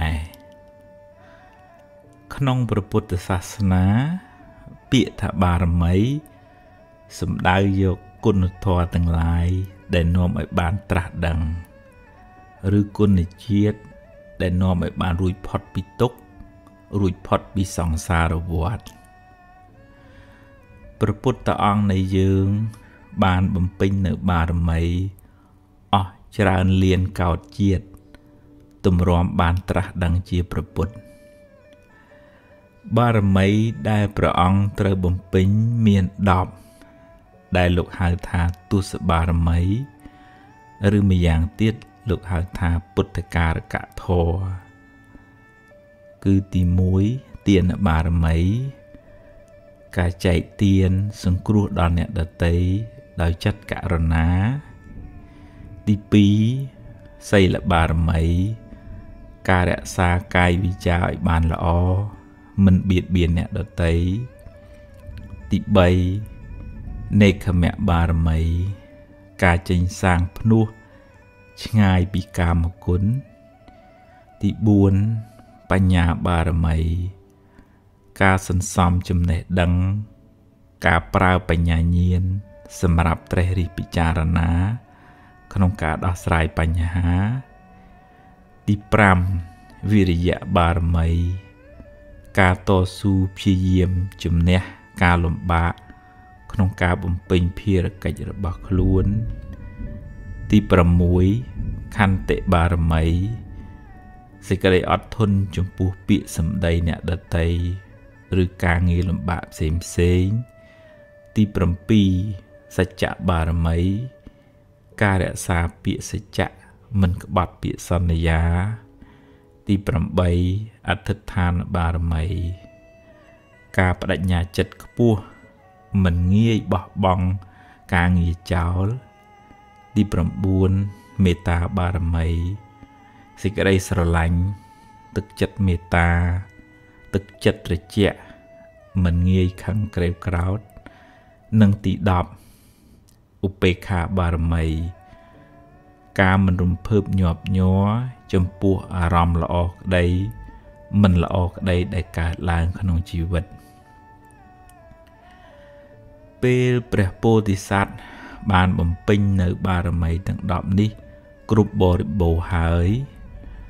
ព្រះអង្គបានបំពេញសេចក្តីព្យាយាមក្នុងសមាធិនិងវិបស្សនា រហូតចុងក្រោយព្រះអង្គបានត្រាស់ដឹង នៅមាគាទៅកាន់ទីរំលត់ទុកពោលគឺព្រះនិព្វាន ដែលយើងសន្មត់ថាព្រះពុទ្ធបានត្រាស់បុណ្យកុសលដែលព្រះអង្គបានបំពេញមក បានជួយឲ្យព្រះអង្គបរិបូរដោយលក្ខណៈសម្បត្តិទាំងកាយទាំងវាចា ទាំងសតិបញ្ញាដល់ព្រម បានជាទីពឹង និងជាទីគោរពស្រឡាញ់កោតខ្លាច នៃមនុស្សនិងទេវតាទាំងឡាយរីឯពាក្យថាបារមីវត្តនេះពូកែព្រះអង្គវត្តនោះស័ក្តិសិទ្ធជាដើម ដែលជាទូទៅយើងឲ្យតម្លៃទៅលើអភិនិហាបារមីឫទ្ធានុភាពដែលធ្វើឲ្យគេកោតខ្លាចជាដើម បើនិយាយតាមន័យព្រះធម៌ព្រះពុទ្ធជាម្ចាស់បានបរិនិព្វានបាត់ទៅហើយគ្មានវិញ្ញាណឬបារមីអ្វីបន្តិចបន្តួចនៅសេសសល់ឡើយអ្វីដែលព្រះអង្គបន្សល់ទុក គឺអវាទពាក្យព្រានប្រដៅដែលជាផ្លូវនាំយើងឲ្យបានរួចផុតពីទុក្ខព្រះពុទ្ធរូបជារូបស្នង ជារូបតំណាងព្រះពុទ្ធជាម្ចាស់សម្រាប់បានជាទីនឹករលឹក និងគោរពបូជា តែព្រះអង្គគ្មានចិត្តគ្មានវិញ្ញាណអ្វីមកដឹងរឿងយើងបែបបន់អ្វីឡើយ ព្រោះព្រះអង្គបានរំលត់ខណ្ឌទៅកាន់បរិនិព្វានហើយបើបងប្អូនទៅថ្វាយបង្គំព្រះពុទ្ធរូប សូមថ្វាយបង្គំដោយការដឹងគុណដែលព្រះអង្គជួយណែនាំយើងឲ្យបានសេចក្តីសុខថ្វាយបង្គំដោយសេចក្តីគោរពចំពោះគុណធម៌របស់ព្រះអង្គ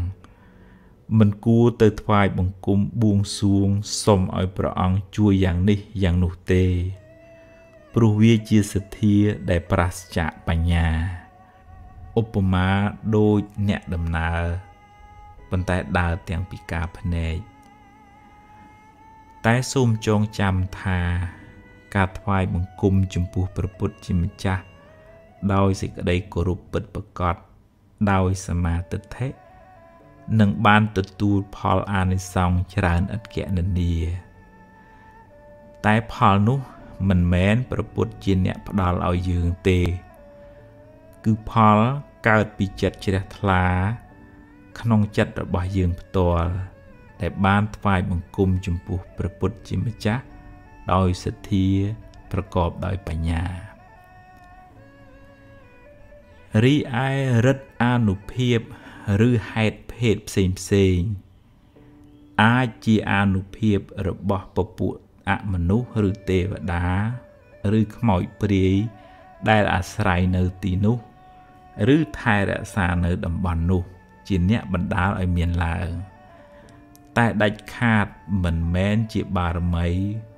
ឬវិញ្ញាណរបស់ព្រះពុទ្ធឡើយពពួកអមនុស្សនៅទីនោះ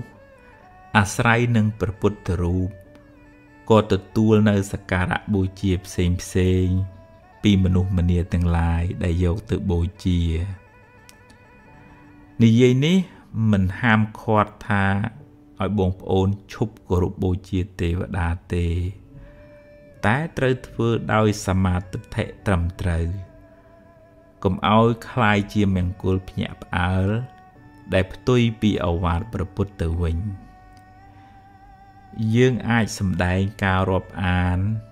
ការគោរពបូជាដល់ទេវតា និងអមនុស្សទាំងនោះតាមរយៈការផ្សាយមេត្តាចិត្តការជូនបុណ្យកុសល ការថ្វាយគ្រឿងសក្ការៈផ្សេងផ្សេងឧបមាដូចជាការរាប់អានអ្នកចិត្តខាងដូច្នោះឯងសូមឲ្យគេបានសុខបានចម្រើន ហើយជួយថែរក្សាគ្នាទៅវិញទៅមកតែមិនគួរប្តេកផ្ដួលចិត្តបាត់បង់ជំហរលួងខ្លួនដើរតែបន់ស្រន់បួងសួងសុំសេចក្តីសុខពីគេឡើយ ហើយភ្លេចធ្វើមូលហេតុនៃសេចក្តីសុខនោះដោយខ្លួនឯងព្រោះអ្វីអ្វីគ្រប់យ៉ាងសុទ្ធតែមានហេតុផលបើអ្នកគ្មានបុណ្យទេ អង្វរកយ៉ាងម៉េចក៏ទេវតាមិនអាចជួយអ្នកបានដែរគេជួយយើងតលតែយើងមានបនខ្លួនយើងដែរដោយភាសាអង់គ្លេសមួយថា there is no free lunch បើអ្នកជាមនុស្សមានបនមិនចាំបាច់សុំទេវតាឲ្យជួយក៏បានដែរគឺជាភារកិច្ចរបស់គេត្រូវតែជួយអ្នកដោយពេលដែលព្រះពុទ្ធជាម្ចាស់នៃយើងទ្រង់ចុះចាប់បដិសន្ធិមានទេវតាមកថែរក្សាព្រះគរ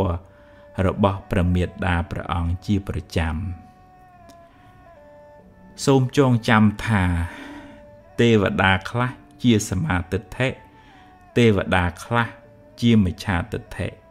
យល់ខុសហើយអាចនាំអ្នកឲ្យដើរផ្លូវខុសដែរមិនមែនទេវតាសុទ្ធតែល្អទាំងអស់ទេ យើងមានទុកដោយយើង ទេវតាមានទុកដោយទេវតានាពេលមួយព្រះឥន្ទជាសកទេវរាជពិបាកចិត្តពេក រកអ្នកណាជួយមិនបានក៏ចូលមករកព្រះពុទ្ធជាម្ចាស់សូមព្រះអង្គឲ្យជួយសម្រាលទុក្ខព្រះអង្គក៏ពន្យល់ព្រះឥន្ទរហូតបានធូរស្បើយពីសេចក្តីទុក្ខហើយត្រឡប់ទៅឋានត្រៃត្រឹងវិញដោយសារគុណធម៌បញ្ញាញាណរបស់ព្រះអង្គធ្វើឲ្យព្រះអិនក៏មករកព្រះអង្គដែរ ជាសរុបមក បារមីក្នុងព្រះពុទ្ធសាសនាសំដៅលើកុសលធម៌ទាំង10ដែលនាំឲ្យបានរួចផុតពីទុក្ខបារមីនោះពិតជាពូកែមែនព្រោះបានធ្វើឲ្យយើងคล้ายជាមនុស្សល្អបន្តិចម្ដងបន្តិចម្ដង រហូតបានត្រាស់ដឹងនៅសច្ចធម៌ជាទីបំផុតបានរួចផុតពីទុក្ខ និងបានជាទីពឹងសម្រាប់មនុស្សនិងទេវតាទាំងឡាយយើងគ្រប់គ្នាគួរសន្សំបារមីទុកក្នុងចិត្តរបស់យើងឲ្យបានច្រើន យើងនឹងក្លាយជាមនុស្សមានបារមី ហើយមិនពិបាកទៅរកបារមីខាងក្រៅទេ តែអ្នកនៅតែផ្សាយមេត្តាចិត្តសូមឲ្យពពួកអមនុស្សនិងទេវតាទាំងឡាយ បានសេចក្តីសុខ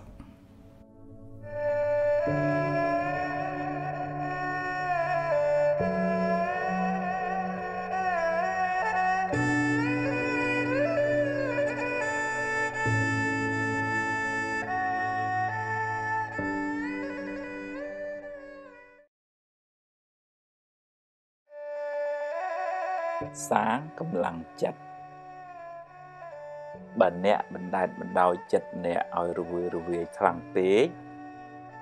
អ្នកនឹងលែងមានសមត្ថភាពគ្រប់គ្រងវាមិនខាន ហើយអ្នកប្រកាសជាមានទុកច្រើន ដើម្បីឲ្យជីវិតរឹងមាំអ្នកត្រូវរៀនធ្វើជាប៉ូលីសតាមដានចិត្តអ្នកបើចិត្តទៅណា គិតរឿងអី ត្រូវតាមមើលវាជាប្រចាំបើចិត្តល្អចិត្តរីករាយក៏ដឹងថាចិត្តល្អចិត្តរីករាយហើយបើវាអាក្រក់វាខឹងវាចំណែនវារវើរវាយវាស្ដាយវាភ័យវាអាក់អន់វាស្មុគស្មាញក៏យើងដឹងថាវាកំពុងតែស្មុគស្មាញ ហើយក៏កុំបន្ទោសខ្លួនឯងថាម៉េចក៏ស្មុគស្មាញធ្វើអីចិត្តវាតែងតែអញ្ចឹងឯងគ្រាន់តែទម្លាប់ទាញវាមកគិតរឿងល្អរឿងត្រូវវិញឲ្យវាមានខន្តីមានអត់ឱនយោគយល់មានមេត្តារស់រាយស្រស់ស្រាយ ឲ្យវាមានបញ្ញាស្មារតីហ៊ានទទួលយកការពិតទាំងឡាយក្នុងជីវិតទាញវាឲ្យបានរឿយរឿយរហូតសតិស្មារតីយើង មានកម្លាំងខ្លាំងជាងធាតអាក្រក់អាក្រក់ទាំងឡាយក្នុងចិត្តយើងคล้ายជាម្ចាស់គ្រប់គ្រងចិត្តចិត្តយើងមិនសូវគិតរឿងផ្ដេសផ្ដាស់ទេ ព្រោះយើងតាមដានវារហូតអ្នកណាអាចធ្វើជាម្ចាស់ចិត្តបានទើបអាចបានសេចក្តីសុខច្រើនក្នុងជីវិតនេះ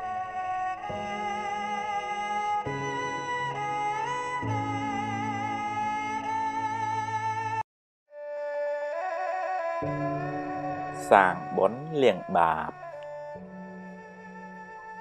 ពេលវេលាហួសទៅហើយ អ្នកមិនអាចបកក្រោយវិញបានទេ កម្មដែលអ្នកបានសាងហើយ ជាកម្មល្អក្តីអាក្រក់ក្តីអ្នកមិនអាចលុបវាចេញបានទេ តែបើអ្នកគិតថាខុសអ្នកអាចកែប្រែខ្លួន ប្រឹងសាងល្អឡើងវិញ អ្នកបានជាមនុស្សប្រសើរជាងមុន តែបាបនៅតែជាបាបដដែលព្រោះអ្នកបានធ្វើវារួចហើយបើសម្លប្រៃចាក់ទឹកទៅ វានឹងសាបបន្តិចតែជាតិប្រៃវានៅតែជាជាតិប្រៃដដែល វាមិនរត់ទៅណាទេគ្រាន់តែលាយទឹកច្រើន យើងលែងសូវដឹងប៉ុណ្ណឹង យ៉ាងណាមិញបើជ្រុលជាសាងអាក្រក់ទៅហើយត្រូវប្រឹងសាងល្អវិញឲ្យបានច្រើន ហើយមិនបាច់ដេកកើតទុកស្ដាយក្រោយទេនាំតែបានបាបថែម ពេលណាសំគួរកម្មនឹងឲ្យផល ហើយព្រមទទួលទៅ កម្មយើងទេ គ្មានអ្នកណាមានអតិពលជួយលាងបាបឲ្យអ្នកឡើយសំបីតែព្រះពុទ្ធបើអ្នកព្រោះស្រូវក្នុងស្រែហើយបែរជាតិចអុចធូបបនស្រន់មិនឲ្យវាដុះវាជារឿងឆោតល្ងងពេកហើយដរាបណានៅតែមានកំណើត កម្មនៅតែតាមចូលប្រឹងប្រែងសាងល្អឲ្យបានច្រើនកុំឲ្យមានវិបដិសារីស្ដាយក្រោយឡើយ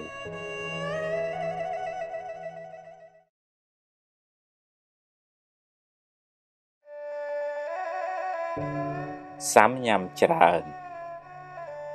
សាវ៉ាច្រើនសំញ៉ាំច្រើន ម្ដងយកនេះ ម្ដងយកនោះនាំឲ្យអ្នកស្មុគស្មាញច្រើនកើតទុកក៏ច្រើនដែរហើយគ្មានបានសម្រេចការណាមួយឲ្យប្រកបប្រជាទេយូរយូរទៅគេក៏លែងទុកចិត្តទៀតមុននឹងសម្រេចចិត្តគួរគិតគូរឲ្យបានសពគ្រប់សួរយោបល់គេឲ្យបានច្រើនគ្នាសិន រួចបូកសរុបលទ្ធផល ហើយចុងក្រោយ អ្នកត្រូវជ្រើសរើសដោយខ្លួនឯងបើរើសយកមួយណាហើយកុំមិនទេនតាយដូរចុះដូរឡើងធ្វើអីចាប់មួយណាឲ្យប្រកបមួយនឹងខ្លួនមួយកុំជិះទូកពីរ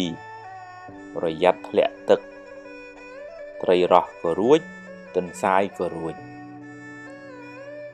មនុស្សសាវ៉ាច្រើនទទួលលទ្ធផលមិនសូវល្អទេ បើរើសយកផ្លូវណាហើយ ត្រូវដើរឲ្យដល់ទីបំផុតកុំទៅមុខទៅក្រោយអីដើរឲ្យអស់ផ្លូវសិនបើទាល់ច្រកចាំគិតទៀត ហើយកុំទម្លាប់បន្ទោសគេបន្ទោសឯងអី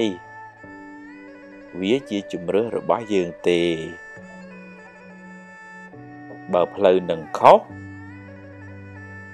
អ្នកអាចចាប់ផ្ដើមសារជាថ្មី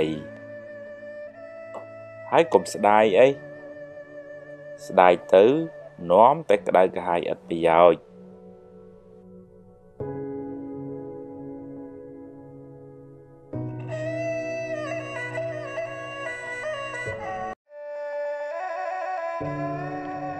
សម្រាមនិងមាសរវាងសម្រាមនិងមាសអ្នកឆ្លាតពិតជារើសយកមាសមិនខាន តែមានមនុស្សល្ងងជាច្រើនចូលចិត្តស្ពាយសម្រាមហើយបោះមាសចោលសម្រាមមានទាំងខាងក្រៅមានទាំងខាងក្នុង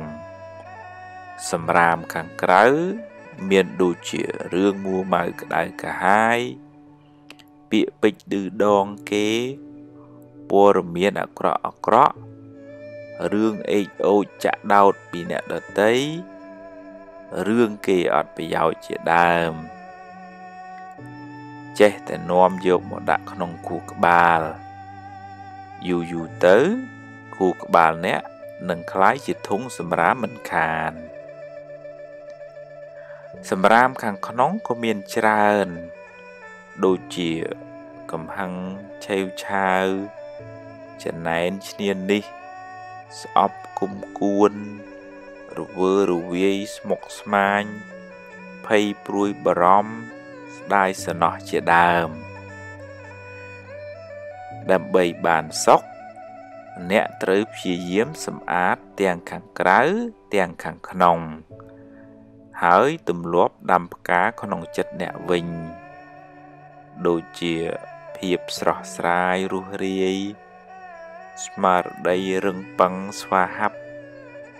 ខន្តីអត់ធន់មេត្តាករុណាសន្តោសប្រោសប្រណីបញ្ញាស្មារតីជាដើម ចិត្តអ្នកនឹងស្រស់ដូចផ្កាភ្លឺថ្លាដូចមាសជីវិតអ្នកក៏បានសុខច្រើនដែរ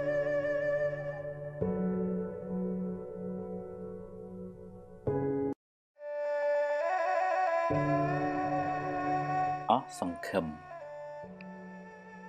ពេលជួបបញ្ហាច្រើនពេកក្នុងជីវិតធ្វើឲ្យអ្នកខ្លះអស់កម្លាំងចិត្តនិងបន្តដំណើរទៅមុខទៀតជីវិតបែរជាស្វិតសពូនក្រៀមក្រោះអស់នៃមានតម្លៃរហូតអ្នកខ្លះហ៊ានបោះបង់ជីវិតខ្លួនឯងចោលទៀតផង អ្នកអស់សង្ឃឹមភាកច្រើនឲ្យតម្លៃជីវិតខ្លួនឯងស្មើនឹងអ្វីដែលបានកើតឡើងរួចហើយ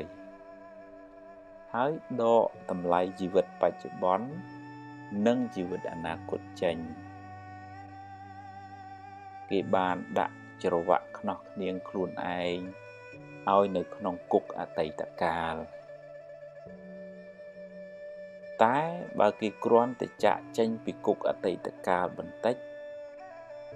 គេនឹងឃើញពន្លឺស្វាងស្វ័យនៃបច្ចុប្បន្ននិងអនាគតមិនខានជីវិតអតីតកាលបានស្លាប់បាត់ទៅហើយគ្មានតម្លៃអ្វីទៅដេកស្ដាយស្រណោះឡើយតែអ្នកអាចយកវាជាបទពិសោធន៍បាន ហើយក៏គ្មានអ្វីត្រូវព្រួយបារម្ភពេកពីជីវិតអនាគតដែរតែអ្នកត្រូវរស់នៅដោយក្តីសង្ឃឹមញញឹមព្យាយាមបំពេញការងារឲ្យអស់ពីលទ្ធភាពពេលបច្ចុប្បន្នចំណែកអនាគតគ្រាន់តែជាលទ្ធផលនៃការប្រឹងប្រែងរបស់អ្នកពីមុនមកនឹងថ្ងៃនេះប៉ុណ្ណោះ បើអ្នកនៅតែបន្តក្រៀមក្រំទៀត បច្ចុប្បន្នក៏ក្រៀមក្រំ អនាគតក៏រឹតតែក្រៀមក្រំទោះបីរស់នៅបានមួយថ្ងៃទៀតក៏ត្រូវរស់ដោយក្តីសង្ឃឹមដោយភាពស្រស់ស្រាយដោយទឹកចិត្តល្អដោយគុណធម៌ដែរសូមកុំស្លាប់ មុនពេលអស់ជីវិតឡើយ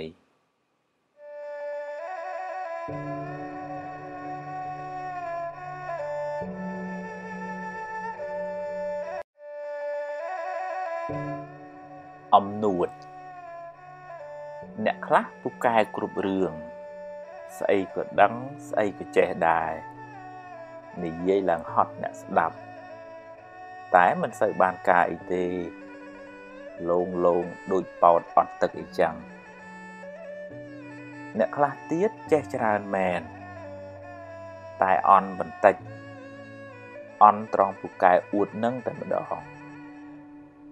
និយាយពីចូលចិត្តលើកខ្លួនឯងខ្លាចតែគេមិនដឹងខ្លាចតែគេថាខ្លួនឯងអន់ចំណេះក្នុងโลกនេះមានច្រើនឥតគណនា ឧបមាដូចជាទឹកមហាសមុទ្រអីចឹងចំណែកអ្វីដែលយើងចេះស្មើនឹងទឹកមួយដំណក់ប៉ុណ្ណោះតើមានអ្វីត្រូវអួតទៅគួរបើកចិត្តឲ្យទូលាយចេះស្ដាប់គេខ្លះផងកុំនិយាយដូចមានតែឯងហើយកុំនិយាយច្រើនពេកចាំដល់វេនខ្លួនឯង ចាំនិយាយហើយនិយាយឲ្យត្រូវរឿងឲ្យត្រូវប្រធានបទផងគុណតម្លៃពិតប្រកបរបស់អ្នកមិនស្ថិតនៅលើពូកែនិយាយច្រើននោះទេ តែស្ថិតនៅលើប្រសិទ្ធភាពការងាររបស់អ្នកគួរចងចាំថា មនុស្សពូកែអួត ជាមនុស្សប្រហោងក្នុង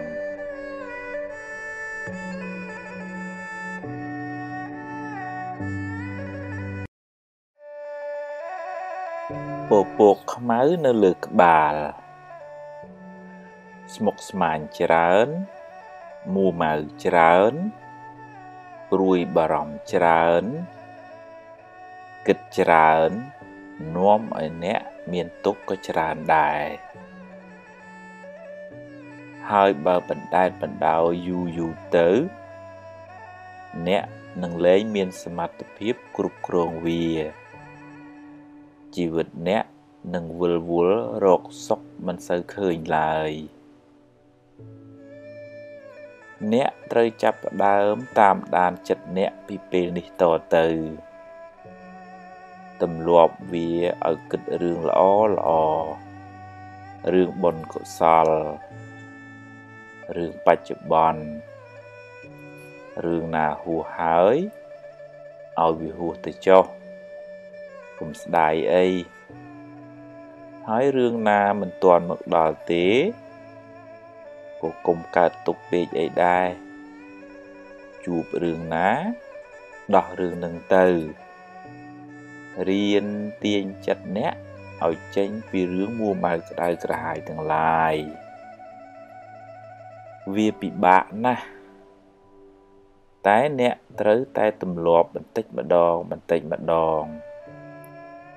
ទម្លាប់តាមតាមដានវាទម្លាប់មើលវារឿយរឿយទម្លាប់អប់រំវាឲ្យមានខន្តីអត់ធន់មានមេត្តា មានភាពរស់រាយរាក់ទាក់អត់អោនយោគយល់មានបញ្ញាស្មារតីហ៊ានទទួលស្គាល់ការពិតនៃជីវិត រឿងល្អក៏ព្រមទទួលរឿងមិនល្អក៏ប្រឹងដោះស្រាយទៅ ជីវិតគឺអញ្ចឹងឯងកុំស្មុគពេកអីប្រឹងទៅ ប្រឹងដោយក្តីសង្ឃឹមដោយភាពស្វាហាប់ដោយគុណធម៌ដោយភាពស្រស់ស្រាយធ្វើដូច្នេះបាន ចិត្តអ្នកនឹងស្រឡះស្រឡំច្រើនអ្នកនឹងមិនសូវមានទុកឡើយ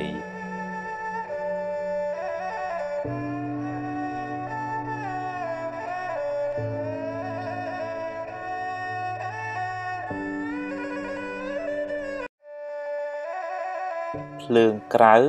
ភ្លើងក្នុង ពេលគេបោះភ្លើងឲ្យអ្នកបើអ្នកចង់ក្តៅ ទទួលយកចុះតែបើមិនចង់ក្តៅទេកុំយកអីឲ្យគេយកទៅវិញចុះឬបោះចោលទៅ បើគេនិយាយឌឺដងចង់ឲ្យអ្នកក្តៅហើយស្រាប់តែអ្នកក្តៅតាមពាក្យគេមែនមានន័យថាអ្នកធ្វើតាមបំណងសត្រូវអ្នកហើយ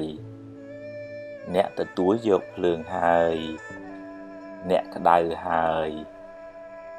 គេនឹងសប្បាយចិត្តពេលឃើញអ្នកក្តៅអ្នកត្រូវរៀនធ្វើជាមនុស្សទឹក ត្រជាក់ពីខាងក្នុងមកបើគេចង់ដុតឲ្យអ្នកក្តៅប្រាប់គេថាយកទៅវិញចុះយើងមិនត្រូវការភ្លើងទេ គេនឹងរែកពុនភ្លើងនោះត្រឡប់ទៅវិញ គេខឹងគេអាក្រក់ហើយបើអ្នកខឹងគេវិញ អ្នកក៏អាក្រក់ដែរទាំងពីរអ្នកមិនសូវខុសគ្នាប៉ុន្មានទេកំហឹងបានដុតបំផ្លាញចិត្តគេឲ្យក្តៅរួរៀលដូចដេកអោបភ្លើង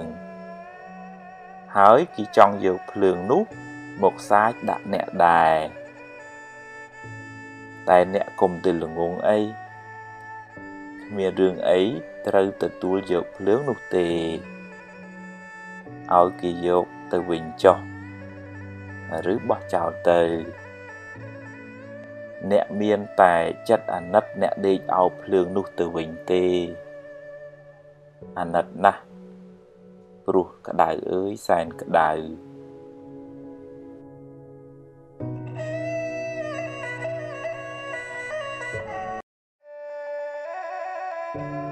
មនុស្សមិនចេះខុស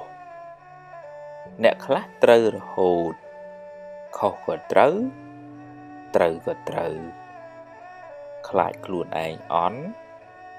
ខុសហើយខំនិយាយបន្លែបន្លប់យកត្រូវតែខ្លួនឯងពេលធ្វើខុសអន់មួយបិទបាំងកំហុសអន់មួយទៀត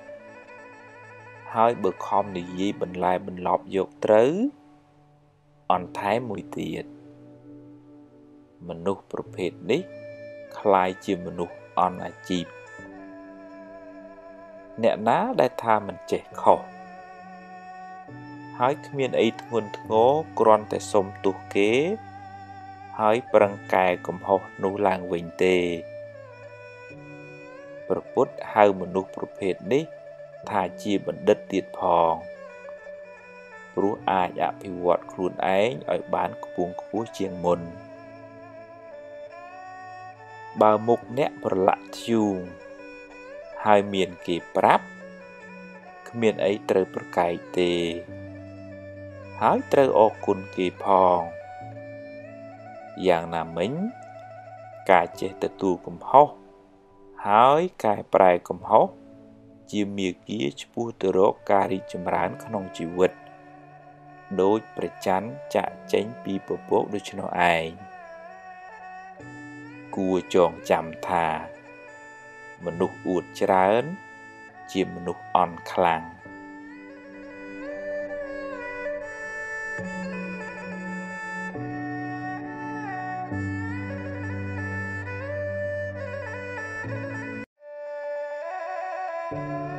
រក្សាមាត់មាត់អ្នក អាចជាអាវុធដ៏មុតស្រួច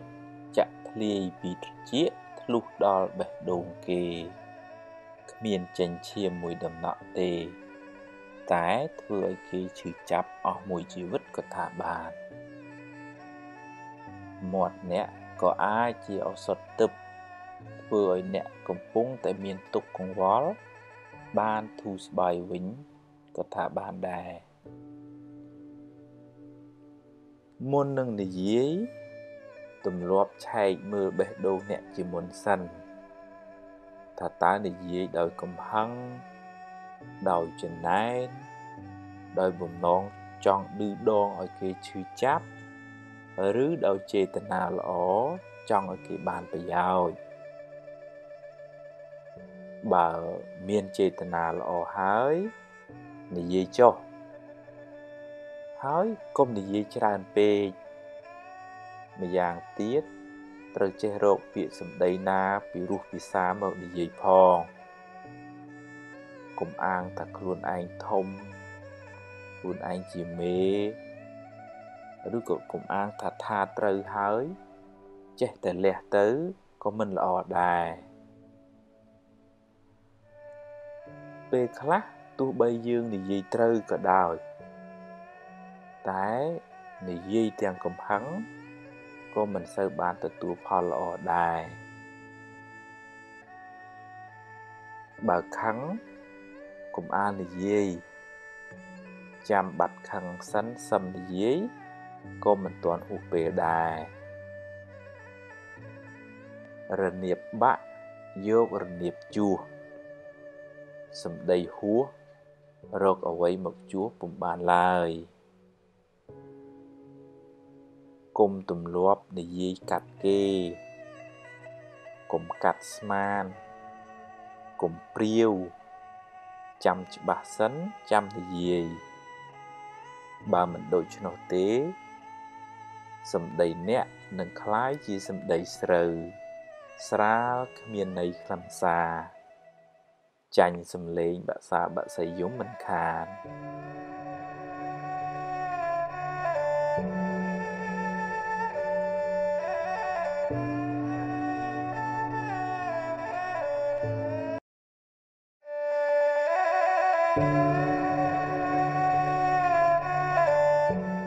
បុណ្យមានទ្របនៅ បើបុណ្យអ្នកនៅមាន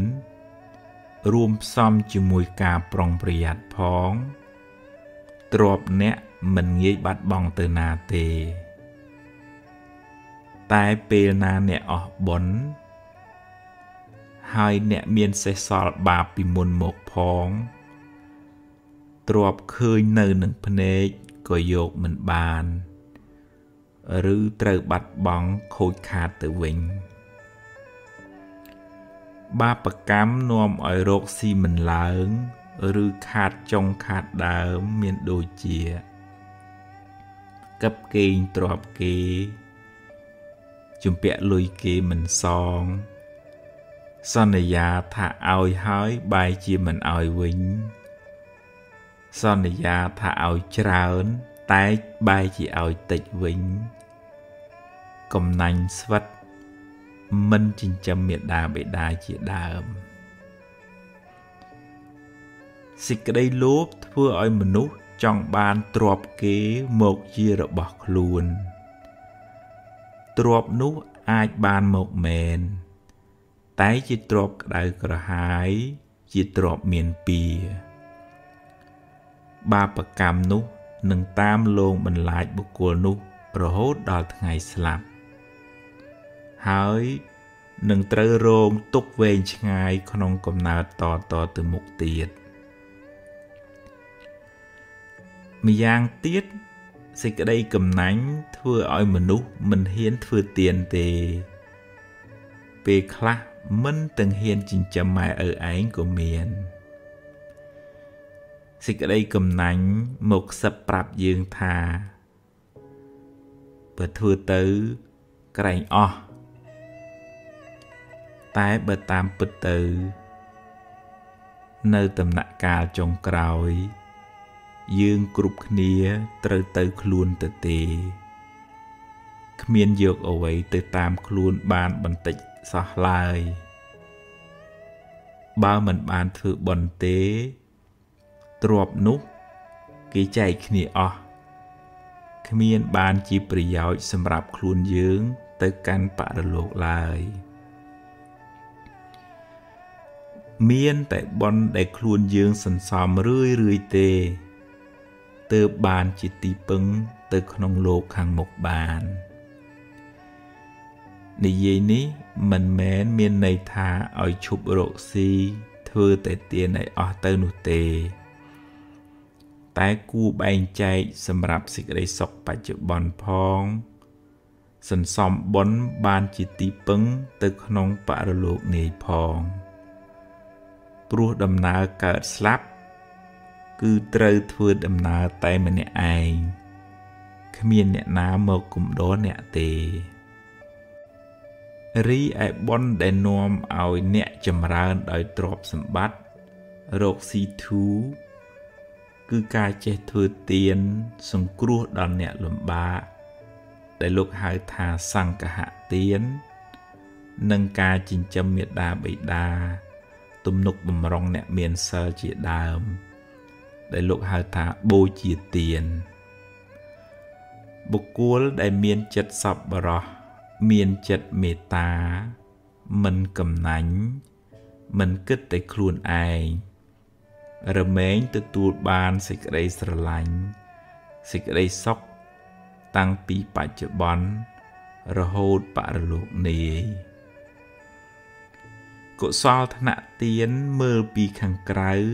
ហាក់ដូចជាអស់ទ្រពពីខ្លួន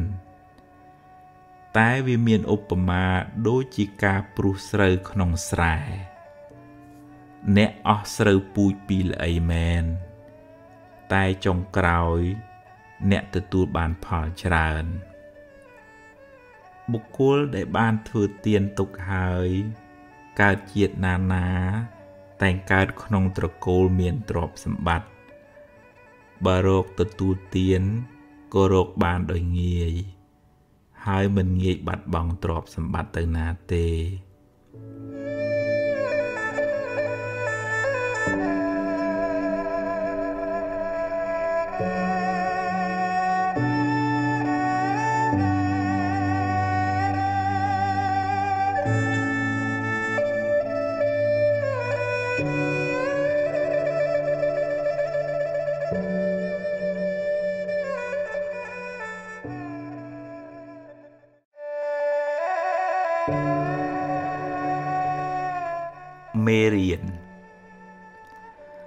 ចថាមានពេលខ្លះអ្នកគិតមិនបានគ្រប់ជ្រុងជ្រោយហើយក៏និយាយជ្រុលជ្រោះឬសម្រេចចិត្តខុសដែលនាំឲ្យខូចខាតប្រយោជន៍ឬបាត់បង់ទ្រព្យធនជាដើម សូមគុំស្ដីបន្ទោសខ្លួនឯងច្រើនពេកអីដំណើរជីវិតតែងមានខុសខ្លះអីចឹងឯង គ្មានអ្នកណាម្នាក់បានល្អ100%ទេអាយុនៅក្មេង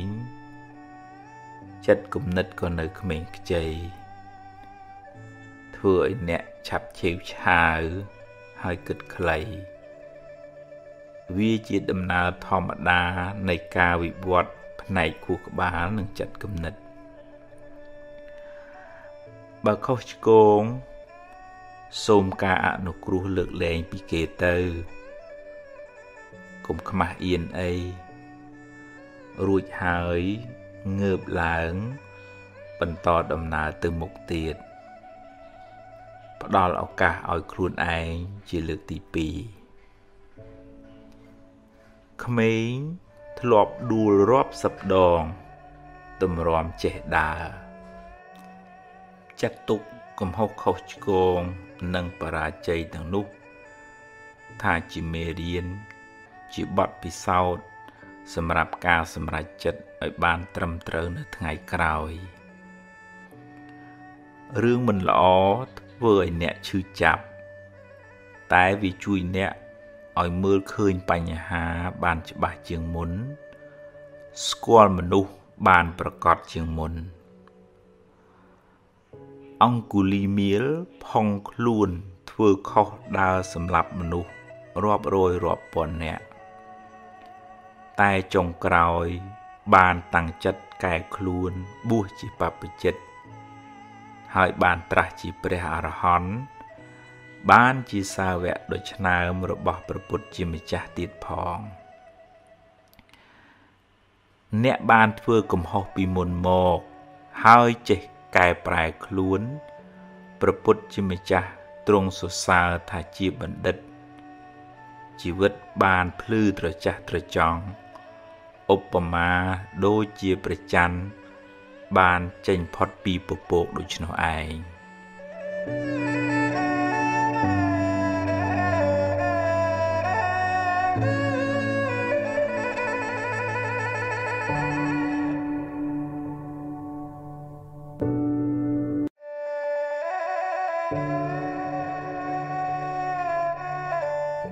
រួចពីកម្មពីពាវេរាពីអតីតមក អ្នកគ្មានវិធីរត់គេចពីវាបានទេ ព្រោះអ្នកមិនអាចបកក្រោយ ហើយកែទង្វើដែលអ្នកបានធ្វើក្នុងអតីតកាលបានឡើយ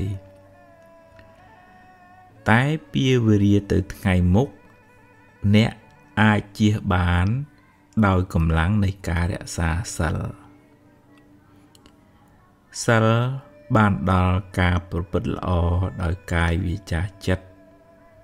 ការមិនបៀតបៀនមិនធ្វើឲ្យអ្នកដទៃក្តៅក្រហាយ មានដូចជា ការមិនប៉ះពាល់ជីវិតអ្នកដទៃការមិនកັບកេងលួចទ្រព្យអ្នកដទៃការមិនធ្វើឲ្យកូនប្រពន្ធអ្នកដទៃក្តៅក្រហាយ ការមិនកុហកបោកប្រាស់ជាដើម ពេលអ្នកមិនបានធ្វើឲ្យអ្នកដតីក្តៅក្រហាយ គេក៏មិនមានចិត្តចងពៀមិនមានបំណងអាក្រក់ដាក់អ្នកវិញដែរដោយសារអ្នកមិនបានធ្វើអាក្រក់ដាក់អ្នកដតីអ្នកក៏មានចិត្តស្រស់ស្រាយ មិនភ័យខ្លាច មិនព្រួយបារម្ភរឿងមានទោសពៃឬខ្លាចគេធ្វើអាក្រក់ដាក់អ្នកវិញឡើយ។ នោះហើយជាចិត្តដែលរួចផុតពីពៀវរាមនុស្សមានពៀគឺជាមនុស្សដែលបៀតបៀនគេ ធ្វើឲ្យអ្នកដតីក្តៅក្រហាយ មនុស្សមានចិត្តចងគំនុំគុំគួន ខ្លួនក៏លំបាកព្រោះភ្លើងកំហឹងឆេះក្នុងចិត្តរាល់ថ្ងៃ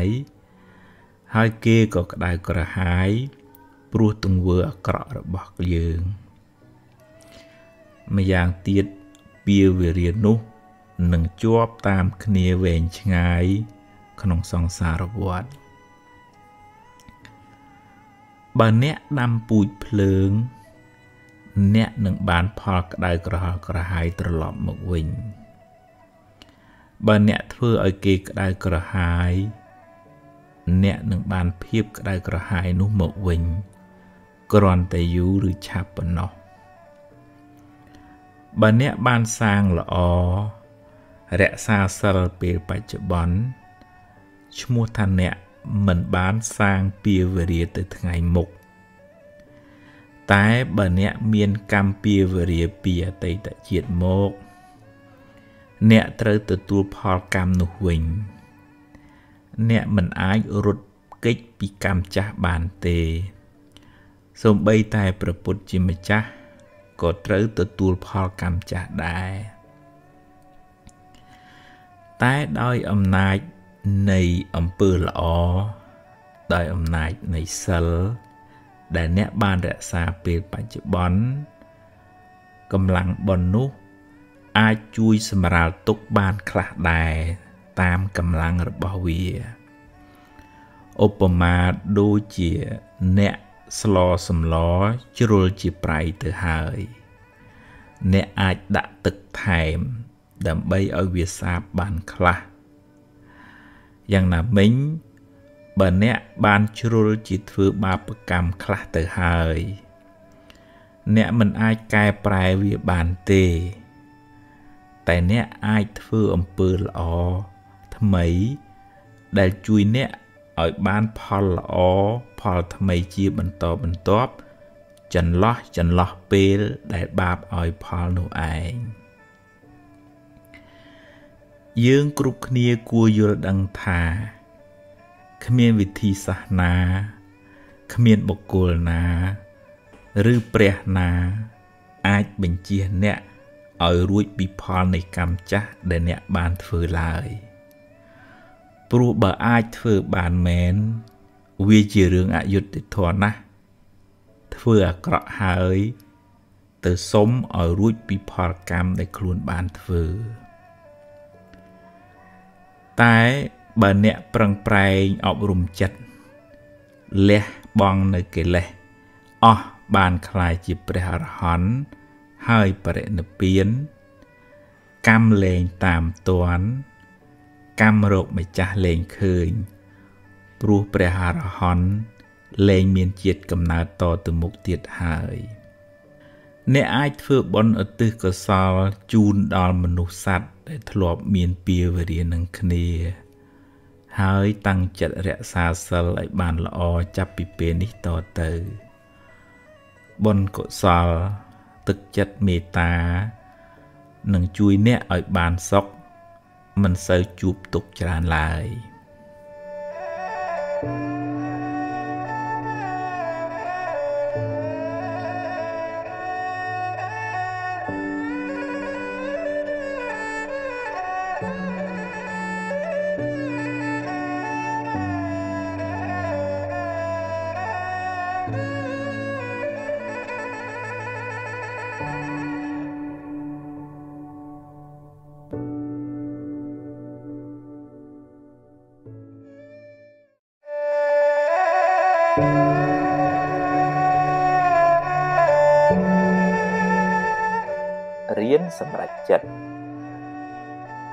នឹងសម្រេចចិត្ត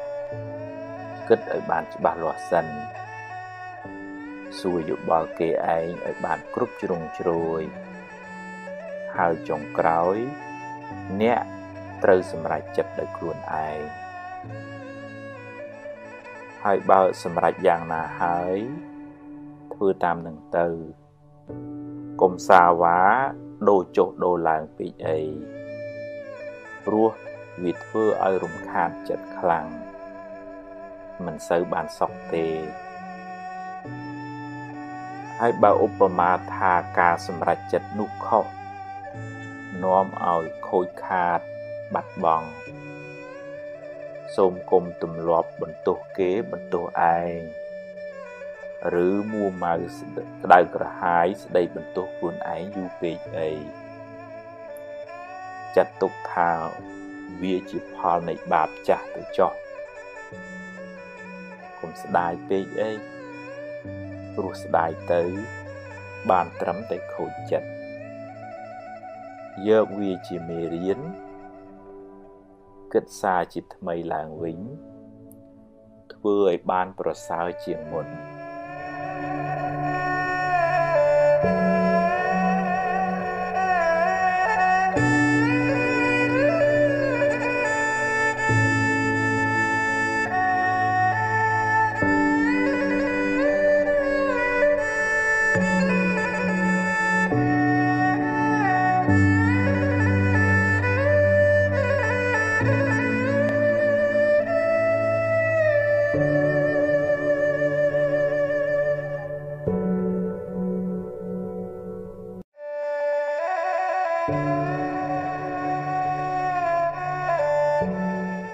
សេរីសួស្តី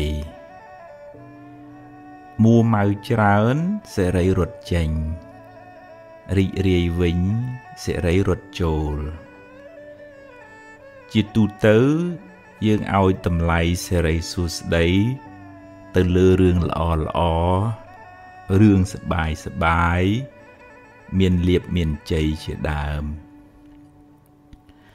តែគួរចងចាំថា ផលល្អទាំងនោះ កើតឡើងអាស្រ័យហេតុល្អ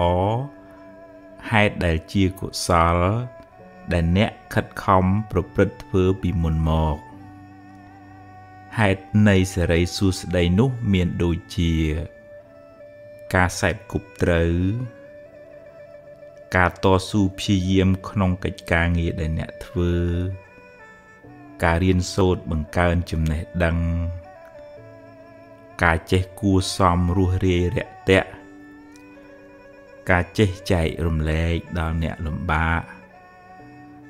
ការចិញ្ចឹមមេដាបេដាសេចក្តីអត់ធន់ទឹកចិត្តមេត្តា ទឹកចិត្តត្រជាក់ចិត្តធ្ងន់ចិត្តរស់រាយចិត្តឃ្លាវខ្លាជាដើម ទាំងនោះ គឺជាហេតុដើមនៃសេរីសួស្តី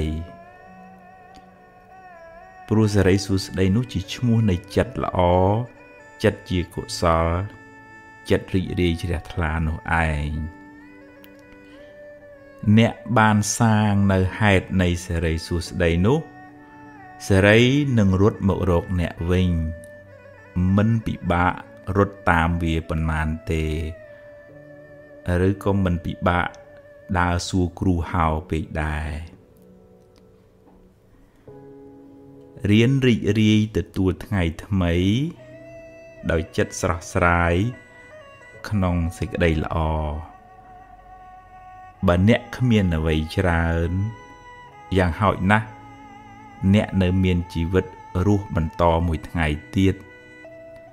អ្នកនៅមានដៃមានជើង មានសតិស្មារតីសម្រាប់បំពេញការងារបន្ត រៀនរីករាយចំពោះអ្វីដែលអ្នកមាន អ្វីដែលអ្នករកបានដោយសុចរិត ហើយប្រឹងប្រែងបន្តទៀតតែបើដំណើរជីវិតនេះ ត្រូវជួបរឿងមិនល្អខ្លះរឿងអពមង្គលខ្លះក៏កុំមួម៉ៅពេកអីព្រោះបើមួម៉ៅទៅរឿងនៅតែជារឿង ហើយចិត្តកាន់តែស្មុគស្មាញថែមជីវិតតែងជួបបញ្ហាខ្លះអីចឹងឯងទ្រាំទៅបើជួបហើយប្រឹងដោះទៅហើយបើដោះហើយត្រូវដើរហួសទៅមុខទៀតកុំស្ពាយរឿងសំពីងសំពងពេកសេរីសួស្តីមិននៅជាមួយយើងទេ ទុកពេលវេលាដែលនៅមានសេសសល់សម្រាប់គិតរឿងថ្មី ធ្វើការងារថ្មី សាងបុណ្យថ្មី ដើម្បីបានសេរីសួស្តីថ្មី thank you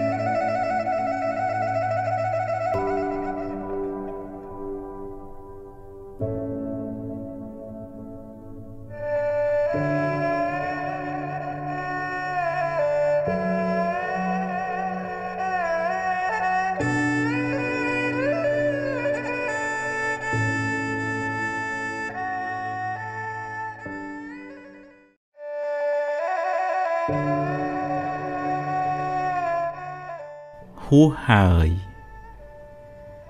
អតីតកាលល្អក្តីមិនល្អក្តី បានកន្លងហួសទៅហើយទោះបីអ្នកស្ដាយប៉ុណ្ណាក៏ទាញមកវិញមិនបានដែរអនុញ្ញាតឲ្យវាប្រែប្រួលតាមដំណើរនៃធម្មជាតិរបស់វារឿងល្អជាផលនៃកម្មល្អដែលអ្នកបានសាង រឿងមិនល្អជាផលនៃអកុសលកម្មដែលអ្នកបានប្រព្រឹត្តពីមុនមកជីវិតរបស់មនុស្សម្នាក់ម្នាក់ប្រព្រឹត្តទៅតាមកម្លាំងកម្មដែលខ្លួនបានធ្វើពីអតីតផង កម្មក្នុងពេលបច្ចុប្បន្នផង អ្នកមិនអាចរត់គេចពីផលនៃកម្មបានឡើយ រឿងខ្លះកើតឡើងហួសពីការស្មានរបស់អ្នក ហើយអ្នកគ្មានសមត្ថភាព ទៅបង្គាប់បញ្ជារឿងខាងក្រៅបានទាំងស្រុងទេកម្លាំងអ្វីស្មើដោយកម្លាំងកម្មមិនមានឡើយណដ្ឋិកម្មੰសមੰពលំបើមានហេតុគ្រប់គ្រាន់ រឿងនឹងកើតឡើងអ្វីអ្វីមិនមែនជារឿងចៃដន្យទេបើអ្នកបានជួបរឿងមិនល្អហើយហើយអ្នកកើតចិត្តមូម៉ៅក្តៅក្រហាយអ្នកបានបង្កើនទុកនោះឲ្យមានទម្ងន់ទ្វេដងរឿងក៏អាក្រក់ចិត្តក៏មូម៉ៅ ទុកទាំងកាយ ទុកទាំងចិត្តណាស់ហើយចុះរឿងបានកន្លងផុតទៅហើយ ចាត់ទុកជាមេរៀន ជាបទពិសោធន៍សម្រាប់ការសម្រេចចិត្តលើកក្រោយ ចាប់ផ្ដើមសារជាថ្មី គិតរឿងថ្មី និយាយរឿងថ្មី ធ្វើកិច្ចការងារថ្មី លទ្ធផលក៏បានថ្មីដែរអតីតកាលមិនមែនជាផ្ទះសម្រាប់អ្នកនៅទេវាគ្រាន់តែជាស្រមោលទេតើតែបើរឿងអតីតកាលនោះជារឿងល្អជារឿងបុណ្យកុសល អ្នកអាចចងចាំ និងរំលឹករំលើកដល់អំពើល្អនោះរឿយរឿយ ដើម្បីឲ្យចិត្តបានរីករាយម្ដងទៀតបានបន់ម្ដងទៀត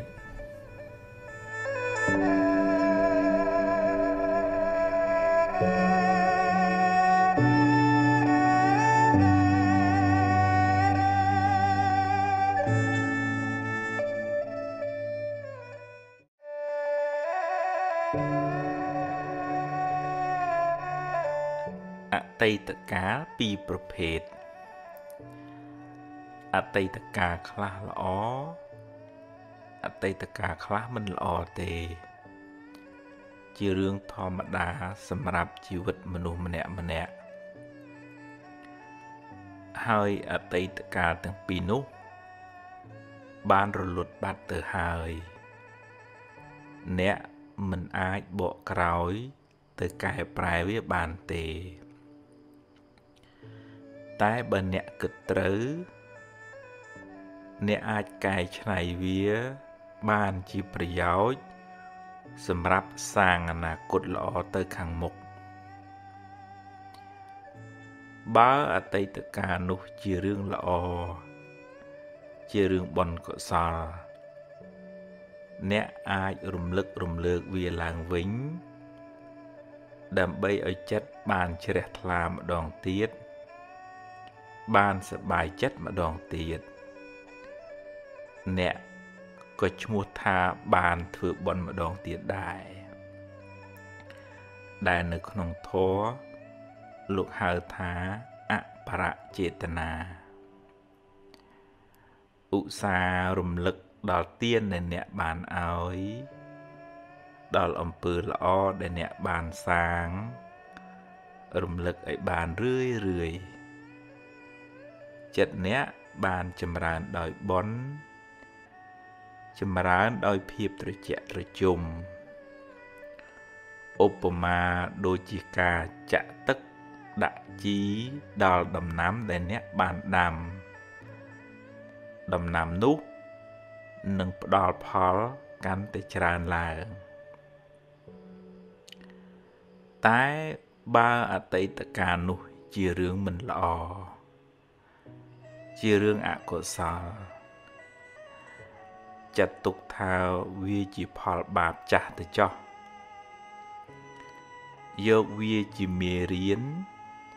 ជាមូលដ្ឋាននៃការប្រុងប្រយ័ត្នលើក្រោយ ហើយអនុញ្ញាតឲ្យវាកន្លងហួសទៅកុំស្ដាយអីព្រោះបើស្ដាយទៅក៏មិនអាចកែប្រែអ្វីបានដដែល ហើយបើអ្នករំលឹករំលើកវាញឹកញាប់ពេកវាមានតែនាំឲ្យចិត្តអ្នកក្តៅក្រហាយប៉ុណ្ណោះ thank you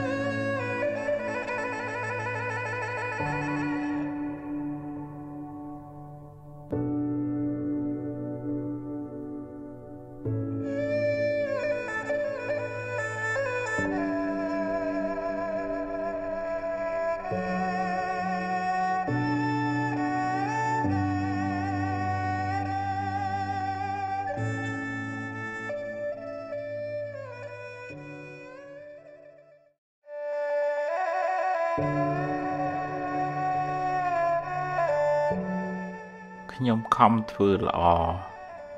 ហេតុអ្វីខ្ញុំនៅតែមានទុកច្រើន អ្នកខ្លះមានសមានចិត្តល្អមានចិត្តសប្បុរសអាណិតអាសូរជួយអ្នកដតីច្រើន តែបែរជាមិនសូវបានសមប្រកប ជួបរឿងទុកសោកមិនចេះចប់មិនចេះហើយ ពេលខ្លះ ជួយគេហើយបែរជាគេរមិលគុណនិយាយអាក្រក់រហូតដល់ធ្វើទុកបុកម្នេញមកវិញក៏សឹងមានអំពើល្អដែលអ្នកបានសាងហើយ នៅតែជាអំពើល្អដដែលមិនប្រែទៅជាអាក្រក់ទេគ្រាន់តែវាមិនទាន់មានពេលឲ្យផលប៉ុណ្ណោះ ចំណែករឿងមិនល្អរឿងអកុសលដែលអ្នកបានជួប វាជាផលនៃកម្មចាស់កម្មចាស់ដល់ពេលត្រូវឲ្យផលគួរស្វែងយល់ផងដែរថាបុណ្យកុសលមានច្រើនលំដាប់ ហើយបុណ្យទាំងនោះ ជួយអ្នកឲ្យបានស្រាលពីទុក្ខតាមលំដាប់ដែរ កុសលថ្នាក់ទៀនលះចិត្តកំណាញ់លះចិត្តជាប់ជំពាក់កុសលថ្នាក់ទៀននោះជួយអ្នកឲ្យមានគេស្រឡាញ់រាប់អានច្រើន មានកិត្តិយសគេឈ្មោះល្អនិងជាឧបនិស្ស័យនៃការរកទទួលទានមានបាន តែកុសលថ្នាក់ទាននោះមិនអាចជួយអ្នក ឲ្យរួចផុតពីសេចក្តីទុក្ខផ្លូវចិត្តបានទេកុសលមួយទៀតដែលជួយអ្នកឲ្យរួចពីពាវេរាទៅថ្ងៃមុខគឺការរក្សាសិលបានដល់ការមិនបៀតបៀនមិនធ្វើឲ្យអ្នកដតីក្តៅក្រហាយ អ្នកជាមនុស្សមិនមានពៀទៅណាមកណាមិនសូវព្រួយបារម្ភក្នុងចិត្ត ព្រោះមិនបានធ្វើខុសហើយមិនសូវមានអ្នកមកបៀតបៀនអ្នកទេជៀសវាងតែអ្នកមានបាបកម្មពីអតីតជាតិមកកុសលធ្នាក់សិលជួយអ្នកឲ្យរួចផុតពីពាវេរាទៅថ្ងៃមុខតែវានៅតែមិនអាចជួយអ្នកឲ្យរួចផុតពីសេចក្តីទុក្ខផ្លូវចិត្តបានទាំងស្រុងឡើយ កុសលធ្នាក់ខ្ពស់ដែលអាចជួយអ្នកបានច្រើន ក្នុងការសម្រាលសេចក្តីទុក្ខពីផ្លូវចិត្តគឺកុសលធ្នាក់ភាវនាដែលមានន័យថាការចម្រើនសមាធិការចម្រើនបញ្ញា ដែលជួយអ្នកឲ្យមានចិត្តនឹងធឹងមិនសូវញាប់ញ័រនឹងរឿងរ៉ាវទាំងឡាយសមាធិ សំដៅលើការវឹកហាត់ចិត្តឲ្យស្ថិតនៅក្នុងអារម្មណ៍តែមួយ ដែលនាំឲ្យចិត្តបានស្ងប់រងាប់ បានត្រជាក់មិនសូវរវើរវាយមិនសូវច្របូកច្របល់ជួយអ្នកឲ្យបានសេចក្តីសុខតាមផ្លូវចិត្តច្រើន ចំណែកឯការចម្រើនបញ្ញាសំដៅលើការស្វែងយល់អំពីដំណើរកើត រលត់នៃសង្ខាររៀនលះបង់ការប្រកាន់ចំពោះរឿងរ៉ាវការទាស់ចិត្តនិងការជាប់ចិត្តចំពោះបញ្ហាទាំងឡាយពេលអ្នកបានលះបង់នៅសេចក្តីប្រកាន់នោះ ពីក្នុងចិត្តរឿងរ៉ាវទាំងឡាយកើតឡើងក៏កំណត់ដឹងថា ជាដំណើរនៃធម្មជាតិពេលមានហេតុក៏កើតឡើង ពេលអស់ហេតុក៏រលត់ទៅឧបមាដូចជាភ្លើងចង្គៀងពេលនៅប្រេងក៏នៅសល់ភ្លើង ពេលអស់ប្រេងអស់បញ្ឆេះភ្លើងក៏រលត់ទៅ អ្នកកំណត់ដឹង នៅដំណើរនៃសង្ខារយ៉ាងនេះ កាត់បន្ថយនៅសេចក្តីប្រកាន់សេចក្តីទុក្ខក៏ធូរស្បើយពីចិត្តអ្នក Música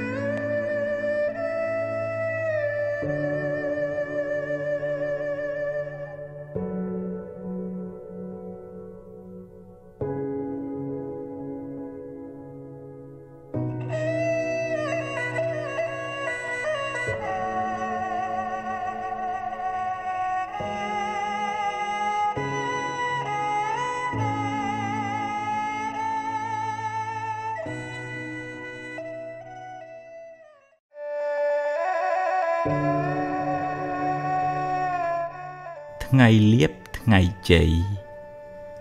ថ្ងៃល្អគឺជាថ្ងៃដែលអ្នករីករាយចិត្តថ្ងៃដែលអ្នកបានសាងល្អដោយកាយដោយវាចាដោយចិត្តព្រឹកឡើងលើកដៃសំពះរំលឹកគុណព្រះរតនត្រ័យនឹកគុណមេត្តាបិតាចម្រើនសមាធិផ្សាយមេត្តាដល់សពសត្វ ទម្លាប់ពូលវិចារល្អគិតរឿងល្អថ្ងៃនោះคล้ายជាថ្ងៃមានសេរីសួស្តីថ្ងៃមានលៀបថ្ងៃមានជ័យថ្ងៃរះថ្ងៃលិចជាដំណើរនៃធម្មជាតិមិនល្អមិនអាក្រក់ទេចំណែករាសីអ្នកឡើងចុះ អាស្រ័យលើកម្មគឺអំពើដែលអ្នកបានសាងបើអ្នកបានសន្សំបុណ្យល្អច្រើនពីមុនមក ហើយបុណ្យនោះដល់ពេលឲ្យផល អ្នកក៏ជួបរឿងល្អរឿងរីករាយរកស៊ីបានចម្រុងចម្រើនទៅតែបើពេលបាបចាស់តាមតាន់វិញ អ្នកនឹងជួបរឿងមិនល្អរឿងអកុសល ឬរកស៊ីខាតលងចុងទៅ កម្មគឺលោកសំដៅទៅលើអំពើដែលអ្នកបានសាង ពីអតីតផង ក្នុងពេលបច្ចុប្បន្នផង កម្មនោះជាអ្នកចាត់ចែងឲ្យអ្នកបានជួបរឿងហេងឬរឿងសោយ ក្នុងដំណើរជីវិតរបស់អ្នកបើអ្នកខំប្រព្រឹត្តល្អចិញ្ចឹមមេដាបិតា មានចំណេះចេះដឹងច្រើន មានកាយវិការល្អប្រប្រៃហើយប្រុងប្រយ័ត្នព្យាយាមក្នុងកិច្ចការងារអ្នកបុណ្យពេលបច្ចុប្បន្ននោះនឹងជួយបើកឱកាសដល់បុណ្យចាស់ចាស់មកឲ្យផល ឲ្យអ្នកបានចម្រុងចម្រើន តែបើអ្នកប្រព្រឹត្តអំពើមិនល្អពេលបច្ចុប្បន្នដូចជាដើរផឹកស៊ីប៉ោឡែខ្ជិលច្រអូសធ្វេសប្រហែសកម្មមិនល្អក្នុងពេលបច្ចុប្បន្ននឹងបើកឱកាសឲ្យអកុសលកម្មពីអតីតមកឲ្យផលមិនខាន អ្នកនឹងលិចលង់និងមិនចម្រុងចម្រើនទៅមុខឡើយព្រោះកម្មបច្ចុប្បន្នក៏មិនល្អកម្មពីអតីតក៏ឲ្យផល ថ្ងៃហេងថ្ងៃសួយ អាស្រ័យលើកម្មអ្នកអាស្រ័យលើចិត្តអ្នកមិនឋិតនៅលើមាត់គេថាទេបើអ្នកចង់បានថ្ងៃល្អ ចង់បានថ្ងៃជ័យត្រូវខំសាងល្អល្អដោយកាយល្អដោយវាចាល្អដោយចិត្តហើយបើមានថ្ងៃខ្លះអ្នកជួបរឿងសោយជាថ្ងៃដែលបាបចាស់ឲ្យផលសុំគុំកើតទុកទូមនោះទូមនិញច្រើនពេកអីចិត្តទុកថា ជាផលនៃបាបចាស់ហើយខិតខំធ្វើអំពើល្អថ្មី ដូចជារំលឹកគុណព្រះរតនត្រ័យថ្វាយគ្រឿងសក្ការៈចំពោះព្រះពុទ្ធជាម្ចាស់ជូនទេទានចំពោះលោកឪពុកអ្នកម្ដាយដាក់បាតព្រះសង្ឃឬក៏ធ្វើអំពើល្អផ្សេងផ្សេងជាការសាងបុណ្យថ្មីបុណ្យថ្មីជាឈ្មោះនៃសេចក្តីសុខផ្លូវចិត្ត បុណ្យនោះនឹងជួយឲ្យអ្នកបានស្រស់បានសុខហើយអនាគតក៏បានភ្លឺថ្លាដែរជោគជតារាសីរបស់យើងម្នាក់ម្នាក់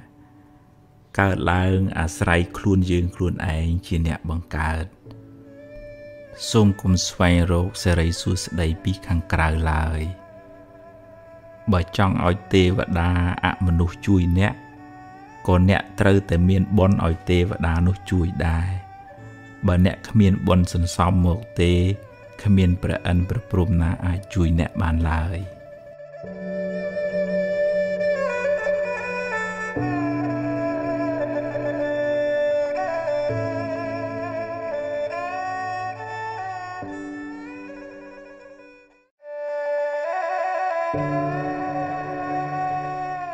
ទ្របគេ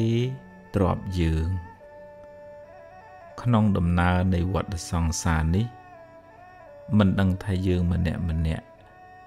ជាប់ជំពាក់កម្មជាមួយអ្នកណាខ្លះធ្លាប់ធ្វើបាបធ្វើអាក្រក់ចងពៀជាមួយគ្នាពីជាតិណាមកទេកំហឹងគំនុំស្អប់ចងអាឃាតគ្នា ឬបាបកម្មណាមួយ សុទ្ធតែនាំឲ្យមានពៀវេរាកំណើតវិលវល់អន្ទូលទៅមកដល់ពេលណាមួយ កម្មនោះនឹងវិលមករកអ្នកវិញ ពេលកម្មចាស់ឲ្យផល អ្នកក៏ត្រូវជួបរឿងមិនល្អព្រាត់ប្រាសឬខាតលងចុងទៅ អ្នក ធ្វើបាបកម្មអាក្រក់តែម្ដងទេ តែពេលកម្មឲ្យផលមិនមែនឲ្យតែម្ដងទេ ត្រូវឲ្យការគេថែមទៀតត្រូវទទួលផលកម្មនោះច្រើនដងឬច្រើនជាតិដោយសារចេតនាក្នុងការធ្វើកម្មនោះច្រើនដែរគឺចេតនាមុនពេលធ្វើលោកហៅថាពុព្វចេតនា ចេតនាពេលកំពុងធ្វើលោកហៅថាមញ្ញនចេតនានិងចេតនាដែលអ្នកធ្វើឲ្យសបាយក្នុងការធ្វើបាបនោះលោកហៅថាអបរចេតនាពេលធ្វើអាក្រក់អ្នកខ្លះសបាយណាស់ព្រោះវានាំឲ្យបានទ្របធនបានលៀបបានយួរ ឬឈ្នះគេដោយទង្វើអាក្រក់របស់ខ្លួន តែកុំភ្លេចថាការធ្វើបាបនោះ មានឧបមាដូចជាការផឹកទឹកឃ្មុំ ដែលលាយដោយថ្នាំពឹសដូច្នោះឯងឆ្ងាញ់ពីដំបូង តែចុងក្រោយត្រូវពុលស្លាប់យ៉ាងណាមិញទ្របរោគដោយការបៀតបៀនអ្នកដតី ជាទ្របក្តៅក្រហាយ ជាទ្របមានពៀមិនសុខកាយមិនសុខចិត្តឡើយ ហើយជាប់ពៀវរាវែងឆ្ងាយ ក្នុងជីវិតបច្ចុប្បន្ននេះផង ក្នុងអនាគតជាតិផង បាបកម្មនោះនឹងតាមលងបន្លាចអ្នករហូតដល់ថ្ងៃស្លាប់ យើងគ្រប់គ្នាគួរខ្លាចបាប ខ្លាចអំពើអាក្រក់មិនគួរចាញ់បោកវា មិនគួរឲ្យវាដឹកមុខហើយទៅប្រព្រឹត្តអាក្រក់ឡើយព្រោះអំពើបាបនោះនឹងនាំទុកមកខ្លួនយើងវិញ បាបវានាំឲ្យយើងសប្បាយក្នុងរយៈពេលខ្លីតែត្រូវរងទុកក្នុងរយៈពេលវែងគួរមានស្មារតី ប្រឹងរកទ្រពដោយសុចរិត មិនបៀតបៀនមិនប៉ះពាល់ទ្រព្យអ្នកណាឡើយ បានតិចបានច្រើនជាទ្រព្យត្រជាក់ជាទ្រព្យពោជ័យអ្នករស់នៅដោយសេចក្តីសុខមិនផិតភ័យមិនតក់ស្លុតក្នុងចិត្តឡើយ ព្រោះគ្មានអំពើបាបមកតាមលងបន្លាចអ្នក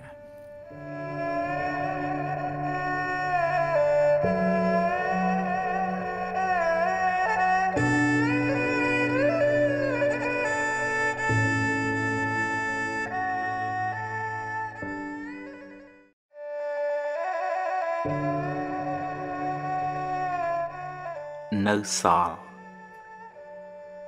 បើអ្នកបាត់បង់អ្វីអ្វីគ្រប់យ៉ាងយ៉ាងហោចណាស់អ្នកនៅសល់ជីវិត នៅមានថ្ងៃនេះនិងថ្ងៃស្អែកសម្រាប់រស់បន្តថ្ងៃបានលិចបាត់ទៅហើយអតីតកាលបានកន្លងហួសទៅហើយអនុញ្ញាតឲ្យវាទៅចុះ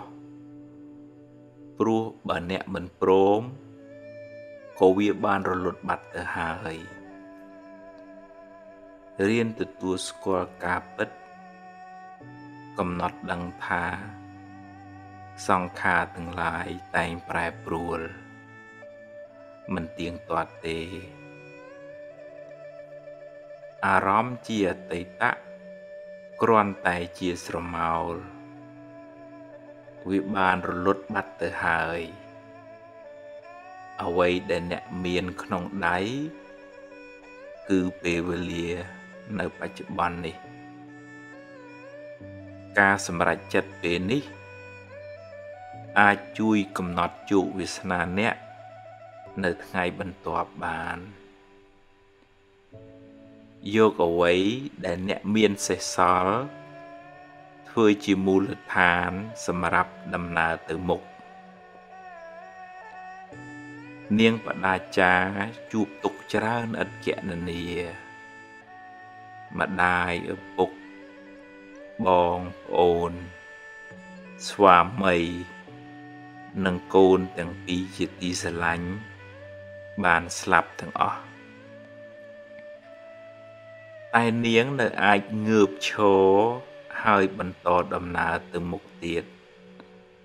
រហូតបានត្រាស់ជាព្រះអរហន្តីជាសាវិកាដ៏ឆ្នើមរបស់ព្រះពុទ្ធជាម្ចាស់អ្នកប្រហែលជាមិនកំសត់ដូចនាងបដាចាទេ អ្នកពិតជាអាចងើបមុខឡើង ហើយសាងអនាគតថ្មី ក្នុងផ្លូវត្រូវ ផ្លូវបុណ្យកុសល ជីវិតអ្នកនឹងបានភ្លឺថ្លាបើអ្នកសម្រេចចិត្តចាប់ផ្ដើមធ្វើល្អពីថ្ងៃនេះតទៅ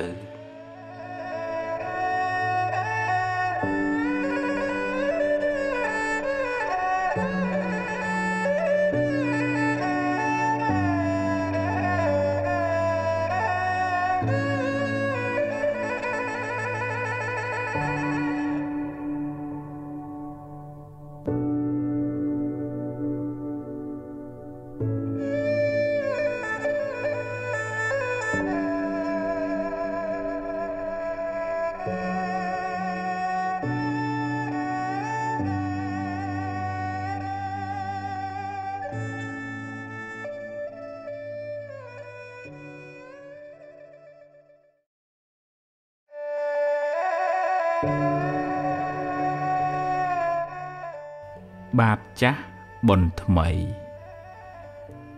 តាមច្បាប់កម្មផល យើងម្នាក់ម្នាក់សុទ្ធតែធ្លាប់បានសាងបាបកម្មខ្លះពីអតីតជាតិមក កាលណាដល់ពេលដ៏សំគួរបាបចាស់នឹងឲ្យផល អ្នកក៏ជួបរឿងមិនល្អជួបប្រទះនៅបញ្ហា ឬមុខរបរត្រូវខាតបង់ទៅ កម្មប្រៀបបានដូចជាស្រមោលអន្ទូលតាមប្រាន តែងជាប់តាមបុគ្គលអ្នកប្រព្រឹត្តនោះ ទៅក្នុងជាតិកំណើតតតទៅទោះបីខំរត់ទៅណាក៏មិនអាចរត់ផុតពីកម្លាំងកម្មដែរសូម្បីតែប្រពុតក៏មានបាបតាមឲ្យផលដែរ អ្នកធ្លាប់បៀតបៀនជីវិតគេពីអតីតជាតិមក កើតមកក្នុងជាតិនេះក៏សម្បូរជំងឺ ហើយអាយុមិនវែងទេ អ្នកធ្លាប់កឹបកេងទ្របគេនាំឲ្យរកស៊ីមិនឡើង ឬខាតលងចុង ឬត្រូវបាត់បង់ភ្លើងឆេះ ទឹកលិចទៅ ចំណែកអ្នកដែលចូលចិត្តចរណែននន្ទាអ្នកដតីកើតមកជាតិណាណាច្រើនមានគេស្អប់ទៅណាមកណាខ្សត់មិត្តសម្បូរសត្រូវរីឯអ្នកចូលចិត្តខឹងមួម៉ៅច្រើន កើតមកមានរូបមិនស្អាត មុខមិនស្រស់ដូចគេ តែគួរចងចាំថារឿងមិនល្អជាផលនៃបាបចាស់រីឯភាពមួម៉ៅក្តៅក្រហាយជាបាបថ្មី ដែលធ្វើឲ្យរឿងកាន់តែអាក្រក់ឡើងផលកម្មចាស់គ្មានអ្នកណារត់គេចបានទេ តែអ្នកអាចសាងកម្មថ្មី កម្មល្អ ដែលនាំឲ្យជីវិតបានប្រសើរឡើងវិញជោគវាសនាជីវិតអ្នកមិនពឹងផ្អែកទាំងស្រុងទៅលើកម្មចាស់ទេ តែកម្មថ្មីកម្មបច្ចុប្បន្នមានឥទ្ធិពលខ្លាំងលើខ្សែជីវិតអ្នកបើអ្នកជួបរឿងមិនល្អ ចាត់ទុកថាជាផលនៃកម្មចាស់ទៅចោះខំប្រឹងដោះស្រាយហើយបើដោះហើយងើបឡើងដើរទៅមុខទៀតសូមគុំស្ពាយផលកម្មចាស់នោះតាមខ្លួនយូរពេកធ្ងន់ណាស់បើវាឲ្យផលម្ដងហើយឲ្យវាកន្លងផុតទៅ បើអ្នកមួម៉ៅនឹងវា វានឹងឧស្សាហ៍មករកអ្នកវិញមិនខាន។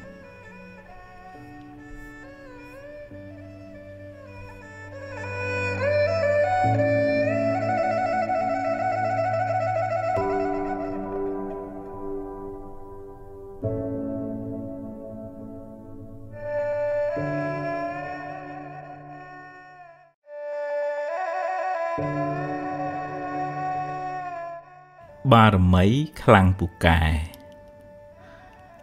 ក្នុងព្រះពុទ្ធសាសនា ពាក្យថាបារមី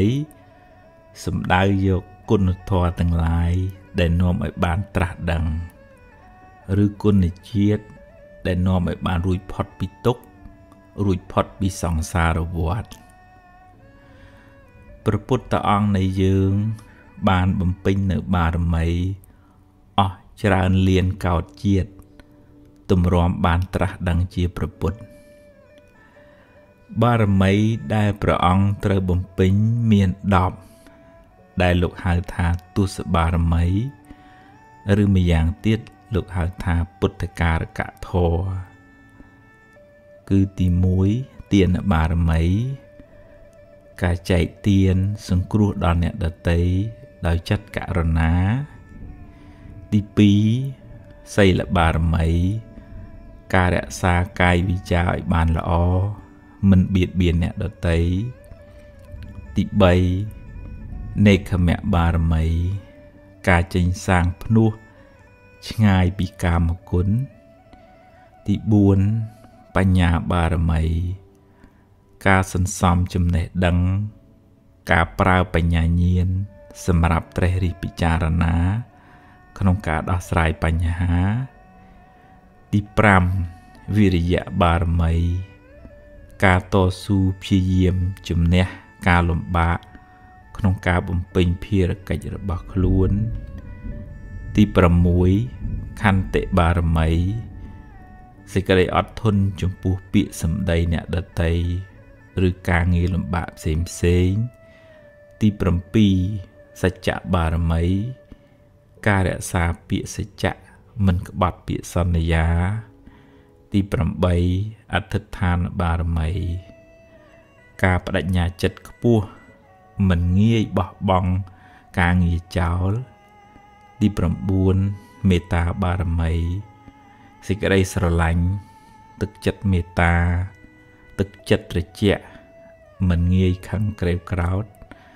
និងទី10ឧបេក្ខាបារមី ការមិនរំភើបញាប់ញ័រចំពោះអារម្មណ៍ល្អក្តី មិនល្អក្តីដែលកើតឡើងក្នុងជីវិត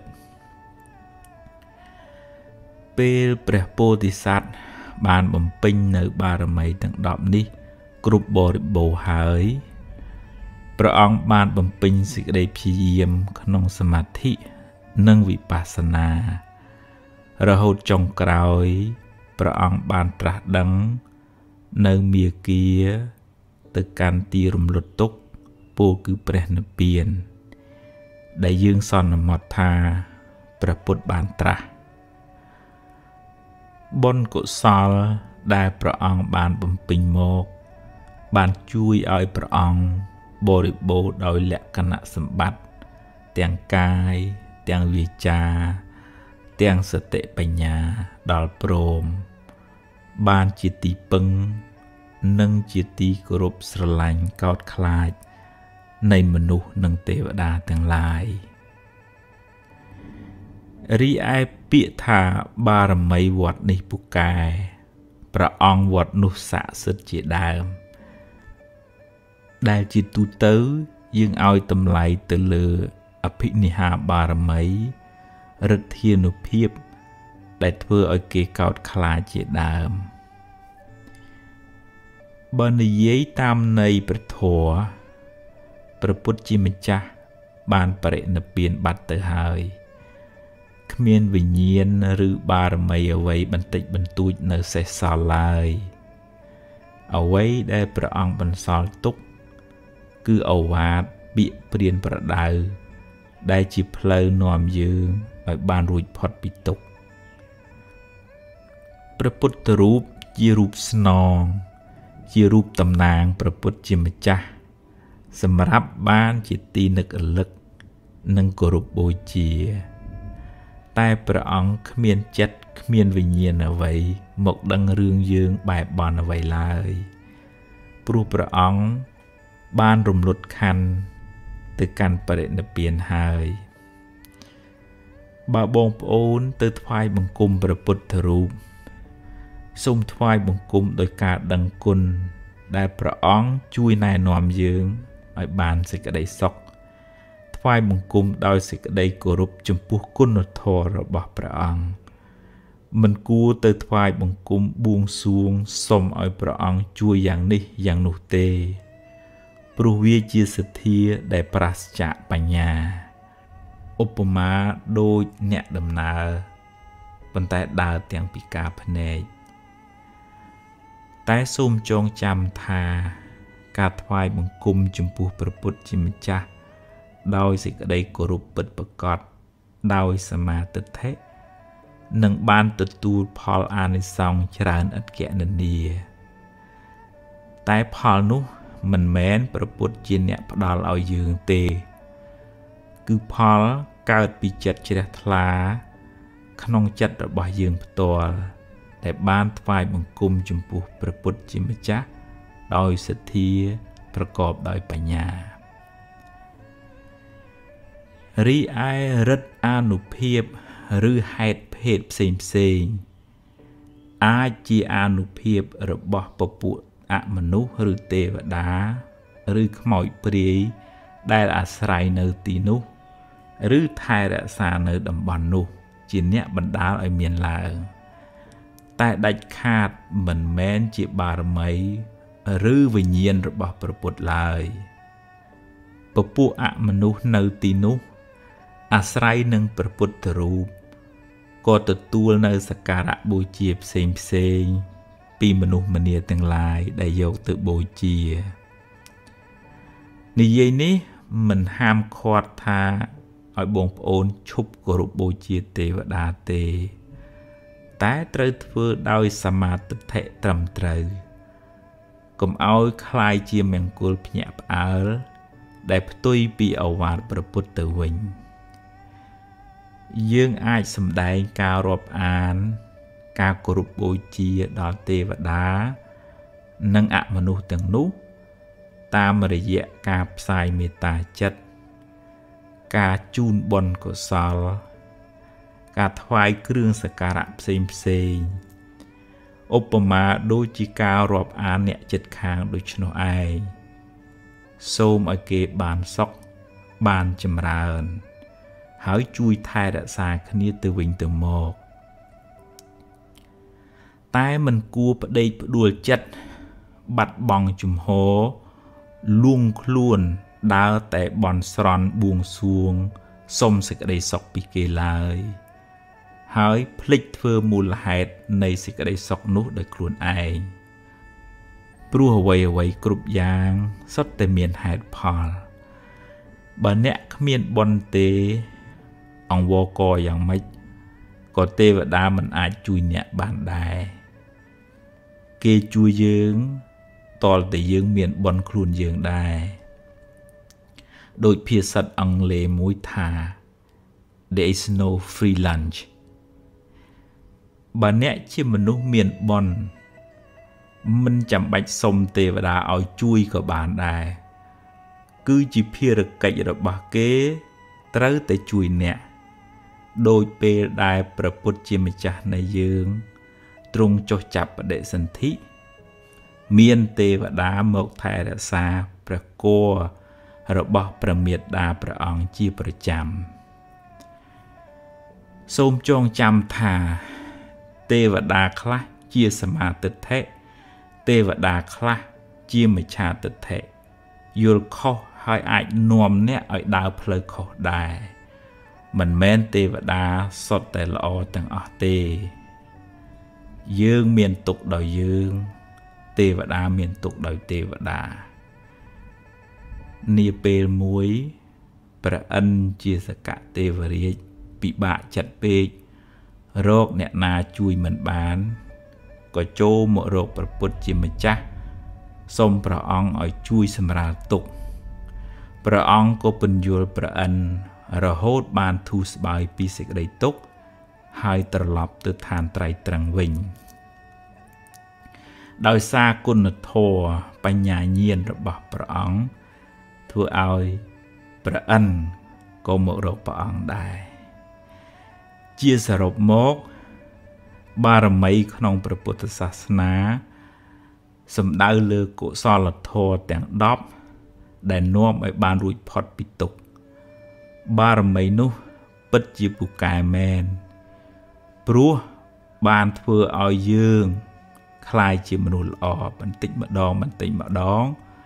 រហូតបានត្រាស់ដឹងនៅសច្ចធម៌ជាទីបំផុតបានរួចផុតពីទុក្ខ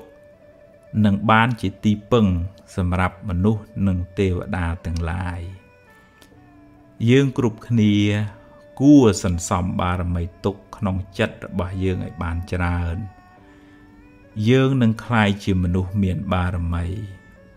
ហើយមិនពិបាកទៅរកបារមីខាងក្រៅទេ តែអ្នកនៅតែផ្សាយមេត្តាចិត្តសូមឲ្យពពួកអមនុស្ស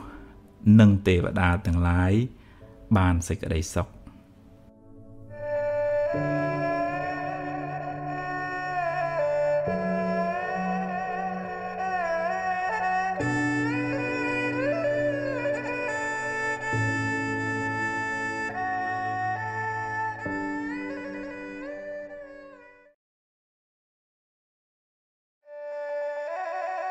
សាកម្លាំងចិត្ត បើអ្នកបណ្ដែតបណ្ដោយចិត្តអ្នកឲ្យរវើរវាយខ្លាំងពេកអ្នកនឹងលែងមានសមត្ថភាពគ្រប់គ្រងវាមិនខាន ហើយអ្នកប្រកាសជាមានទុកច្រើន ដើម្បីឲ្យជីវិតរឹងមាំ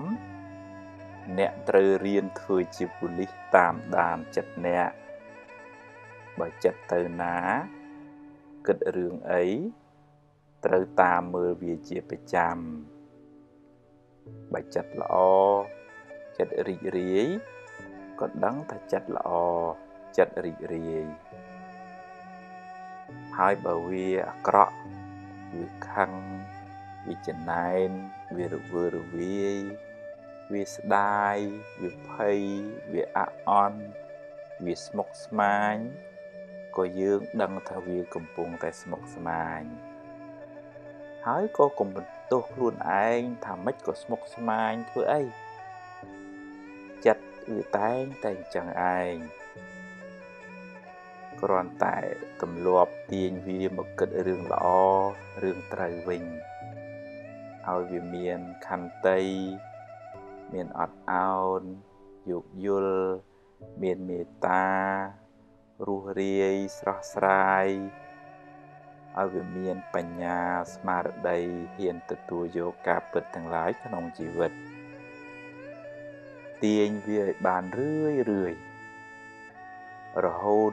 សតិស្មារតីយើង មានកម្លាំងខ្លាំងជាងធាតអាក្រក់អាក្រក់ទាំងឡាយក្នុងចិត្តយើងคล้ายជាម្ចាស់គ្រប់គ្រងចិត្តចិត្តយើងមិនសូវគិតរឿងផ្ដេសផ្ដាស់ទេ ព្រោះយើងតាមដានវារហូតអ្នកណាអាចធ្វើជាម្ចាស់ចិត្តបានទើបអាចបានសេចក្តីសុខច្រើនក្នុងជីវិតនេះ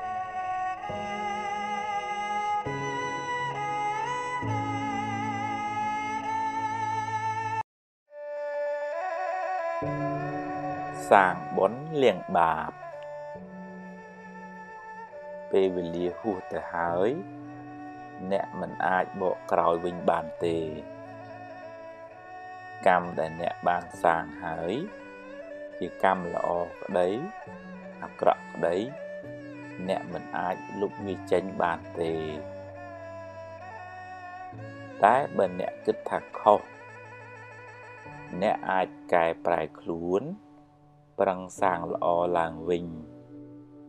អ្នកបានជាមនុស្សប្រសើរជាងមុន តែបាបនៅតែជាបាបដដែលព្រោះអ្នកបានធ្វើវារួចហើយបើសម្លប្រៃចាក់ទឹកទៅ វានឹងសាបបន្តិចតែជាតិប្រៃវានៅតែជាជាតិប្រៃដដែល វាមិនរត់ទៅណាទេគ្រាន់តែលាយទឹកច្រើន យើងលែងសូវដឹងប៉ុណ្ណឹង យ៉ាងណាមិញបើជ្រុលជាសាងអាក្រក់ទៅហើយត្រូវប្រឹងសាងល្អវិញឲ្យបានច្រើន ហើយមិនបាច់ដេកកើតទុកស្ដាយក្រោយទេនាំតែបានបាបថែម ពេលណាសំគួរកម្មនឹងឲ្យផល ហើយព្រមទទួលទៅ កម្មយើងទេ គ្មានអ្នកណាមានអធិពលជួយលាងបាបឲ្យអ្នកឡើយសំបីតែព្រះពុទ្ធបើអ្នកព្រោះស្រូវក្នុងស្រែហើយបែរជាតិចអិចធូបបនស្រន់មិនឲ្យវាដុះវាជារឿងឆោតល្ងងពេកហើយដរាបណានៅតែមានកំណើត កម្មនៅតែតាមចូលប្រឹងប្រែងសាងល្អឲ្យបានច្រើនកុំឲ្យមានវិបដិសារីស្ដាយក្រោយឡើយ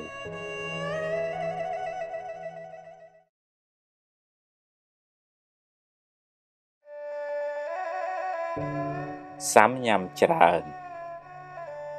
សាវ៉ាច្រើនសំញ៉ាំច្រើន ម្ដងយកនេះ ម្ដងយកនោះនាំឲ្យអ្នកស្មុគស្មាញច្រើនកើតទុកក៏ច្រើនដែរហើយគ្មានបានសម្រេចការណាមួយឲ្យប្រកបប្រជាទេយូរយូរទៅគេក៏លែងទុកចិត្តទៀតមុននឹងសម្រេចចិត្តគួរគិតគូរឲ្យបានសពគ្រប់សួរយោបល់គេឲ្យបានច្រើនគ្នាសិន រួចបូកសរុបលទ្ធផល ហើយចុងក្រោយ អ្នកត្រូវជ្រើសរើសដោយខ្លួនឯងបើរើសយកមួយណាហើយកុំមិនទេនតាយដូរចុះដូរឡើងធ្វើអីចាប់មួយណាឲ្យប្រកបមួយនឹងខ្លួនមួយកុំជីកទូកពីរប្រយ័ត្នធ្លាក់ទឹក ត្រីរស់ក៏រួចទន្សាយក៏រួចមនុស្សសាវ៉ាច្រើនទទួលលទ្ធផលមិនសូវល្អទេ បើរើសយកផ្លូវណាហើយ ត្រូវដើរឲ្យដល់ទីបំផុតកុំទៅមុខទៅក្រោយអី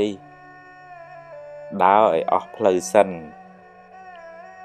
បើទាល់ច្រកចាំគិតទៀត ហើយកុំទម្លាប់បន្ទោសគេបន្ទោសឯងអីវាជាជំរើសរបស់យើងទេ បើផ្លូវនឹងខុសអ្នកអាចចាប់ផ្ដើមសារជាថ្មី ហើយកុំស្ដាយអីស្ដាយទៅ នាំតែក្តៅក្រហាយឥតប្រយោជន៍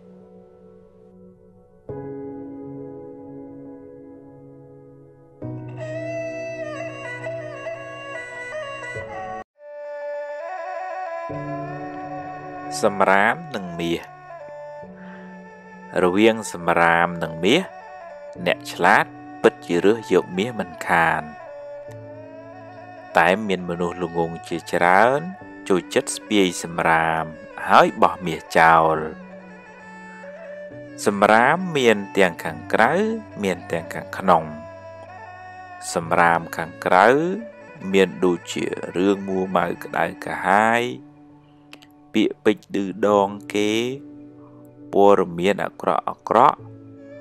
រឿងអេកអូចចាក់ដោតពីអ្នកដតីរឿងគេអត់ប្រយោជន៍ជាដើមចេះតែនាំយកមកដាក់ក្នុងគូក្បាលយូរយូរទៅគូក្បាលអ្នកនឹងคล้ายជាធុងសម្រាមមិនខាន សម្រាមខាងក្នុងក៏មានច្រើន ដូចជាកំហឹងឆេវឆាវចំណែនឈ្នាននេះ ស្អប់គុំគួន រវើរវាយស្មុកស្មាញភ័យព្រួយបារម្ភស្ដាយសំណោះជាដើម ដើម្បីបានសុខ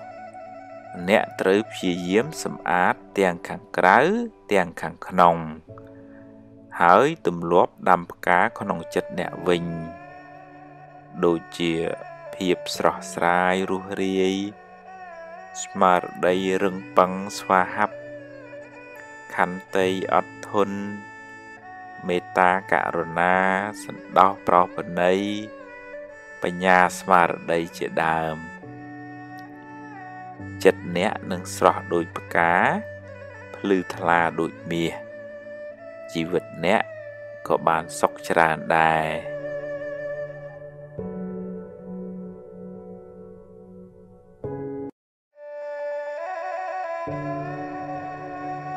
សង្ឃឹមពេលជួបបញ្ហាច្រើនពេកក្នុងជីវិតធ្វើឲ្យអ្នកខ្លះអស់កម្លាំងចិត្តនិងបន្តដំណើរទៅមុខទៀតជីវិតបែរជាស្វិតសពូនក្រៀមក្រោះអស់នៃមានតម្លៃរហូតអ្នកខ្លះហ៊ានបោះបង់ជីវិតខ្លួនឯងចោលទៀតផង អ្នកអស់សង្ឃឹមភាកច្រើនឲ្យតម្លៃជីវិតខ្លួនឯងស្មើនឹងអ្វីដែលបានកើតឡើងរួចហើយហើយដកតម្លៃជីវិតបច្ចុប្បន្ននិងជីវិតអនាគតចេញគេបានដាក់ច្រវាក់ខ្នោះគ្នាងខ្លួនឯងឲ្យនៅក្នុងគុកអតីតកាល តែបើគេគ្រាន់តែចាក់ចេញពីគុកអតីតកាលបន្តិច គេនឹងឃើញពន្លឺស្វាងស្វ័យនៃបច្ចុប្បន្ននិងអនាគតមិនខានជីវិតអតីតកាលបានស្លាប់បាត់ទៅហើយគ្មានតម្លៃអ្វីទៅដេកស្ដាយស្រណោះឡើយតែអ្នកអាចយកវាជាបទពិសោធន៍បាន ហើយក៏គ្មានអ្វីត្រូវព្រួយបារម្ភពេកពីជីវិតអនាគតដែរតែអ្នកត្រូវរស់នៅដោយក្តីសង្ឃឹមញញឹមព្យាយាមបំពេញការងារឲ្យអស់ពីលទ្ធភាពពេលបច្ចុប្បន្នចំណែកអនាគត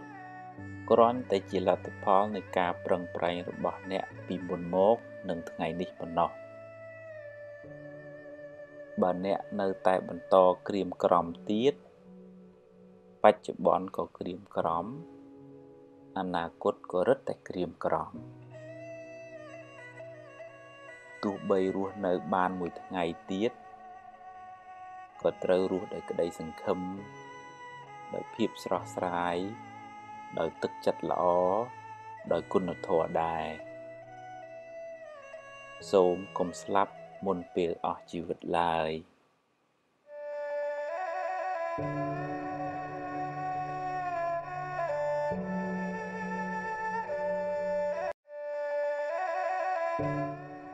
អំនួតអ្នកខ្លះពូកែគ្រប់រឿងស្អីក៏ដឹងស្អីក៏ចេះដែរនិយាយឡើងហត់អ្នកស្ដាប់ តែមិនសូវបានការអីទេ លងលងដូចប៉ោតអត់ទឹកអីចឹងអ្នកខ្លះទៀតចេះច្រើនមែនតែអន់បន្តិចអន់ត្រង់ពូកែអួតនឹងតែម្ដងនិយាយពីចូលចិត្តលើកខ្លួនឯងខ្លាចតែគេមិនដឹង ខ្លាចតែគេថាខ្លួនឯងអន់ចំណេះក្នុងโลกនេះមានច្រើនឥតគណនា ឧបមាដូចជាទឹកមហាសមុទ្រអីចឹងចំណែកអ្វីដែលយើងចេះស្មើនឹងទឹកមួយដំណក់ប៉ុណ្ណោះតើមានអ្វីត្រូវអួតទៅគួរបើកចិត្តឲ្យទូលាយចេះស្ដាប់គេខ្លះផងកុំនិយាយដូចមានតែឯង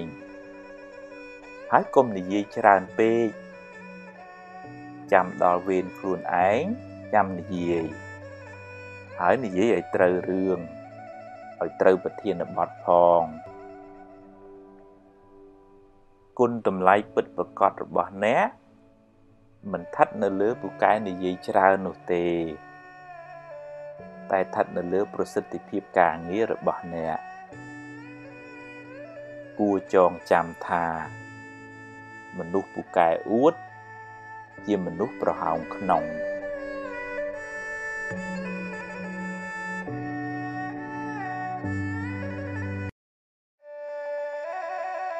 ពពកខ្មៅនៅលើក្បាលស្មុកស្មាញច្រើនមួម៉ៅច្រើនព្រួយបារម្ភច្រើនគិតច្រើននាំឲ្យអ្នកមានទុក្ខក៏ច្រើនដែរហើយបើបណ្ដែតបណ្ដោយយូរយូរទៅ អ្នកនឹងលែងមានសមត្ថភាពគ្រប់គ្រងវា ជីវិតអ្នកនឹងវិលវល់រកសុខមិនសូវឃើញឡើយ។អ្នកត្រូវចាប់ផ្ដើមតាមដានចិត្តអ្នកពីពេលនេះតទៅទម្លាប់វាឲ្យគិតរឿងល្អល្អរឿងបុណ្យកុសលរឿងបច្ចុប្បន្នរឿងណាហួសហើយឲ្យវាហួសទៅចុះ កុំស្ដាយអីហើយរឿងណាមិនទាន់មកដល់ទេក៏កុំកើតទុកពេកអីដែរជួបរឿងណាដោះរឿងនឹងទៅរៀនទាញចិត្តអ្នកឲ្យចេញពីរឿងមួម៉ៅក្តៅក្រហាយទាំងឡាយវាពិបាកណាស់តែអ្នកត្រូវតែទម្លាប់បន្តិចម្ដងបន្តិចម្ដង ទម្លាប់តាមតាមដានវាទម្លាប់មើលវារឿយរឿយទម្លាប់អប់រំវាឲ្យមានខន្តីអត់ធន់មានមេត្តា មានភាពរុះរាយរាក់ទាក់អត់អោនយោគយល់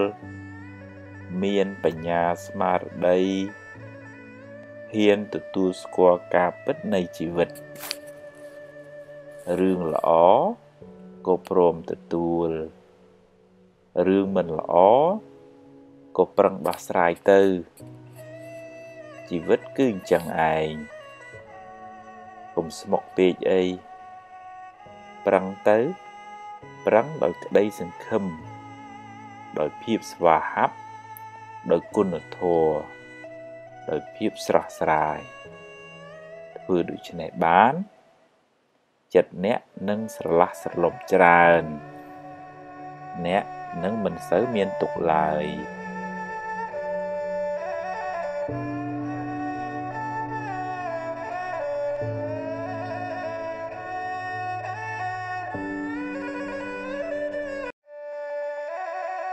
ភ្លើងក្រៅ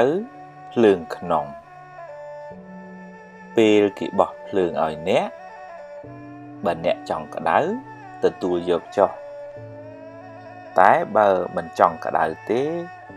កុំយកអីឲ្យគេយកទៅវិញចុះឬបោះចោលទៅបើគេនិយាយឌឺដងចង់ឲ្យអ្នកក្តៅហើយស្រាប់តែអ្នកក្តៅតាមពាក្យគេមែនមានន័យថាអ្នកធ្វើតាមបំណងសត្រូវអ្នកហើយអ្នកទទួលយកភ្លើងហើយ អ្នកក្តៅហើយ គេនឹងសប្បាយចិត្តពេលឃើញអ្នកក្តៅអ្នកត្រូវរៀនធ្វើជាមនុស្សទឹក ត្រជាក់ពីខាងក្នុងមកបើគេចង់ដុតឲ្យអ្នកក្តៅប្រាប់គេថាយកទៅវិញចុះយើងមិនត្រូវការភ្លើងទេ គេនឹងរែកពុនភ្លើងនោះត្រឡប់ទៅវិញ គេខឹងគេអាក្រក់ហើយបើអ្នកខឹងគេវិញ អ្នកក៏អាក្រក់ដែរទាំងពីរអ្នកមិនសូវខុសគ្នាប៉ុន្មានទេ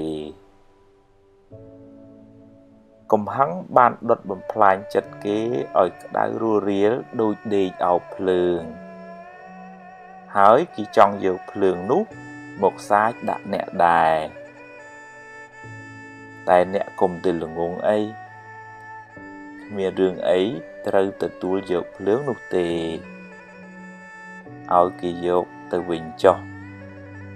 ឬបោះចោលទៅ អ្នកមានតែចិត្តអាណិតអ្នកដេកអោបភ្លើងនោះទៅវិញទេអាណិតណាស់ព្រោះក្តៅអើយសែនក្តៅ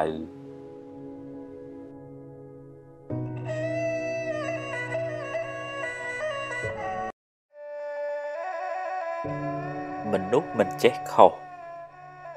អ្នកខ្លះត្រូវរហូតខុសក៏ត្រូវត្រូវក៏ត្រូវខ្លាចខ្លួនឯងអន់ខុសហើយខំនិយាយបន្លែបន្លប់យកត្រូវតែខ្លួនឯងពេលធ្វើខុសអន់មួយបិទបាំងកំហុសអន់មួយទៀតហើយបើខំនិយាយបន្លែបន្លប់យកត្រូវ អន់ថែមមួយទៀតមនុស្សប្រភេទនេះคล้ายជាមនុស្សអន់អាជីព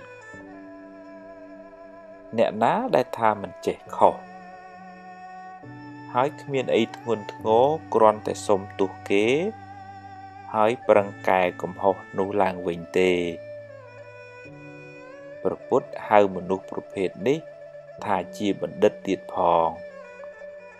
ព្រោះអាចអភិវឌ្ឍខ្លួនឯងឲ្យបានខ្ពង់ខ្ពស់ជាងមុន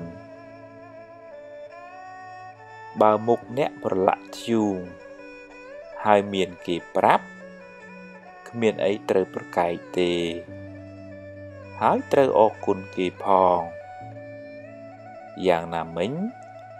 ការចេះទទួលកំហុសហើយកែប្រែកំហុសជាមាគ៌ាឆ្ពោះទៅរកការរីកចម្រើនក្នុងជីវិត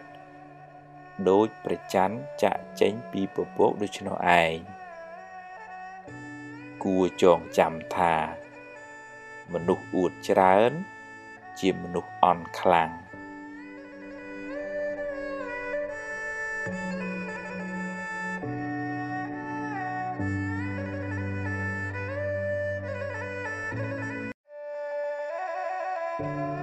រក្សាមាត់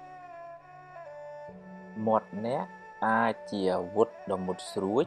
ចាក់ធ្លាយពីត្រចៀកធ្លុះដល់បេះដូងគេគ្មានចេញឈាមមួយដំណក់ទេ តែធ្វើឲ្យគេឈឺចាប់អស់មួយជីវិតក៏ថាបានមាត់អ្នកក៏អាចជាឱសថទឹកធ្វើឲ្យអ្នកកំពុងតែមានទុក្ខកង្វល់បានធូរស្បើយវិញក៏ថាបានដែរ មុននឹងនិយាយទម្លាប់ឆែកមើលបេះដូងអ្នកជាមុនសិនថាតើនិយាយដោយកំហឹងដោយចំណែនដោយបំណងចង់ឌឺដងឲ្យគេឈឺចាប់ឬដោយចេតនាល្អចង់ឲ្យគេបានប្រយោជន៍បើមានចេតនាល្អហើយនិយាយចុះ ហើយកុំនិយាយច្រើនពេកម្យ៉ាងទៀតត្រូវចេះរកពាក្យសម្ដីណាពីរោះពិសាមកនិយាយផងកុំអាងថាខ្លួនឯងធំខ្លួនឯងជាមេឬក៏កុំអាងថាថាត្រូវហើយ ចេះតែលះទៅក៏មិនល្អដែរពេលខ្លះទោះបីយើងនិយាយត្រូវក៏ដោយ តែនិយាយទាំងកំហឹងក៏មិនសូវបានទទួលផលល្អដែរបើខឹងកុំអាននិយាយចាំបាត់ខឹងសិនសឹមនិយាយក៏មិនទាន់ហួសពេលដែររនៀបបាក់យករនៀបជួសសំដីហួសរកអ្វីមកជួសពុំបានឡើយ គុំទម្លាប់និយាយកាត់គេគុំកាត់ស្មានគុំព្រាវចាំច្បាស់សិនចាំនិយាយបើមិនដូច្នោះទេសម្ដីអ្នកនឹងคล้ายជាសម្ដីស្រូវស្រាលគ្មានន័យខ្លឹមសារចាញ់សំលេងបាក់សាបាក់សីយំមិនខាន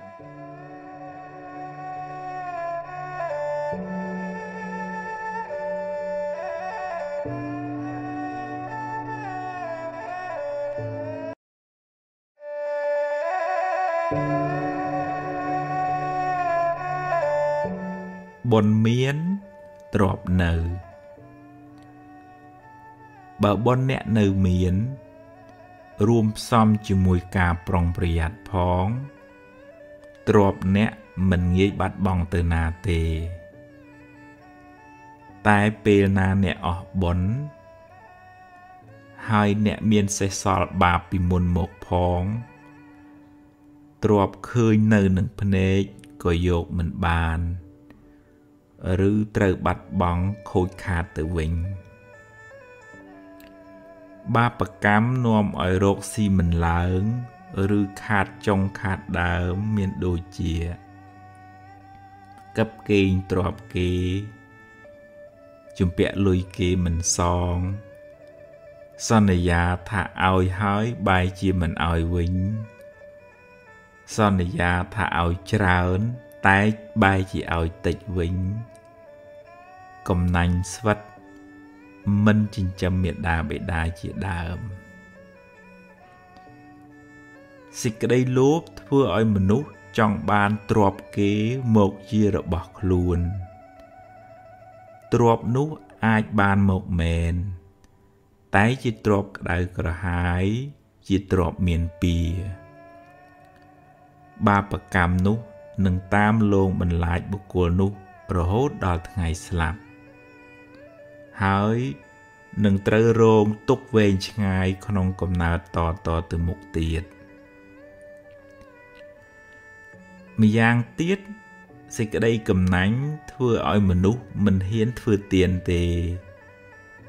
ពេលខ្លះមិនទាំងហ៊ានចិញ្ចឹមម៉ែឪឯងក៏មានសេចក្តីកំណាញ់មកសឹបប្រាប់យើងថាបើធ្វើទៅក្រែងអស់ តែបើតាមពិតទៅ នៅដំណាក់កាលចុងក្រោយ យើងគ្រប់គ្នាត្រូវទៅខ្លួនទៅទេគ្មានយកអ្វីទៅតាមខ្លួនបានបន្តិចសោះឡើយបើមិនបានធ្វើបន់ទេទ្របនោះគេចែកគ្នាអស់គ្មានបានជាប្រយោជន៍សម្រាប់ខ្លួនយើងទៅកាន់បរលោកឡើយ មានតែបន់ដែលខ្លួនយើងសន្សំរឿយរឿយទេ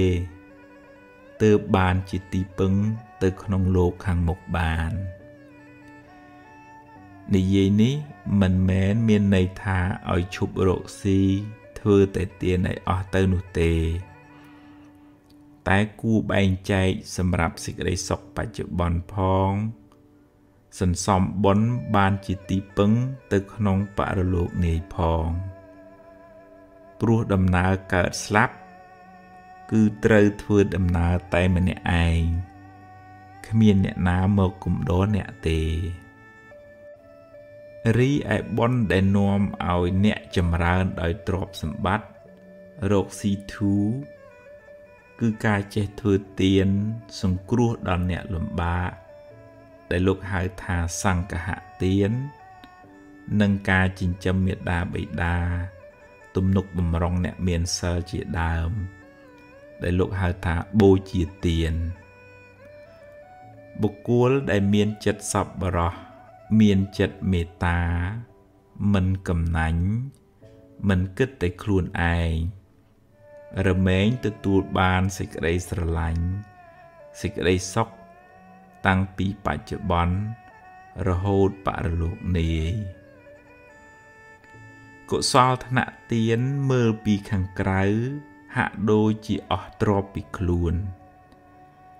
តែវាមានឧបមាដូចជាការព្រុសស្រូវក្នុងស្រែអ្នកអស់ស្រូវពូជពីល្អីមែនតែចុងក្រោយ អ្នកទទួលបានផលច្រើន បុគ្គលដែលបានធ្វើទានទុកហើយកើតជាតិណានា តែងកើតក្នុងត្រកូលមានទ្រព្យសម្បត្តិបើរកទទួលទានក៏រកបានដោយងាយ ហើយមិនងាយបាត់បង់ទ្រព្យសម្បត្តិទៅណាទេ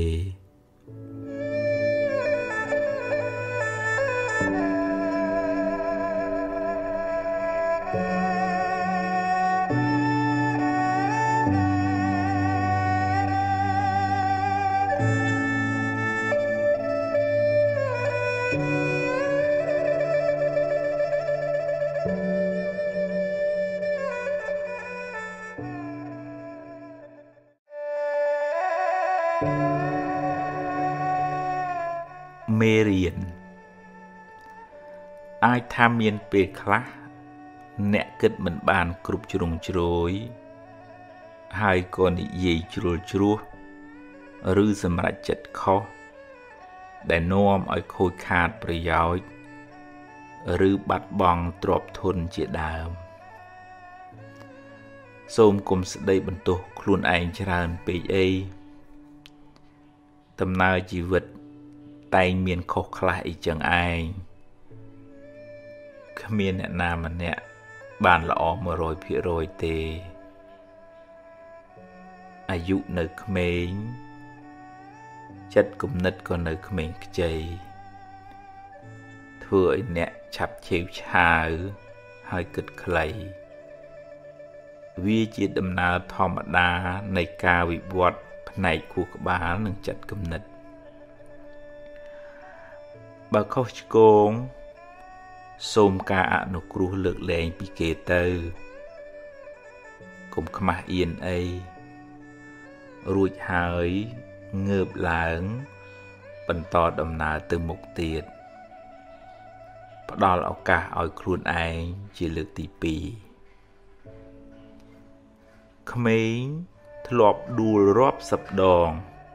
តម្រាំចេះដើរចាត់ទុកកំហុសខុសឆ្គង និងបរាជ័យទាំងនោះ ថាជាមេរៀន ជាបទពិសោធន៍សម្រាប់ការសម្រេចចិត្តឲ្យបានត្រឹមត្រូវនៅថ្ងៃក្រោយរឿងមិនល្អធ្វើឲ្យអ្នកឈឺចាប់ តែវាជួយអ្នកឲ្យមើលឃើញបញ្ហាបានច្បាស់ជាងមុន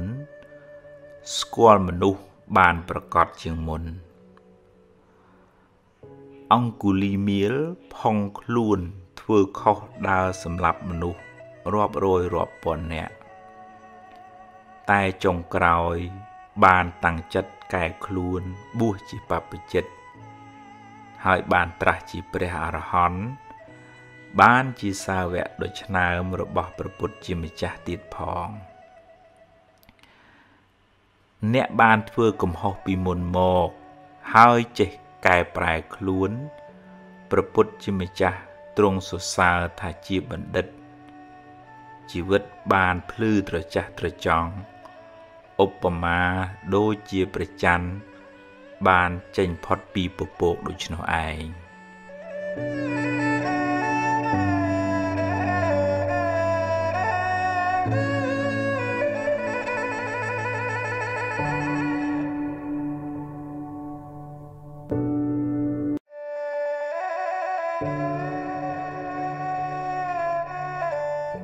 រួចពីកម្មពី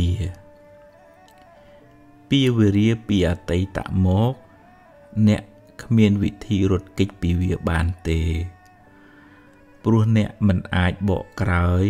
ហើយកែទង្វើដែលអ្នកបានធ្វើក្នុងអតីតកាលបានឡើយតែពាវេរាទៅថ្ងៃមុខអ្នកអាចជៀសបាន ដោយកម្លាំងនៃការរក្សាសិល សិលបានដល់ការប្រព្រឹត្តល្អ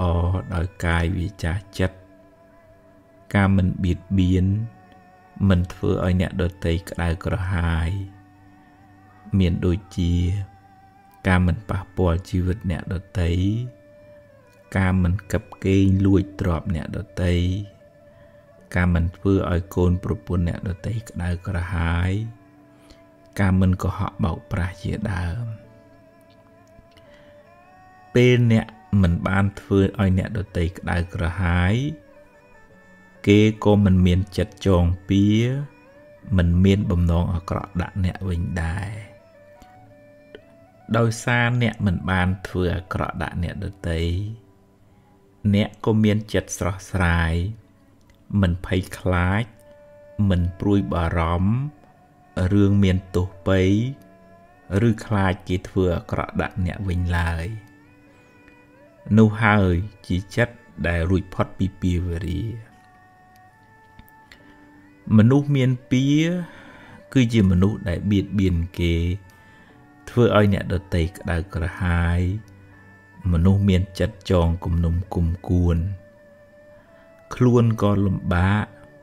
ព្រោះភ្លើងកំហឹងឆេះក្នុងចិត្តរាល់ថ្ងៃ ហើយគេក៏ក្តៅក្រហាយ ព្រោះទង្វើអាក្រក់របស់យើង។ ម្យ៉ាងទៀតពាវេរានោះនឹងជាប់តាមគ្នាវែងឆ្ងាយក្នុងសង្សារវដ្តបើអ្នកដាំពូជភ្លើង អ្នកនឹងបានផលក្តៅក្រហល់ក្រហាយត្រឡប់មកវិញបើអ្នកធ្វើឲ្យគេក្តៅក្រហាយ អ្នកនឹងបានភាពក្តៅក្រហាយនោះមកវិញគ្រាន់តែយូរឬឆាប់ប៉ុណ្ណោះ បើអ្នកបានសាងល្អរក្សាសិលពេលបច្ចុប្បន្នឈ្មោះថាអ្នកមិនបានសាងពាវរាទៅថ្ងៃមុខតែបើអ្នកមានកម្មពាវរាពីអតីតជាតិមកអ្នកត្រូវទទួលផលកម្មនោះវិញ អ្នកមិនអាចរត់គេចពីកម្មចាស់បានទេសូម្បីតែព្រះពុទ្ធជាម្ចាស់ ក៏ត្រូវទទួលផលកម្មចាស់ដែរតែដោយអំណាចនៃអំពើល្អដោយអំណាចនៃសិលដែលអ្នកបានរក្សាពេលបច្ចុប្បន្នកម្លាំងបុណ្យនោះអាចជួយសម្រាលទុកបានខ្លះដែរតាមកម្លាំងរបស់វាឧបមាដូចជាអ្នក ស្លសម្លជ្រុលជាប្រៃទៅហើយ អ្នកអាចដាក់ទឹកថែម ដើម្បីឲ្យវាសាបបានខ្លះយ៉ាងណាមិញបើអ្នកបានជ្រុលជាធ្វើបាបកម្មខ្លះទៅហើយ អ្នកមិនអាចកែប្រែវាបានទេ តែអ្នកអាចធ្វើអំពើល្អថ្មី ដែលជួយអ្នក ឲ្យបានផលល្អផលថ្មីជាបន្តបន្ទាប់ចន្លោះចន្លោះពេលដែលបាបឲ្យផលនោះឯងយើងគ្រប់គ្នាគួរយល់ដឹងថាគ្មានវិធីសាស្ត្រណាគ្មានបុគ្គលណា ឬព្រះណា អាចបញ្ជាអ្នកឲ្យរួចពីផលនៃកម្មចាស់ដែលអ្នកបានធ្វើឡើយ ព្រោះបើអាចធ្វើបានមែនវាជារឿងអយុត្តិធម៌ណាស់ធ្វើអាក្រក់ហើយ ទៅសុំឲ្យរួចពីផលកម្មដែលខ្លួនបានធ្វើតែបើអ្នកប្រឹងប្រែងអប់រំចិត្តលះបង់នៅកិលេសអស់បានคล้ายជាព្រះអរហន្តហើយបរិនិព្វានកម្មលែងតាមតន់ កម្មរោគម្ចាស់លែងឃើញ ព្រោះព្រះអរហន្តលែងមានជាតិកំណើតតទៅមុខទៀតហើយអ្នកអាចធ្វើបុណ្យឧទ្ទិសកុសលជូនដល់មនុស្សសត្វដែលធ្លាប់មានពាវរានឹងគ្នា ហើយតាំងចិត្តរក្សាសិលឲ្យបានល្អចាប់ពីពេលនេះតទៅបុណ្យកុសល ទឹកចិត្តមេត្តានឹងជួយអ្នកឲ្យបានសុខ មិនសូវជួបទុក្ខច្រើនឡើយ។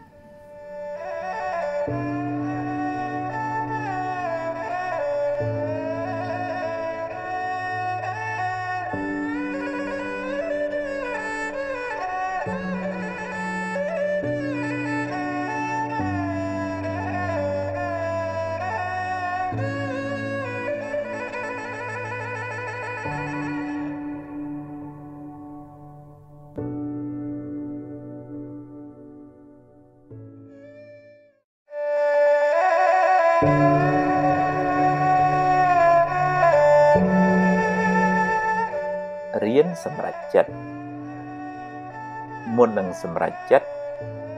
គិតឲ្យបានច្បាស់លាស់សិនសួរយោបល់គេឯងឲ្យបានគ្រប់ជ្រុងជ្រោយហើយចុងក្រោយ អ្នកត្រូវសម្រេចចិត្តដោយខ្លួនឯងហើយបើសម្រេចយ៉ាងណាហើយធ្វើតាមនឹងទៅកុំសាវ៉ាដូរចុះដូរឡើងពេកអីព្រោះ វាធ្វើឲ្យរំខានចិត្តខ្លាំងមិនសូវបានសុខទេហើយបើឧបមាថាការសម្រេចចិត្តនោះខុសនាំឲ្យខូចខាតបាត់បង់សូមគុំទម្លាប់បន្ទោសគេបន្ទោសឯងឬមួម៉ៅក្តៅក្រហាយស្ដីបន្ទោសខ្លួនឯងយូរពេកអីចាត់ទុកថា វាជាផលនៃបាបចាស់ទៅចោះកុំស្ដាយពេកអីព្រោះស្ដាយទៅ បានត្រឹមតែខូចចិត្តយកវាជាមេរៀន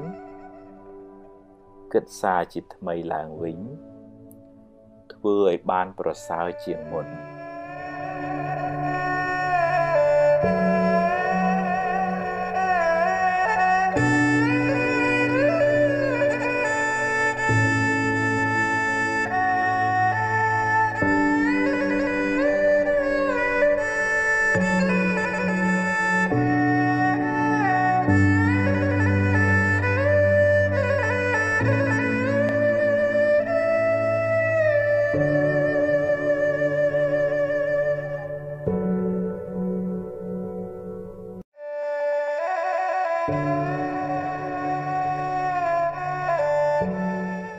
សេរីសួស្តី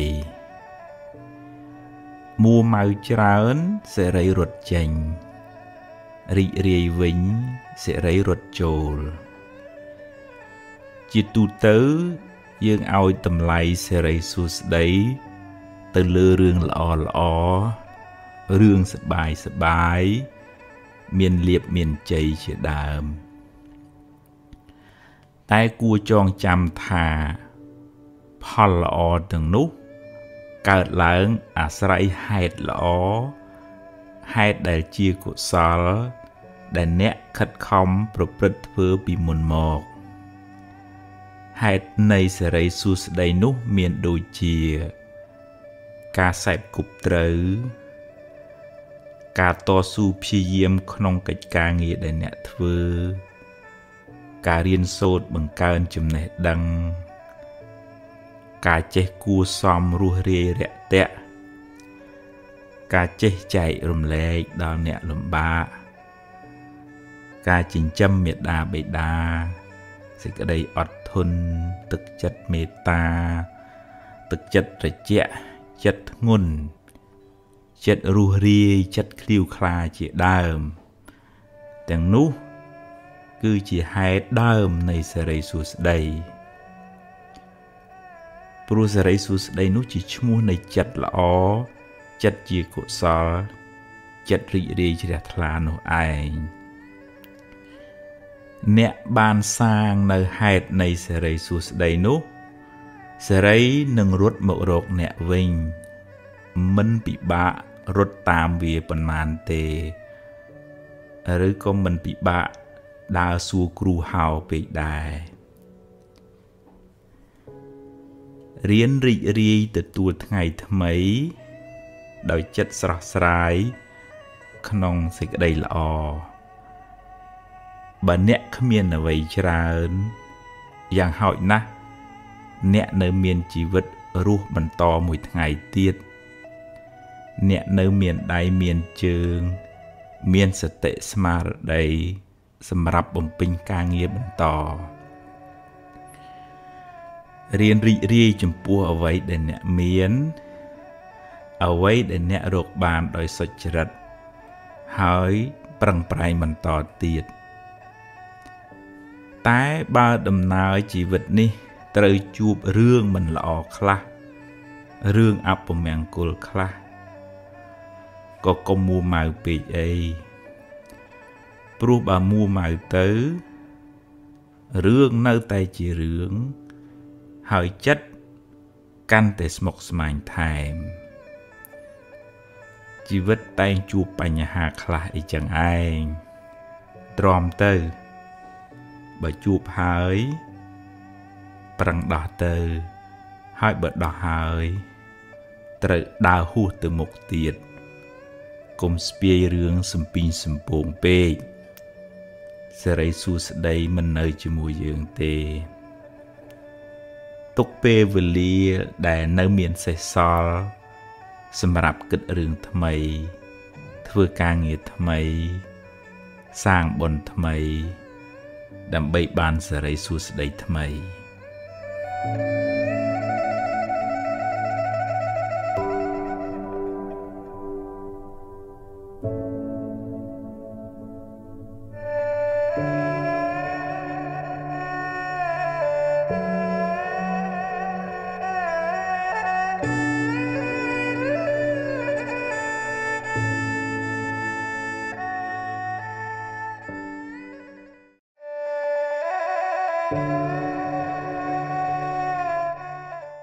ហួសហើយ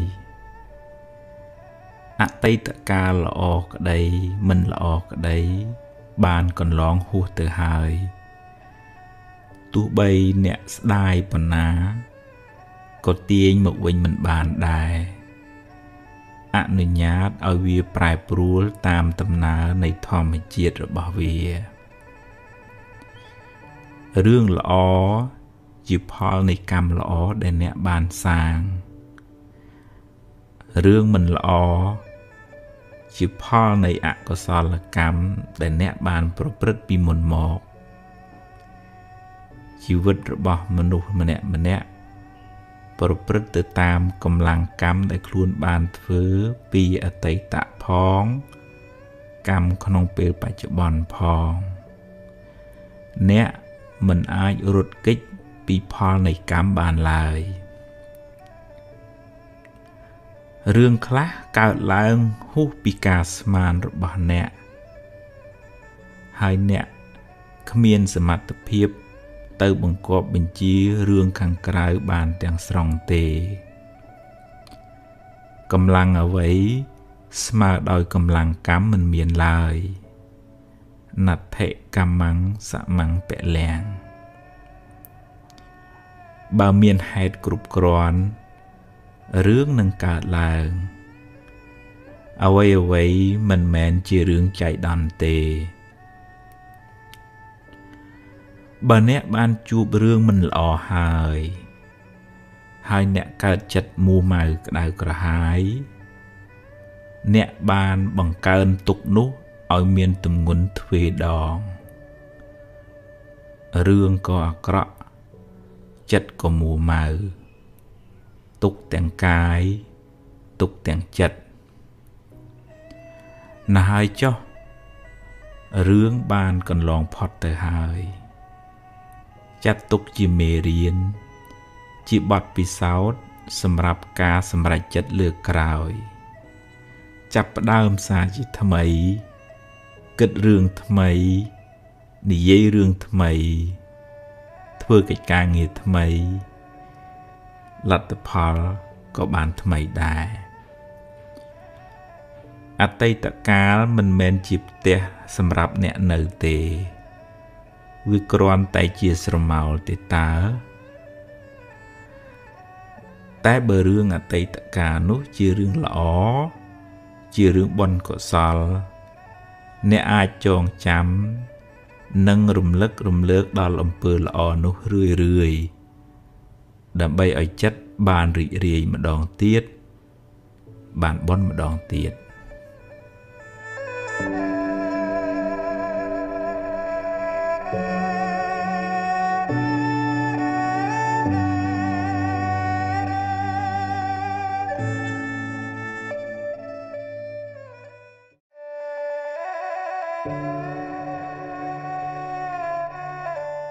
អតីតកាលពីរប្រភេទ អតីតកាលខ្លះល្អអតីតកាលខ្លះមិនល្អទេ ជារឿងធម្មតាសម្រាប់ជីវិតមនុស្សម្នាក់ម្នាក់ហើយអតីតកាលទាំងពីរនោះ បានរលត់បាត់ទៅហើយ អ្នកមិនអាចបកក្រោយ ទៅកែប្រែវាបានទេ តែបើអ្នកគិតត្រូវ អ្នកអាចកែច្នៃវា បានជាប្រយោជន៍សម្រាប់សាងអនាគតល្អទៅខាងមុខបើអតីតកាលនោះជារឿងល្អជារឿងបុណ្យកុសល អ្នកអាចរំលឹករំលើកវាឡើងវិញ ដើម្បីឲ្យចិត្តបានជ្រះថ្លាម្ដងទៀតបានសប្បាយចិត្តម្ដងទៀត អ្នកក៏ឈ្មោះថាបានធ្វើបុណ្យម្ដងទៀតដែរដែលនៅក្នុងធម៌លោកហៅថាអបរចេតនាឧស្សាហ៍រំលឹកដល់ទានដែលអ្នកបានឲ្យ ដល់អំពើល្អដែលអ្នកបានសាង រំលឹកឲ្យបានរឿយរឿយចិត្តអ្នកបានចម្រើនដោយបុណ្យ ចម្រើនដោយភាពត្រជាក់ត្រជុំឧបមាដូចជាការចាក់ទឹកដាក់ជីដល់ដំណាំដែលអ្នកបានដាំដំណាំនោះ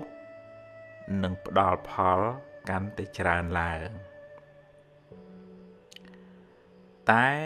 បើអតីតកាលនោះជារឿងមិនល្អជារឿងអកុសល ចាត់ទុកថាវាជាផលបាបចាស់ទៅចោះយកវាជាមេរៀន ជាមូលដ្ឋាននៃការប្រុងប្រយ័ត្នលើក្រោយ ហើយអនុញ្ញាតឲ្យវាកន្លងហួសទៅកុំស្ដាយអីព្រោះបើស្ដាយទៅក៏មិនអាចកែប្រែអ្វីបានដដែល ហើយបើអ្នករំលឹករំលើកវាញឹកញាប់ពេកវាមានតែនាំឲ្យចិត្តអ្នកក្តៅក្រហាយប៉ុណ្ណោះខ្ញុំ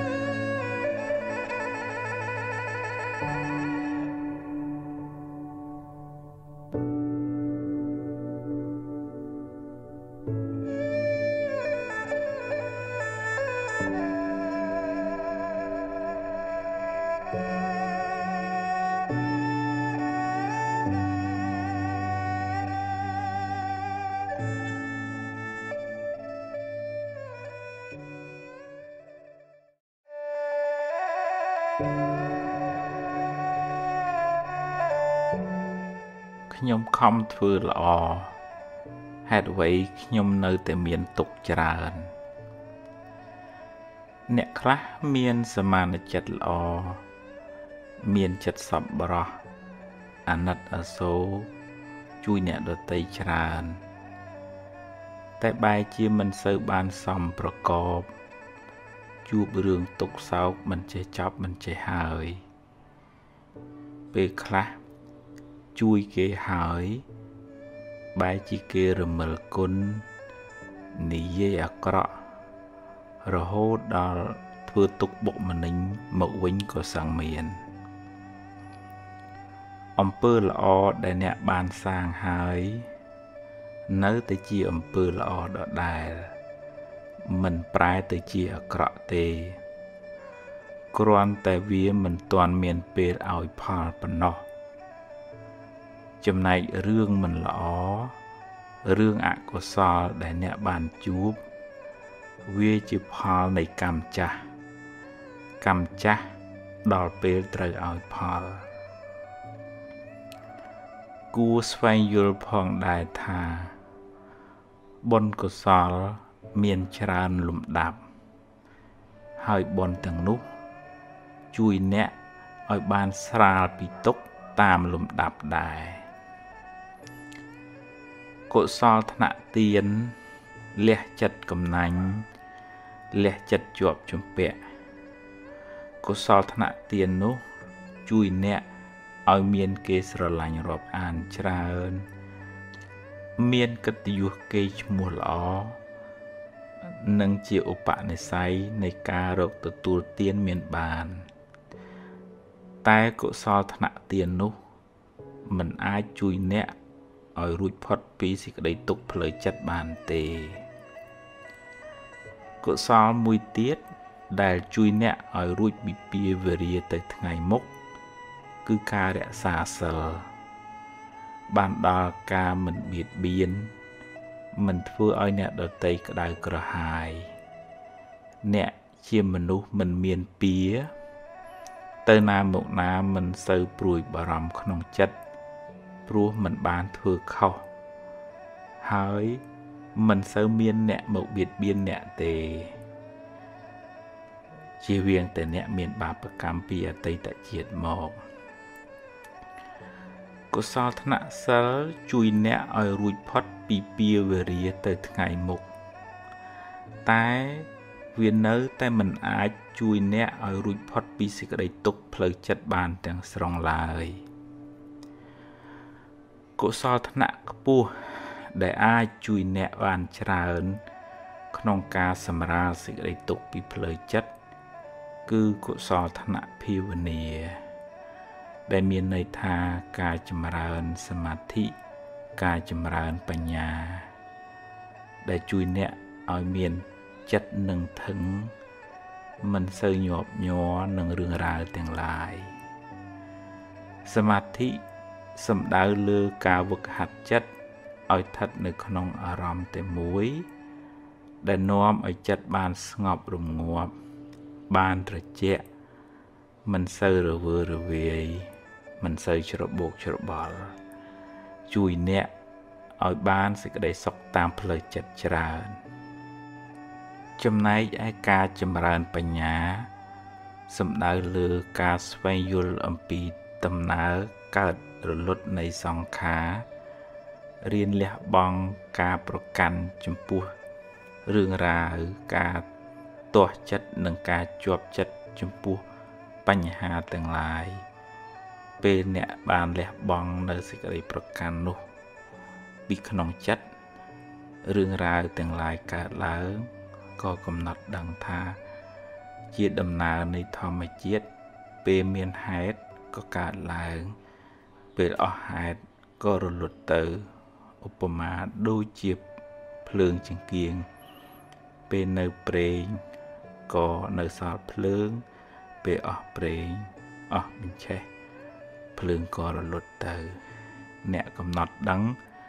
នៅដំណើរនៃសង្ខារយ៉ាងនេះ កាត់បន្ថយនៅសេចក្តីប្រកាន់សេចក្តីទុក្ខក៏ធូរស្បើយពីចិត្តអ្នក thank you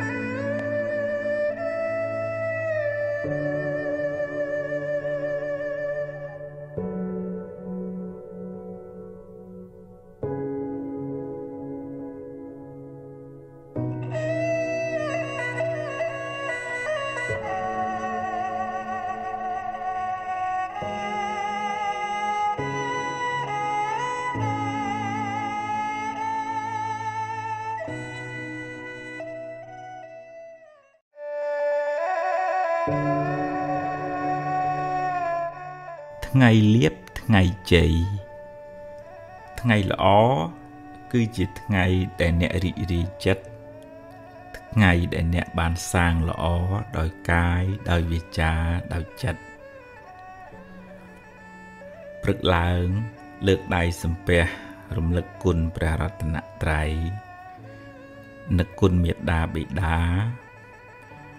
ចម្រើនសមាធិផ្សាយមេត្តាដល់សពសត្វ ទម្លាប់ពូលវិចារល្អគិតរឿងល្អថ្ងៃនោះคล้ายជាថ្ងៃមានសេរីសួស្តី ថ្ងៃមានលៀបថ្ងៃមានជ័យថ្ងៃរះថ្ងៃលិចជាដំណើរនៃធម្មជាតិមិនល្អមិនអាក្រក់ទេ ចំណែករាសីអ្នកឡើងចុះ អាស្រ័យលើកម្មគឺអំពើដែលអ្នកបានសាងបើអ្នកបានសន្សំបុណ្យល្អច្រើនពីមុនមក ហើយបុណ្យនោះដល់ពេលឲ្យផល អ្នកក៏ជួបរឿងល្អរឿងរីករាយរកស៊ីបានចម្រុងចម្រើនទៅតែបើពេលបាបចាស់តាមតាន់វិញ អ្នកនឹងជួបរឿងមិនល្អរឿងអកុសល ឬរកស៊ីខាតលងចុងទៅ កម្មគឺលោកសំដៅទៅលើអំពើដែលអ្នកបានសាង ពីអតីតផង ក្នុងពេលបច្ចុប្បន្នផង កម្មនោះជាអ្នកចាត់ចែងឲ្យអ្នកបានជួបរឿងហេងឬរឿងសយ ក្នុងដំណើរជីវិតរបស់អ្នកបើអ្នកខំប្រព្រឹត្តល្អចិញ្ចឹមមេដាបិតា មានចំណេះចេះដឹងច្រើន មានកាយវិការល្អប្រប្រៃហើយប្រុងប្រយ័ត្នព្យាយាមក្នុងកិច្ចការងារអ្នកបុណ្យពេលបច្ចុប្បន្ននោះនឹងជួយបើកឱកាសដល់បុណ្យចាស់ចាស់មកឲ្យផល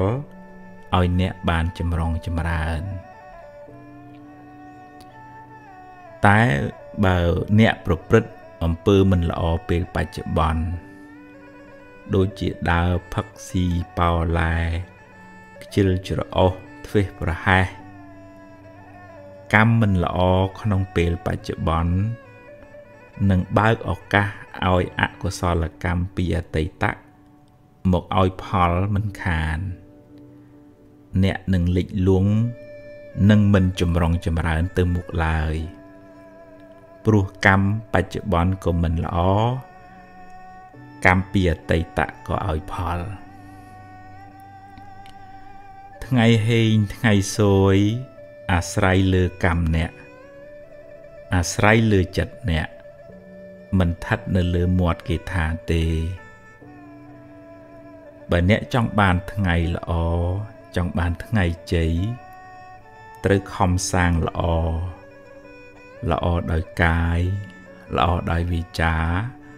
ល្អដោយចិត្តហើយបើមានថ្ងៃខ្លះអ្នកជួបរឿងសោយជាថ្ងៃដែលបាបចាស់ឲ្យផលសុំគុំកើតទុកទូមនោះទូមនិញច្រើនពេកអីចិត្តទុកថា ជាផលនៃបាបចាស់ហើយខិតខំធ្វើអំពើល្អថ្មី ដូចជារំលឹកគុណព្រះរតនត្រ័យថ្វាយគ្រឿងសក្ការៈចំពោះព្រះពុទ្ធជាម្ចាស់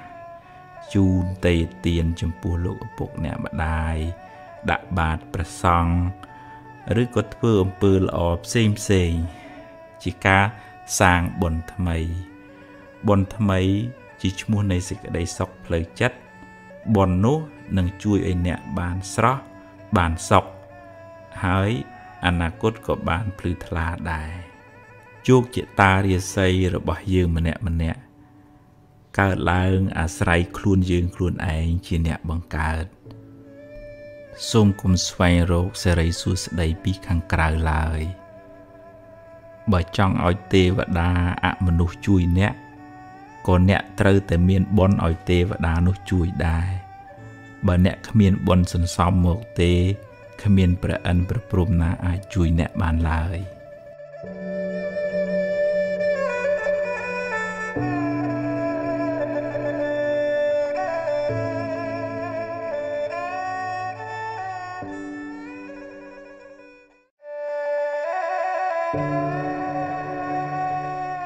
ទ្របគេ ទ្របយើង ក្នុងដំណើរនៃវដ្តសង្សារនេះមិនដឹងថាយើងម្នាក់ម្នាក់ជាប់ជំពាក់កម្មជាមួយអ្នកណាខ្លះធ្លាប់ធ្វើបាបធ្វើអាក្រក់ចងពៀជាមួយគ្នាពីជាតិណាមកទេកំហឹងគំនុំស្អប់ចងអាឃាតគ្នា ឬបាបកម្មណាមួយ សុទ្ធតែនាំឲ្យមានពៀវេរា កំណើតវិលវល់អន្ទូលទៅមកដល់ពេលណាមួយ កម្មនោះនឹងវិលមករកអ្នកវិញ ពេលកម្មចាស់ឲ្យផល អ្នកក៏ត្រូវជួបរឿងមិនល្អព្រាត់ប្រាសឬខាតលងចុងទៅ អ្នក ធ្វើបាបកម្មអាក្រក់តែម្ដងទេ តែពេលកម្មឲ្យផលមិនមែនឲ្យតែម្ដងទេ ត្រូវឲ្យការគេថែមទៀតត្រូវទទួលផលកម្មនោះច្រើនដងឬច្រើនជាតិដោយសារចេតនាក្នុងការធ្វើកម្មនោះច្រើនដែរគឺចេតនាមុនពេលធ្វើលោកហៅថាពពចេតនា ចេតនាពេលកំពុងធ្វើលោកហៅថាមញ្ញនៈចេតនានិងចេតនាដែលអ្នកធ្វើឲ្យសបាយក្នុងការធ្វើបាបនោះលោកហៅថាអបរចេតនាពេលធ្វើអាក្រក់អ្នកខ្លះសបាយណាស់ព្រោះវានាំឲ្យបានទ្រពធនបានលៀបបានយួរ ឬឈ្នះគេដោយទង្វើអាក្រក់របស់ខ្លួន តែកុំភ្លេចថា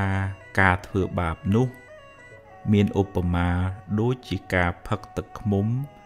ដែលលាយដោយថ្នាំពឹសដូច្នោះឯងឆ្ងាញ់ពីដំបូងតែចុងក្រោយត្រូវពុលស្លាប់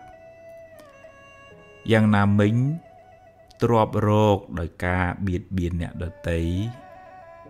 ជាទ្របក្តៅក្រហាយ ជាទ្របមានពៀ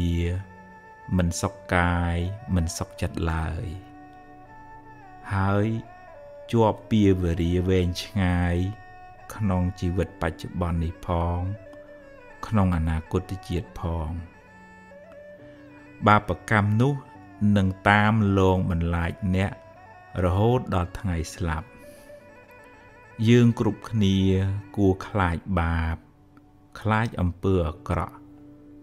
មិនគួរចាញ់បោកវា មិនគួរឲ្យវាដឹកមុខហើយទៅប្រព្រឹត្តអាក្រក់ឡើយ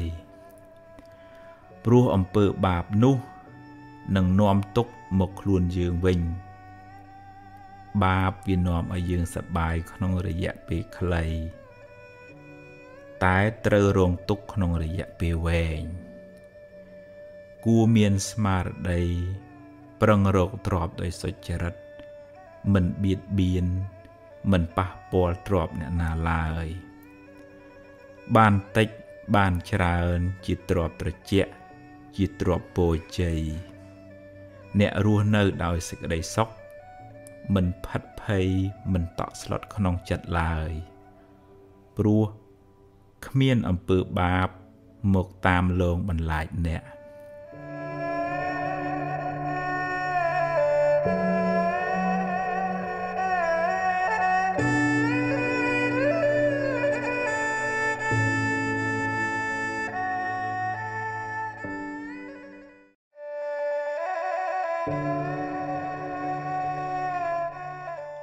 សល់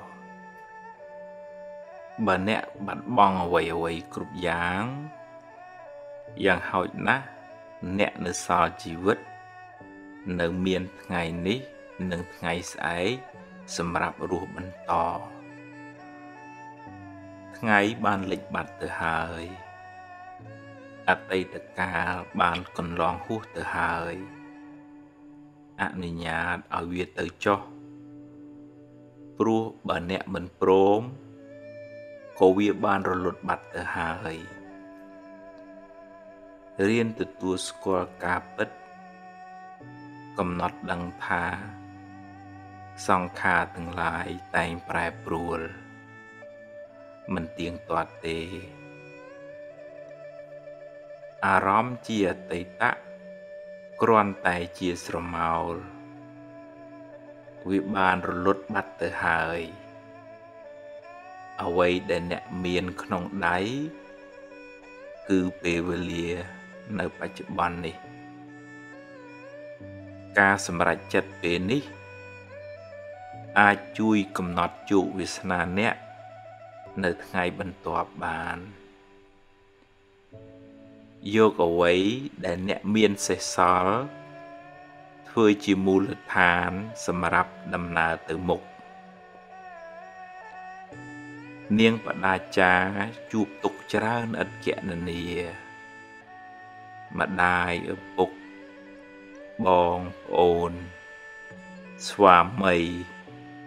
និងកូនទាំងពីរជាទីស្រឡាញ់បានស្លាប់ទាំងអស់តែនាងនៅអាចងើបឈរ ហើយបន្តដំណើរទៅមុខទៀតរហូតបានត្រាស់ជាព្រះអរហន្តីជាសាវិកាដ៏ឆ្នើមរបស់ព្រះពុទ្ធជាម្ចាស់អ្នកប្រហែលជាមិនកំសត់ដូចនាងបដាចាទេ អ្នកពិតជាអាចងើបមុខឡើង ហើយសាងអនាគតថ្មី ក្នុងផ្លូវត្រូវ ផ្លូវបុណ្យកុសល ជីវិតអ្នកនឹងបានភ្លឺថ្លាបើអ្នកសម្រេចចិត្តចាប់ផ្ដើមធ្វើល្អពីថ្ងៃនេះតទៅ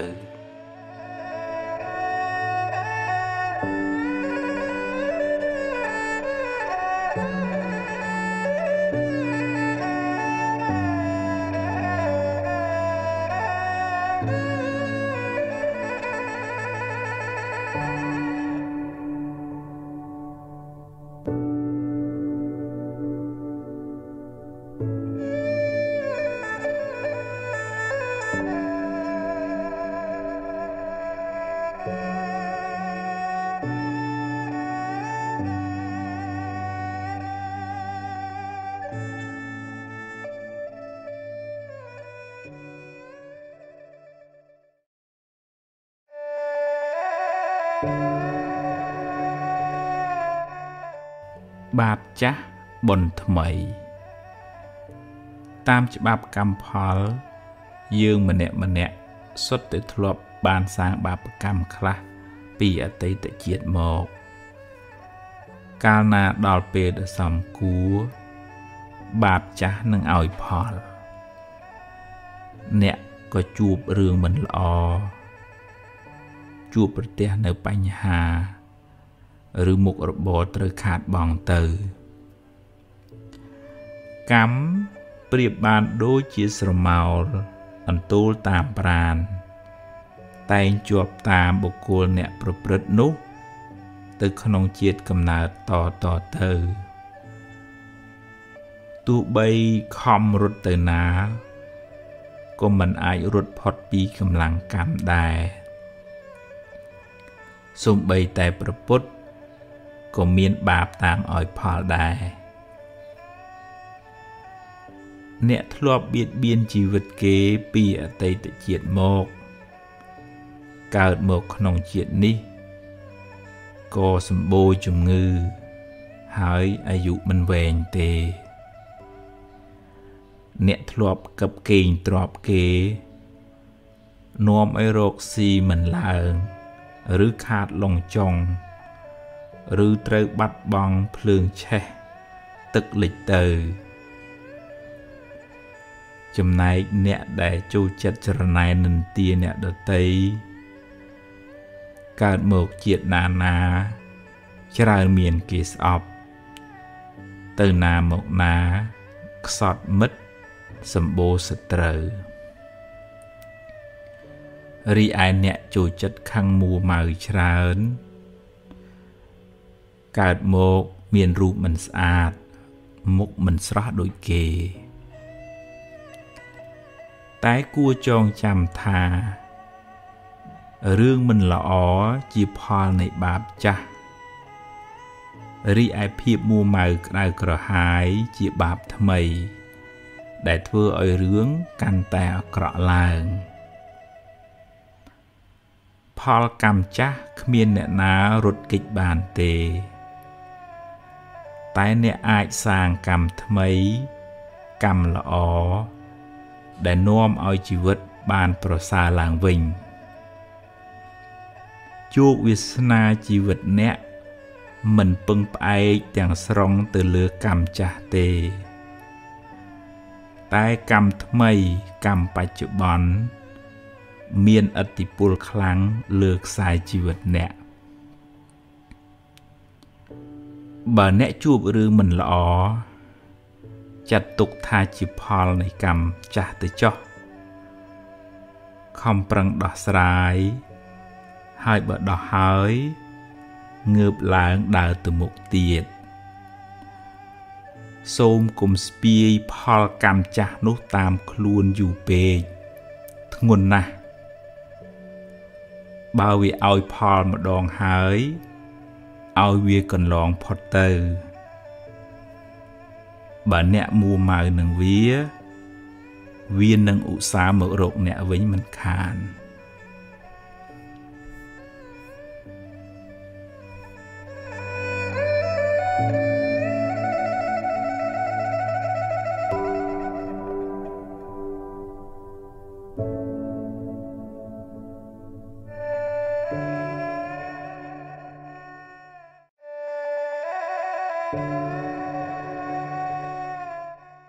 រមីខ្លាំងពូកែ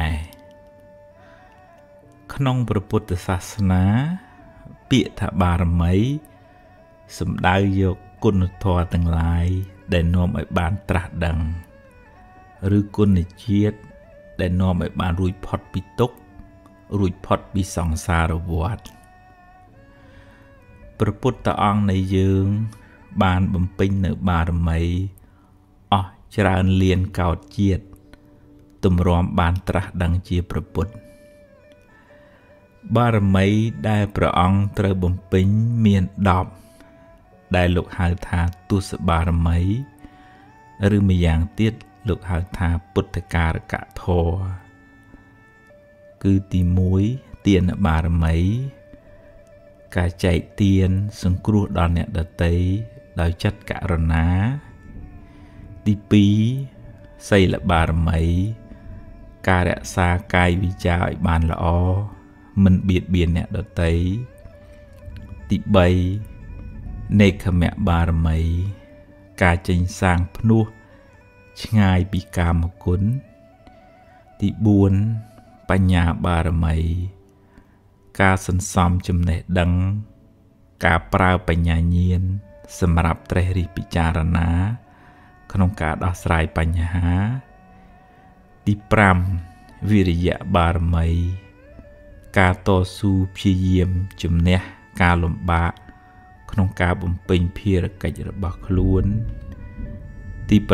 6ខន្តិបារមីសេចក្តីអត់ធន់ចំពោះពាក្យសម្ដីអ្នកដតីឬការងារលំបាកផ្សេងផ្សេងទី7សច្ចៈបារមី ការរក្សាពាក្យសច្ចៈ មិនក្បត់ពាក្យសន្យា ទី8អធិដ្ឋានបារមី ការបដិញ្ញាចិត្តខ្ពស់មិនងាយបោះបង់ការងារចោល ទី9មេត្តាបារមីសេចក្តីស្រឡាញ់ទឹកចិត្តមេត្តា ទឹកចិត្តត្រជាក់មិនងាយខឹងក្រេវក្រោធនិងទី10ឧបេក្ខាបារមី ការមិនរំភើបញាប់ញ័រចំពោះអារម្មណ៍ល្អក្តីមិនល្អក្តីដែលកើតឡើងក្នុងជីវិតពេលព្រះពោធិសត្វបានបំពេញនៅបារមីទាំង10នេះគ្រប់បរិបូរហើយព្រះអង្គបានបំពេញសេចក្តីព្យាយាមក្នុងសមាធិនិងវិបស្សនា រហូតចុងក្រោយព្រះអង្គបានត្រាស់ដឹង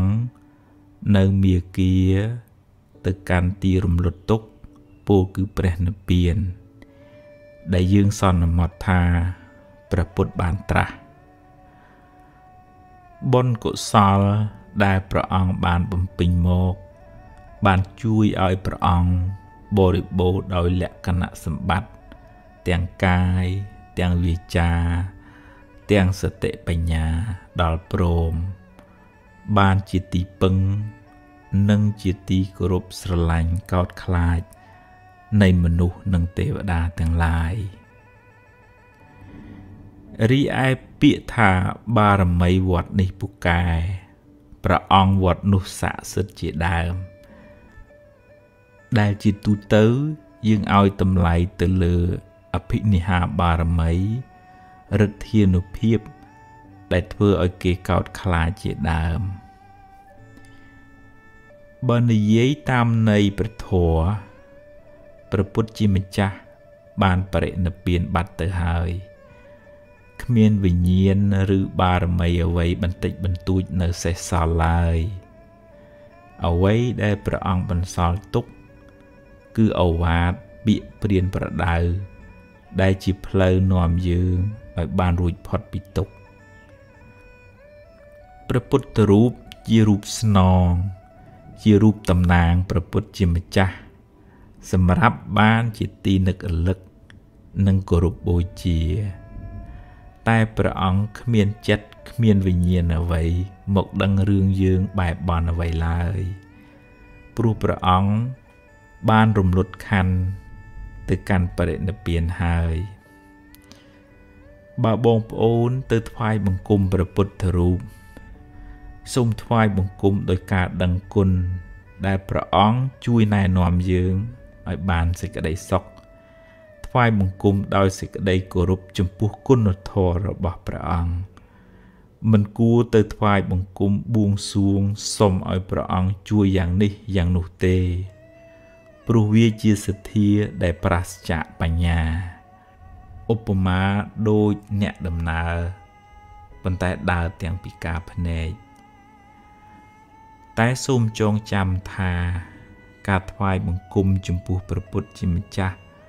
ដោយសេចក្តីគោរពពិតប្រាកដដោយសមាទិដ្ឋិនឹងបានទទួលផលអានិសង្សច្រើនឥតគណនា តែផលនោះមិនមែនប្រពុតជាអ្នកផ្ដល់ឲ្យយើងទេ គឺផលកើតពីចិត្តជ្រះថ្លា ក្នុងចិត្តរបស់យើងផ្ទាល់ ដែលបានថ្វាយបង្គំចំពោះព្រះពុទ្ធជាម្ចាស់ដោយសទ្ធាប្រកបដោយបញ្ញារីឯរិទ្ធអានុភាពឬហេតុភេទផ្សេងផ្សេងអាចជាអានុភាពរបស់ពពួកអមនុស្សឬទេវតាឬខ្មោចព្រាយដែលអាស្រ័យនៅទីនោះ ឬថែរក្សានៅតំបន់នោះ ជាអ្នកបណ្ដាលឲ្យមានឡើង តែដាច់ខាតមិនមែនជាបារមី ឬវិញ្ញាណរបស់ព្រះពុទ្ធឡើយពពួកអមនុស្សនៅទីនោះ អាស្រ័យនឹងព្រះពុទ្ធរូបក៏ទទួលនៅសក្ការៈបូជាផ្សេងផ្សេង ពីមនុស្សម្នាទាំងឡាយដែលយកទៅបូជានិយាយនេះមិនហាមឃាត់ថាឲ្យបងប្អូនឈប់គោរពបូជាទេវតាទេ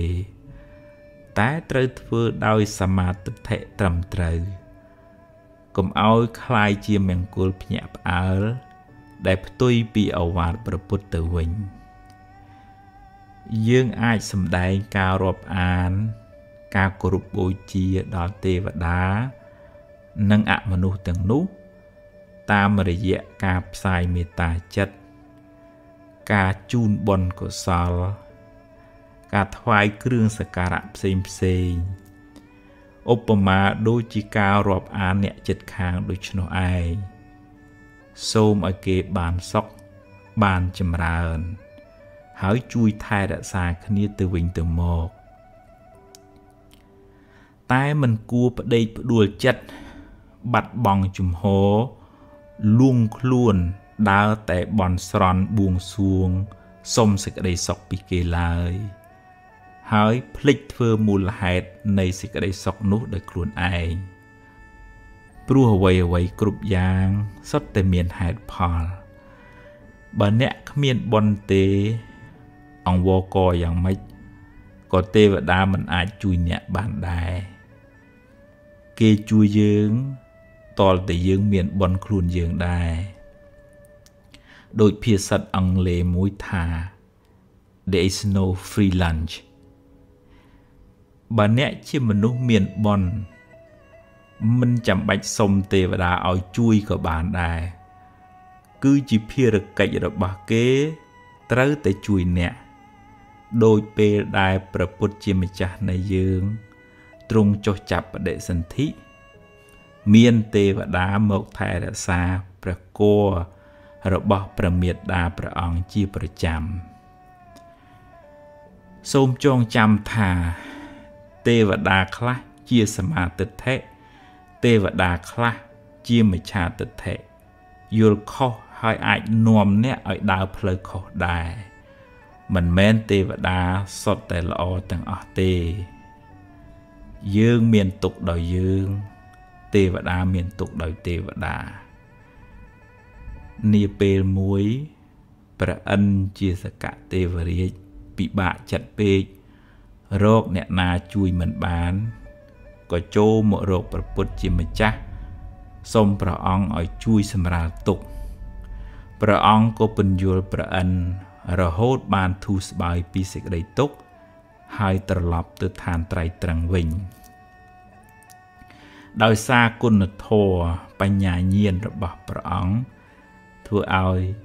ព្រះអិនក៏មករកព្រះអង្គដែរ ជាសរុបមកបារមីក្នុងព្រះពុទ្ធសាសនាសំដៅលើកុសលធម៌ទាំង10ដែលនាំឲ្យបានរួចផុតពីទុក្ខបារមីនោះពិតជាពូកែមែនព្រោះបានធ្វើឲ្យយើងคล้ายជាមនុស្សល្អបន្តិចម្ដងបន្តិចម្ដង រហូតបានត្រាស់ដឹងនៅសច្ចធម៌ជាទីបំផុតបានរួចផុតពីទុក្ខ និងបានជាទីពឹងសម្រាប់មនុស្សនិងទេវតាទាំងឡាយយើងគ្រប់គ្នាគួរសន្សំបារមីទុកក្នុងចិត្តរបស់យើងឲ្យបានច្រើន យើងនឹងក្លាយជាមនុស្សមានបារមី ហើយមិនពិបាកទៅរកបារមីខាងក្រៅទេ តែអ្នកនៅតែផ្សាយមេត្តាចិត្តសូមឲ្យពពួកអមនុស្សនិងទេវតាទាំងឡាយ បានសេចក្តីសុខ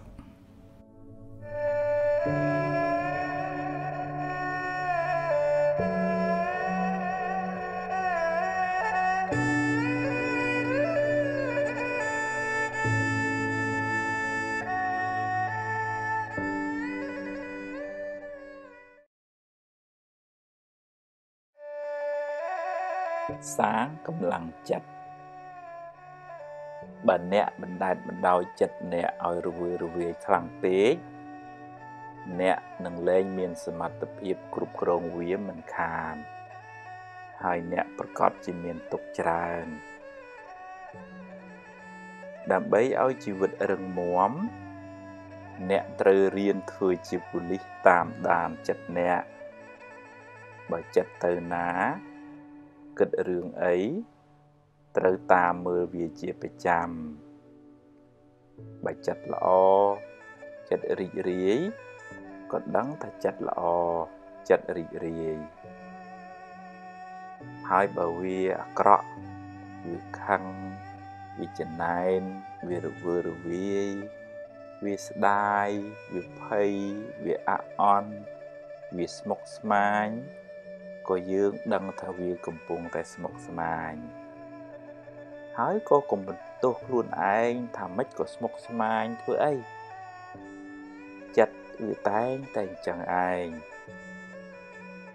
គ្រាន់តែទម្លាប់ទាញវាមកគិតរឿងល្អរឿងត្រូវវិញឲ្យវាមានខន្តីមានអត់ឱនយោគយល់មានមេត្តារស់រាយស្រស់ស្រាយ ឲ្យវាមានបញ្ញាស្មារតីហ៊ានទទួលយកការពិតទាំងឡាយក្នុងជីវិតទាញវាឲ្យបានរឿយរឿយរហូតសតិស្មារតីយើង មានកម្លាំងខ្លាំងជាងធាតអាក្រក់អាក្រក់ទាំងឡាយក្នុងចិត្តយើងคล้ายជាម្ចាស់គ្រប់គ្រងចិត្តចិត្តយើងមិនសូវគិតរឿងផ្ដេសផ្ដាស់ទេ ព្រោះយើងតាមដានវារហូតអ្នកណាអាចធ្វើជាម្ចាស់ចិត្តបានទើបអាចបានសេចក្តីសុខច្រើនក្នុងជីវិតនេះ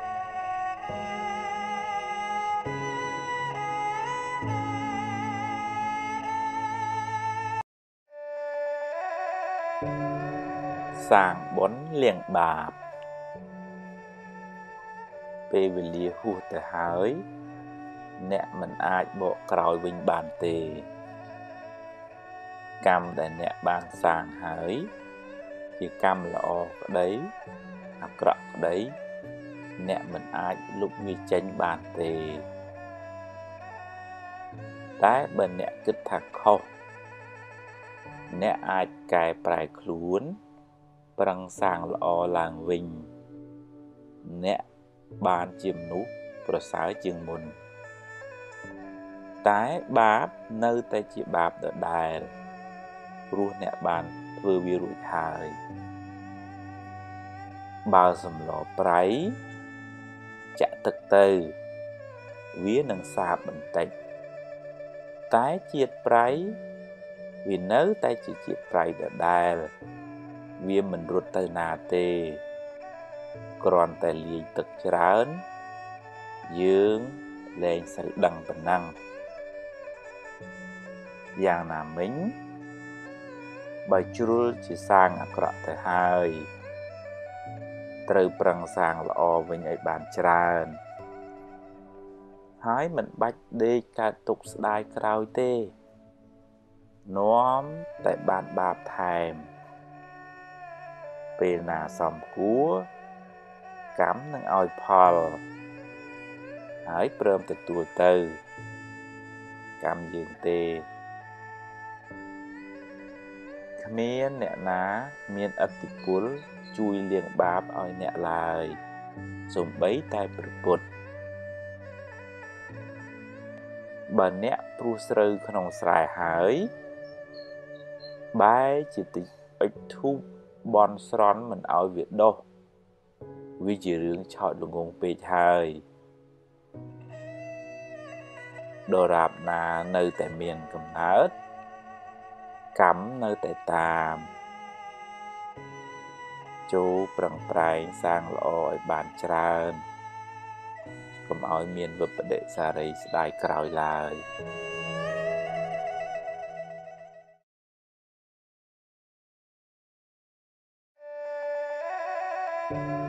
សាំញ៉ាំច្រើន សាវ៉ាច្រើនសំញ៉ាំច្រើន ម្ដងយកនេះ ម្ដងយកនោះនាំឲ្យអ្នកស្មុគស្មាញច្រើនកើតទុកក៏ច្រើនដែរហើយគ្មានបានសម្រេចការណាមួយឲ្យប្រកបប្រជាទេយូរយូរទៅគេក៏លែងទុកចិត្តទៀតមុននឹងសម្រេចចិត្តគួរគិតគូរឲ្យបានសពគ្រប់សួរយោបល់គេឲ្យបានច្រើនគ្នាសិន រួចបូកសរុបលទ្ធផល ហើយចុងក្រោយ អ្នកត្រូវជ្រើសរើសដោយខ្លួនឯងបើរើសយកមួយណាហើយកុំមិនទេនតាយដូរចុះដូរឡើងធ្វើអីចាប់មួយណាឲ្យប្រកាសមួយនឹងខ្លួនមួយកុំជីកទូកពីរប្រយ័ត្នធ្លាក់ទឹក ត្រីរស់ក៏រួចទន្សាយក៏រួចមនុស្សសាវ៉ាច្រើនទទួលលទ្ធផលមិនសូវល្អទេ បើរើសយកផ្លូវណាហើយត្រូវដើរឲ្យដល់ទីបំផុតកុំទៅមុខទៅក្រោយអីដើរឲ្យអស់ផ្លូវសិនបើទាល់ច្រកចាំគិតទៀត ហើយកុំទម្លាប់បន្ទោសគេបន្ទោសឯងអីវាជាជំរើសរបស់យើងទេ បើផ្លូវនឹងខុសអ្នកអាចចាប់ផ្ដើមសារជាថ្មី ហើយកុំស្ដាយអីស្ដាយទៅ នាំតែក្តៅក្រហាយឥតប្រយោជន៍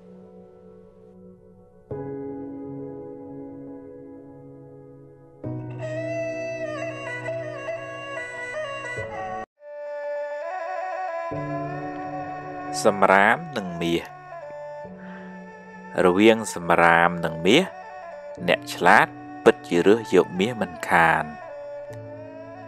តែមានមនុស្សល្ងងជាច្រើនចូលចិត្តស្ពាយសម្រាមហើយបោះមាសចោលសម្រាមមានទាំងខាងក្រៅមានទាំងខាងក្នុង សម្រាមខាងក្រៅមានដូចជារឿងមួម៉ៅក្តៅកាហាយ ពាក្យពេចន៍ឌឺដងគេព័ត៌មានអាក្រក់អាក្រក់រឿងអេកអូចចាក់ដោតពីអ្នកដតីរឿងគេអត់ប្រយោជន៍ជាដើមចេះតែនាំយកមកដាក់ក្នុងគូក្បាលយូរយូរទៅគូក្បាលអ្នកនឹងคล้ายជាធុងសម្រាមមិនខាន សម្រាមខាងក្នុងក៏មានច្រើន ដូចជាកំហឹងឆេវឆាវចំណែនឈ្នាននេះ ស្អប់គុំគួន រវើរវាយស្មុកស្មាញភ័យព្រួយបារម្ភស្ដាយសណោះជាដើម ដើម្បីបានសុខអ្នកត្រូវព្យាយាមសម្អាតទាំងខាងក្រៅទាំងខាងក្នុង ហើយទម្លាប់ដាំផ្កាក្នុងចិត្តអ្នកវិញ ដូចជាភាពស្រស់ស្រាយរស់រាយ ស្មារតីរឹងប៉ឹងស្វាហាប់ខន្តីអត់ធន់មេត្តាករុណាសន្តោសប្រោសប្រណីបញ្ញាស្មារតីជាដើម ចិត្តអ្នកនឹងស្រស់ដូចផ្កាភ្លឺថ្លាដូចមាសជីវិតអ្នកក៏បានសុខច្រើនដែរ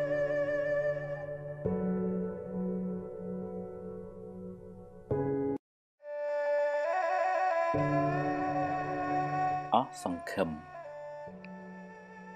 ពេលជួបបញ្ហាច្រើនពេកក្នុងជីវិត ធ្វើឲ្យអ្នកខ្លះអស់កម្លាំងចិត្តនិងបន្តដំណើរទៅមុខទៀតជីវិតបែរជាស្វិតសុពូនក្រៀមក្រោះអស់នៃមានតម្លៃ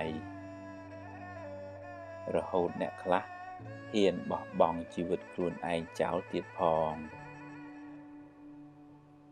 អ្នកអស់សង្ឃឹមភាកច្រើនឲ្យតម្លៃជីវិតខ្លួនឯងស្មើនឹងអ្វីដែលបានកើតឡើងរួចហើយហើយដកតម្លៃជីវិតបច្ចុប្បន្ន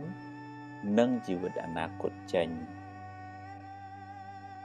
គេបានដាក់ច្រវាក់ខ្នោះគ្នាងខ្លួនឯងឲ្យនៅក្នុងគុកអតីតកាល តែបើគេគ្រាន់តែចាក់ចេញពីគុកអតីតកាលបន្តិច គេនឹងឃើញពន្លឺស្វាងស្វ័យនៃបច្ចុប្បន្ននិងអនាគតមិនខានជីវិតអតីតកាលបានស្លាប់បាត់ទៅហើយគ្មានតម្លៃអ្វីទៅដេកស្ដាយស្រណោះឡើយតែអ្នកអាចយកវាជាបទពិសោធន៍បាន ហើយក៏គ្មានអ្វីត្រូវព្រួយបារម្ភពេកពីជីវិតអនាគតដែរតែអ្នកត្រូវរស់នៅដោយក្តីសង្ឃឹមញញឹមព្យាយាមបំពេញការងារឲ្យអស់ពីលទ្ធភាពពេលបច្ចុប្បន្នចំណែកអនាគតគ្រាន់តែជាលទ្ធផលនៃការប្រឹងប្រែងរបស់អ្នកពីមុនមក និងថ្ងៃនេះប៉ុណ្ណោះ បើអ្នកនៅតែបន្តក្រៀមក្រំទៀតបច្ចុប្បន្នក៏ក្រៀមក្រំ អនាគតក៏រឹតតែក្រៀមក្រំទោះបីរស់នៅបានមួយថ្ងៃទៀតក៏ត្រូវរស់ដោយក្តីសង្ឃឹមដោយភាពស្រស់ស្រាយដោយទឹកចិត្តល្អដោយគុណធម៌ដែរសូមកុំស្លាប់ មុនពេលអស់ជីវិតឡើយ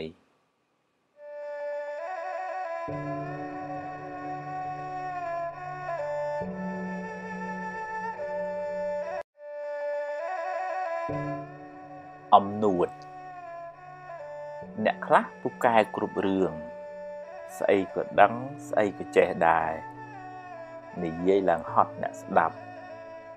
តែមិនសូវបានការអីទេ លងលងដូចប៉ោតអត់ទឹកអីចឹងអ្នកខ្លះទៀតចេះច្រើនមែនតែអន់បន្តិច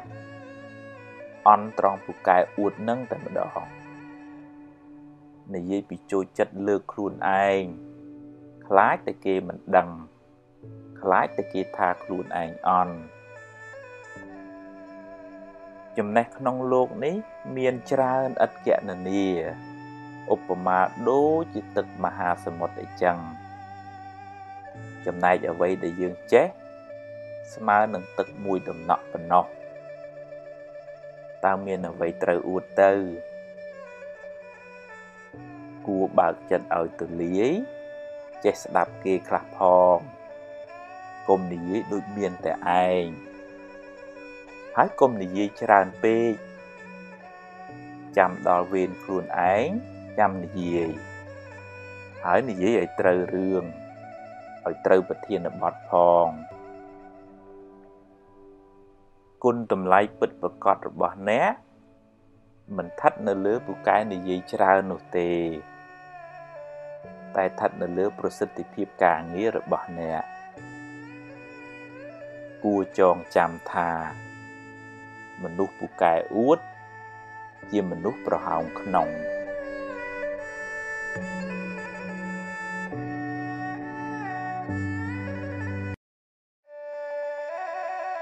ពពកខ្មៅនៅលើក្បាល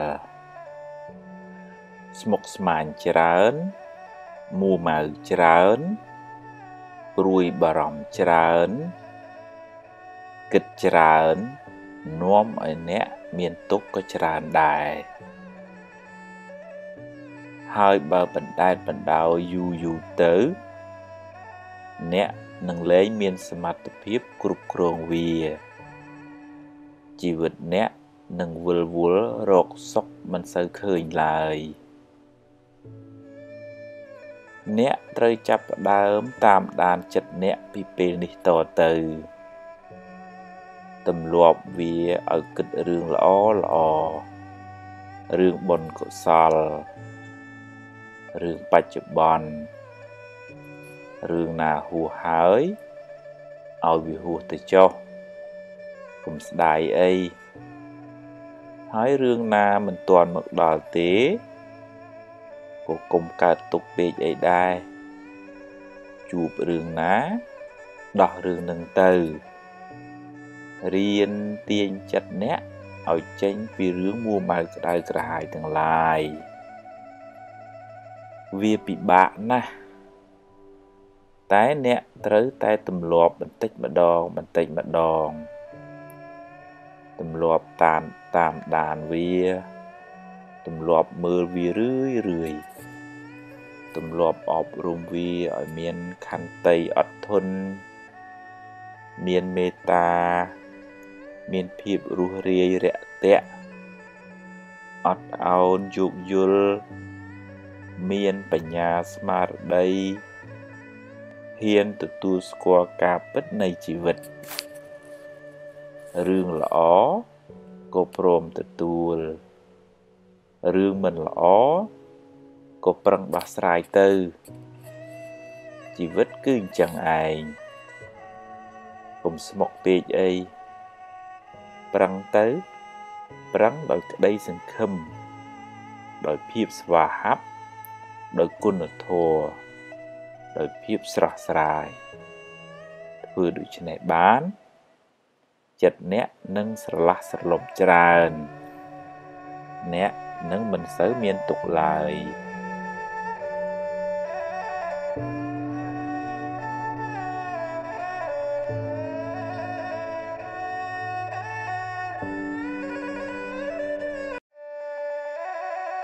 ភ្លើងក្រៅភ្លើងក្នុងពេលគេបោះភ្លើងឲ្យអ្នកបើអ្នកចង់ក្តៅ ទទួលយកចុះតែបើមិនចង់ក្តៅទេកុំយកអីឲ្យគេយកទៅវិញចុះឬបោះចោលទៅបើគេនិយាយឌឺដងចង់ឲ្យអ្នកក្តៅហើយស្រាប់តែអ្នកក្តៅតាមពាក្យគេមែនមានន័យថាអ្នកធ្វើតាមបំណងសត្រូវអ្នកហើយអ្នកទទួលយកភ្លើងហើយ អ្នកក្តៅហើយ គេនឹងសប្បាយចិត្តពេលឃើញអ្នកក្តៅអ្នកត្រូវរៀនធ្វើជាមនុស្សទឹក ត្រជាក់ពីខាងក្នុងមកបើគេចង់ដុតឲ្យអ្នកក្តៅប្រាប់គេថាយកទៅវិញចុះយើងមិនត្រូវការភ្លើងទេ គេនឹងរែកពុនភ្លើងនោះត្រឡប់ទៅវិញ គេខឹងគេអាក្រក់ហើយបើអ្នកខឹងគេវិញ អ្នកក៏អាក្រក់ដែរទាំងពីរអ្នកមិនសូវខុសគ្នាប៉ុន្មានទេកំហឹងបានដុតបំផ្លាញចិត្តគេឲ្យក្តៅរួរៀលដូចដេកអោបភ្លើង ហើយគេចង់យកភ្លើងនោះមកសាចដាក់អ្នកដែរតែអ្នកកុំទៅល្ងងអី គ្មានរឿងអីត្រូវទទួលយកភ្លើងនោះទេឲ្យគេយកទៅវិញចុះឬបោះចោលទៅ អ្នកមានតែចិត្តអាណិតអ្នកដេកអោបភ្លើងនោះទៅវិញទេអាណិតណាស់ព្រោះក្តៅអើយសែនក្តៅ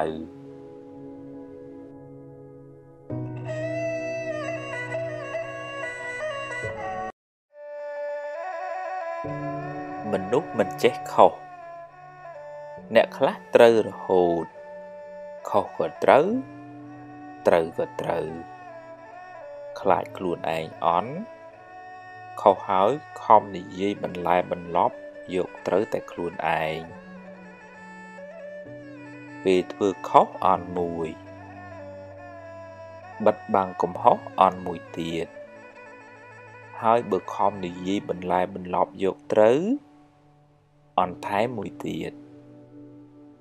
មនុស្សប្រភេទនេះคล้ายជាមនុស្សអន់អាជីពអ្នកណាដែលថាមិនចេះខុសហើយគ្មានអីធ្ងន់ធ្ងរគ្រាន់តែសុំទោសគេ ហើយប្រឹងកែកំហុសនោះឡើងវិញទេព្រះពុទ្ធហៅមនុស្សប្រភេទនេះ ថាជាបណ្ឌិតទៀតផង ព្រោះអាចអភិវឌ្ឍខ្លួនឯងឲ្យបានខ្ពង់ខ្ពស់ជាងមុនបើមុខអ្នកប្រឡាក់ធ្យូងហើយមានគេប្រាប់គ្មានអីត្រូវប្រកែកទេ ហើយត្រូវអរគុណគេផង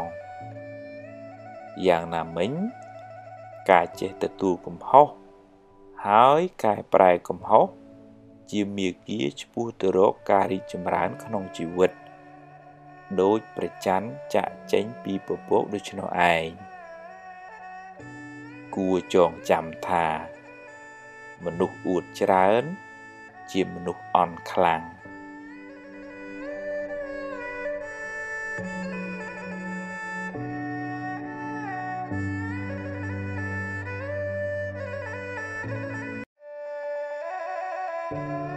រក្សាមាត់មាត់អ្នក អាចជាអាវុធដ៏មុតស្រួច ចាក់ធ្លាយពីត្រចៀកធ្លុះដល់បេះដូងគេគ្មានចិញ្ចៀមមួយដំណក់ទេ តែធ្វើឲ្យគេឈឺចាប់អស់មួយជីវិតក៏ថាបានមាត់អ្នកក៏អាចជាឱសថទឹកធ្វើឲ្យអ្នកកំពុងតែមានទុក្ខកង្វល់បានធូរស្បើយវិញក៏ថាបានដែរ មុននឹងនិយាយទម្លាប់ឆែកមើលបេះដូងអ្នកជាមុនសិនថាតើនិយាយដោយកំហឹង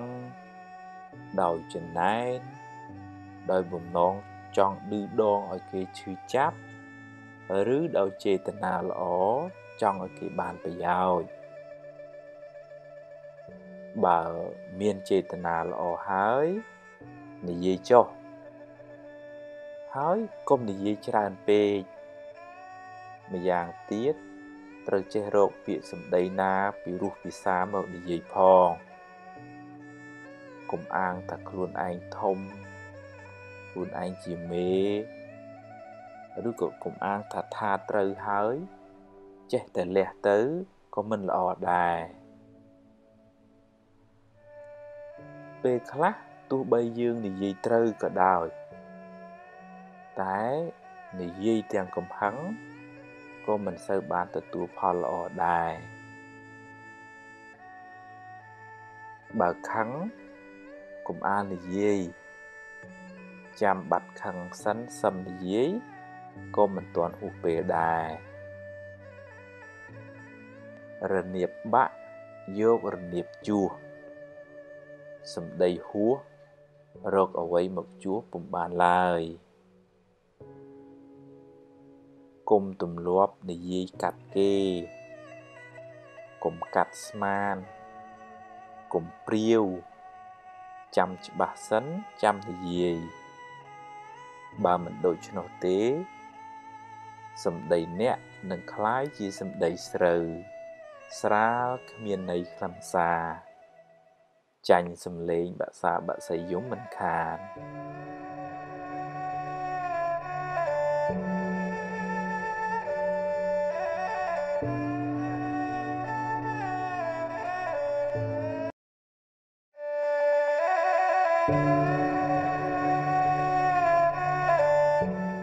បុណ្យមានទ្របនៅ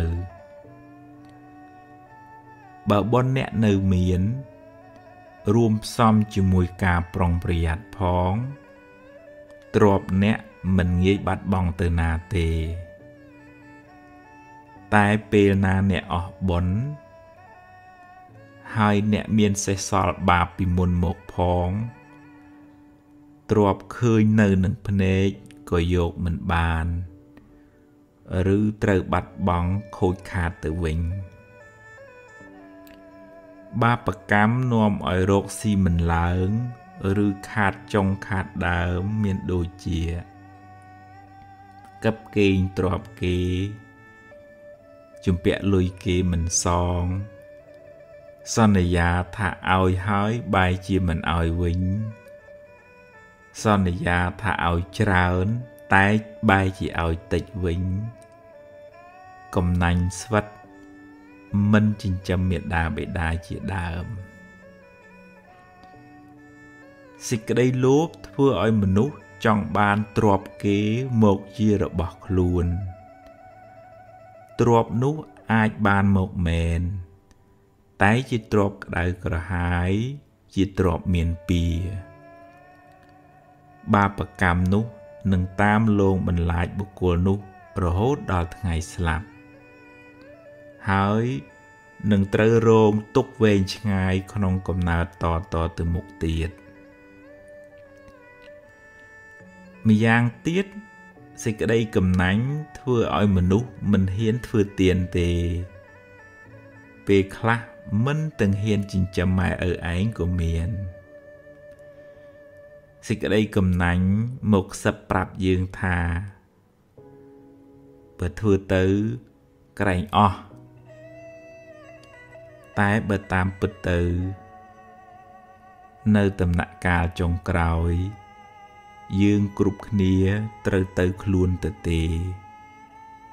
គ្មានយកអ្វីទៅតាមខ្លួនបានបន្តិចសោះឡើយបើមិនបានធ្វើបន់ទេ ទ្របនោះ គេចែកគ្នាអស់គ្មានបានជាប្រយោជន៍សម្រាប់ខ្លួនយើងទៅកាន់បរលោកឡើយមានតែបន់ដែលខ្លួនយើងសន្សំរឿយរឿយទេទើបបានជាទីពឹងទៅក្នុងលោកខាងមុខបាននិយាយនេះមិនមែនមានន័យថាឲ្យឈប់រកស៊ីធ្វើតែទានឲ្យអស់ទៅនោះទេ តែគួរបែងចែកសម្រាប់សេចក្តីសុខបច្ចុប្បន្នផង សន្សំបុណ្យបានជាទីពឹងទៅក្នុងបរលោកនាយផងព្រោះដំណើរកើតស្លាប់គឺត្រូវធ្វើដំណើរតែម្នាក់ឯងគ្មានអ្នកណាមកគំដរអ្នកទេរីឯបុណ្យដែលនាំឲ្យអ្នកចម្រើនដោយទ្រព្យសម្បត្តិរកស៊ីធូ គឺការចេះធ្វើទានសង្គ្រោះដល់អ្នកលំបាកដែលលោកហៅថាសង្កហទាន និងការចិញ្ចឹមមេដាបិតា ទំនុកបំរុងអ្នកមានសិលជាដើម ដែលលោកហៅថាបូជាទាន បុគ្គលដែលមានចិត្តសប្បុរសមានចិត្តមេត្តា មិនកំណាញ់មិនគិតតែខ្លួនឯង រមែងទទួលបានសេចក្តីស្រឡាញ់សេចក្តីសុខតាំងពីបច្ចុប្បន្នរហូតបរលោកនាយកុសលធនៈទានមើលពីខាងក្រៅហាក់ដូចជាអស់ទ្រពពីខ្លួន តែវាមានឧបមាដូចជាការព្រុះស្រូវក្នុងស្រែអ្នកអស់ស្រូវពូជពីល្អីមែនតែចុងក្រោយ អ្នកទទួលបានផលច្រើន បុគ្គលដែលបានធ្វើទានទុកហើយ កើតជាតិណានា តែងកើតក្នុងត្រកូលមានទ្រព្យសម្បត្តិបើរកទទួលទានក៏រកបានដោយងាយ ហើយមិនងាយបាត់បង់ទ្រព្យសម្បត្តិទៅណាទេ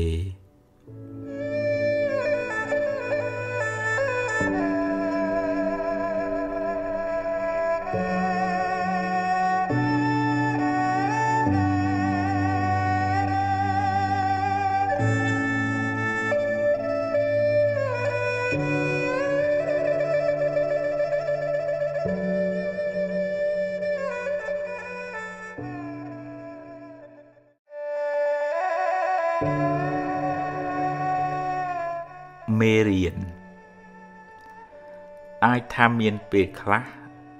អ្នកគិតមិនបានគ្រប់ជ្រុងជ្រោយហើយក៏និយាយជ្រុលជ្រោះឬសម្រេចចិត្តខុសដែលនាំឲ្យខូចខាតប្រយោជន៍ឬបាត់បង់ទ្រព្យធនជាដើម សូមគុំស្ដីបន្ទោសខ្លួនឯងច្រើនពេកអីដំណើរជីវិតតែងមានខុសខ្លះអីចឹងឯង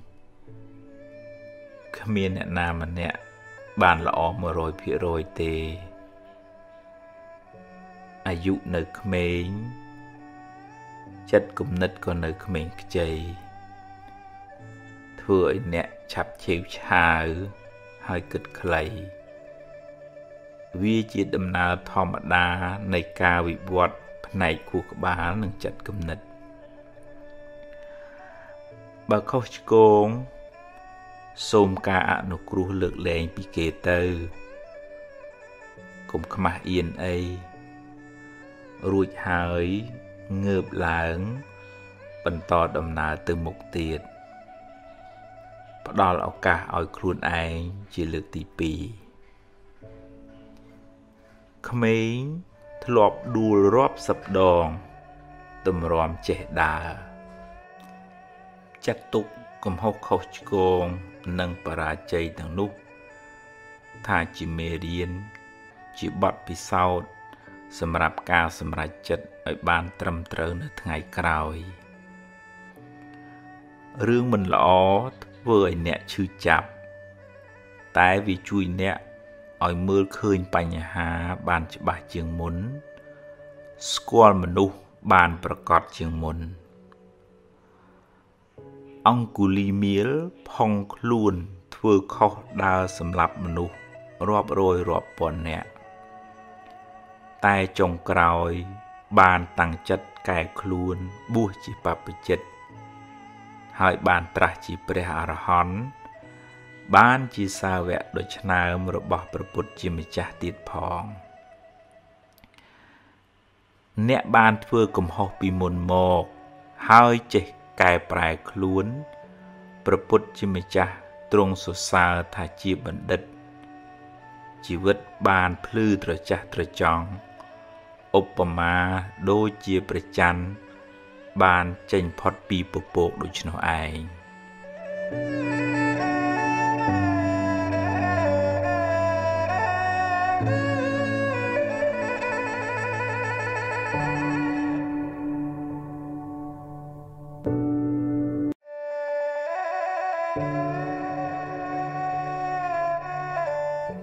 រួចពីកម្មពី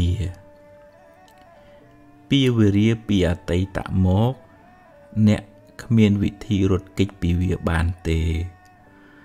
ព្រោះអ្នកមិនអាចបកក្រោយ ហើយកែទង្វើដែលអ្នកបានធ្វើក្នុងអតីតកាលបានឡើយ តែពីវេរាទៅថ្ងៃមុខអ្នក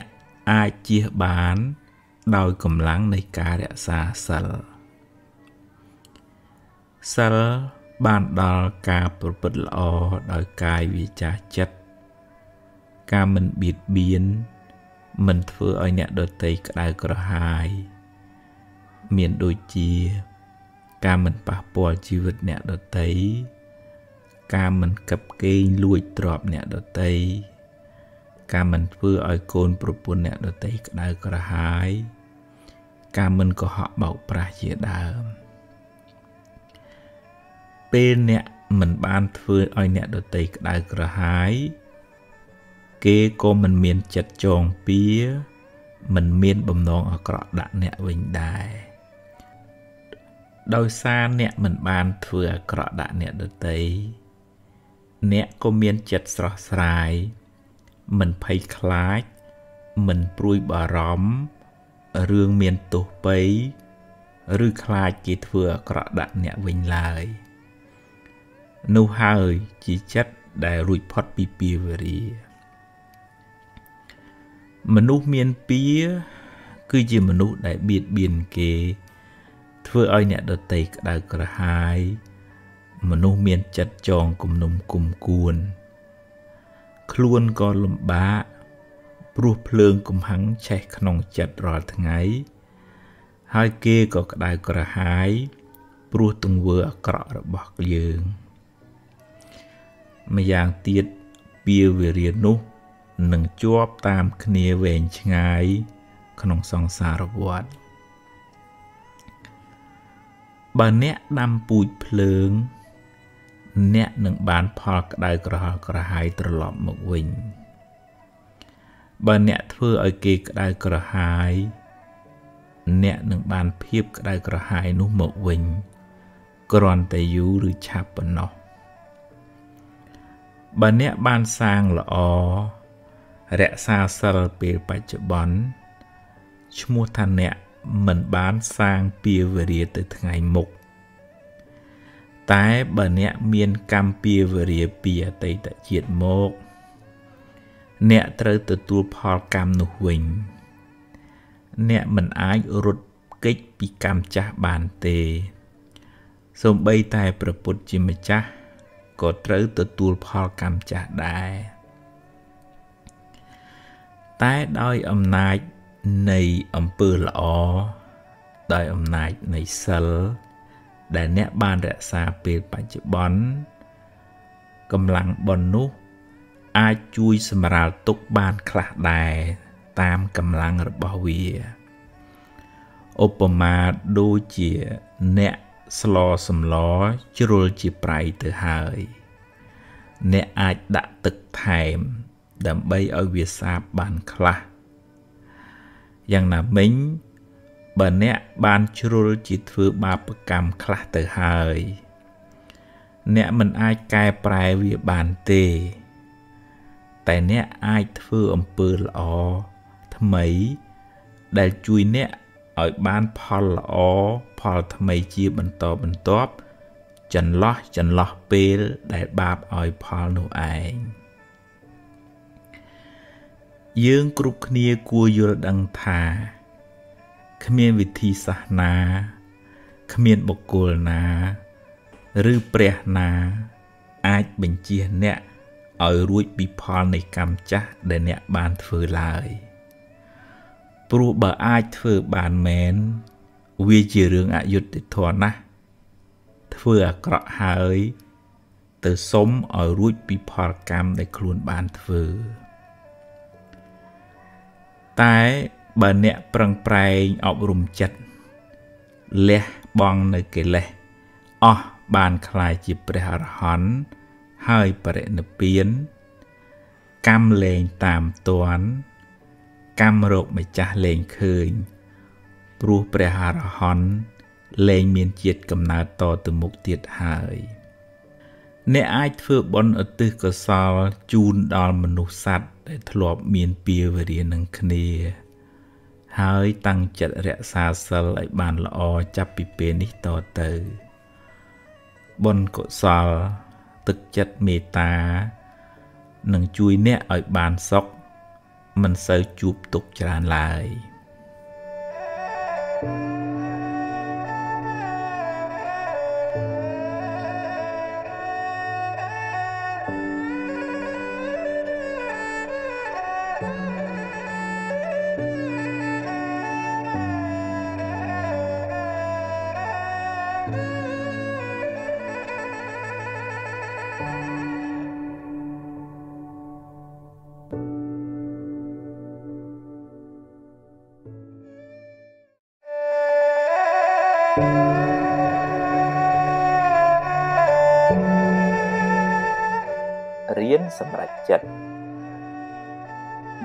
សម្រេចចិត្តគិតឲ្យបានច្បាស់លាស់សិនសួរយោបល់គេឯងឲ្យបានគ្រប់ជ្រុងជ្រោយហើយចុងក្រោយ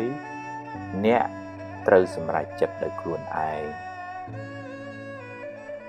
ហើយបើសម្រេចយ៉ាងណាហើយធ្វើតាមនឹងទៅកុំសាវ៉ា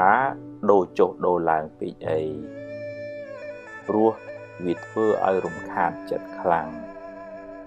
មិនសូវបានសុខទេហើយបើឧបមាថាការសម្រេចចិត្តនោះខុសនាំឲ្យខូចខាតបាត់បង់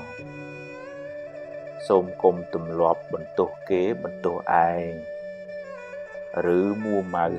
ក្តៅក្រហាយស្ដីបន្ទោសខ្លួនឯងយូរពេកអីចាត់ទុកថា វាជាផលនៃបាបចាស់ទៅចោះកុំស្ដាយពេកអីព្រោះស្ដាយទៅ បានត្រឹមតែខូចចិត្តយកវាជាមេរៀនគិតសារជាថ្មីឡើងវិញ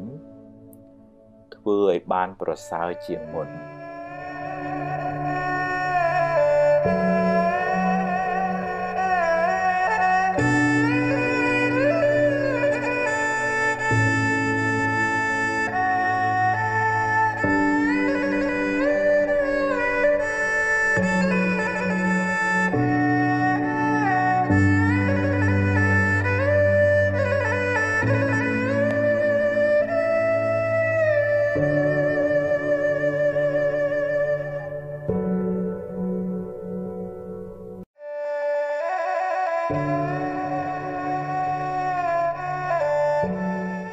សេរីសួស្តីមួម៉ៅច្រើនសេរីរត់ចេញរីករាយវិញសេរីរត់ចូលជាទូទៅយើងឲ្យតម្លៃសេរីសួស្តីទៅលើរឿងល្អល្អរឿងសបាយសបាយមានលៀបមានជ័យជាដើម តែគួរចងចាំថា ផលល្អទាំងនោះ កើតឡើងអាស្រ័យហេតុល្អហេតុដែលជាកុសល ដែលអ្នកខិតខំប្រព្រឹត្តធ្វើពីមុនមកហេតុនៃសេរីសួស្តីនោះមានដូចជា ការសែបគប់ត្រូវ ការតស៊ូព្យាយាមក្នុងកិច្ចការងារដែលអ្នកធ្វើ ការរៀនសូត្របង្កើនចំណេះដឹង ការចេះគួសមរស់រាយរាក់ទាក់ការចេះចែករំលែកដល់អ្នកលំបាកការចិញ្ចឹមមេដាបេដាសេចក្តីអត់ធន់ទឹកចិត្តមេត្តា ទឹកចិត្តត្រជាក់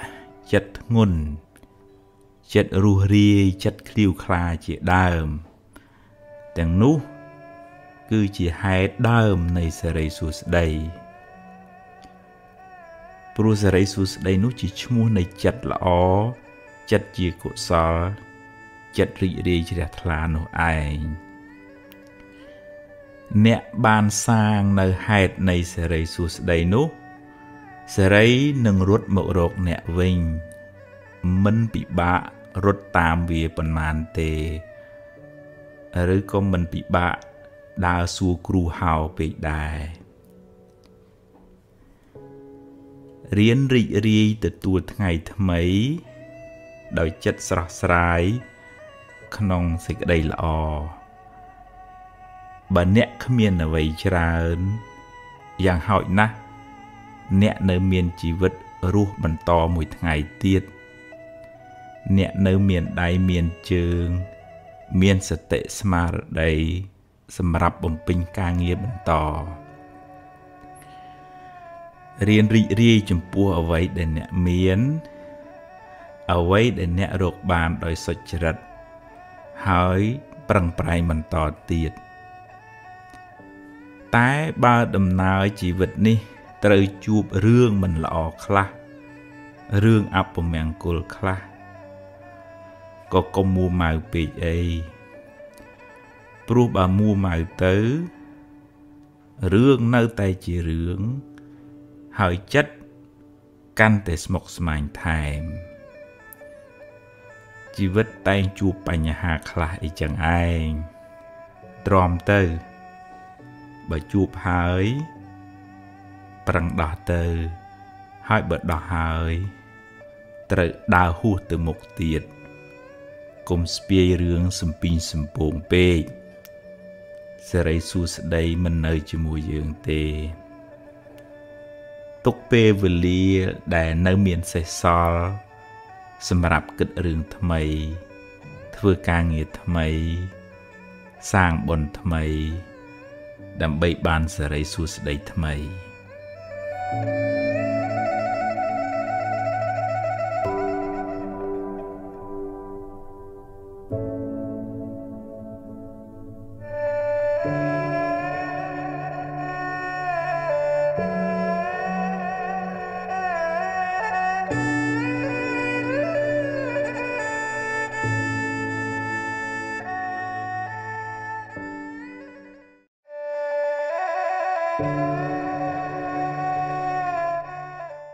ហួសហើយអតីតកាលល្អក្តីមិនល្អក្តី បានកន្លងហួសទៅហើយទោះបីអ្នកស្ដាយប៉ុណ្ណាក៏ទាញមកវិញមិនបានដែរអនុញ្ញាតឲ្យវាប្រែប្រួលតាមដំណើរនៃធម្មជាតិរបស់វារឿងល្អជាផលនៃកម្មល្អដែលអ្នកបានសាង រឿងមិនល្អជាផលនៃអកុសលកម្មដែលអ្នកបានប្រព្រឹត្តពីមុនមកជីវិតរបស់មនុស្សម្នាក់ម្នាក់ប្រព្រឹត្តទៅតាមកម្លាំងកម្មដែលខ្លួនបានធ្វើពីអតីតផង កម្មក្នុងពេលបច្ចុប្បន្នផង អ្នកមិនអាចរត់គេចពីផលនៃកម្មបានឡើយ រឿងខ្លះកើតឡើងហួសពីការស្មានរបស់អ្នកហើយអ្នកគ្មានសមត្ថភាព ទៅបង្គាប់បញ្ជារឿងខាងក្រៅបានទាំងស្រុងទេកម្លាំងអ្វីស្មើដោយកម្លាំងកម្មមិនមានឡើយណដ្ឋិកម្មੰសមੰពលំបើមានហេតុគ្រប់គ្រាន់ រឿងនឹងកើតឡើងអ្វីអ្វីមិនមែនជារឿងចៃដន្យទេបើអ្នកបានជួបរឿងមិនល្អហើយហើយអ្នកកើតចិត្តមួម៉ៅក្តៅក្រហាយអ្នកបានបង្កើនទុកនោះឲ្យមានទម្ងន់ទ្វេដងរឿងក៏អាក្រក់ចិត្តក៏មួម៉ៅ ទុកទាំងកាយទុកទាំងចិត្តណាស់ហើយចុះរឿងបានកន្លងផុតទៅហើយ ចាត់ទុកជាមេរៀន ជាបទពិសោធន៍សម្រាប់ការសម្រេចចិត្តលើកក្រោយ ចាប់ផ្ដើមសារជាថ្មី គិតរឿងថ្មី និយាយរឿងថ្មី ធ្វើកិច្ចការងារថ្មី លទ្ធផលក៏បានថ្មីដែរអតីតកាលមិនមែនជាផ្ទះសម្រាប់អ្នកនៅទេវាគ្រាន់តែជាស្រមោលទេតើតែបើរឿងអតីតកាលនោះជារឿងល្អជារឿងបុណ្យកុសល អ្នកអាចចងចាំ និងរំលឹករំលើកដល់អំពើល្អនោះរឿយរឿយ ដើម្បីឲ្យចិត្តបានរីករាយម្ដងទៀតបានបន់ម្ដងទៀត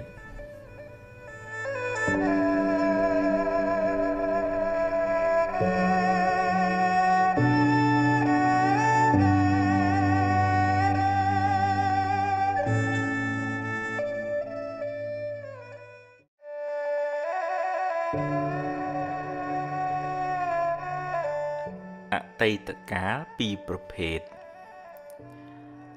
អតីតកាលខ្លះល្អអតីតកាលខ្លះមិនល្អទេ ជារឿងធម្មតាសម្រាប់ជីវិតមនុស្សម្នាក់ម្នាក់ហើយអតីតកាលទាំងពីរនោះ បានរលត់បាត់ទៅហើយ អ្នកមិនអាចបកក្រោយ ទៅកែប្រែវាបានទេ តែបើអ្នកគិតត្រូវ អ្នកអាចកែច្នៃវា បានជាប្រយោជន៍សម្រាប់សាងអនាគតល្អទៅខាងមុខ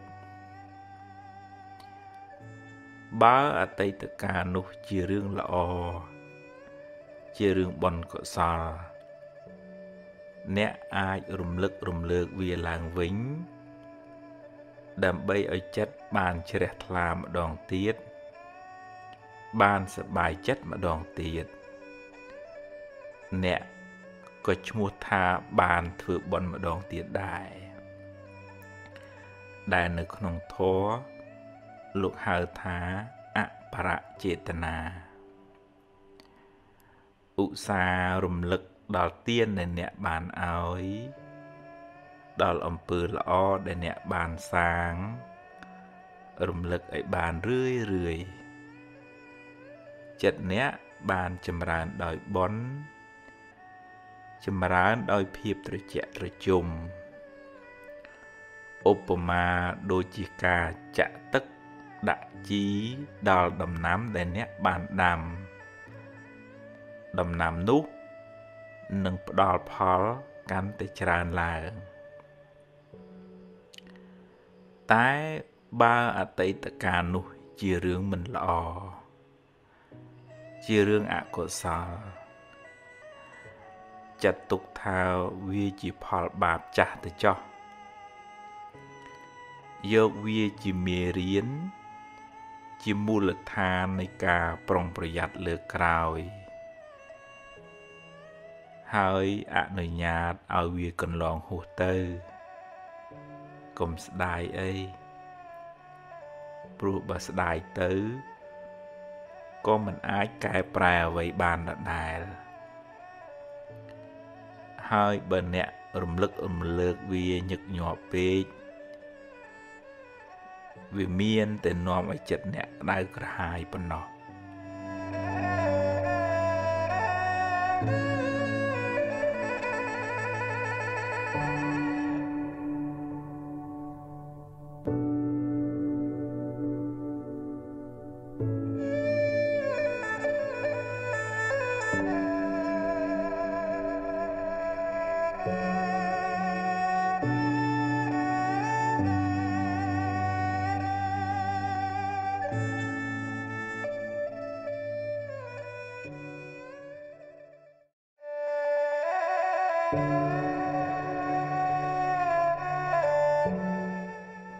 ខ្ញុំខំធ្វើល្អហេតុអ្វីខ្ញុំនៅតែមានទុកច្រើន អ្នកខ្លះមានសមានចិត្តល្អមានចិត្តសប្បុរសអាណិតអាសូរជួយអ្នកដតីច្រើន តែបែរជាមិនសូវបានសមប្រកប ជួបរឿងទុកសោកមិនចេះចប់មិនចេះហើយ ពេលខ្លះ ជួយគេហើយបែរជាគេរមិលគុណនិយាយអាក្រក់រហូតដល់ធ្វើទុកបុកម្នេញមកវិញក៏សង្មានអំពើល្អដែលអ្នកបានសាងហើយ នៅតែជាអំពើល្អដដែលមិនប្រែទៅជាអាក្រក់ទេគ្រាន់តែវាមិនទាន់មានពេលឲ្យផលប៉ុណ្ណោះ ចំណែករឿងមិនល្អរឿងអកុសលដែលអ្នកបានជួប វាជាផលនៃកម្មចាស់កម្មចាស់ដល់ពេលត្រូវឲ្យផលគួរស្វែងយល់ផងដែរថាបុណ្យកុសលមានច្រើនលំដាប់ ហើយបុណ្យទាំងនោះ ជួយអ្នកឲ្យបានស្រាលពីទុកតាមលំដាប់ដែរ កុសលថ្នាក់ទៀនលះចិត្តកំណាញ់លះចិត្តជាប់ជំពាក់កុសលថ្នាក់ទៀននោះ ជួយអ្នកឲ្យមានគេស្រឡាញ់រាប់អានច្រើន មានកិត្តិយសគេឈ្មោះល្អនិងជាឧបនិស្ស័យនៃការរកទទួលទានមានបាន តែកុសលថ្នាក់ទាននោះ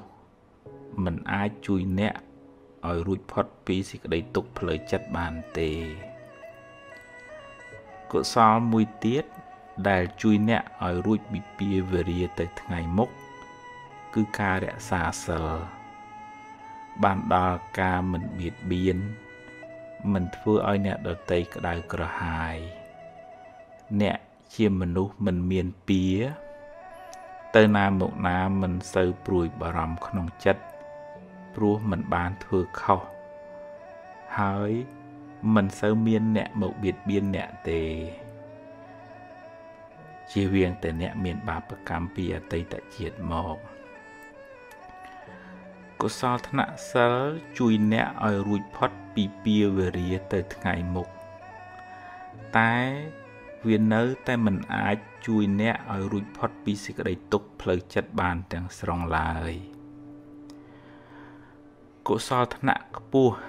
ដែលអាចជួយអ្នកបានច្រើន ក្នុងការសម្រាលសេចក្តីទុក្ខពីផ្លូវចិត្តគឺកុសលធ្នាក់ភាវនា ដែលមានន័យថាការចម្រើនសមាធិការចម្រើនបញ្ញា ដែលជួយអ្នកឲ្យមានចិត្តនឹងធឹងមិនសូវញាប់ញ័រនឹងរឿងរ៉ាវទាំងឡាយសមាធិ សំដៅលើការវឹកហាត់ចិត្តឲ្យស្ថិតនៅក្នុងអារម្មណ៍តែមួយ ដែលនាំឲ្យចិត្តបានស្ងប់រងាប់បានត្រជាក់មិនសូវរវើរវាយមិនសូវច្របូកច្របល់ជួយអ្នកឲ្យបានសេចក្តីសុខតាមផ្លូវចិត្តច្រើន ចំណែកឯការចម្រើនបញ្ញាសំដៅលើការស្វែងយល់អំពីដំណើរកើត រលត់នៃសង្ខាររៀនលះបង់ការប្រកាន់ចំពោះរឿងរ៉ាវការទាស់ចិត្តនិងការជាប់ចិត្តចំពោះបញ្ហាទាំងឡាយពេលអ្នកបានលះបង់នៅសេចក្តីប្រកាន់នោះ ពីក្នុងចិត្តរឿងរ៉ាវទាំងឡាយកើតឡើងក៏កំណត់ដឹងថា ជាដំណើរនៃធម្មជាតិពេលមានហេតុក៏កើតឡើង ពេលអស់ហេតុក៏រលត់ទៅឧបមាដូចជាភ្លើងចង្គៀងពេលនៅប្រេងក៏នៅសល់ភ្លើង ពេលអស់ប្រេងអស់បញ្ឆេះភ្លើងក៏រលត់ទៅ អ្នកកំណត់ដឹង នៅដំណើរនៃសង្ខារយ៉ាងនេះ កាត់បន្ថយនៅសេចក្តីប្រកាន់សេចក្តីទុក្ខក៏ធូរស្បើយពីចិត្តអ្នក។ thank you